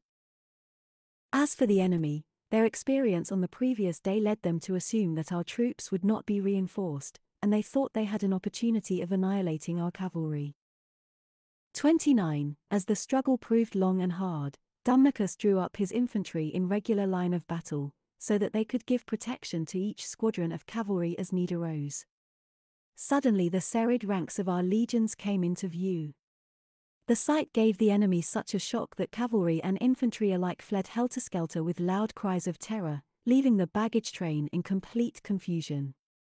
Our cavalry were now rewarded for their heroic efforts to overcome the enemy's resistance. Beside themselves with joy at their success, they rode forward everywhere with rousing cheers, encircled the retreating Gauls, and killed them without ceasing until their horses were exhausted and their right arms tired. More than 12,000 were slaughtered, some still with their weapons in their hands, while others had thrown them down in their fear, and the whole baggage train was captured. 30 After the rout of the Gallic army news was brought that Draps, a Senonian, and Lucterius, a Cadurcan, were marching towards the province with a small force, some 2,000 at most, collected from the fugitives. Draps had been raiding the Roman baggage and supply convoys ever since the beginning of Vercingetorix's rebellion, with a band of desperadoes assembled from all quarters, including slaves to whom he had promised their liberty, outlaws from various tribes, and bandits. Lucterius, as mentioned above, had already attempted to invade the province in the opening stage of the rebellion. Caninius hastened in pursuit of them with two legions, thinking that it would be a serious disgrace if any damage were done to the province, or its inhabitants alarmed, by the depredations of these brigands. 31. Fabius, who by this time had joined Caninius, started with the rest of the army for the territories of the Carnutes and the other tribes which had suffered such heavy losses in the battle with Dumnorchus. After their recent defeat, he thought, they would be more inclined to submission, but if they were allowed any respite Dumnorchus might induce them to fight again. As things turned out, Fabius was remarkably successful in bringing them quickly to heel. The Carnutes, who though frequently hard put to it had not asked for terms before, now offered hostages and surrendered, and the Armorican tribes, who live on the Atlantic coast in the extreme west, followed their example, submitting to Fabius' demands directly he appeared with his army. Dumnorchus was driven into exile and forced to go skulking alone from place to place until he reached the remotest corner of Gaul. 32. When Draps and Lucterius heard that Caninius was close behind them, they realized that it would be certain destruction to enter the province with a pursuing army at their heels, and that it was no longer possible for them to wander about the country as they pleased committing acts of brigandage. So they halted in the territory of the Cadurci, Lucterius' fellow countrymen. He had great power over the tribe in the days before the defeat of Vercingetorix, and was still an influential agitator among the ignorant natives. With his own and Drap's troops he now occupied Uxellodunum, a town of great natural strength which had previously been a dependency of his, and prevailed on its inhabitants to join him. 33. Caninius went at once to the place to reconnoitre. The town was protected on every side by precipitous rocks, which would be difficult for men carrying arms to scale, even if they met with no resistance. On the other hand, it would not be easy for the Gauls to evacuate it by stealth. He could see that they had a large quantity of heavy baggage, which could not be got away without being open to attack both by his cavalry and by the legions. He formed his troops into three divisions and pitched three camps on very high ground, from which he began to build entrenchments round the town as fast as he could with the limited number of men available. 34. The townspeople, haunted by the recollection of the tragic events at Alesia, now began to fear a similar fate if they were besieged. Lucterius, in particular, who had been through the former siege, kept warning them that they must arrange for a supply of food. The leaders decided unanimously to leave a part of their troops in the town and go out themselves with a lightly equipped force to get in grain. The next night, leaving 2,000 armed men inside, Draps and Lucterius started out with the rest. In a few days they got a large quantity of grain from the country of the Cadurci, partly by voluntary contribution from the inhabitants, partly by forcible requisition. They also made occasional night attacks on Caninius' fortified posts, in view of which he decided not to complete the line of entrenchments for the time being, for he saw that he would be compelled either to leave a part of it unguarded or, by distributing his men among a large number of strong points, to make the individual posts dangerously weak. 35. Eventually Draps and Lucterius took up a position about 10 miles from the town, intending to carry in their big store of corn a little at a time. They divided the superintendence of this work between them, Draps stayed to protect the camp with a part of the troops, while Lucterius led the convoy of pack horses close up to the town. He then placed pickets at various points, and shortly before daybreak attempted to smuggle in the corn by following narrow tracks through the woods. But the noise attracted the attention of the sentries on duty at the Roman camp, and scouts were sent out to see what was happening. Directly he received their report, Caninius summoned the cohorts which were ready armed in the nearest posts and charged the convoy just as day was breaking. Taken by surprise, the Gauls scattered in alarm to seek the protection of their pickets. As soon as the Romans caught sight of men with weapons in their hands, they attacked with redoubled fury, giving no quarter to anyone. Lucterius got away with a handful of men, but could not make his way back to the camp. 36. After this success, Caninius learnt from several prisoners, whom he questioned separately in order to corroborate their statements, that a part of the enemy's forces was encamped with Draps about 12 miles from the scene of the action. Now that one of their two leaders had been forced to take flight, it ought to be easy, he thought, to surprise and overawe the rest of them. It was a lucky chance that none of Lucterius' men, as far as was known, had escaped back to the camp to inform Draps of their defeat. In any case, Caninius saw no danger in attempting a surprise attack. He therefore sent ahead all his cavalry and the German infantry, who were very fleet of foot. Then he divided one legion between the three camps and led out the other, lightly equipped for action. As he came near the enemy, the scouts sent on in front brought word that according to the usual Gallic custom Draps had left the high ground and placed his camp on a river bank, and that the Germans and the cavalry had swooped down on it without any warning and attacked.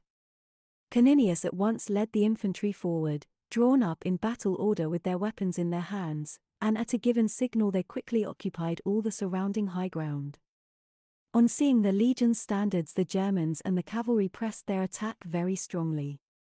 The legionaries charged at once from every side, killed or captured all the Gauls, and took a quantity of booty. Draps himself was among the prisoners. 37. The Romans thus achieved complete success, almost without casualties. Having got rid of his enemy in the open, Caninius returned to the siege of Uxellodunum.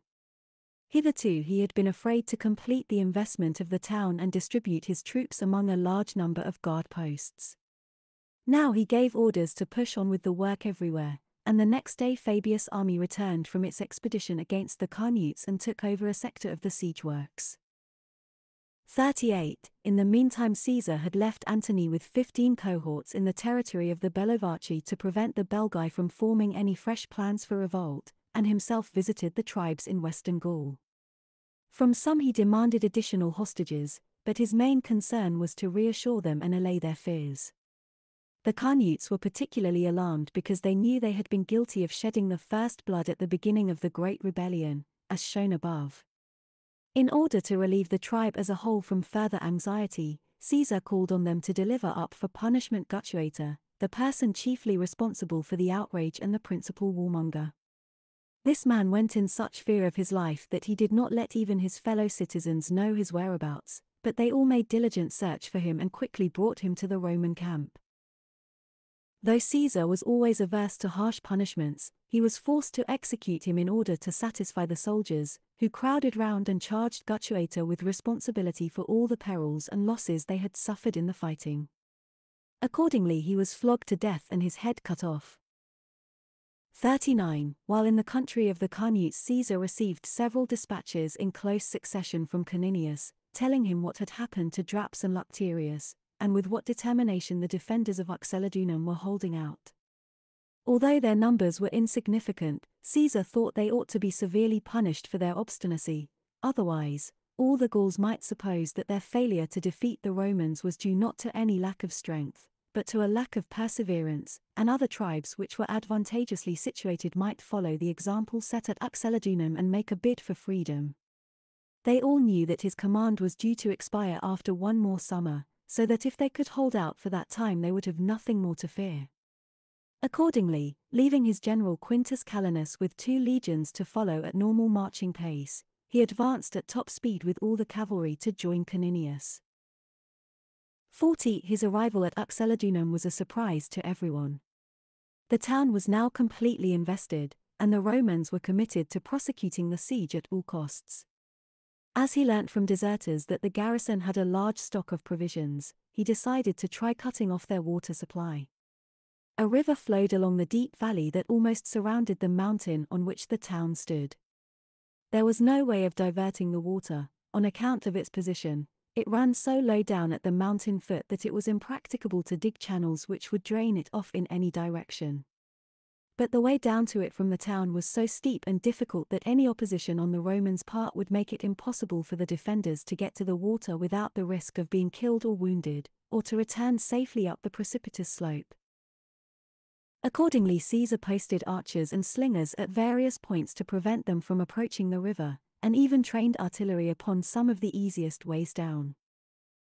41. All the besieged, when they needed water, now had to go to one particular spot right at the foot of the town wall, where a copious spring gushed out. This was on the side of the town which, for a space of about 300 feet, was not encircled by the river. All our men were anxious to find a way of keeping the enemy away from this spring, but only Caesar saw how it could be done.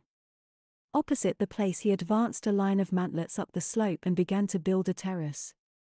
This involved not only much labor but continual fighting, for the enemy ran down and threw missiles from above at a safe distance, so that our men's determined efforts to ascend the slope cost them many casualties. In spite of this, they pushed forward the mantlets and surmounted the difficulties of the terrain by working hard at their task.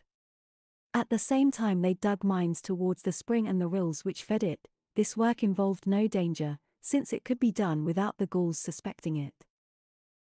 The terrace was raised to a height of 60 feet, and a tower of 10 stories placed upon it, not with the object of reaching the level of the walls, which no siege works could possibly have done, but in order to dominate the spring. Artillery was then mounted in the tower and trained on the approach to the spring, and it became so dangerous to go there for water that before long not only the cattle and pack horses but also the large population of the town were tormented by thirst. 42. The besieged were dismayed by this calamity. Filling barrels with tallow, pitch, and pieces of lath, they set them on fire and rolled them down on our works, delivering fierce attacks at the same time, so that our soldiers would be forced to protect themselves and unable to extinguish the flames. The mantlets and terrace were immediately set ablaze, because anything thrown down the slope could not miss them, and they were easily ignited by the burning material that lodged upon them. Our men had to fight in a situation of great danger, with the ground against them, but they faced all their difficulties with splendid courage. In their elevated position, they were in full view of the rest of the army, and both sides were cheering loudly. Thus, every man, in order to prove his mettle before so many witnesses, tried to make himself as conspicuous as he could in risking injury from wounds or burns. 43. Observing that heavy losses were being sustained, Caesar ordered the cohorts to clamber up the rocks wherever it was practicable, and by raising shouts to give the impression that they were getting a footing on the rampart at various points. By this means, the garrison, who could only guess what was happening on other sides of the town, were frightened into recalling their troops from the attack on our works and sending them to man the walls. Relieved from the necessity of fighting, our soldiers soon extinguished the flames in some places, and isolated the parts which were still burning. The townsmen, however, still resisted obstinately and held out even when numbers had died of thirst, until in the end our mines tapped the rivulets which supplied the spring and diverted them. The sudden drying up of this supply, which had never failed them before, reduced the Gauls to such despair that they did not realize that it was due to the cunning of their enemy, but thought it was the will of supernatural powers and, yielding to necessity, surrendered. 44. Caesar saw that his work in Gaul could never be brought to a successful conclusion if similar revolts were allowed to break out constantly in different parts of the country and his clemency was so well known that no one would think him a cruel man if for once he took severe measures. 67 So he decided to deter all others by making an example of the defenders of Uxellodunum. All who had borne arms had their hands cut off and were then let go, so that everyone might see what punishment was meted out to Evalders. Drappes, on being captured, as previously said, by Caninius, had starved himself to death, either because he could not endure the humiliation of being kept in chains or because he feared a still heavier punishment. Lucterius, after his escape from the encounter outside Uxellodunum, had kept continually on the move, because he thought it dangerous to stay long anywhere after earning Caesar's implacable hatred. He was thus compelled to entrust his life to one man after another and at length came into the power of an Arvernian called Epasnactus, who, being an enthusiastic pro-Roman, without a moment's hesitation put him in chains and took him to Caesar. 45. Meanwhile Labienus fought a successful cavalry action in the country of the Treveri, inflicting severe casualties upon them and their German allies, who were always ready to help anyone against the Romans. He also captured the chiefs of the Treveri and with them the only Aeduan chief who was still in arms, Surus, a man of illustrious birth and distinguished courage. 46. The situation was now everywhere satisfactory. In several years' campaigns, nearly all Gaul had been thoroughly conquered. As Caesar had not personally visited Aquitania, however, although it had been partially subdued by Publius Crassus 68, he set out with two legions to spend the last part of the summer there. He conducted the campaign with his usual speed and success, all the Aquitanian tribes sent envoys and gave hostages.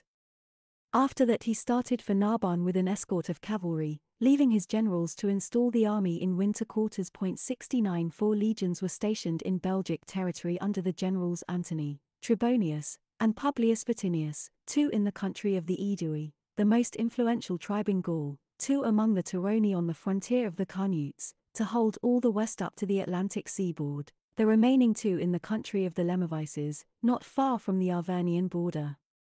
In this way no part of Gaul was left without troops. Caesar stayed a few days in the province, passing quickly from one to another of the assize towns, settling political disputes and bestowing rewards where they were deserved.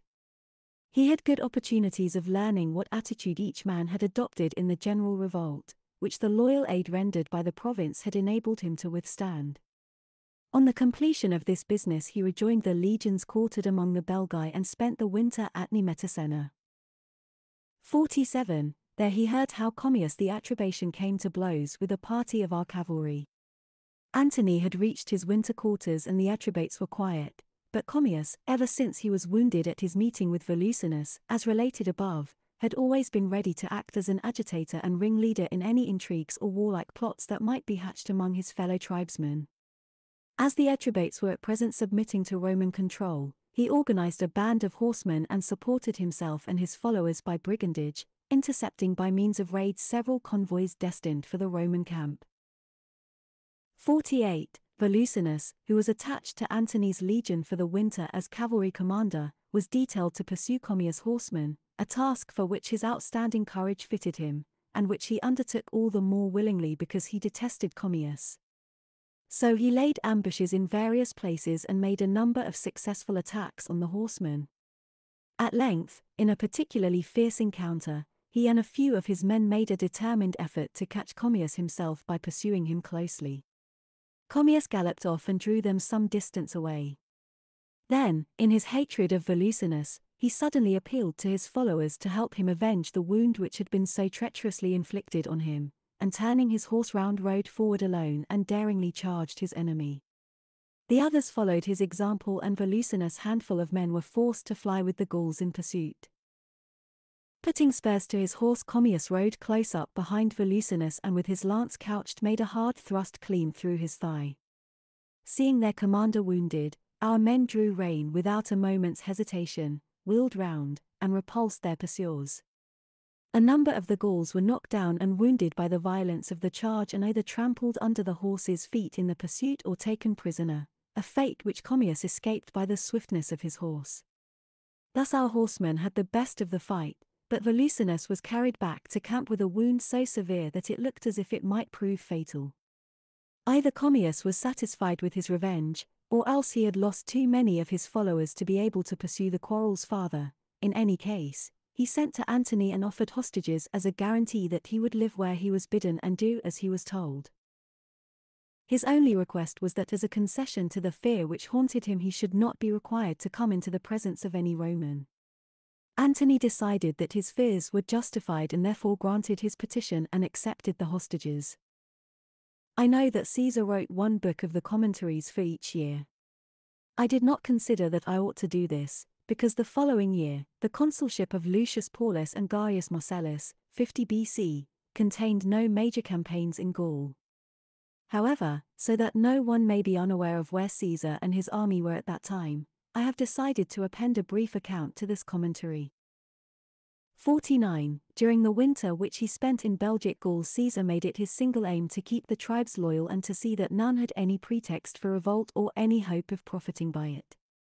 The last thing he wanted was to have to fight a campaign immediately before his departure, for it would mean leaving Gaul in a state of rebellion when the time came to withdraw his army, and all the tribes would be only too willing to take up arms when they could do so without immediate risk.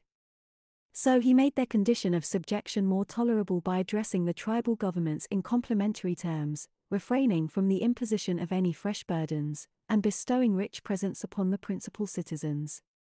By these means it was easy to induce a people exhausted by so many defeats to live at peace. 74 Civil War impends.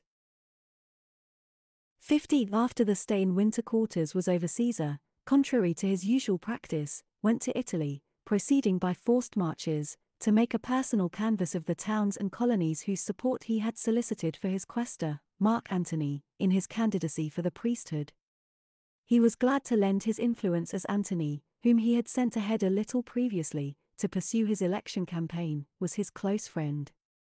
He was also keen to counter the small faction of influential men who wanted to secure Antony's defeat in order to undermine Caesar's own influence when he returned from his province.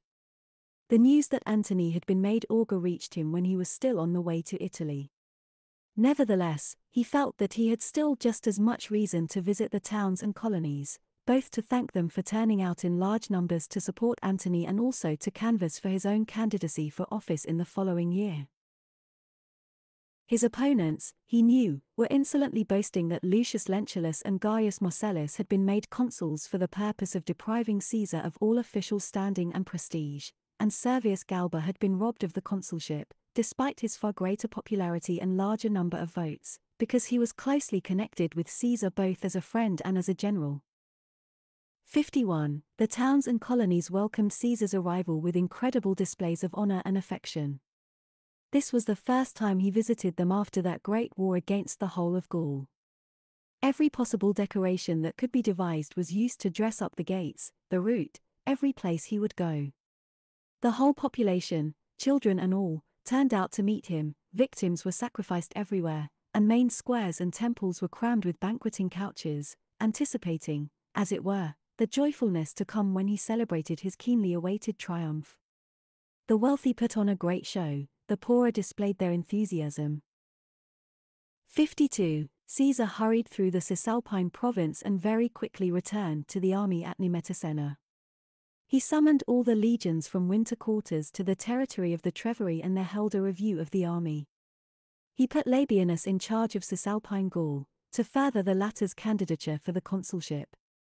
He himself made only as many marches as he thought sufficient to promote the health of the legions by moving them about, although frequent reports reached him that his enemies were attempting to suborn Labienus and that a small group was plotting to use a senatorial decree to deprive him of some part of his army. However, he did not believe the stories about Labienus, nor could he be induced to take any action to prevent a senatorial decree. His view was that if the senators were left free to decide his cause would easily prevail. Gaius Curio, tribune of the plebs, who had undertaken to look after Caesar's interest and position, had often proposed to the Senate that if anyone felt alarm at Caesar's military might, and since, especially, Pompey's dominance, backed by arms, engendered no small fear at Rome, both should give up their commands and disband their armies. If this was done, he said, the state would be free and independent. He went beyond proposing, and actually began to proceed to a senatorial vote, but the consuls and Pompey's friends intervened, and so by delaying tactics prevented action being taken. 53. This was a clear indication of the attitude of the Senate as a whole and agreed with its earlier behavior, for in the previous year Marcellus, in an assault on Caesar's position, raised prematurely in the Senate, in contravention of the Licinian Pompeian law, the question of Caesar's provinces. There was a debate. When Marcellus, whose attempts to build up his own political standing rested entirely on stirring up feeling against Caesar, proceeded to a vote, a crowded Senate rejected his motion. This did not discourage Caesar's enemies, but merely stimulated them to cultivate their connections so as to be able to force the Senate to fall in with their wishes. 54. Then a senatorial decree was passed ordering Pompey and Caesar each to contribute one legion to the Parthian campaign. This clearly meant that one of them lost two legions, for Pompey contributed, as though from his own complement, the first legion, which was levied in Caesar's province and which he had sent to Caesar. However, though Caesar was in no doubt about the intentions of his opponents, he returned the legion to Pompey and from his own forces he ordered the 15th legion, quartered in Cisalpine Gaul, to be handed over in accordance with the Senate's decree. To replace it he sent the 13th legion into Italy to man the garrisons from which the 15th was being withdrawn. He allotted his army to winter quarters. Trebonius was posted with four legions in Belgium, and Fabius among the Aedui, also with four legions. Caesar thought the best means of securing Gaul was to station forces among the Belgae, the bravest people, and the Aedui, the most influential. He himself went to Italy. 55. On arrival, he learned that through the agency of the consul Marcellus the two legions he had returned, which under the senatorial decree were due to be taken to the Parthian campaign, had been handed over to Pompey and retained in Italy. Though this action made it perfectly plain what was planned against Caesar, he nevertheless thought that he should put up with everything, so long as some hope remained of reaching a settlement by constitutional means rather than resorting to war. Appendix to the Roman Army Apart from an unknown number of auxiliary troops, Gallic and Numidian light infantry, Cretan archers, and slingers from the Balearic Isles, the forces which Caesar commanded in Gaul consisted of a number of legions varying between 6 and 11 and a cavalry force composed entirely of foreigners. The bulk of the cavalry, which at one time numbered at least 5,000, 4. 12, were Gauls requisitioned from friendly or conquered tribes. On the conclusion of a campaign most of them were sent home and a new force raised the next year. In the campaign of 52 BC Caesar had some squadrons of German cavalry, with light infantry trained to fight among its ranks, 7.65. The legions were supposed to consist entirely of men possessing Roman citizenship, but when troops were urgently needed no doubt many exceptions were made, and towards the end of the war Caesar enrolled a whole legion in the province of Transalpine Gaul. The rest of the legions which he raised in the Gallic War were recruited in northern Italy. The legionaries were volunteers serving for pay and signed on for a definite term of service. At some point during his Gallic campaign, Caesar raised legionary pay, probably to the level standard for all legions by AD 14, i.e., 10 asses per day. In Caesar's time, the legionaries were recruited mainly by the commanders who required them. They took an oath of loyalty directly to him and were often paid out of booty or funds raised by him. This bad system made the men dependent on, and hence loyal to, their commander rather than the state. The nominal strength of a legion was 6,000, divided into 10 cohorts of 600 each, the most important tactical units. Each cohort contained three maniples of 200 each and each maniple two centuries of 100 each. However, legions were often considerably under their nominal strength. The legion had at this date no permanent commander. The generals, legati, serving under Caesar were men of senatorial rank appointed by the Senate on his recommendation. He had five at the start of the war, and eventually ten. Their duties were assigned to them at Caesar's discretion and included taking command of legions in battle, on the march or in winter quarters, procuring supplies, superintending shipbuilding, raising fresh levies, and so on. Some of them may have been without much military experience. Each legion had six military tribunes, nominated, and perhaps actually appointed, by the commander in chief, who were often young aspirants to public office and were sometimes chosen merely on personal or political grounds. They maneuvered their legions in action under the direction of a general, 11.26, 7.47, and sometimes acted on their own initiative, 7.63. No doubt they also discharged routine administrative duties. Perhaps more important than the military tribunes on the actual battlefield, certainly mentioned and praised much more often by Caesar, were the centurions, ex-rankers promoted for bravery and powers of leadership to the command of the centuries. Of the 60 centurions in a legion the six belonging to the first cohort, referred to in this translation as first-grade centurions, held posts of special responsibility and were summoned with the generals and military tribunes to councils of war. Their duties on occasion must have been at least as important as those of a company commander in a modern army. The most responsible post of all was held by the chief centurion of the legion i.e. the centurion of the first century of the first cohort. The legionaries wore a woolen tunic, a leather coat protected by metal bands, long puttees, and a cloak or blanket for protection from cold or rain. Their armor consisted of a helmet, slung over the chest when they were on the march, a large rectangular shield of wood covered with leather, greaves, and probably a leather cuirass. Their weapons were pointed two-edged swords and heavy throwing spears. The latter were sometimes nearly seven feet long, between the tempered point and the handle was a shank made of soft iron, which bent when the spear pierced an enemy's shield, so that it could not easily be pulled out and was useless for throwing back. 1.25 The kit that the soldiers had to carry on the march included, besides their rations, cooking vessels, and so on, the tools required for the construction or work on which they were constantly engaged, a spade, hatchet, and saw.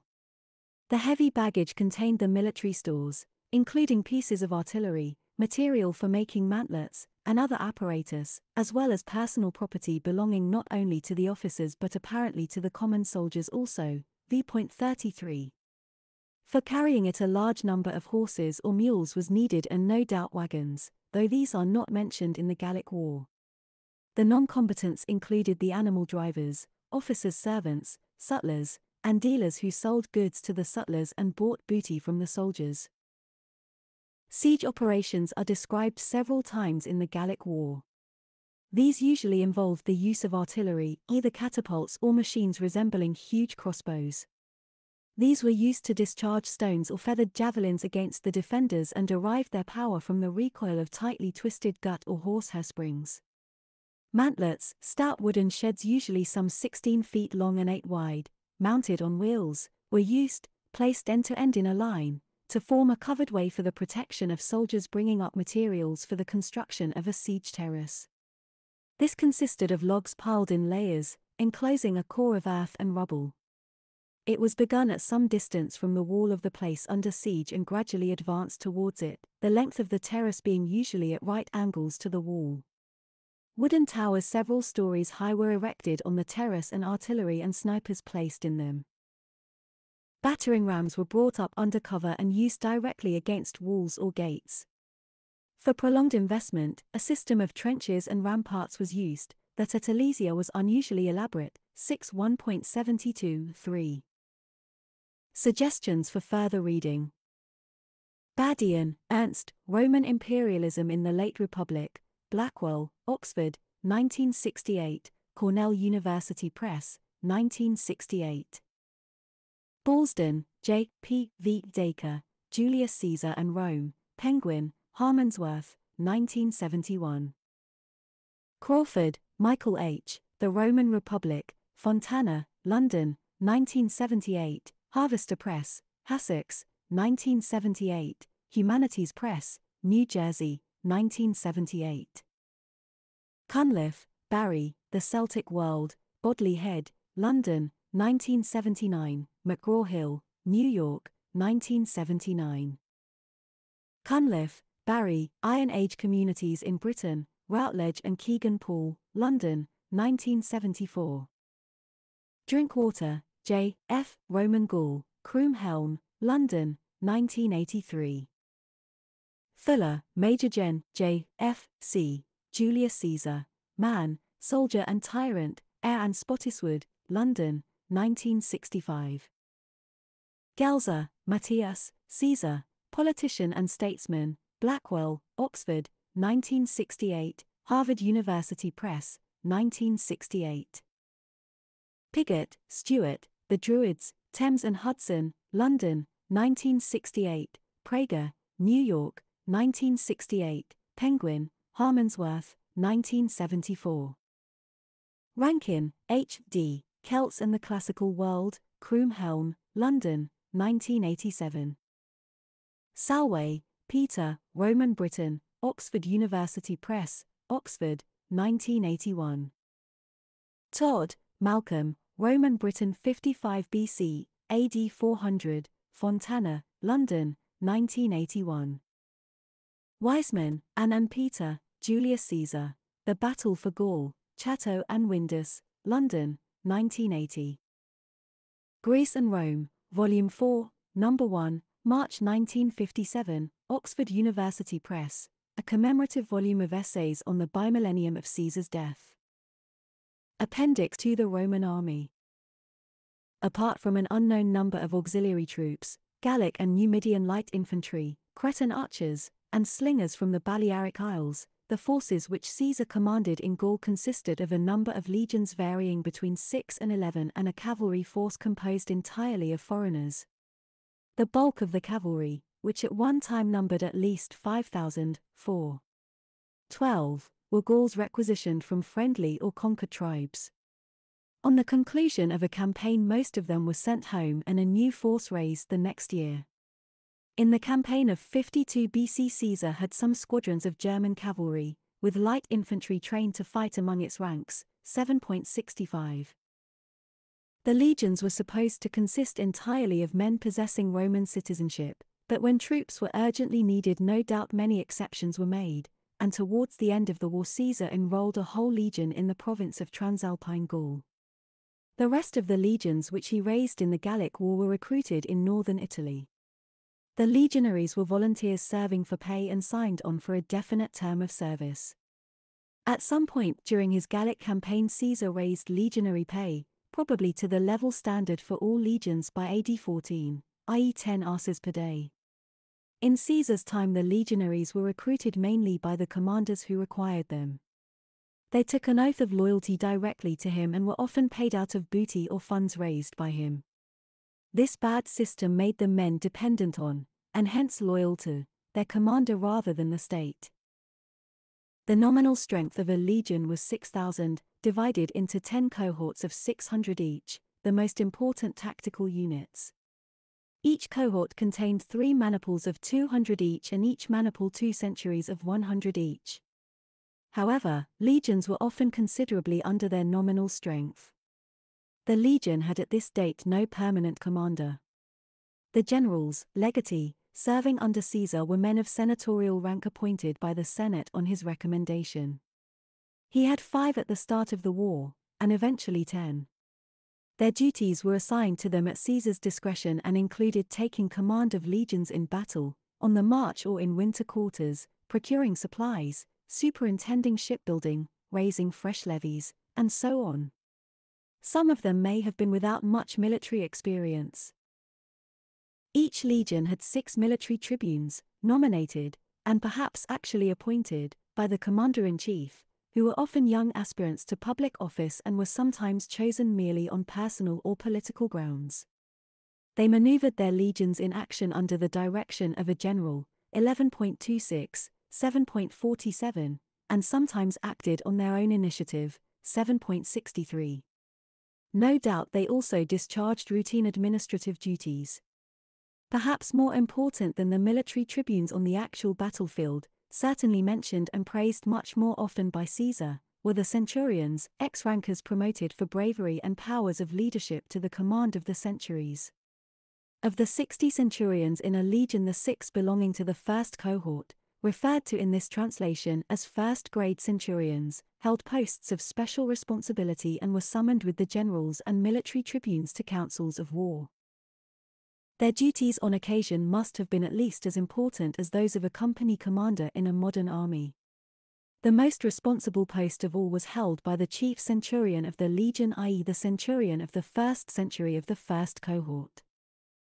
The legionaries wore a woolen tunic, a leather coat protected by metal bands, long puttees, and a cloak or blanket for protection from cold or rain. Their armor consisted of a helmet, slung over the chest when they were on the march, a large rectangular shield of wood covered with leather, greaves, and probably a leather cuirass. Their weapons were pointed two edged swords and heavy throwing spears. The latter were sometimes nearly seven feet long, between the tempered point and the handle was a shank made of soft iron, which bent when the spear pierced an enemy's shield, so that it could not easily be pulled out and was useless for throwing back. 1.25. The kit that the soldiers had to carry on the march included, besides their rations, cooking vessels, and so on, the tools required for the construction or work on which they were constantly engaged, a spade, hatchet, and saw. The heavy baggage contained the military stores, including pieces of artillery, material for making mantlets, and other apparatus, as well as personal property belonging not only to the officers but apparently to the common soldiers also. V.33.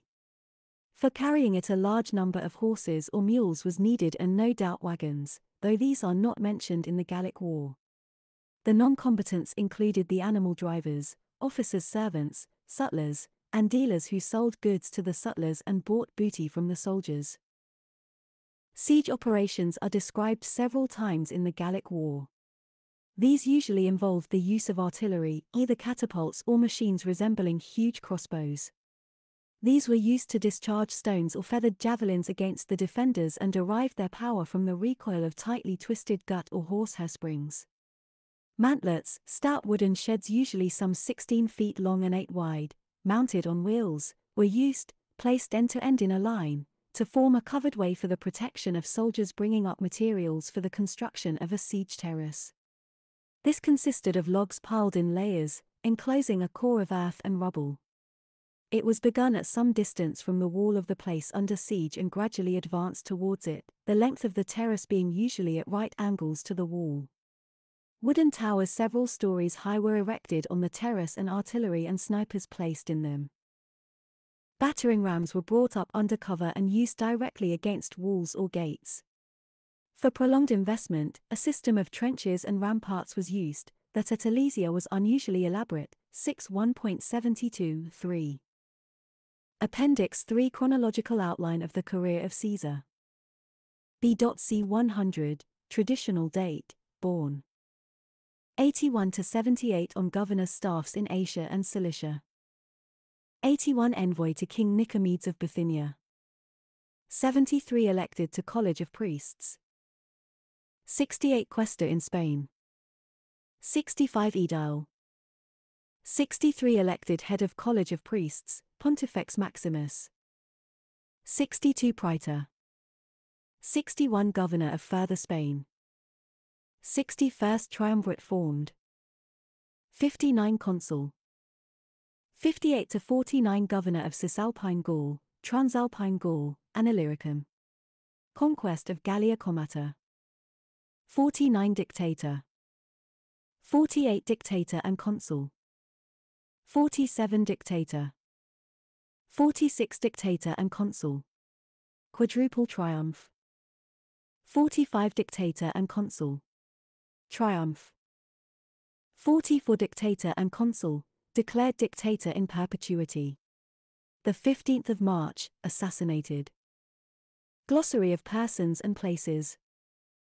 ACCO 6.4 40 for a leader of the Senones. Adiachuanus 3.22 King of the Sotiates. Admegeta Briga, I.31 The site of a battle between Ariovistus and the Gauls, 61 BC, in the territory of the Sequani. AEDUI, Introd, 1.10 at Passim, 11.5, 10, 14, 15, V.6, 7, 54, 7 Passim, 8.45, 46, 50 for a large tribe living in central France, between the Loire and the Saône. Lucius Aemilius, 1.23 a cavalry commander. Lucius Emilius Paulus, 8.48 Consul 50 BC.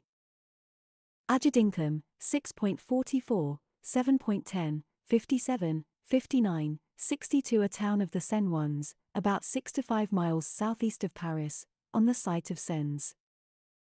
AISNE, Axona, 2.5, 9 A river of northern France flowing from the Argonne forest into the Oise.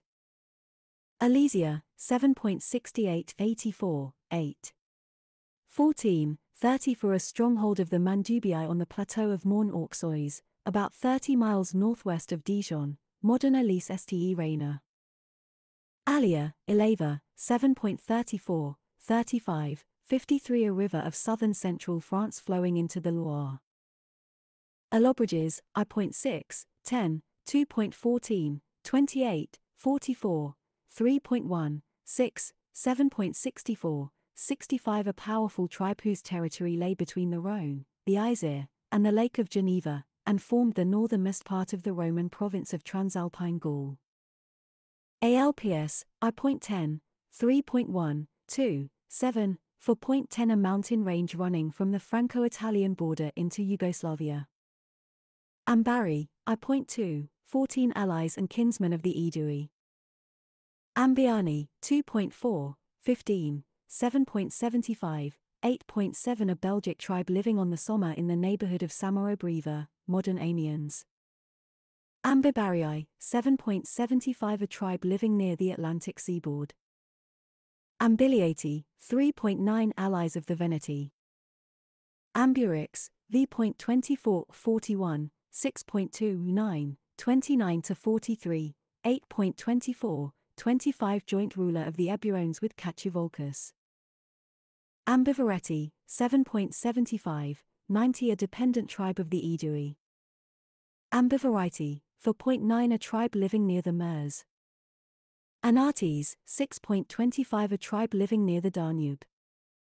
Ancalites, v.21 A tribe living in southeast Britain.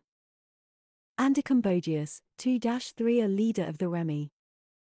Andes, 2.35, 3.7, 7.4, 8.26 A tribe living north of the Lower Loire, in Anjou. Gaius Antistius Reginus, 6.1, 7.83, 91 of Caesar's generals. Mark Antony, Marcus Antonius, Introd, 7.81, 8.2, 24, 38, 46 to 50 born 82 BC. One of Caesar's generals in Gaul 52 BC, Quaestor 51 BC, Tribune at Rome 49 BC, controlled Italy as Caesar's deputy for a time after Pharsalus, consul 44 BC. After Caesar's death formed, with Marcus Aemilius Lepidus and Octavian, the second triumvirate, which controlled the Roman world. After Lepidus was forced out, estrangement between Octavian and Antony developed into civil war, in which Antony had the support of Cleopatra. Defeated at Actium 31 BC, committed suicide the following year. Lucius Apuleius Saturninus, Introd, Tribune 103 BC, 100 BC and Tribune elect for 99 BC associated with Marius. He forced through a series of demagogic revolutionary measures by violent means. Marius, as consul, was requested by the Senate to restore order. He besieged Saturninus and his supporters on the Capitol and imprisoned them, but was unable to save Saturninus from the mob, who pelted him to death. December 10, 100 BC. Aquileia, Introd, I point ten a town in Cisalpine Gaul, at the head of the Adriatic. Aquitani, I point one, 3.21 A group of tribes living in southwest France, Aquitania. Aquitania, I point one, 3.11, 20 to 27, 7.31, 8.46 southwest France, between the river Garonne and the Pyrenees. Ardennes, v.3, 6.29, 31, 33 A dense forest in southeast Belgium, extending into France and Luxembourg. Aracomycici volki. Armorican tribes, Introd, v.53, 7.75, 8.31 A group of tribes living in Normandy and Brittany. Ariovistus, Introd, 1.31 to 53, 4.16, v.29, 55, 6.12 King of the German tribe of the Suebi. Marcus Aristius, 7.42, 43 A military tribune. Gaius Opinius, v.27, 28 A Roman knight.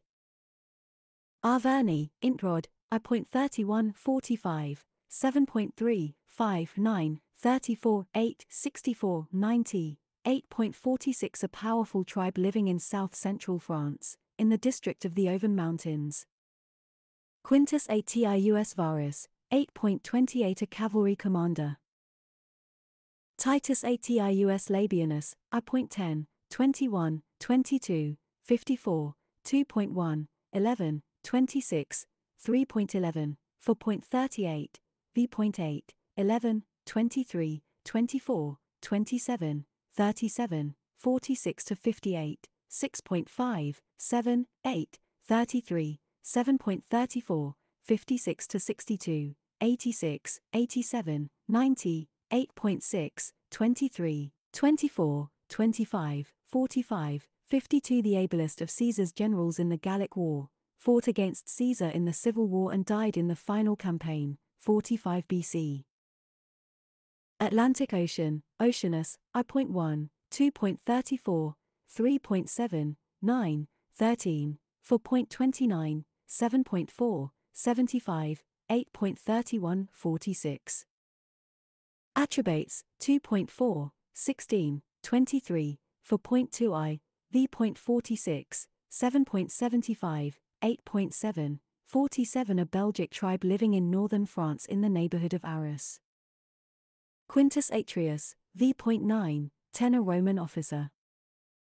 Atuatuca, 6.32, 35 A fortress in the territory of the Eburones, not, despite its name, belonging to the Atuatuci, perhaps Tongres in East Belgium, 12 miles north-northwest of Liege. Atuatuci, 2.4, 16, 29, 30, v.27, 38, 39, 56, 6.2, 33 A tribe living in southeast Belgium, principally on the left bank of the Meuse. Aulerci, 2.34, 3.17. 29, 7.4, 75, 8.7 A group of tribes living between the Lower Seine and the Lower Loire. Aulerci Brannovices, 7.75 A tribe in the above group. Aulerci Cenomani, 7.75 A tribe in the above group. Aulerci Eburovices, 3.17, 7.75 A tribe in the above group, allies of the Venelli. Lucius Aurunculeius Cotta, 2.11, 4.22, 38, v.24, 37, 52, 6.32, 37 One of Caesar's generals. AUSCI 3.27 One of the Aquitanian tribes. Avaricum, Bourges, 7. 13 to 18, 29 to 32, 47, 52 The chief town of the Bituriges, 60 miles southeast of Orleans. The Bacinus, 6.10 A forest in northern Bavaria. Baculus C. Sextius. Balbus C. Cornelius. Balearic slingers, 2.7 specialized auxiliaries from the Balearic Islands, modern Majorca and Menorca. Titus Balventius, v.35 A chief centurion. Basilus C. Minucius. Batavians, for point 10 a tribe living on an island between the Waal and the Meuse. Belgae, Belgic, Introd, I.1, 2.16, 14 to 19, 3.7, 11, 4. 38, v.12, 24, 25, 8.6, 38, 46, 49, 54 One of the main divisions of the Gallic tribes, inhabiting northern France, Belgium, southern Holland, and the part of Germany lying west of the Rhine. Bellovaci, 2.4, 5, 10, 13, 14, v46, 7 59, 75, 90, 8.6, 7, 12 to 23, 38 A powerful Belgic tribe, inhabiting, however, a comparatively small area in northern France, the district around Beauvais. Besançon, Vesontio, Introd, 1.38, 39 The largest town of the Sequani.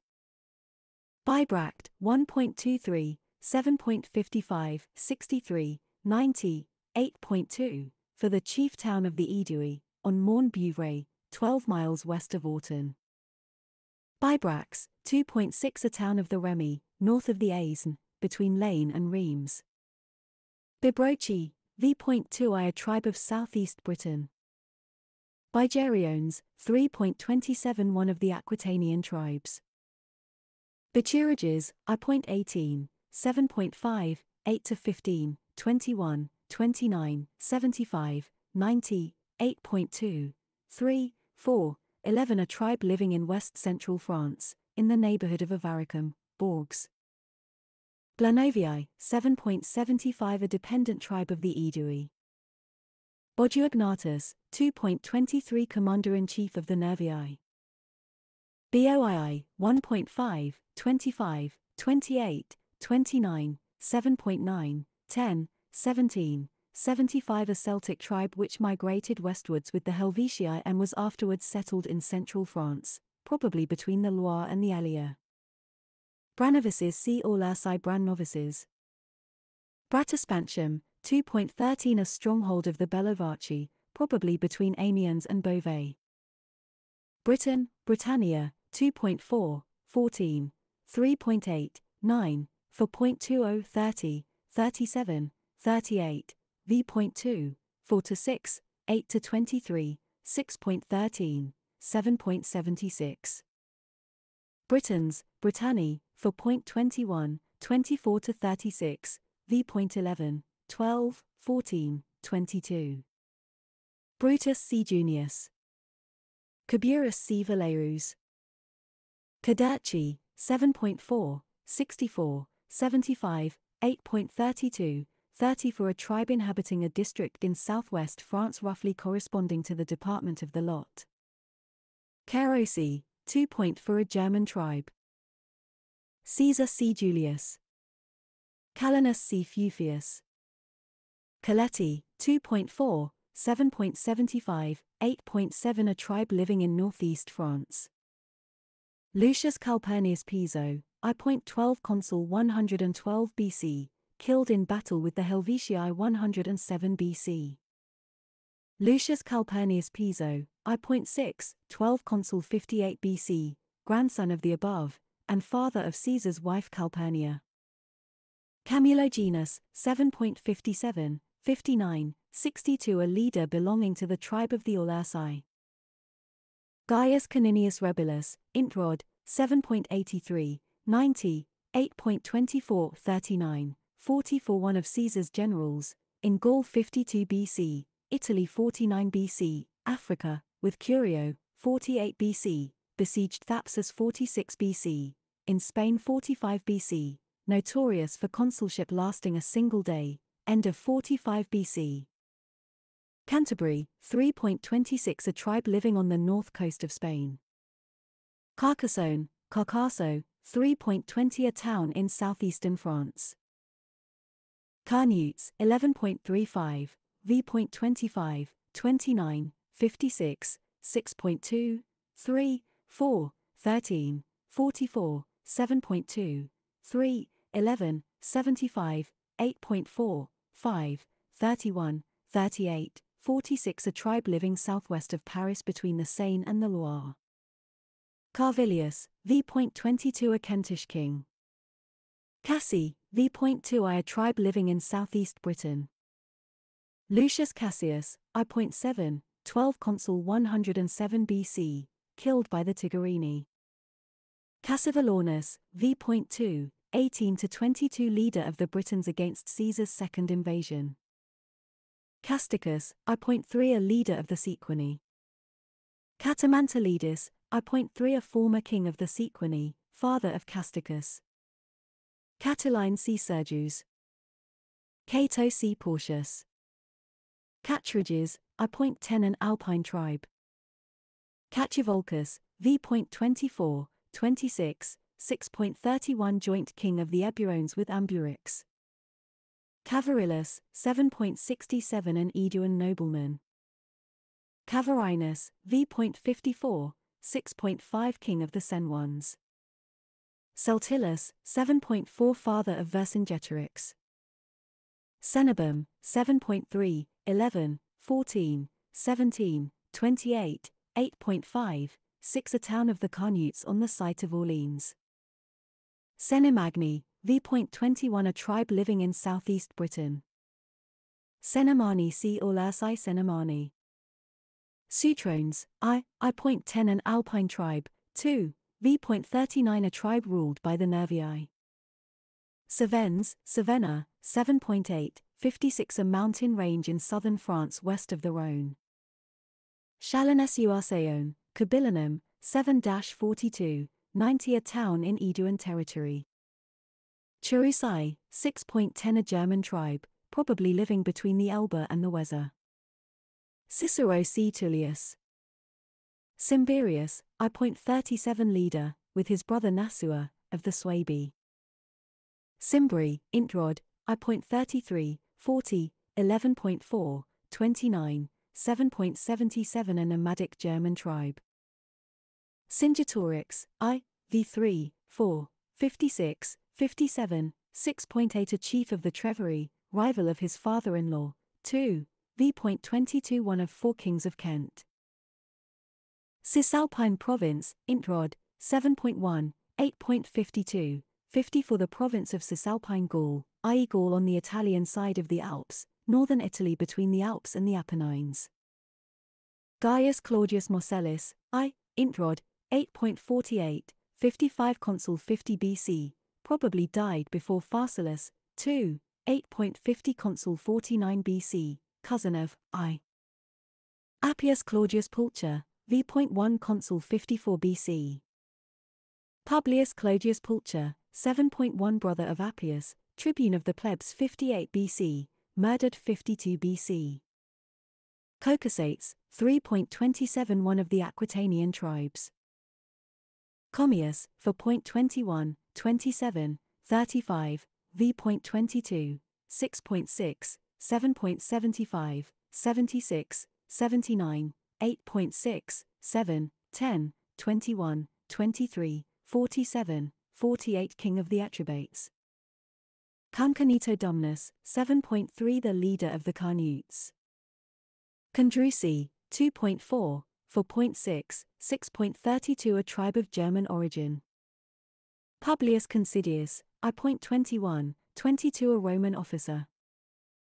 Convictolitavis, 7.32, 33, 37, 39, 42, 55, 67 A magistrate of the Aedui. Coriosolites, 11.34, 3.7, 11, 7.75 A tribe living near the Atlantic seaboard. Lucius Cornelius Balbus, 8. Preface A Roman knight, Spanish origin, Caesar's friend, on his staff in Gaul, an agent at Rome during the Gallic campaigns and later during the Civil War, Consul 40 BC. Lucius Cornelius Lentulus Crus, 8.50 Consul 49 BC, a violent opponent of Caesar, killed in Egypt soon after Pompey's murder. Lucius Cornelius Sulla Felix, I.21 Dictator 82 to 80 BC, died 78 BC. Correus, 8.6, 7, 17 to 21 A leader of the Bellovaci. Cotta C. Aurunculeius. Cotus, 7.32, 33, 39, 67 An Aeduan nobleman and commander of cavalry. Crassus C. Licinius. Crete, 2.7 Mediterranean island, whose archers were noted. Critognatus, 7.77 8 An Arvernian nobleman. Curiosi Scribonius. Dacians, 6.25 A tribe living in modern Romania. Danube, Danuvius, 6.25 A river flowing from southern Germany to the Black Sea. Decetia, 7.33 A town of the Aedui on the Loire, on the site of Decize, about 20 miles southeast of Nevers. Diablintes, 3.9 Allies of the Veneti. Diviciacus, I, 11.4 a king of the Suessiones about 100 BC, 2, 1.3, 16 to 20, 31, 32, 41, 11.5, 10, 14, 15, 6.12, 7.39 A pro-Roman Aeduan brother of Dumnorix. Divico, I.13, 14 A leader of the Helvetia. Lucius Domitius Ahenobarbus, Introd, consul 54 BC, opponent of Caesar in the civil war, failed to hold Corfinium and Massilia, commanded the left wing at Pharsalus, killed after the battle. His grandfather's victories had led to the formation of the Transalpine province. Doubs, Dubis, I.38 a river of eastern France, tributary of the Saône. Drappes, 8.30, 32, 35, 36, 39, 44 a leader of the Senones. Druids, 6.13, 14, 16 Gallic religious and judicial authorities. Dumnacus, 8.26, 3 I a leader of the Andes. Dumnorix, Introd, I.3, 9, 18 to 20, V.6, 7 an anti-Roman Eduan, brother of Diviciacus, 2. Duratius, 8.26, 27 a pro-Roman leader of the Pictons. Durocortorum, 6.40 for a town of the Remi, on the site of Rheims. Duras C. Liberius.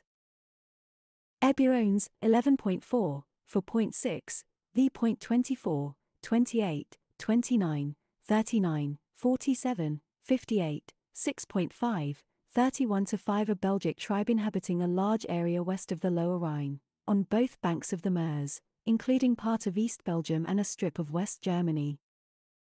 Eburovices see all Ursai Iburovices.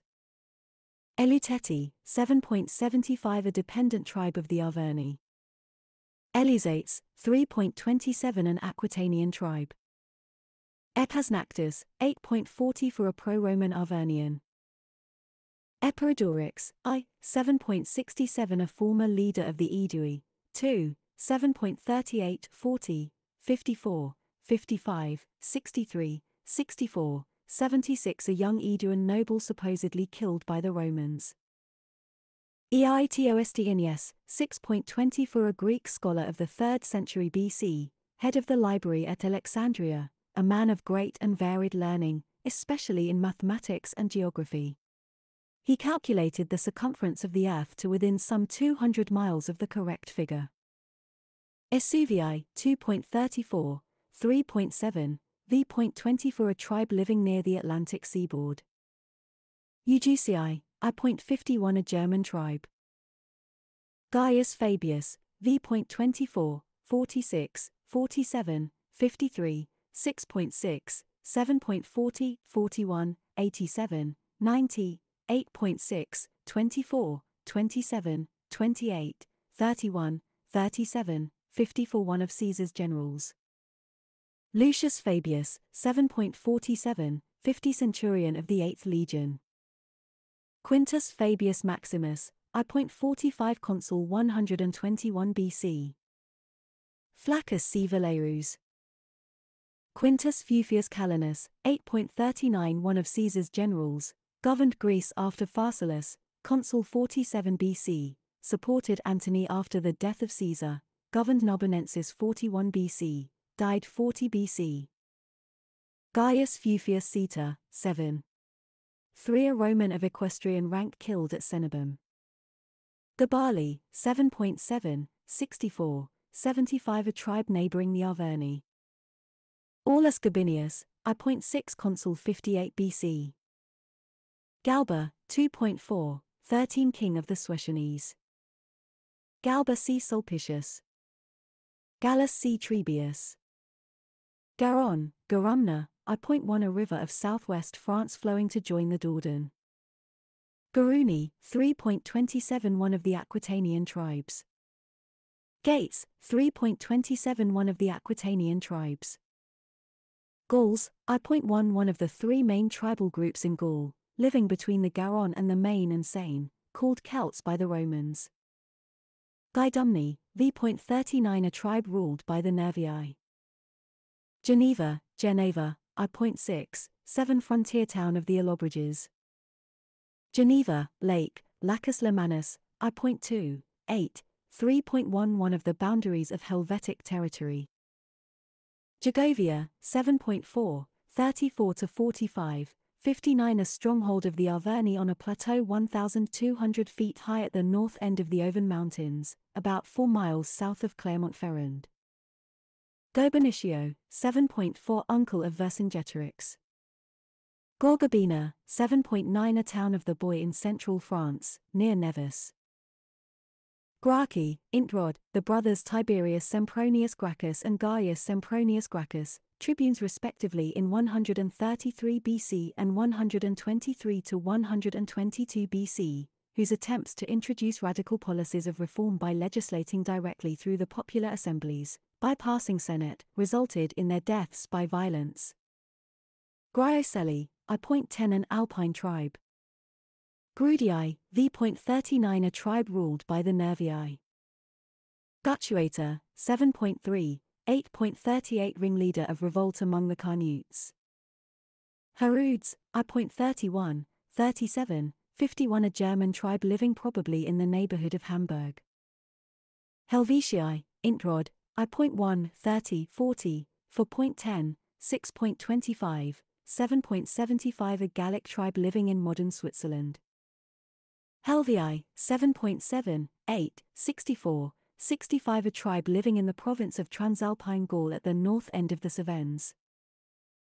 Hercynian forest, 6.24, 25 a huge tract of forest in Central Europe, said to extend from the source of the Danube to Bohemia. Aulus Hirtius, Introd, on Caesar's staff in Gaul from c. 54 BC, served in the east and Spain during the Civil War, prior to 46 BC, governor of Transalpine Gaul 45 BC, consul 43 BC, killed at Mutina in that year. He wrote the eighth book of the conquest of Gaul and, some think, also the Alexandrian War. Iccius, 2.3, 6, 7 a leader of the Remi. ILLYRIA, Illyricum, Introd, 2.35, 3.7, v.1 a district on the east of the Adriatic, attached to Cisalpine Gaul. Induciamaris, v.3, 4, 26, 53 to 8, 6.2, 8 a chief of the Treveri, rival of his son-in-law Cingetorix. Isle of Man, v.13 called by Caesar Mona, although in other ancient writers the name is always applied to Anglesey. Italy see Northern Italy. Itius see forms. Lucius Julius Caesar, 7.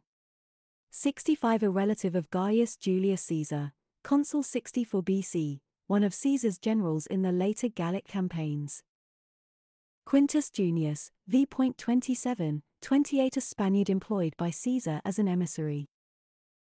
Decimus Junius Brutus, 3.11, 14, 7.9, 87 commanded the fleet against the Veneti 56 BC, commanded the fleet at Massilia in the Civil War 49 BC, governor of Transalpine Gaul 48 to 46 BC, one of the ringleaders in Caesar's assassination 44 BC, proconsul of Cisalpine Gaul 44 to 43 BC, killed on Antony's orders 43 BC. Marcus Junius Silanus, 6.11 of Caesar's generals. Jura, I.2, 6, 8 mountains along the border of France and Switzerland. Kent, Kentium, v.13, 14, 22 an area of southeast Britain. Quintus Laberius Durus, v.15 a military tribune killed in Britain. Labienus C. Latovici, I.5, 28, 29 an Alpine tribe. Legions, Ist, 8.54, 6th, 8.4, 7th, 2.23, 26, 3.7, 4.32, v.9, 7.62, 8.8, 8th, 2.23, 7.47, 8.8, 9th, 2.23, 8.8, 10th, I.40, 42, 2.21, 23, 25, 26, 7.47, 51, 11th, 2.23, 8.2, 68, 12th, 2.23, 25, 3.1, 7.62, 8.24, 13th, v.53, 7.51, 8.2, 11.43, 14th, 6.32, 8.4, 15th, 8.24, 54. Lemonum, 8.26 a town of the Pictones on the site of Poitiers.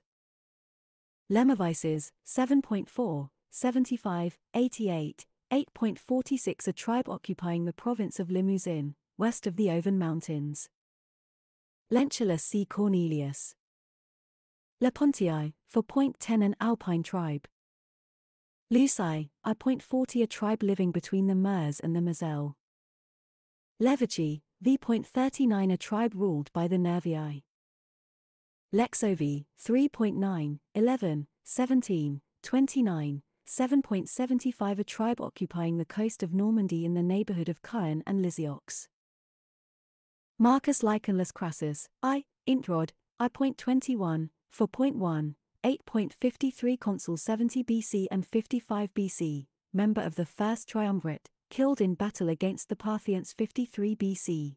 2, v.24, 46, 47, 6.6 Elder son of the Triumvir, Quaestor 54 BC, served in Gaul 54 to 53 BC, governed Cisalpine Gaul 49 BC. Publius Licinius Crassus, I.52, 2.34, 111.7 to 11, 20 to 27, 8.46 younger son of the Triumvir, one of Caesar's officers during the earlier campaigns in Gaul, possibly Quaestor 55 BC, served with his father on the Parthian campaign 53 BC and was killed. Lingones, I.26, 40, 4.10, 6.44, 7.9, 63, 66, 8. 11 A tribe living in central France in the neighborhood of Langres and Dijon. Liscus, I.16 18 An Eduan magistrate. Litaviccus, 7.37 43, 54, 55, 67 An Eduan nobleman. Loire, Liger, 3.9, 7.5, 11, 55, 56, 8.27 A river of central France flowing into the Bay of Biscay. Quintus Lucanius, v.35 A centurion. Lucterius, 7.5, 7, 8, 8.30, 35, 39, 40 for a leader of the Cadurci. Lugotorix, v.22 A Kentish nobleman. Lutetia, 6.3, 7.57, 58 A town of the Parisii, the nucleus of Paris, situated on the Hida La site in the Seine. Macon, Matisco, 7.90 A town in Eduan territory. Mandubii, 7.68, 71, 78 A tribe living in central France, northwest of Dijon. Mandubratius, v.20, 22 A chief of the Trinovantes.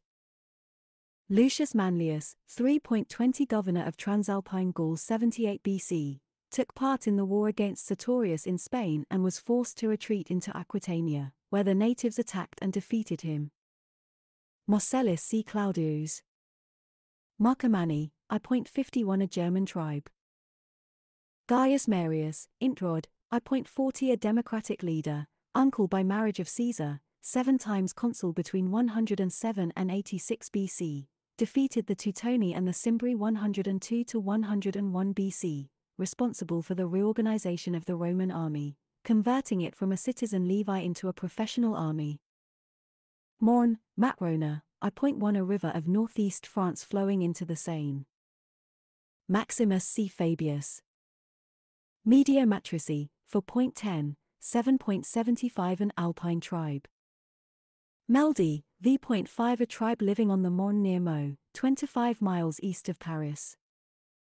Menapii, Introd, 2.4, 3.9, 28, 4.4, 22, 38, 6.2, 5, 6, 9, 33 A Belgic tribe living mainly in South Holland. Messala C. Valerius. Marcus Metius, I.47, 53 An envoy sent by Caesar to Ariovistus.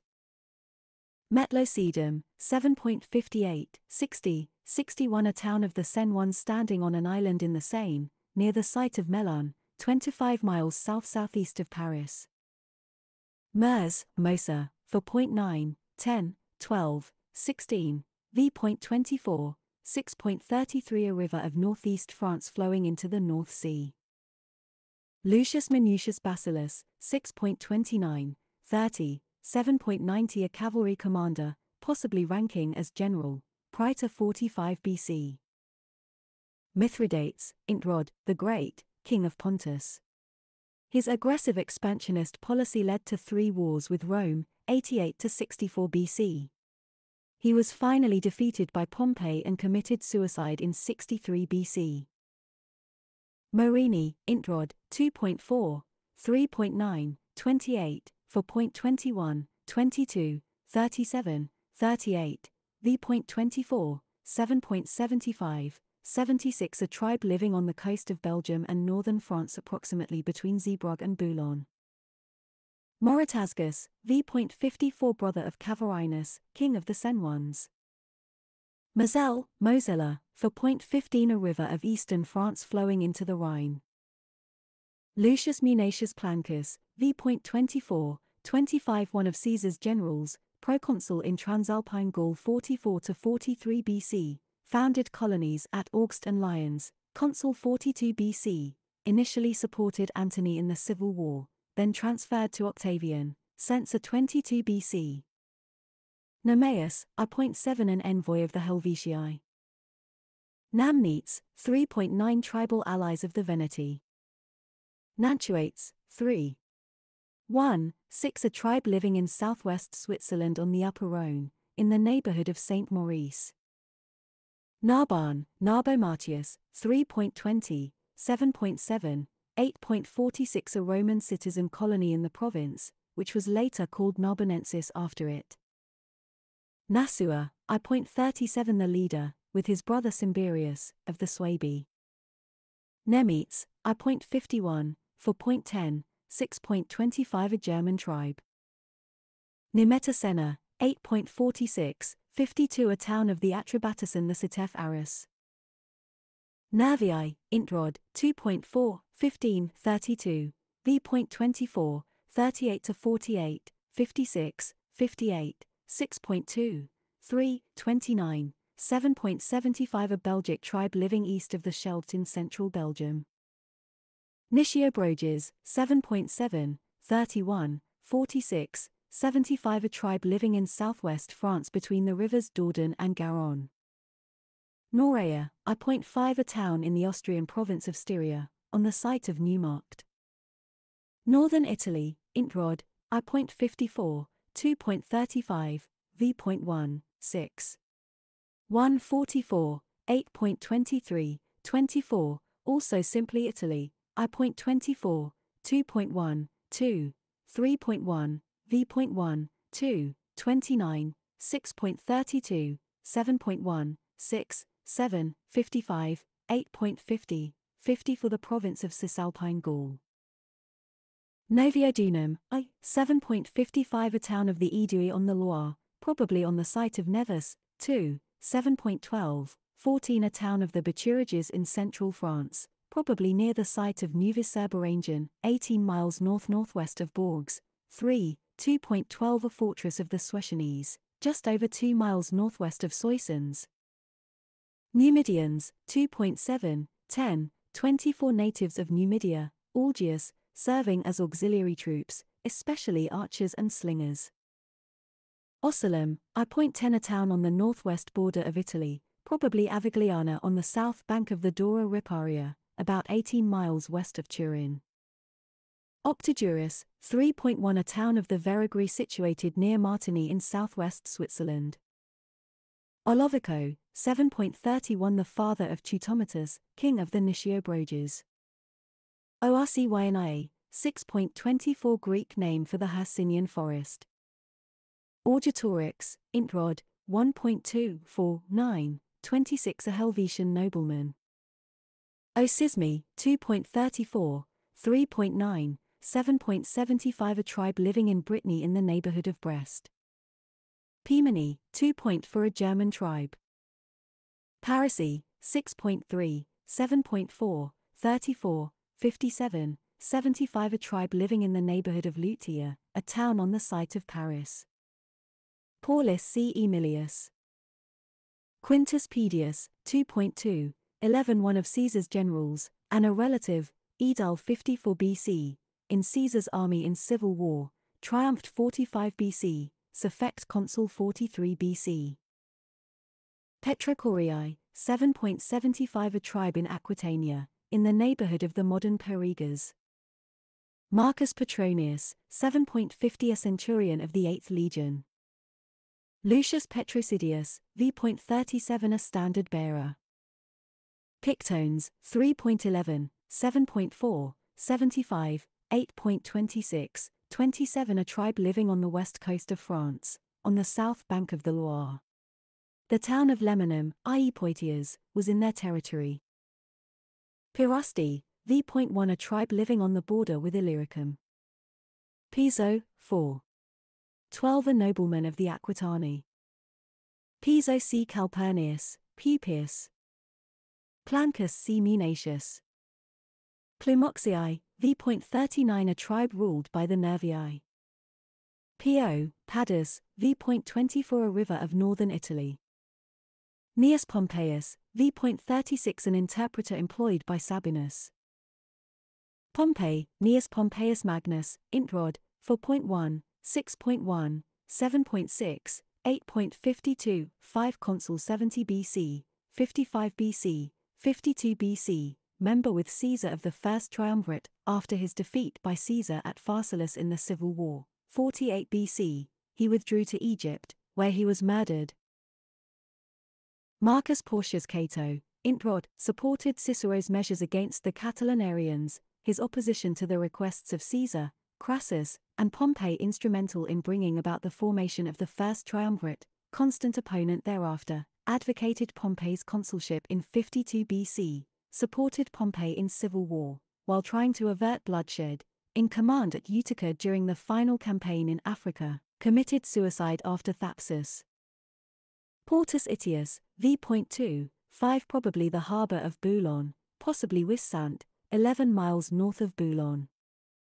Praeconinus C. Valerius. Priscillus C. Valerius.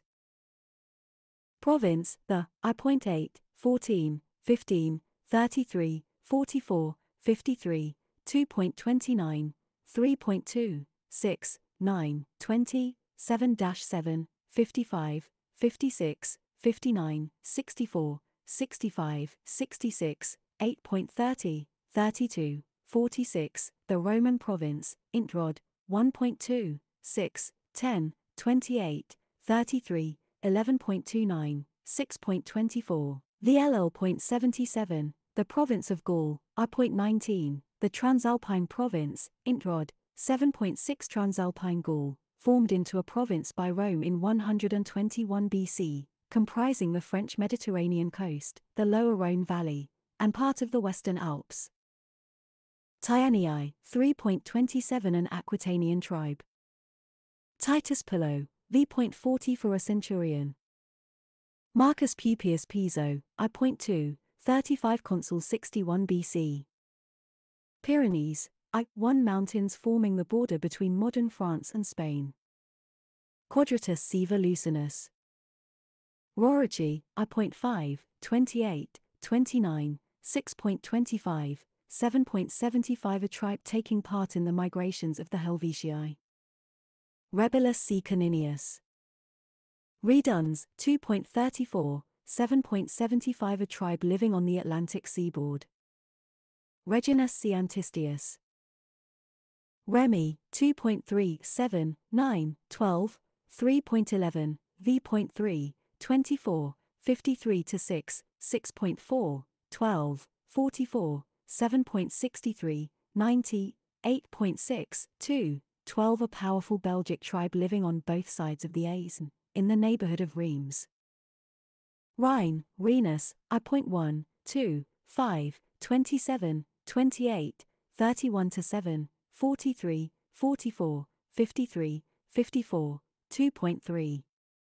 4, 29, 3553.11, 4.1, 3 to 6, 10, 14 to 19, v.3, 24, 27, 29, 49, 55, 6.9, 24, 29, 32, 35, 41, 42, 7.65, 8.13 A river dividing Germany from Belgic and Gallic territory.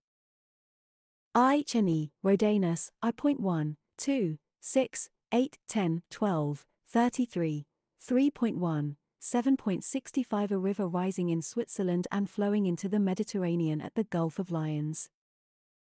Lucius Roscius, v.24, 53 one of Caesar's generals, Quaestor in Gaul 54 BC, Praetor 49 BC, Caesar Ian in the Civil War, died 43 BC.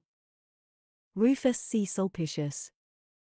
Ruteni, I.45, 7.5, 764, 75, 90 a tribe living in southern France. Rutilus C. Sempronius.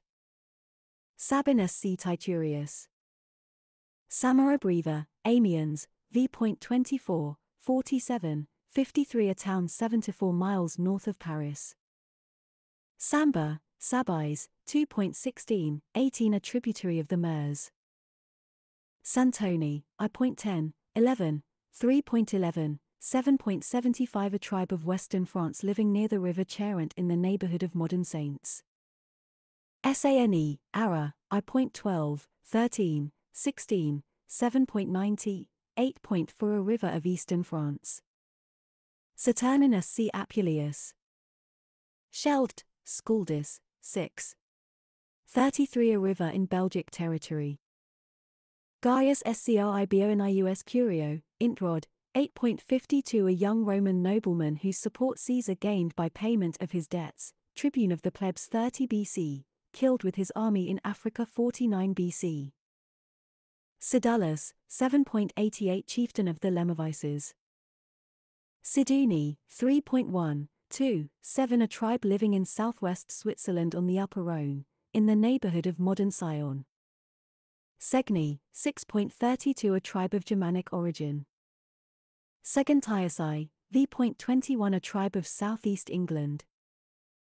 Segovax, v.22 a Kentish king.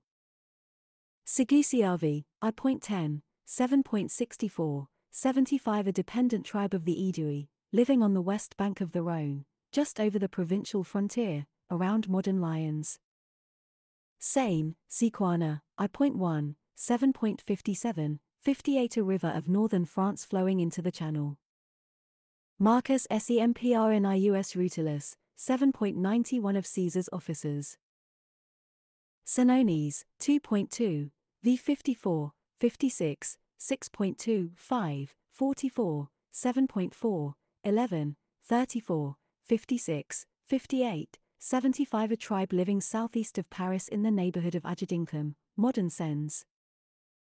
Sequani, I.1, 12, 19, 31 to 5, 38, 40, 44, 48, 54, 4.10, 6.12, 7.66, 67, 75, 90 A tribe living in eastern France between the river Saône and the Vosges and Jura mountains. Lucius Sergius Catilina, Introd, agent of Sulla before and during his dictatorship. After his provincial command in Africa he was tried and acquitted on a charge of misgovernment, and the trial prevented his candidacy to be consul in 65 BC. He stood unsuccessfully twice, the first time, simultaneously with Cicero, probably with Crassus' support, and the second time on a program of agrarian reform and debt relief. In 63 BC, he organized a conspiracy for a coup d'etat, which was detected and suppressed by Cicero. He was killed in a battle with the government's forces. Quintus Sertorius, 3.23 appointed governor of Hither Spain 83 BC, maintained himself there as a rebel until 73 BC, assassinated. Titus Sextius, 6.1, 7.49, 51, 90, 8.11 One of Caesar's generals. Publius Sextius Baculus, 2.25, 3.5, 6.38 Chief Centurion of the 12th Legion. Sibusates, 3.27 An Aquitanian tribe. Silanus C. Junius. Titus Silius, 3.7, 8 One of Caesar's officers, of equestrian status. Sotiates, 3.20, 21 A tribe living in Aquitania. Suebi, I.37, 51, 54, 4.1, 3, 4, 7, 8, 16, 19, 6.9, 10, 29 a powerful German people who had for about a century before Caesar's time been gradually expanding southwestwards from their home in northern Germany. Suessiones, 2.3, 4, 12, 13, 7.75, 8.6 A Belgic tribe living in the department of the Aisne, in the neighborhood of Soissons. Sugambri, 4.16, 18, 19, 6.35 A German tribe living on the east bank of the Rhine between the rivers Ruhr and Sieg. Sulla C. Cornelius. Servius Sulpicius Galba, 3.16, 8.51 of Caesar's generals. Publius Sulpicius Rufus, for 4.22, 7.91 of Caesar's generals. Surus, 8.45 an Aeduan chief. Tarbelli, 3.27 an Aquitanian tribe. Tarusates, 3.23, 27 an Aquitanian tribe. Tasgetius, v.25, 29 a nobleman of the Carnutes. Taximagulus, v.22 a Kentish king. Tectosages c. Volcae. Tencteri, for point 1, 4, 16, 18, v.55, 6.35 a German tribe. Titus Terrasidius, 3.7, 8 an officer of equestrian rank. Teutomatus, 7.31, 46 king of the Nitiobroges. Teutoni, Introd, I.33, 40, 11.4, 29, 7.77 a nomadic German tribe. Thames, Thamesis, v.11, 18 a river of southeast Britain. Tigurini, I.12 one of four clans of the Helvetii. Quintus Titurius Sabinus, 2.5, 9, 10, 3.11, 17 to 19, 4.22, 38, v.24, 26 to 33, 36, 41, 47, 52, 53, 6. 1, 32, 37 One of Caesar's generals. Tolosates, I. 10, 7.7 A tribe living in the province, in the neighborhood of Tolosa, Toulouse. Toulouse, Tolosa, 3.20 A town in southwest France. Transalpine Gaul see Province, the Marcus Trebius Gallus, 3.7, 8 One of Caesar's officers of equestrian rank.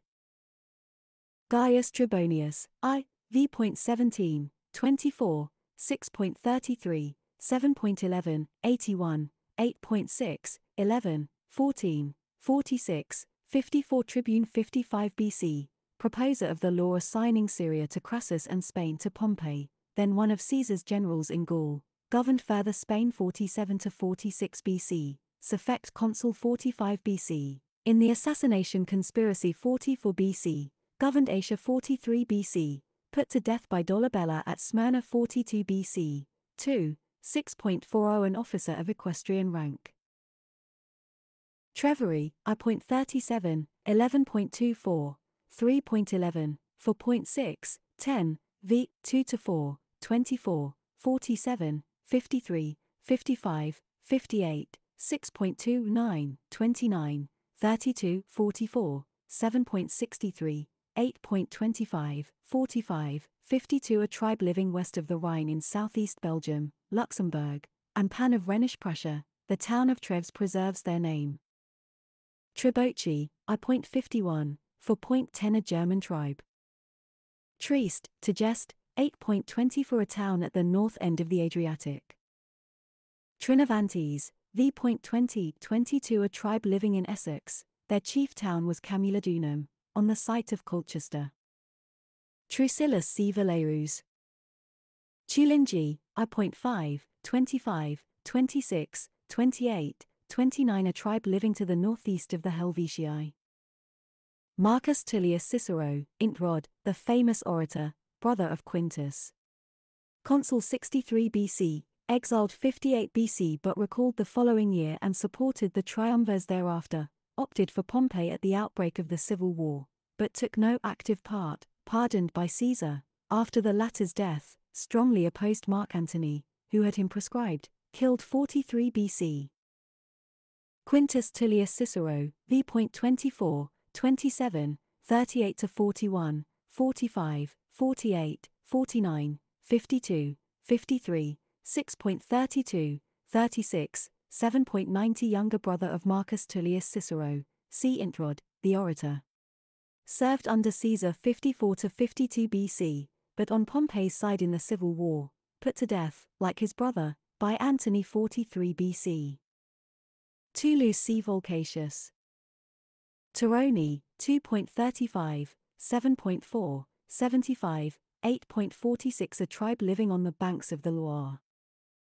UBII, 4.3, 8, 11, 16, 19, 6.9, 10, 29 A German tribe living on the east bank of the Rhine between the rivers Sieg and Main. Usipetes, 4.1, 4, 16, 18, 6.35 A German tribe which invaded Gaul in 55 BC. Uxellodunum, 8.32, 37, 39, 40, 40 for a stronghold of the Quercy in southwest France, probably the hill called Puy d'Issoulou, near Vayrac in the department of the Lot. Gaius Valerius Caburus, I.47, 7.65 A prominent man of the Helvii, granted Roman citizenship in 83 BC, father of C. Valerius Priscillus and C. Valerius Domnotaurus. Gaius Valerius Domnotaurus, 7.65 son of C. Valerius Caburus. Gaius Valerius Flaccus, 1.47 governor of the province of Transalpine Gaul in 83 BC. Marcus Valerius Messala, I.2, 23, consul 61 BC. Lucius Valerius Praeconinus, 3.20 A Roman general defeated in Aquitania in 78 BC. Gaius Valerius Priscillus, I.47, 53 son of Gaius Valerius Caburus. Gaius Valerius Troucillus, I.19 A Gallic interpreter. Valetiacus, 7.32 A magistrate of the Aedui. Vangiones, I.51 A German tribe. Varus C. Aetius. Publius Vatinius, 8.46 A man with a checkered career.